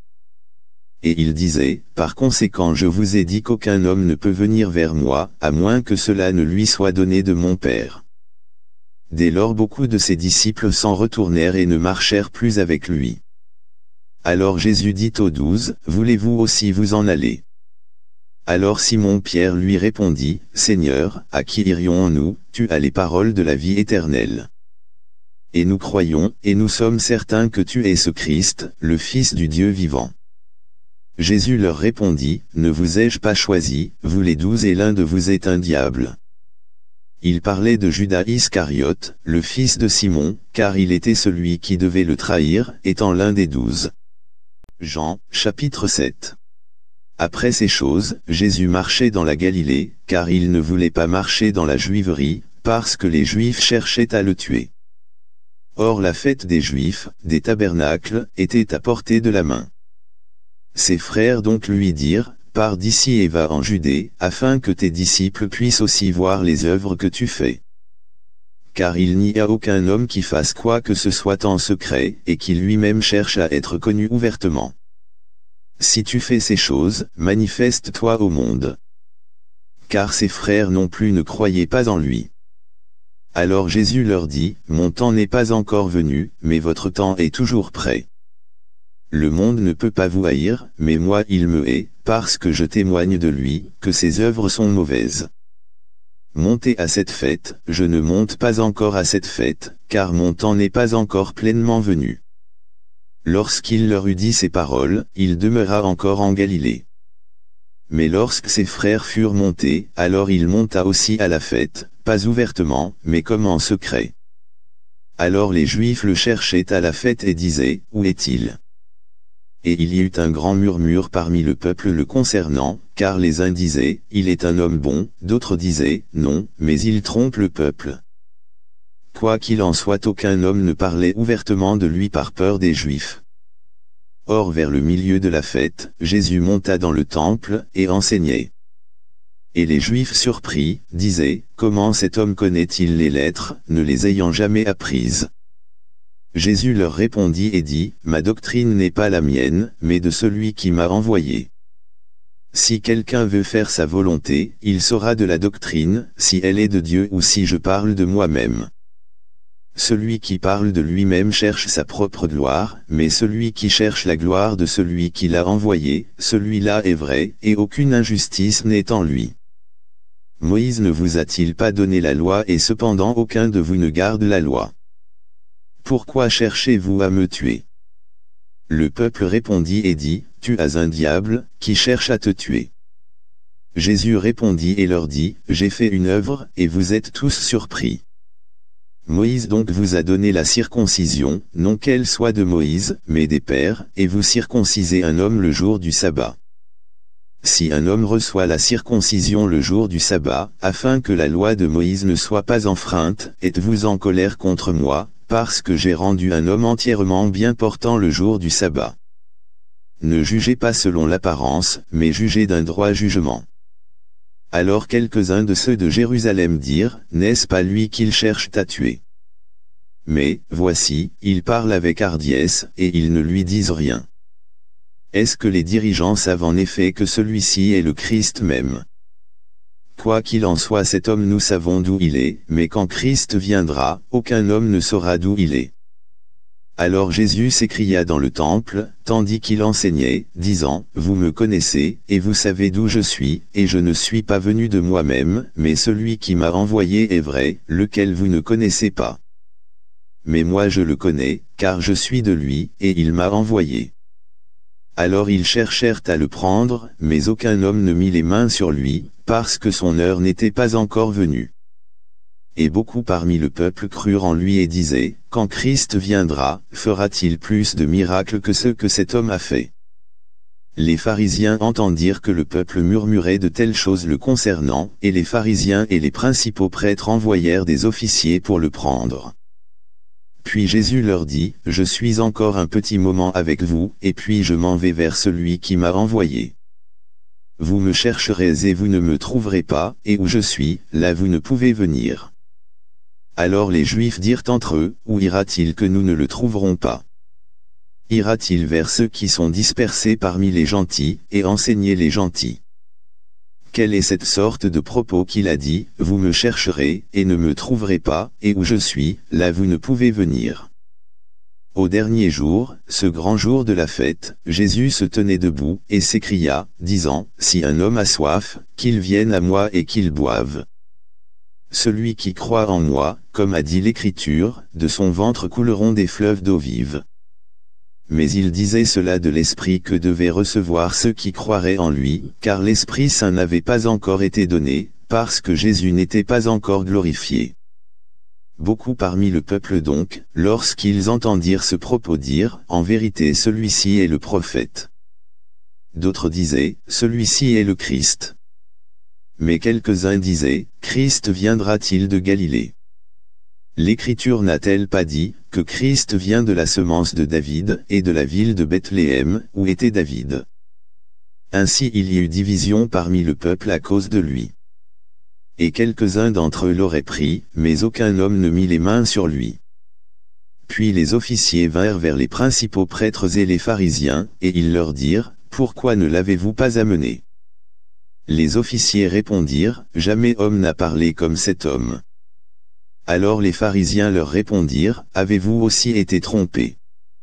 Y a-t-il quelqu'un des dirigeants ou des pharisiens qui ait cru en lui?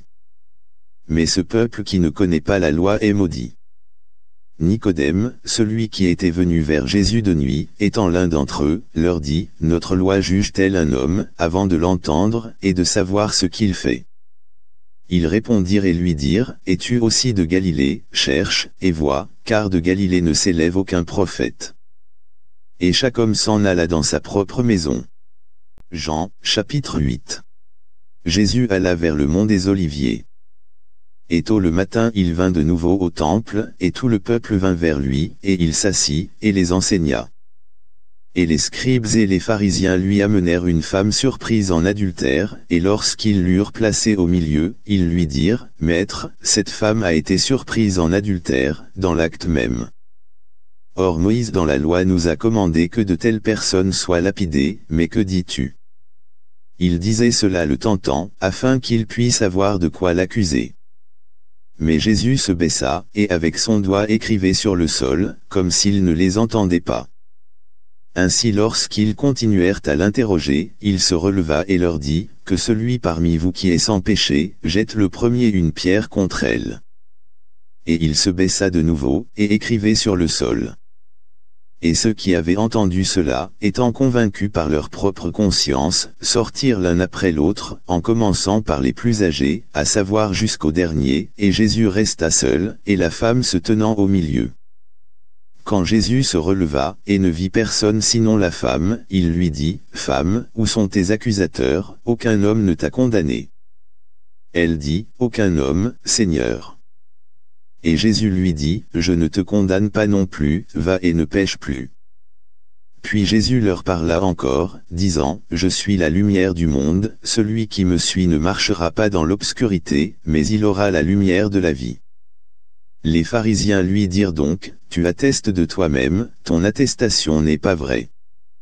Jésus répondit et leur dit, Bien que j'atteste de moi-même, cependant mon attestation est vraie, car je sais d'où je suis venu, et où je vais, mais vous ne pouvez dire d'où je viens, et où je vais. Vous jugez suivant la chair, je ne juge aucun homme. Et cependant si je juge, mon jugement est vrai, car je ne suis pas seul, mais moi et le Père qui m'a envoyé. Il est aussi écrit dans votre loi que le témoignage de deux hommes est vrai.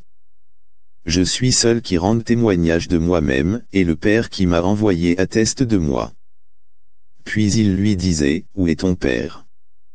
Jésus répondit, Vous ne connaissez ni moi, ni mon Père, si vous m'aviez connu, vous auriez connu aussi mon Père. Jésus dit ces paroles dans la trésorerie, alors qu'il enseignait dans le temple, et aucun homme ne mit les mains sur lui, car son heure n'était pas encore venue. Puis Jésus leur dit de nouveau, Je m'en vais, et vous me chercherez, et vous mourrez dans vos péchés, où je vais, vous ne pouvez venir. Puis les Juifs disaient, Se tuera-t-il, parce qu'il dit, Où je vais, vous ne pouvez venir. Et il leur dit, Vous êtes d'en bas, je suis d'en haut, vous êtes de ce monde, je ne suis pas de ce monde. Je vous ai donc dit, que vous mourrez dans vos péchés, car si vous ne croyez pas que je suis celui-là, vous mourrez dans vos péchés. Alors ils lui dirent, Qui es-tu? Et Jésus leur dit, C'est-à-dire le même que je vous ai dit depuis le commencement. J'ai beaucoup de choses à dire de vous et à juger, mais celui qui m'a envoyé est vrai, et je dis au monde ces choses que j'ai entendues de lui. Ils ne comprirent pas qu'il leur parlait du Père. Puis Jésus leur dit, Lorsque vous aurez élevé le Fils de l'homme, alors vous saurez que je suis celui-là, et que je ne fais rien de moi-même, mais selon ce que mon Père m'a enseigné, je dis ces choses. Et celui qui m'a envoyé est avec moi, le Père ne m'a pas laissé seul, car je fais toujours ces choses qui lui plaisent. comme il disait ces paroles, beaucoup crurent en lui. Puis Jésus dit à ces Juifs qui avaient cru en lui, Si vous continuez dans ma parole, alors vous êtes en effet mes disciples, et vous connaîtrez la vérité, et la vérité vous rendra libre. Ils lui répondirent, Nous sommes la semence d'Abraham, et nous n'avons jamais été asservis à aucun homme, comment dis-tu, vous serez rendus libres? Jésus leur répondit, En vérité, en vérité, je vous dis, que quiconque commet le péché, est le serviteur du péché. Et le serviteur ne demeure pas dans la maison pour toujours, mais le Fils y demeure toujours. Si donc le Fils vous rendra libre, vous serez en effet libre. Je sais que vous êtes la semence d'Abraham, mais vous cherchez à me tuer, parce que ma parole n'a pas de place en vous. Je dis ce que j'ai vu avec mon Père, et vous faites ce que vous avez vu avec votre Père. Ils répondirent et lui dirent, Abraham est notre Père. Jésus leur dit, Si vous étiez enfants d'Abraham, vous feriez les œuvres d'Abraham. Mais maintenant vous cherchez à me tuer, moi, un homme qui vous ai dit la vérité, laquelle j'ai entendue de Dieu, cela Abraham ne l'a pas fait. Vous faites les actions de votre Père. Alors ils lui dirent, Nous ne sommes pas nés de la fornication, nous avons un Père, c'est-à-dire Dieu. Jésus leur dit, Si Dieu était votre Père, vous m'aimeriez, car je suis provenu et je suis venu de Dieu, je ne suis pas venu de moi-même, mais il m'a envoyé. Pourquoi ne comprenez-vous pas mon langage? C'est-à-dire parce que vous ne pouvez entendre ma parole. Vous êtes de votre Père le diable, et vous voulez faire les convoitises de votre Père. Il a été un meurtrier depuis le commencement, et il n'est pas demeuré dans la vérité, parce qu'il n'y a aucune vérité en lui. Lorsqu'il dit un mensonge, il parle de ce qui lui est propre, car il est un menteur, et le père du mensonge. Et parce que je vous dis la vérité, vous ne me croyez pas. Qui de vous me convainc de pécher? Et si je dis la vérité, pourquoi ne me croyez-vous pas? Celui qui est de Dieu entend les paroles de Dieu, vous donc ne les entendez pas, parce que vous n'êtes pas de Dieu. Alors les Juifs répondirent et lui dirent, Ne disons-nous pas bien que tu es un Samaritain, et que tu as un diable Jésus répondit, Je n'ai pas un diable, mais j'honore mon Père, et vous me déshonorez. Et je ne cherche pas ma propre gloire, il y en a un qui cherche et qui juge. En vérité, en vérité, je vous dis, si un homme garde mon propos, il ne verra jamais la mort. Puis les Juifs lui dirent, Maintenant nous savons que tu as un diable. Abraham est mort ainsi que les prophètes, et tu dis, si un homme garde mon propos, il ne goûtera jamais la mort. Es-tu plus grand que notre père Abraham, qui est mort? Et les prophètes sont morts, lequel te fais-tu toi-même? Jésus répondit, Si je m'honore moi-même, mon honneur n'est rien, c'est mon Père qui m'honore, lui dont vous dites, qu'il est votre Dieu, cependant, vous ne l'avez pas connu, mais je le connais, et si je disais que je ne le connais pas, je serais un menteur semblable à vous, mais je le connais, et je garde son propos. Votre père Abraham s'est réjoui de voir mon jour, et il l'a vu, et en a été content. Alors les Juifs lui dirent, Tu n'as pas encore cinquante ans, et tu as vu Abraham. Jésus leur dit, En vérité, en vérité, je vous dis, avant qu'Abraham fût, je suis. Alors ils prirent des pierres pour les jeter contre lui, mais Jésus se cacha, et sortit du temple, allant au milieu d'eux, et ainsi passa à côté. Jean, chapitre 9. Et comme Jésus passait, il vit un homme qui était aveugle depuis sa naissance. Et ses disciples lui demandèrent, disant, Maître, qui a péché, cet homme ou ses parents, pour qu'il soit né aveugle? Jésus répondit, Ni cet homme n'a péché, ni ses parents, mais c'est afin que les œuvres de Dieu soient rendues manifestes en lui. Je dois faire les œuvres de celui qui m'a envoyé, pendant qu'il est jour, la nuit vient, où aucun homme ne peut travailler. Tant que je suis dans le monde, je suis la lumière du monde. Lorsqu'il eut ainsi parlé, il cracha sur le sol et fit de l'argile avec la salive, et il oignit les yeux de l'aveugle avec l'argile, et lui dit, Va, lave-toi dans le réservoir de Siloé, ce qui signifie par interprétation, envoyé. Il y alla donc et se lava, et revint voyant. Les voisins donc et ceux qui avaient vu auparavant qu'il était aveugle, disaient, N'est-ce pas lui qui se tenait assis, et mendiait? Quelques-uns disaient, c'est lui, d'autres disaient, il lui ressemble, mais ils disaient, je le suis. Par conséquent ils lui dirent, comment tes yeux ont-ils été ouverts? Il répondit et dit, un homme qui est appelé Jésus a fait de l'argile, et a oint mes yeux, et m'a dit, va au réservoir de Siloé, et lave-toi, et je suis allé, et me suis lavé, et j'ai reçu la vue. Alors ils lui dirent, où est-il? Il dit, je ne sais pas ils amenèrent aux pharisiens celui qui auparavant avait été aveugle. Et c'était le jour du sabbat quand Jésus avait fait l'argile, et avait ouvert ses yeux. Puis à nouveau les pharisiens lui demandèrent aussi comment il avait reçu sa vue. Et il leur dit, il a mis de l'argile sur mes yeux, et je me suis lavé, et je vois. Par conséquent quelques-uns des pharisiens disaient, cet homme n'est pas de Dieu, parce qu'il ne garde pas le jour du sabbat. D'autres disaient, comment un homme qui est un pécheur peut-il faire de tels miracles? Et il y avait une division entre eux. Ils dirent encore à l'aveugle, Toi, que dis-tu de lui, de ce qu'il a ouvert tes yeux? Il dit, Il est un prophète. Mais les Juifs ne crurent pas le concernant, qu'il avait été aveugle et avait reçu la vue, jusqu'à ce qu'ils aient appelé les parents de celui qui avait reçu sa vue. Et ils leur demandèrent, disant, Est-ce là votre fils, que vous dites être né aveugle, comment donc voit-il maintenant? Ses parents leur répondirent et dirent, Nous savons que c'est notre fils, et qu'il était né aveugle, mais par quel moyen il voit maintenant, nous ne savons pas, ou qui a ouvert ses yeux, nous ne savons pas, il est majeur, demandez-lui, il parlera pour lui-même. Ses parents dirent ces paroles, parce qu'ils craignaient les Juifs, car les Juifs avaient déjà convenu que si un homme confessait qu'il était Christ, il serait exclu de la synagogue.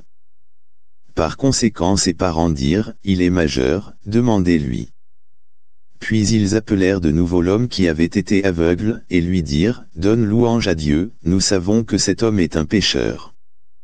Il répondit et dit, S'il est un pécheur ou pas, je ne sais, je sais une chose, alors que j'étais aveugle, maintenant je vois. Puis ils lui dirent de nouveau, Que t'a-t-il fait, comment a-t-il ouvert tes yeux?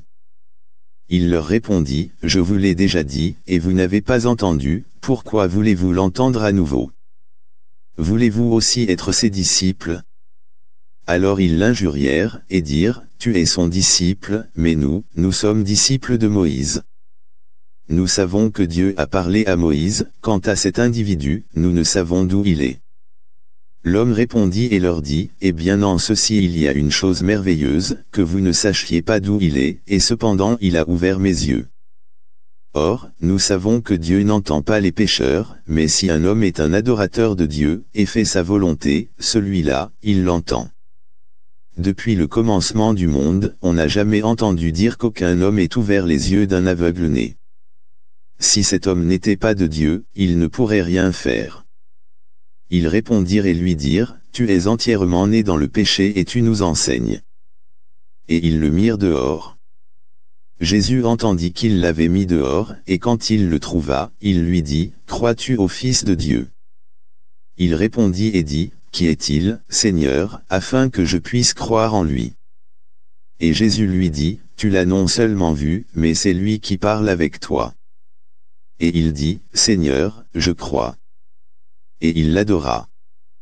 Et Jésus dit, Je suis venu dans ce monde pour le jugement, afin que ceux qui ne voient pas puissent voir, et ceux qui voient puissent être rendus aveugles.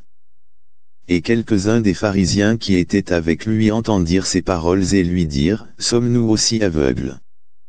Jésus leur dit, Si vous étiez aveugles, vous n'auriez pas de péché, mais maintenant vous dites, Nous voyons, par conséquent votre péché demeure. Jean, chapitre 10. En vérité, en vérité, je vous dis, celui qui n'entre pas par la porte dans la bergerie, mais qui l'escalade par quelque autre moyen, celui-là est un voleur et un brigand. Mais celui qui entre par la porte est le berger des moutons. À celui-ci le portier ouvre, et les moutons entendent sa voix, et il appelle ses propres moutons par leur nom et les conduit dehors.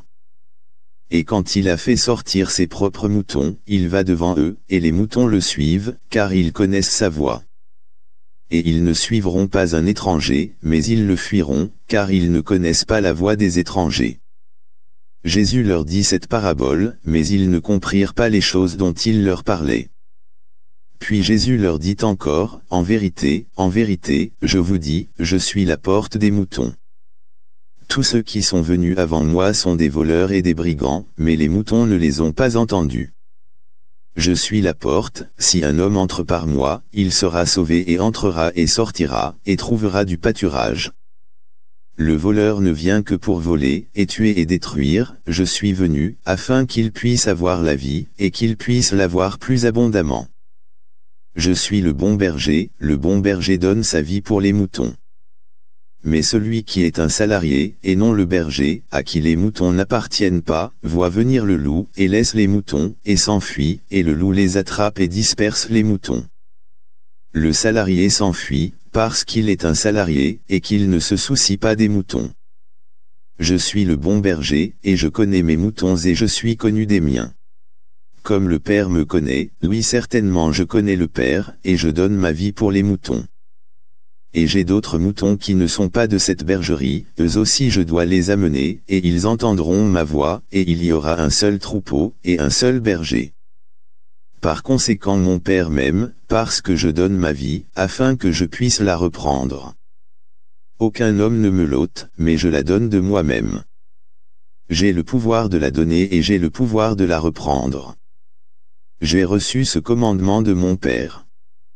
Il y eut donc de nouveau une division parmi les Juifs, à cause de ces dires. Et beaucoup d'entre eux disaient, Il a un diable, et il est fou, pourquoi l'écoutez-vous? D'autres disaient, Ce ne sont pas les paroles de celui qui a un diable. Un diable peut-il ouvrir les yeux des aveugles? Et c'était la fête de la dédicace à Jérusalem, et c'était l'hiver. Et Jésus marchait dans le temple, dans le porche de Salomon. Alors les Juifs vinrent autour de lui et lui dirent, Combien de temps nous laisseras-tu dans le doute Si tu es le Christ, dis-le nous simplement. Jésus leur répondit, Je vous l'ai dit, et vous ne croyez pas, les œuvres que je fais au nom de mon Père, elles rendent témoignage de moi. Mais vous ne croyez pas, parce que vous n'êtes pas de mes moutons, comme je vous l'ai dit. Mes moutons entendent ma voix, et je les connais, et ils me suivent, et je leur donne la vie éternelle, et ils ne périront jamais, et aucun homme ne les ravira de ma main. Mon Père, qui me les a donnés, est plus grand que tous, et aucun homme n'est capable de les ravir de la main de mon Père. Moi et mon Père sommes un. Alors les Juifs prirent de nouveau des pierres pour le lapider. Jésus leur répondit, Je vous ai montré beaucoup de bonnes œuvres de la part de mon Père, pour laquelle de ces œuvres me lapidez-vous Les Juifs lui répondirent, disant, Nous ne te lapidons pas pour une bonne œuvre, mais pour blasphème, et parce que toi, étant un homme, tu te fais Dieu.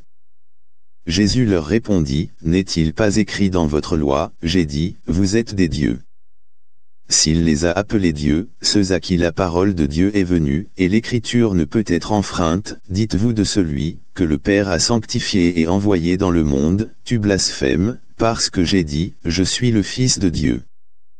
Si je ne fais pas les œuvres de mon Père, ne me croyez pas. Mais si je les fais, même si vous ne me croyez pas, croyez les œuvres, afin que vous puissiez savoir, et croire, que le Père est en moi, et moi en lui. Par conséquent il cherchait encore à le prendre, mais il échappa de leurs mains, et il s'en alla de nouveau au-delà du Jourdain, au lieu où Jean avait au commencement baptisé, et il demeura là. Et beaucoup allaient vers lui et disaient, Jean n'a fait aucun miracle, mais toutes les choses que Jean a dites de cet homme étaient vraies. Et là beaucoup crurent en lui. Jean, chapitre 11 Or un certain homme était malade, appelé Lazare, de Béthanie, la ville de Marie et de sa sœur Marthe. C'était cette Marie qui honnit le Seigneur d'un baume et essuya ses pieds avec ses cheveux, dont le frère Lazare était malade. Par conséquent ses sœurs envoyèrent vers lui, disant, Seigneur, voici, celui que tu aimes est malade. Lorsque Jésus entendit cela, il dit, Cette maladie n'est pas à la mort, mais pour la gloire de Dieu, afin que le Fils de Dieu puisse en être glorifié. Or Jésus aimait Marthe et sa sœur, et Lazare. Lorsqu'il eut donc entendu qu'il était malade, il demeura encore deux jours dans le lieu même où il était. Puis après cela il dit à ses disciples, Allons de nouveau en Judée. Ses disciples lui dirent, Maître, les Juifs cherchaient récemment à te lapider, et tu y vas encore. Jésus répondit, N'y a-t-il pas douze heures dans la journée?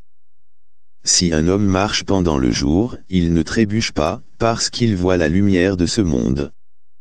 Mais si un homme marche pendant la nuit, il trébuche, parce qu'il n'y a pas de lumière en lui. Il dit ces choses, et après cela il leur dit, Notre ami Lazare dort, mais je m'en vais, afin que je puisse le réveiller de son sommeil. Puis ses disciples dirent, Seigneur, s'il dort, il ira bien. Quoi qu'il en soit Jésus avait parlé de sa mort, mais il pensait qu'il avait parlé de prendre du repos en dormant. Alors Jésus leur dit clairement, Lazare est mort et je suis content pour vous, de ce que je n'étais pas là, afin que vous croyiez, néanmoins allons vers lui. Alors Thomas, qui est appelé Didyme, dit à ses condisciples, Allons, nous aussi, afin que nous puissions mourir avec lui. Puis quand Jésus vint il trouva qu'il était étendu dans le tombeau depuis quatre jours. Or, Béthanie était près de Jérusalem, à environ quinze stades, et beaucoup parmi les Juifs étaient venus auprès de Marthe et de Marie, pour les consoler au sujet de leurs frères. Alors Marthe, dès qu'elle entendit que Jésus venait, alla à sa rencontre, mais Marie était assise silencieuse à la maison. Alors Marthe dit à Jésus, Seigneur, si tu avais été ici, mon frère ne serait pas mort mais je sais que maintenant même, tout ce que tu demanderas à Dieu, Dieu te le donnera. Jésus lui dit, Ton frère ressuscitera. Marthe lui dit, Je sais qu'il ressuscitera à la résurrection, au dernier jour. Jésus lui dit, Je suis la résurrection et la vie, celui qui croit en moi, bien qu'il soit mort, cependant il vivra, et quiconque vit et croit en moi, ne mourra jamais. Crois-tu cela? Elle lui dit, Oui, Seigneur, je crois que tu es le Christ, le Fils de Dieu, qui devait venir dans le monde. Et lorsqu'elle eut dit cela, elle s'en alla et appela Marie sa sœur secrètement, disant, Le Maître est venu et t'appelle. Dès qu'elle entendit cela, elle se leva rapidement et vint vers lui. Or Jésus n'était pas encore entré dans la ville, mais était à l'endroit où Marthe l'avait rencontré. Alors les Juifs qui étaient avec elle dans la maison, et qui la consolaient, lorsqu'ils virent que Marie s'était levée en hâte et était sortie, la suivirent, disant, Elle va vers le tombeau, pour y pleurer. Alors quand Marie fut venue où était Jésus, et qu'elle le vit, elle tomba à terre à ses pieds, lui disant, Seigneur, si tu avais été ici, mon frère ne serait pas mort. Quand donc Jésus la vit pleurer, et les Juifs pleurant également, lesquels étaient venus avec elle, il gémit en son esprit, et fut troublé, et dit, Où l'avez-vous mis? Ils lui dirent, Seigneur, viens et vois. Jésus pleura. Alors les Juifs disaient, Voyez comme il l'aimait. Mais quelques-uns d'entre eux disaient, Cet homme qui a ouvert les yeux de l'aveugle, ne pouvait-il pas faire que même cet homme ne meure pas? Jésus donc, gémissant de nouveau en lui-même, vient au tombeau. C'était une grotte, et une pierre était mise dessus. Jésus dit, Retirez la pierre. Marthe, la sœur de celui qui était mort, lui dit, Seigneur, il sent déjà mauvais, car il est mort depuis quatre jours.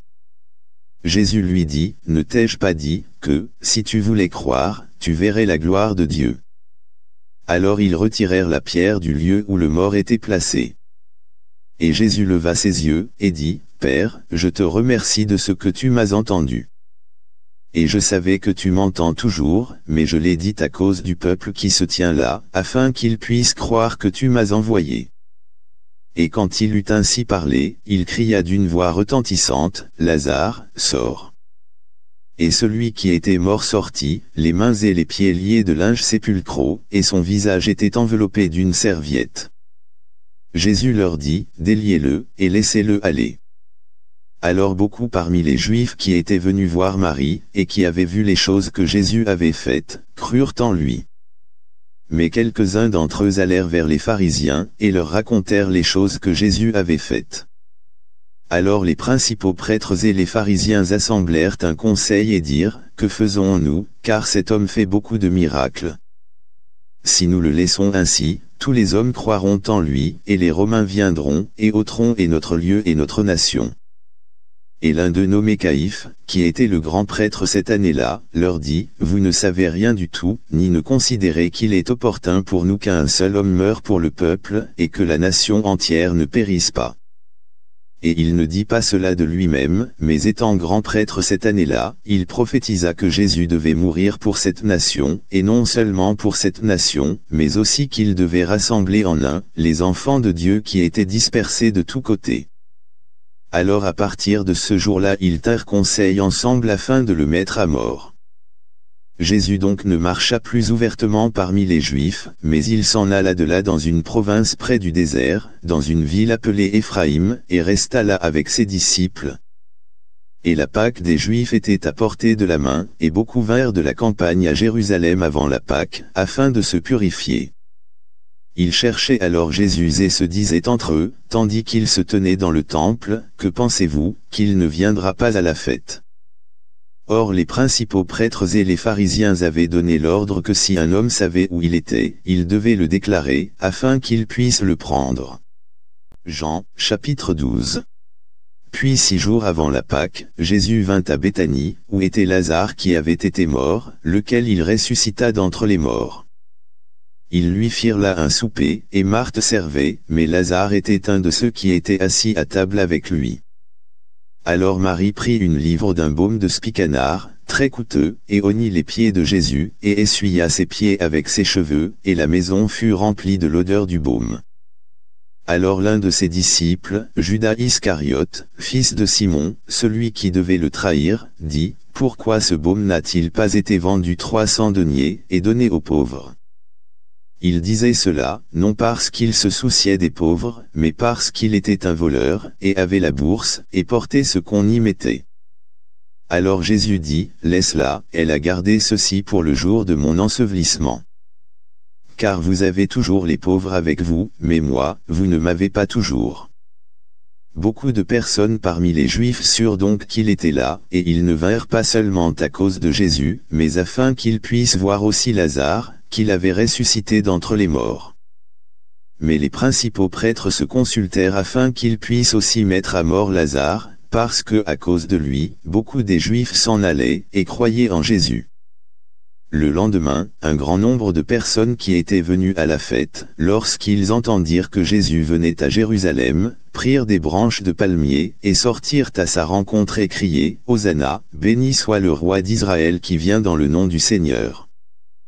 Et Jésus, lorsqu'il trouva un anon, s'assit dessus, selon qu'il est écrit, Ne crains pas, fille de Sion, voici, ton roi vient, assis sur l'anon d'une ânesse. Ses disciples ne comprirent pas d'abord ces choses, mais quand Jésus fut glorifié, alors ils se souvinrent que ces choses étaient écrites de lui, et qu'ils avaient fait ces choses envers lui à son égard. Le peuple donc qui était avec lui lorsqu'il appela Lazare hors de son tombeau, et qu'il le ressuscita d'entre les morts, attesta. C'est aussi pour ce motif que le peuple allait à sa rencontre, car ils avaient entendu qu'il avait fait ce miracle. Les pharisiens dirent donc entre eux, Ne percevez-vous pas que vous ne gagnez rien Voici, le monde est allé après lui et il y avait certains Grecs parmi ceux qui étaient montés pour adorer à la fête, cela vinrent donc à Philippe, qui était de Beth Saïda de Galilée, et le prièrent, disant, Sire, nous voudrions voir Jésus. Philippe vient et le dit à André, et de nouveau André et Philippe le dirent à Jésus. Et Jésus leur répondit, disant, L'heure est venue, où le Fils de l'homme doit être glorifié. En vérité, en vérité, je vous dis, à moins qu'un grain de blé tombe dans la terre et ne meure, il demeure seul, mais s'il meurt, il porte beaucoup de fruits. Celui qui aime sa vie la perdra, et celui qui est sa vie en ce monde, la gardera jusqu'à la vie éternelle. Si un homme me sert, qu'il me suive, et où je suis, là sera aussi mon serviteur, si un homme me sert, mon Père l'honorera. Maintenant mon âme est troublée, et que dirais-je Père, sauve-moi de cette heure, mais c'est pour ce motif que je suis venu à cette heure. Père, glorifie ton nom. Alors il vint une voix du ciel, disant, Je l'ai glorifié, et le glorifierai encore. Le peuple donc, qui se tenait là, et l'avait entendu, disait qu'il avait tonné, d'autres disaient, Un ange lui a parlé. Jésus répondit et dit, Cette voix n'est pas venue à cause de moi, mais pour vous. Maintenant est le jugement de ce monde, maintenant le prince de ce monde sera jeté dehors. Et moi, si je suis élevé de la terre, j'attirerai tous les hommes vers moi. Il disait cela, pour signifier de quelle mort il devait mourir. Le peuple lui répondit, Nous avons appris de la loi que Christ demeure pour toujours, et comment dis-tu, le Fils de l'homme doit être élevé? Qui est ce Fils de l'homme? Alors Jésus leur dit, Pour encore un petit moment la lumière est avec vous. Marchez pendant que vous avez la lumière, de peur que l'obscurité ne vienne sur vous, car celui qui marche dans l'obscurité ne sait où il va. Pendant que vous avez la lumière, croyez en la lumière, afin que vous puissiez être les enfants de lumière. Jésus dit ces choses, et s'en alla et se cacha d'eux. Mais bien qu'il eût fait tant de miracles devant eux, cependant ils ne crurent pas en lui, afin que puisse être accompli le propos d'Ésaïe le prophète, qu'il a dit, Seigneur, qui a cru notre rapport? Et à qui le bras du Seigneur a-t-il été révélé? Par conséquent ils ne pouvaient pas croire, parce que Esaïe a dit encore, il a aveuglé leurs yeux, et endurci leur cœur, afin qu'ils ne voient pas avec leurs yeux, ni ne comprennent avec leur cœur, et ne soient convertis, et que je ne les guérisse. Esaïe dit ces choses, lorsqu'il vit sa gloire et parla de lui. Néanmoins beaucoup aussi parmi les chefs des dirigeants crurent en lui, mais à cause des pharisiens ils ne le confessaient pas, de peur qu'il soit exclu de la synagogue, car ils aimèrent la louange des hommes plus que la louange de Dieu. Jésus s'écria et dit, Celui qui croit en moi, ne croit pas en moi, mais en celui qui m'a envoyé. Et celui qui me voit, voit celui qui m'a envoyé. Je suis venu comme une lumière dans le monde, afin que quiconque croit en moi ne demeure pas dans l'obscurité. Et si un homme entend mes paroles, et ne croit pas, je ne le juge pas, car je ne suis pas venu pour juger le monde, mais pour sauver le monde.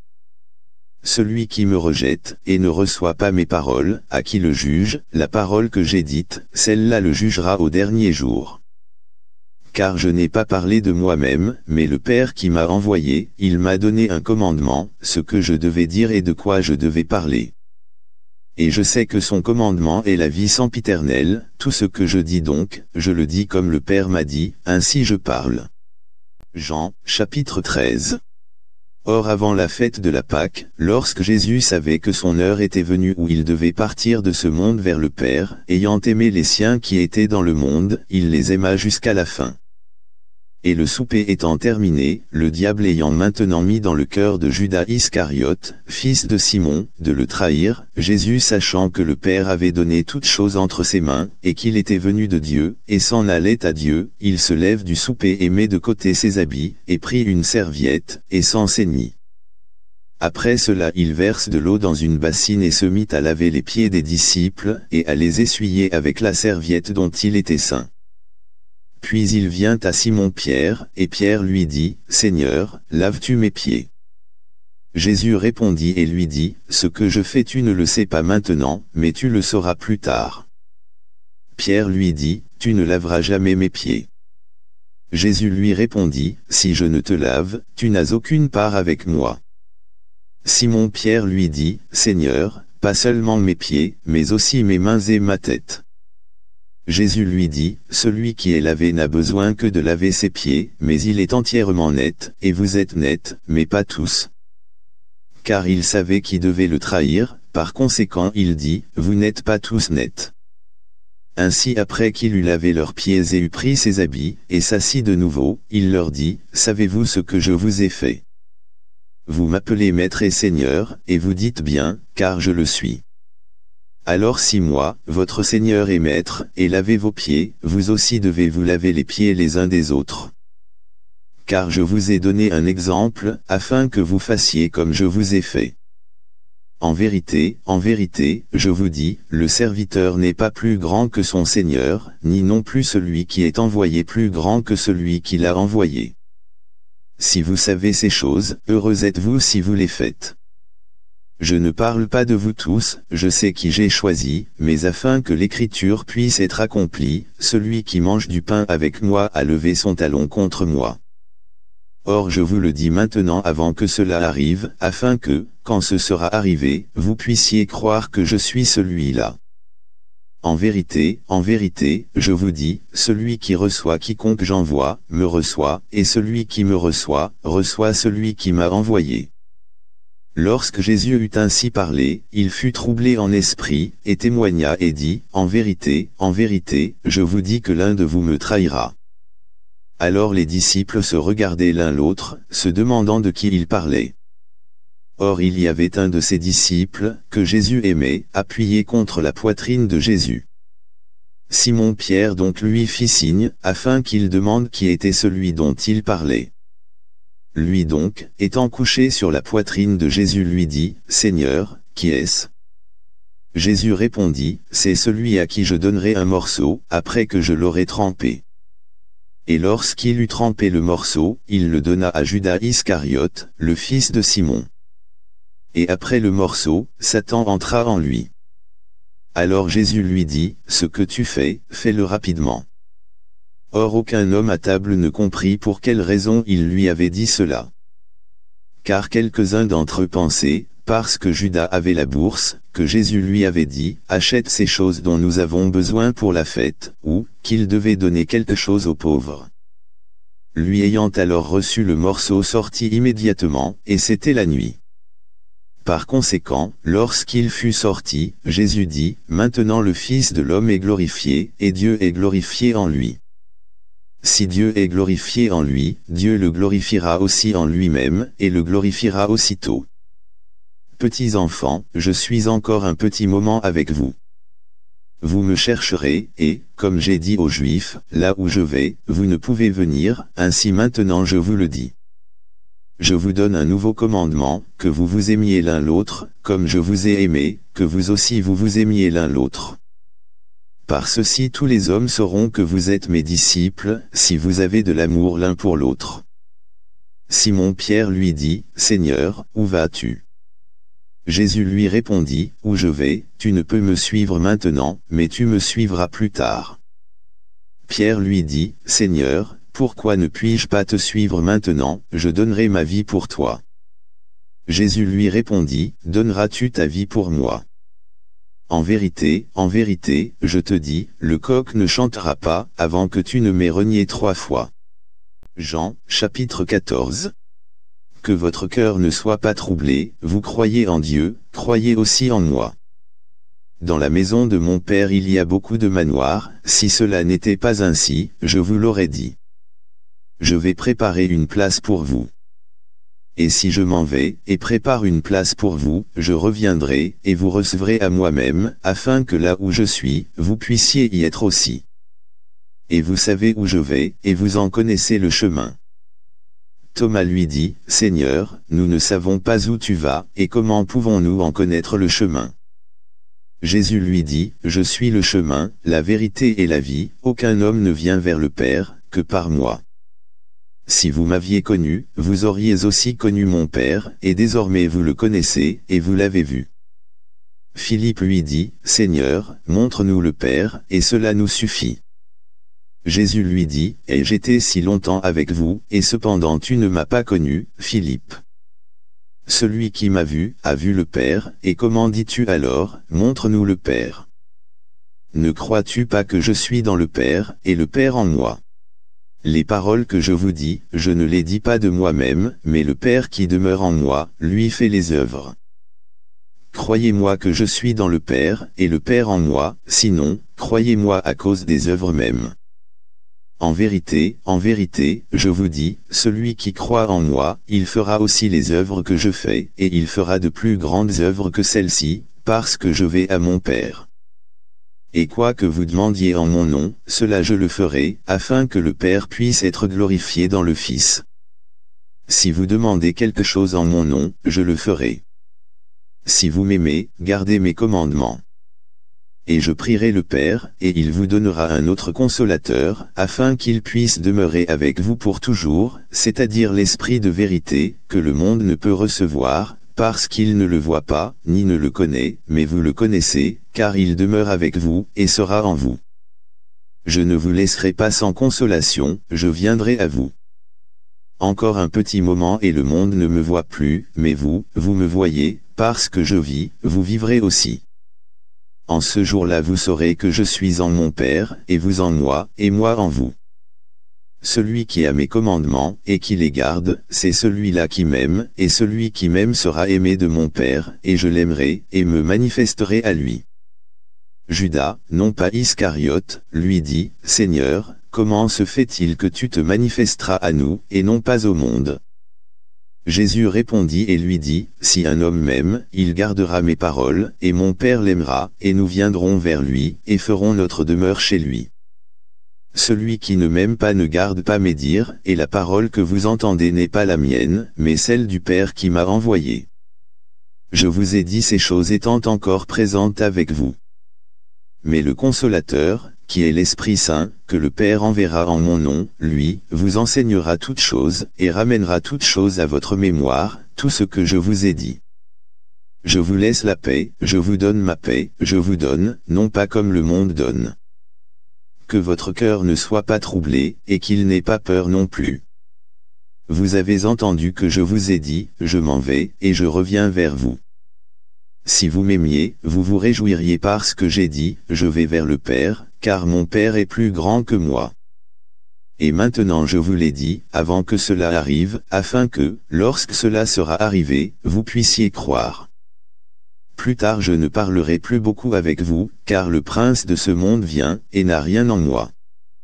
Mais c'est afin que le monde puisse savoir que j'aime le Père, et je fais, oui certainement, comme le Père m'a donné commandement. Levez-vous, partons d'ici. Jean, chapitre 15.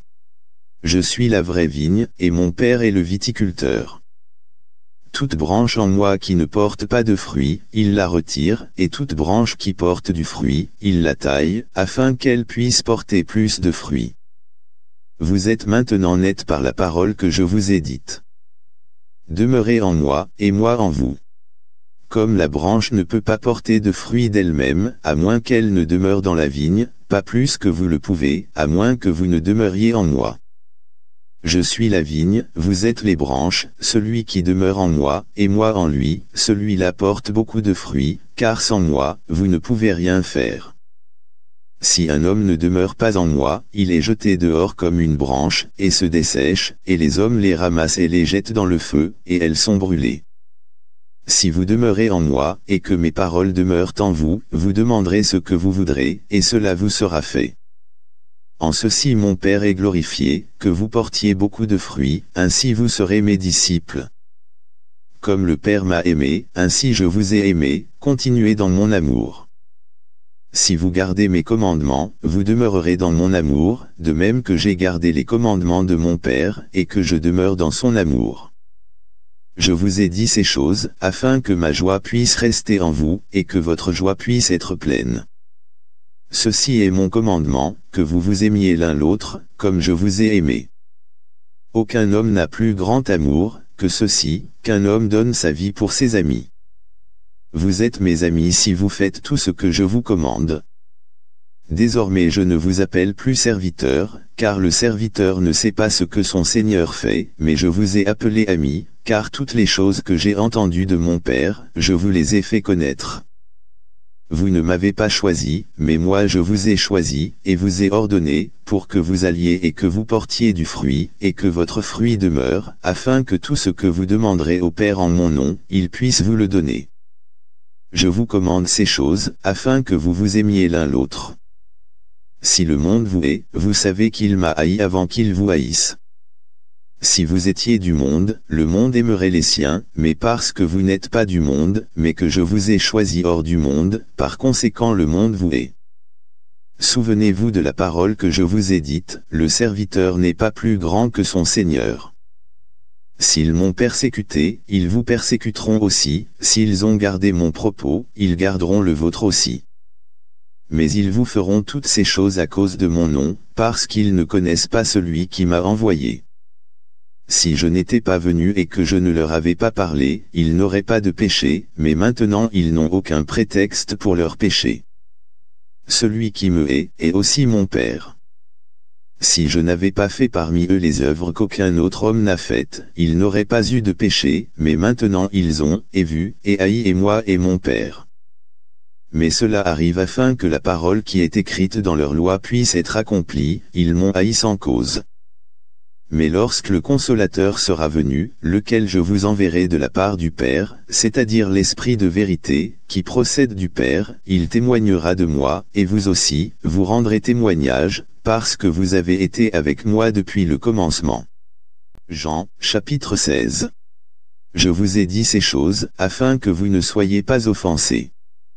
Ils vous excluront des synagogues, oui, l'heure vient où quiconque vous tuera pensera rendre service à Dieu. Et ils vous feront ces choses, parce qu'ils n'auront connu ni le Père, ni moi. Mais je vous ai dit ces choses, afin que lorsque l'heure sera venue, vous puissiez vous souvenir que je vous en ai parlé et je ne vous ai pas dit ces choses au commencement parce que j'étais avec vous. Mais maintenant je m'en vais à celui qui m'a envoyé, et aucun de vous ne me demande, Où vas-tu? Mais parce que je vous ai dit ces choses, la douleur a rempli votre cœur. Néanmoins je vous dis la vérité, il est opportun pour vous que je m'en aille, car si je ne pars pas, le consolateur ne viendra pas en vous, mais si je pars, je vous l'enverrai et quand il sera venu, il convaincra le monde de péché, et de droiture et de jugement, de péché, parce qu'il ne croit pas en moi, de droiture, parce que je m'en vais à mon Père, et que vous ne me voyez plus, de jugement, parce que le prince de ce monde est jugé. J'ai encore beaucoup de choses à vous dire, mais vous ne pouvez pas les supporter maintenant. Quoi qu'il en soit quand lui, l'Esprit de vérité, sera venu, il vous guidera en toute vérité, car il ne parlera pas de lui-même, mais il dira tout ce qu'il aura entendu, et il vous montrera les choses à venir. Il me glorifiera, car il recevra de ce qui est à moi, et vous le montrera. Toutes les choses que le Père a sont à moi, par conséquent j'ai dit, qu'il prendra de ce qui est à moi, et vous le montrera un petit moment et vous ne me verrez pas, et encore, un petit moment, et vous me verrez, parce que je m'en vais au Père. Alors quelques-uns de ses disciples se dirent entre eux, Qu'est-ce qu'il nous dit, un petit moment, vous ne me verrez pas, et encore, un petit moment et vous me verrez, et, parce que je m'en vais au Père. Il disait donc, Qu'est-ce qu'il dit, un petit moment Nous ne pouvons comprendre ce qu'il dit. Or Jésus savait qu'ils désiraient l'interroger, et il leur dit, Vous demandez-vous entre vous sur ce que j'ai dit, un petit moment et vous ne me verrez pas, et encore, un petit moment, et vous me verrez. En vérité, en vérité, je vous dis, que vous pleurerez et vous vous lamenterez, mais le monde se réjouira, et vous serez attristés, mais votre tristesse sera changée en joie. Une femme quand elle est en travail a des douleurs, parce que son heure est venue, mais dès qu'elle a accouché de l'enfant, elle ne se souvient plus de l'angoisse, à cause de la joie qu'elle a de ce qu'un homme est né dans le monde. Et maintenant vous avez donc de la tristesse, mais je vous verrai de nouveau, et votre cœur se réjouira, et aucun homme ne vous ôtera votre joie. Et en ce jour-là vous ne me demanderez rien. En vérité, en vérité, je vous dis, tout ce que vous demanderez au Père en mon nom, il vous le donnera. Jusqu'à présent vous n'avez rien demandé en mon nom, demandez et vous recevrez, afin que votre joie puisse être pleine. Je vous ai dit ces choses par des proverbes, mais le temps vient, quand je ne vous parlerai plus par proverbes, mais je vous montrerai clairement au sujet du Père. En ce jour-là vous demanderez en mon nom, et je ne vous dis pas, que je prierai le Père pour vous, car le Père lui-même vous aime, parce que vous m'avez aimé, et vous avez cru que je suis sorti de Dieu. Je suis sorti du Père, et je suis venu dans le monde, de nouveau, je quitte le monde, et je vais vers le Père. Ses disciples lui dirent, Voici, maintenant tu parles simplement, et tu ne dis pas de proverbe. Maintenant nous sommes certains que tu sais toutes choses, et que tu n'as pas besoin qu'un homme t'interroge, par cela nous croyons que tu es venu de Dieu. Jésus leur répondit, Croyez-vous maintenant? Voici, l'heure vient, oui, est maintenant venue, où vous serez dispersés, chaque homme de son côté, et où vous me laisserez seul, et cependant, je ne suis pas seul, parce que le Père est avec moi. Je vous ai dit ces choses, afin qu'en moi, vous puissiez avoir la paix. Dans le monde vous aurez de la tribulation, mais ayez bon courage, j'ai vaincu le monde. Jean, chapitre 17. Jésus dit ces paroles et leva ses yeux au ciel, et dit, Père, l'heure est venue, glorifie ton Fils, afin que ton Fils puisse aussi te glorifier, comme tu lui as donné pouvoir sur toute chair, afin qu'il donne la vie éternelle à tous ceux que tu lui as donnés. Et cela est la vie éternelle, qu'ils puissent te connaître, toi le seul vrai Dieu, et Jésus-Christ que tu as envoyé. Je t'ai glorifié sur la terre, j'ai achevé l'œuvre que tu m'avais donnée à faire. Et maintenant, ô Père, glorifie-moi avec toi-même, de la gloire que j'avais avec toi avant que le monde fût. J'ai manifesté ton nom aux hommes que tu m'as donnés du monde, ils étaient à toi, et tu me les as donnés, et ils ont gardé ta parole.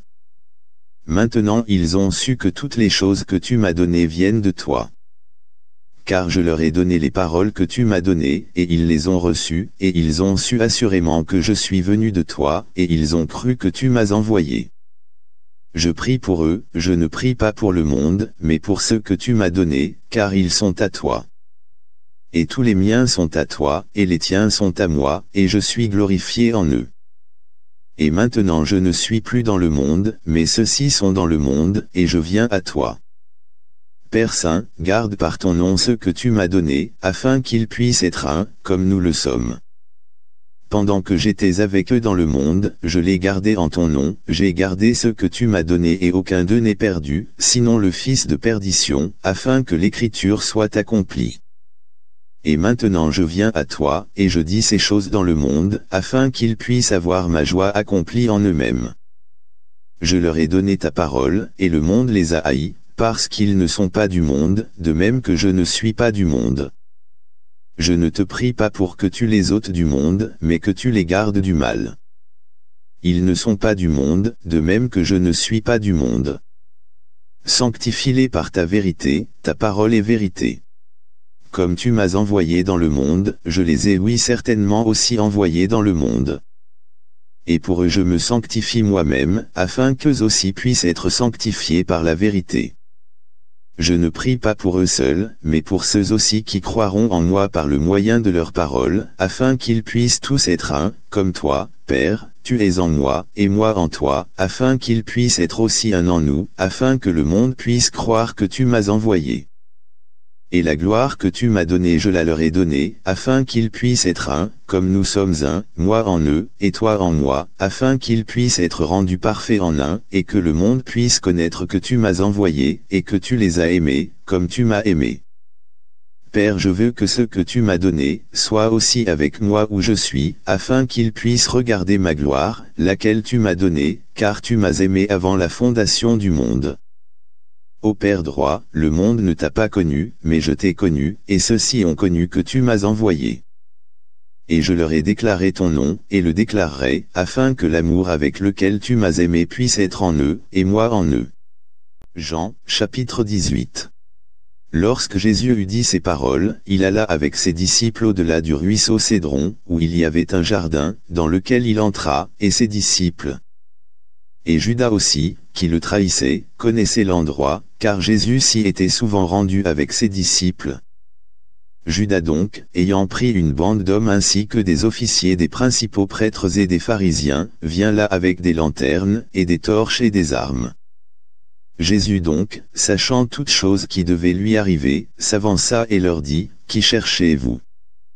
Ils lui répondirent, Jésus de Nazareth. Jésus leur dit, Je le suis. Et Judas aussi, lequel le trahissait, se tenait avec eux. Dès qu'il leur eut dit, Je le suis, ils reculèrent et tombèrent à terre. Alors il leur demanda de nouveau, Qui cherchez-vous? Et ils dirent, Jésus de Nazareth. Jésus répondit, Je vous ai dit que je le suis, si donc vous me cherchez, laissez ceci partir, afin que le propos qu'il avait dit puisse être accompli, je n'ai perdu aucun de ceux que tu m'as donnés. Alors Simon-Pierre ayant une épée, la tira et en frappa le serviteur du grand prêtre, et coupa son oreille droite. Le nom du serviteur était Malchus. Alors Jésus dit à Pierre, Remets ton épée dans le fourreau, la coupe que mon père m'a donnée, ne la boirai-je pas? Alors la bande et le capitaine et les officiers des Juifs prirent Jésus, et le lièrent, et l'emmenèrent d'abord chez Anne, car il était le beau-père de Caïphe, lequel était le grand prêtre cette année-là. Or Caïphe était celui, qui avait donné conseil aux Juifs, qu'il était opportun qu'un seul homme meure pour le peuple. Et Simon-Pierre suivait Jésus, ainsi qu'un autre disciple, ce disciple était connu du grand prêtre, et entra avec Jésus dans le palais du grand prêtre. Mais Pierre se tenait dehors à la porte. Alors l'autre disciple, qui était connu du grand prêtre, sortit et parla à celle qui gardait la porte, et fit entrer Pierre. Alors la jeune fille qui gardait la porte dit à Pierre, N'es-tu pas aussi un des disciples de cet homme? Il dit, Je n'en suis pas et les serviteurs et les officiers se tenaient là, lesquels avaient fait un feu de charbon, car il faisait froid, et ils se chauffaient, et Pierre se tenait avec eux, et se chauffait. Le grand prêtre alors demanda à Jésus au sujet de ses disciples, et de sa doctrine. Jésus lui répondit, J'ai parlé ouvertement au monde, j'ai toujours enseigné dans la synagogue, et dans le temple, où les Juifs se rendent toujours, et je n'ai rien dit en secret. Pourquoi m'interroges-tu? Interroge ceux qui m'ont entendu, sur ce que je leur ai dit, voici, ils savent ce que j'ai dit. Et lorsqu'il eut ainsi parlé, un des officiers qui se tenait là frappa Jésus avec la paume de sa main, disant, Réponds-tu ainsi au grand prêtre? Jésus lui répondit, Si j'ai mal parlé, rends témoignage du mal, mais si j'ai bien parlé pourquoi me frappes-tu? Or Anne l'avait envoyé lier vers Caïphe le grand prêtre. Et Simon-Pierre se tenait debout et se chauffait. Ils lui dirent donc, N'es-tu pas aussi un de ses disciples? Il le nia, et dit, Je n'en suis pas. L'un des serviteurs du grand prêtre, étant parent de celui à qui Pierre avait coupé l'oreille, dit, Ne t'ai-je pas vu dans le jardin avec lui? Alors Pierre nia encore, et immédiatement le coq chanta. Puis ils menèrent Jésus de chez Caïphe dans la salle de jugement, et il était tôt, et ils n'entrèrent pas eux-mêmes dans la salle de jugement, de peur qu'ils ne soient souillés, mais afin qu'ils puissent manger la Pâque. Pilate donc sortit vers eux et dit, Quelle accusation portez-vous contre cet homme? Ils répondirent et lui dirent, S'il n'était pas un malfaiteur, nous ne te l'aurions pas livré. Alors Pilate leur dit, Prenez-le et jugez-le selon votre loi. Les Juifs donc lui dirent, Il ne nous est pas permis de mettre un homme à mort, afin que le propos de Jésus puisse être accompli, lequel il avait dit, signifiant de quelle mort il devait mourir. Alors Pilate entra de nouveau dans la salle de jugement, et appela Jésus, et lui dit, Es-tu le roi des Juifs? Jésus lui répondit, Dis-tu cette chose de toi-même, ou d'autres te l'ont-ils dite de moi? Pilate répondit, Suis-je un Juif? Ta propre nation et les principaux prêtres t'ont livré à moi, qu'as-tu fait? Jésus répondit, Mon royaume n'est pas de ce monde, si mon royaume était de ce monde, alors mes serviteurs combattraient, afin que je ne sois pas livré aux Juifs, mais maintenant mon royaume n'est pas d'ici. Pilate donc lui dit, Es-tu un roi alors? Jésus répondit, Tu dis que je suis un roi. Je suis né à cette fin, et pour ce motif je suis venu dans le monde, afin que je rende témoignage à la vérité. Quiconque est de la vérité entend ma voix. Pilate lui dit, Qu'est-ce que la vérité? Et lorsqu'il eut dit cela, il sortit de nouveau vers les Juifs, et leur dit, Je ne trouve aucune faute en lui. Mais vous avez une coutume, que je vous relâche quelqu'un à la Pâque, voulez-vous donc que je vous relâche le roi des Juifs? Alors ils s'écrièrent tous à nouveau, disant, non pas cet homme, mais Barabbas. Or Barabbas était un brigand. Jean, chapitre 19. Alors donc Pilate prit Jésus, et le fouetta. Et les soldats tressèrent une couronne d'épines, et la posèrent sur sa tête, et lui mirent une robe pourpre, et disaient, Salut, roi des Juifs. Et ils le frappaient avec leurs mains. Pilate donc sortit de nouveau et leur dit, Voici, je vous l'amène, afin que vous puissiez savoir que je ne trouve aucune faute en lui. Puis Jésus sortit, portant la couronne d'épines et la robe pourpre. Et Pilate leur dit, Voici l'homme. Quand donc les principaux prêtres et les officiers le virent, ils s'écrièrent, disant, Crucifie-le, crucifie-le. Pilate leur dit, Prenez-le et crucifiez-le, car je ne trouve aucune faute en lui. Les Juifs lui répondirent, Nous avons une loi, et d'après notre loi il doit mourir, parce qu'il s'est fait le Fils de Dieu. Quand Pilate donc entendit ce propos, il eut encore plus peur, et il entra de nouveau dans la salle de jugement et dit à Jésus, D'où es-tu? Mais Jésus ne lui donna aucune réponse. Alors Pilate lui dit, Ne me parles-tu pas Ne sais-tu pas que j'ai le pouvoir de te crucifier, et, et le pouvoir de te relâcher? Jésus répondit, Tu ne pourrais avoir aucun pouvoir contre moi, s'il ne t'était donné d'en haut, par conséquent celui qui m'a livré à toi, il a le plus grand péché. Et désormais Pilate cherchait à le relâcher, mais les Juifs s'écriaient, disant, Si tu laisses cet homme partir, tu n'es pas l'ami de César, quiconque se fait roi parle contre César. Lorsque Pilate donc entendit ce propos, il fit sortir Jésus, et s'assit sur le siège de jugement dans un lieu appelé le pavement, mais en hébreu Gabata. Et c'était la préparation de la Pâque, et environ la sixième heure, et il dit aux Juifs, Voici votre roi. Mais ils s'écrièrent, ôte-le, ôte-le, crucifie-le. Pilate leur dit, Crucifierai-je votre roi? Les principaux prêtres répondirent, Nous n'avons pas d'autre roi que César. Alors il le leur livra donc pour être crucifié. Et ils prirent Jésus et l'emmenèrent. Et lui portant sa croix, s'en alla à un lieu appelé le lieu du crâne, qui est appelé en hébreu Golgotha, où ils le crucifièrent, et deux autres avec lui, un de chaque côté, et Jésus au milieu. Et Pilate écrivit un écriteau et le mit sur la croix. Et il était écrit, Jésus de Nazareth, le roi des Juifs. Cet écriteau fut alors lu par beaucoup de Juifs, car le lieu où Jésus était crucifié était près de la ville, et il était écrit en hébreu, et en grec, et en latin. Alors les principaux prêtres des Juifs dirent à Pilate, N'écris pas, le roi des Juifs, mais qu'il a dit, Je suis roi des Juifs. Pilate répondit, Ce que j'ai écrit, j'ai écrit.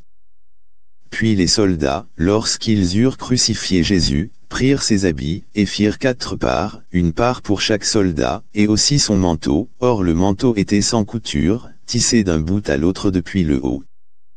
Ils dirent donc entre eux, ne le déchirons pas, mais tirons-le au sort, à qui il sera, afin que l'écriture puisse être accomplie, laquelle dit, ils ont partagé mon habillement entre eux, et ils ont tiré au sort ma vesture. Les soldats firent donc ces choses. Or se tenait près de la croix de Jésus, sa mère, et la sœur de sa mère, Marie, la femme de Cléopas, et Marie Magdeleine. Lorsque Jésus donc vit sa mère, et le disciple qu'il aimait se tenant là, il dit à sa mère, Femme, voici ton fils. Puis il dit au disciple, Voilà ta mère. Et à partir de cette heure, ce disciple l'a pris dans sa propre maison. Après cela, Jésus, sachant que toute chose était maintenant accomplie, afin que l'écriture puisse être accomplie, dit, J'ai soif. Or il y avait un récipient plein de vinaigre, et ils emplirent de vinaigre une éponge, et la mirent sur de l'hysope, et la mirent à sa bouche. Lorsque Jésus donc eut reçu le vinaigre, il dit, C'est fini, et il baissa sa tête, et rendit l'esprit. Les Juifs donc, parce que c'était la préparation, afin que les corps ne restent pas sur la croix le jour du sabbat, car ce jour du sabbat était un grand jour, supplièrent Pilate que leurs jambes soient brisées, et qu'ils puissent être enlevés. Alors les soldats vinrent et brisèrent les jambes du premier, et de l'autre qui était crucifié avec lui. Mais lorsqu'ils vinrent à Jésus, et virent qu'il était déjà mort, ils ne brisèrent pas ses jambes, mais un des soldats perça son côté avec une lance, et tout de suite il en sortit du sang et de l'eau. Et celui qui l'a vu attesta, et son attestation est vraie, et il sait qu'il dit vrai, afin que vous puissiez croire. Car ces choses ont été faites afin que l'écriture soit accomplie, pas un de ses os ne sera brisé. Et encore une autre écriture dit, ils regarderont celui qu'ils ont percé. Et après cela Joseph d'Arimathée, étant un disciple de Jésus, mais secrètement par crainte des Juifs, supplia Pilate afin qu'il puisse enlever le corps de Jésus, et Pilate le lui permit. Il vint donc et prit le corps de Jésus. Et Nicodème vint aussi, qui au commencement était venu à Jésus de nuit, et apporta un mélange de myrrhe et d'aloès, d'un poids d'environ cent livres. Puis ils prirent le corps de Jésus, et l'enveloppèrent de linge de lin, avec les aromates, selon la manière d'ensevelir des Juifs. Or il y avait au lieu où il avait été crucifié un jardin, et dans le jardin un sépulcre neuf, dans lequel personne encore n'avait été placé. Ils y placèrent donc Jésus à cause du jour de la préparation des Juifs, car le sépulcre était à portée de la main. Jean, chapitre 20. Le premier jour de la semaine Marie Magdeleine vient tôt au sépulcre quand il faisait encore sombre, et voit la pierre ôtée du sépulcre. Alors elle court et vient à Simon-Pierre et à l'autre disciple, que Jésus aimait, et leur dit, Ils ont enlevé le Seigneur du sépulcre, et nous ne savons pas où ils l'ont placé. Pierre donc s'en alla, et cet autre disciple, et vinrent au sépulcre. Ainsi ils couraient tous deux ensemble, et l'autre disciple dépassa Pierre et arriva le premier au sépulcre. Et s'étant baissé, et regardant à l'intérieur, il vit les linges de lin à terre, cependant il n'entra pas. Puis vient Simon-Pierre qui le suivait, et entra dans le sépulcre, et voit les linges de lin à terre, et la serviette qui avait été autour de sa tête, non pas à terre avec les linges de lin, mais pliés dans un endroit à part. Alors entra aussi cet autre disciple, qui était venu le premier au sépulcre, et il vit, et crut.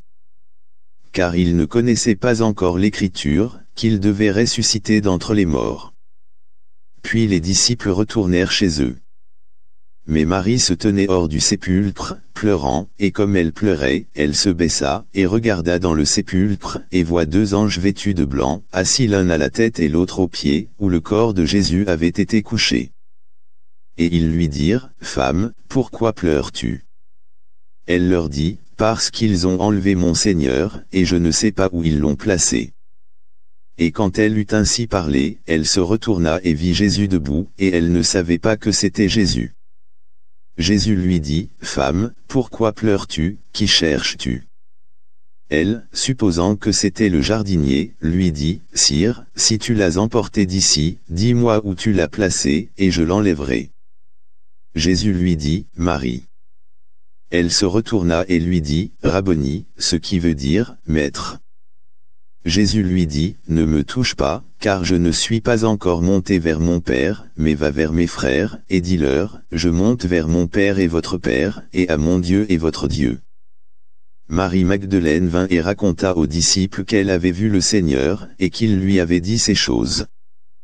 Puis le soir de ce même jour, le premier jour de la semaine, lorsque les portes du lieu étaient fermées où les disciples étaient assemblés, par crainte des Juifs, Jésus vint, et se tint au milieu d'eux, et leur dit, Paix soit envers vous. Et quand il eut dit cela, il leur montra ses mains et son côté. Alors les disciples étaient contents, quand ils virent le Seigneur. Puis Jésus leur dit à nouveau, Paix soit envers vous, comme mon Père m'a envoyé, précisément je vous envoie. Et quand il eut dit cela, il souffla sur eux, et leur dit, Recevez l'Esprit Saint, à quiconque vous remettrez les péchés, ils leur sont remis, et à quiconque vous retiendrez les péchés, ils sont retenus. Mais Thomas, l'un des douze, appelé Didyme, n'était pas avec eux lorsque Jésus vint. Les autres disciples lui dirent donc, Nous avons vu le Seigneur. Mais il leur dit, à moins que je ne voie dans ses mains l'empreinte des clous, et que je ne mette mon doigt dans l'empreinte des clous, et que je n'enfonce ma main dans son côté, je ne le croirai pas. Et huit jours après, ses disciples étaient de nouveau à l'intérieur et Thomas avec eux, alors Jésus vint, les portes étant fermées, et se tint au milieu d'eux et dit, Paix soit envers vous. Puis il dit à Thomas, avance ici ton doigt, et regarde mes mains, et avance ici ta main, et enfonce-la dans mon côté, et ne sois pas incrédule, mais croyant. Et Thomas répondit et lui dit, Mon Seigneur et mon Dieu. Jésus lui dit, Thomas, parce que tu m'as vu, tu as cru, bénis sont ceux qui n'ont pas vu, et qui cependant ont cru. Et Jésus fit véritablement beaucoup d'autres signes, en présence de ses disciples, qui ne sont pas écrits dans ce livre, mais ceux-ci sont écrits, afin que vous puissiez croire que Jésus est le Christ, le Fils de Dieu, et qu'en croyant vous puissiez avoir la vie par son nom. Jean, chapitre 21 Après ces choses, Jésus se montra encore aux disciples à la mer de Tibériade, et il se montra de cette manière. Simon-Pierre, et Thomas, appelé Didyme, et Nathanaël de Cana en Galilée, et les fils de Zébédée et deux autres de ses disciples étaient ensemble. Simon-Pierre leur dit, Je vais pêcher. Ils lui dirent, Nous allons aussi avec toi. Ils s'en allèrent, et montèrent immédiatement dans un bateau, et cette nuit-là ils n'attrapèrent rien. mais lorsque le matin était maintenant venu, Jésus se tenait sur le rivage, mais les disciples ne savaient pas que c'était Jésus. Alors Jésus leur dit, Enfants, avez-vous quelque nourriture? Ils lui répondirent, Non. Et il leur dit, Jetez le filet du côté droit du bateau, et vous trouverez. Ils le jetèrent donc, et maintenant ils n'étaient pas capables de le tirer à cause de la multitude de poissons. Par conséquent ce disciple que Jésus aimait dit à Pierre, C'est le Seigneur. Or quand Simon-Pierre entendit que c'était le Seigneur, il se ceignit de son manteau de pêcheur, car il était nu, et se jeta dans la mer. Et les autres disciples vinrent dans un petit bateau, car ils n'étaient pas loin de la terre, mais à environ deux cents coudées, traînant le filet de poisson. Alors dès qu'ils eurent touché terre, ils virent là un feu de charbon, et du poisson posé dessus, et du pain. Jésus leur dit, Apportez des poissons que vous venez maintenant d'attraper. Simon-Pierre monta, et tira le filet à terre, plein de grands poissons, 153, et bien qu'il y en eût tant, cependant le filet ne se déchira pas. Jésus leur dit, Venez et dînez. Et aucun des disciples n'osa lui demander, Qui es-tu, sachant que c'était le Seigneur? Jésus alors vient, et prend du pain, et leur en donne, et de même du poisson. C'est maintenant la troisième fois que Jésus se montrait à ses disciples, après qu'il eût été ressuscité d'entre les morts. Ainsi lorsqu'ils eurent dîné, Jésus dit à Simon-Pierre, Simon, fils de Jonas, m'aimes-tu plus que ceci? Il lui dit, Oui, Seigneur, tu sais que je t'aime. Il lui dit, Nourris mes agneaux. Il lui dit de nouveau pour la seconde fois, Simon, fils de Jonas, m'aimes-tu? Il lui dit, Oui, Seigneur, tu sais que je t'aime. Il lui dit, Nourris mes moutons. Il lui dit pour la troisième fois Simon, fils de Jonas, m'aimes-tu? Pierre fut peiné par ce qu'il lui disait pour la troisième fois, m'aimes-tu? Et il lui dit, Seigneur, tu connais toutes choses, tu sais que je t'aime. Jésus lui dit, Nourris mes moutons. En vérité, en vérité, je te dis, lorsque tu étais jeune, tu te saignais toi-même, et tu marchais où tu voulais, mais lorsque tu seras vieux, tu étendras tes mains, et un autre te ceindra, et te portera où tu ne voudrais pas. Il parla ainsi, signifiant par quelle mort il glorifierait Dieu. Et quand il eut parlé ainsi, il lui dit, Suis-moi. Alors Pierre, se retournant, voit le disciple que Jésus aimait les suivants, lequel aussi s'était penché sur sa poitrine pendant le souper, et avait dit, Seigneur, lequel est celui qui te trahit? Pierre le voyant dit à Jésus, Seigneur, et que fera cet homme? Jésus lui dit, Si je veux qu'il attende jusqu'à ce que je vienne, qu'est-ce que cela peut te faire Toi, suis-moi, alors ce propos se répandit de tous côtés parmi les frères, que ce disciple ne mourrait pas, cependant Jésus ne lui avait pas dit, il ne mourra pas, mais, si je veux qu'il attende jusqu'à ce que je vienne, qu'est-ce que cela peut te faire? C'est le disciple qui témoigne de ces choses, et qui a écrit ces choses, et nous savons que son témoignage est vrai. Et il y a encore beaucoup d'autres choses que Jésus a faites, si chacune d'elles devait être écrite, je suppose que le monde même ne pourrait contenir les livres que l'on devrait écrire. Amen.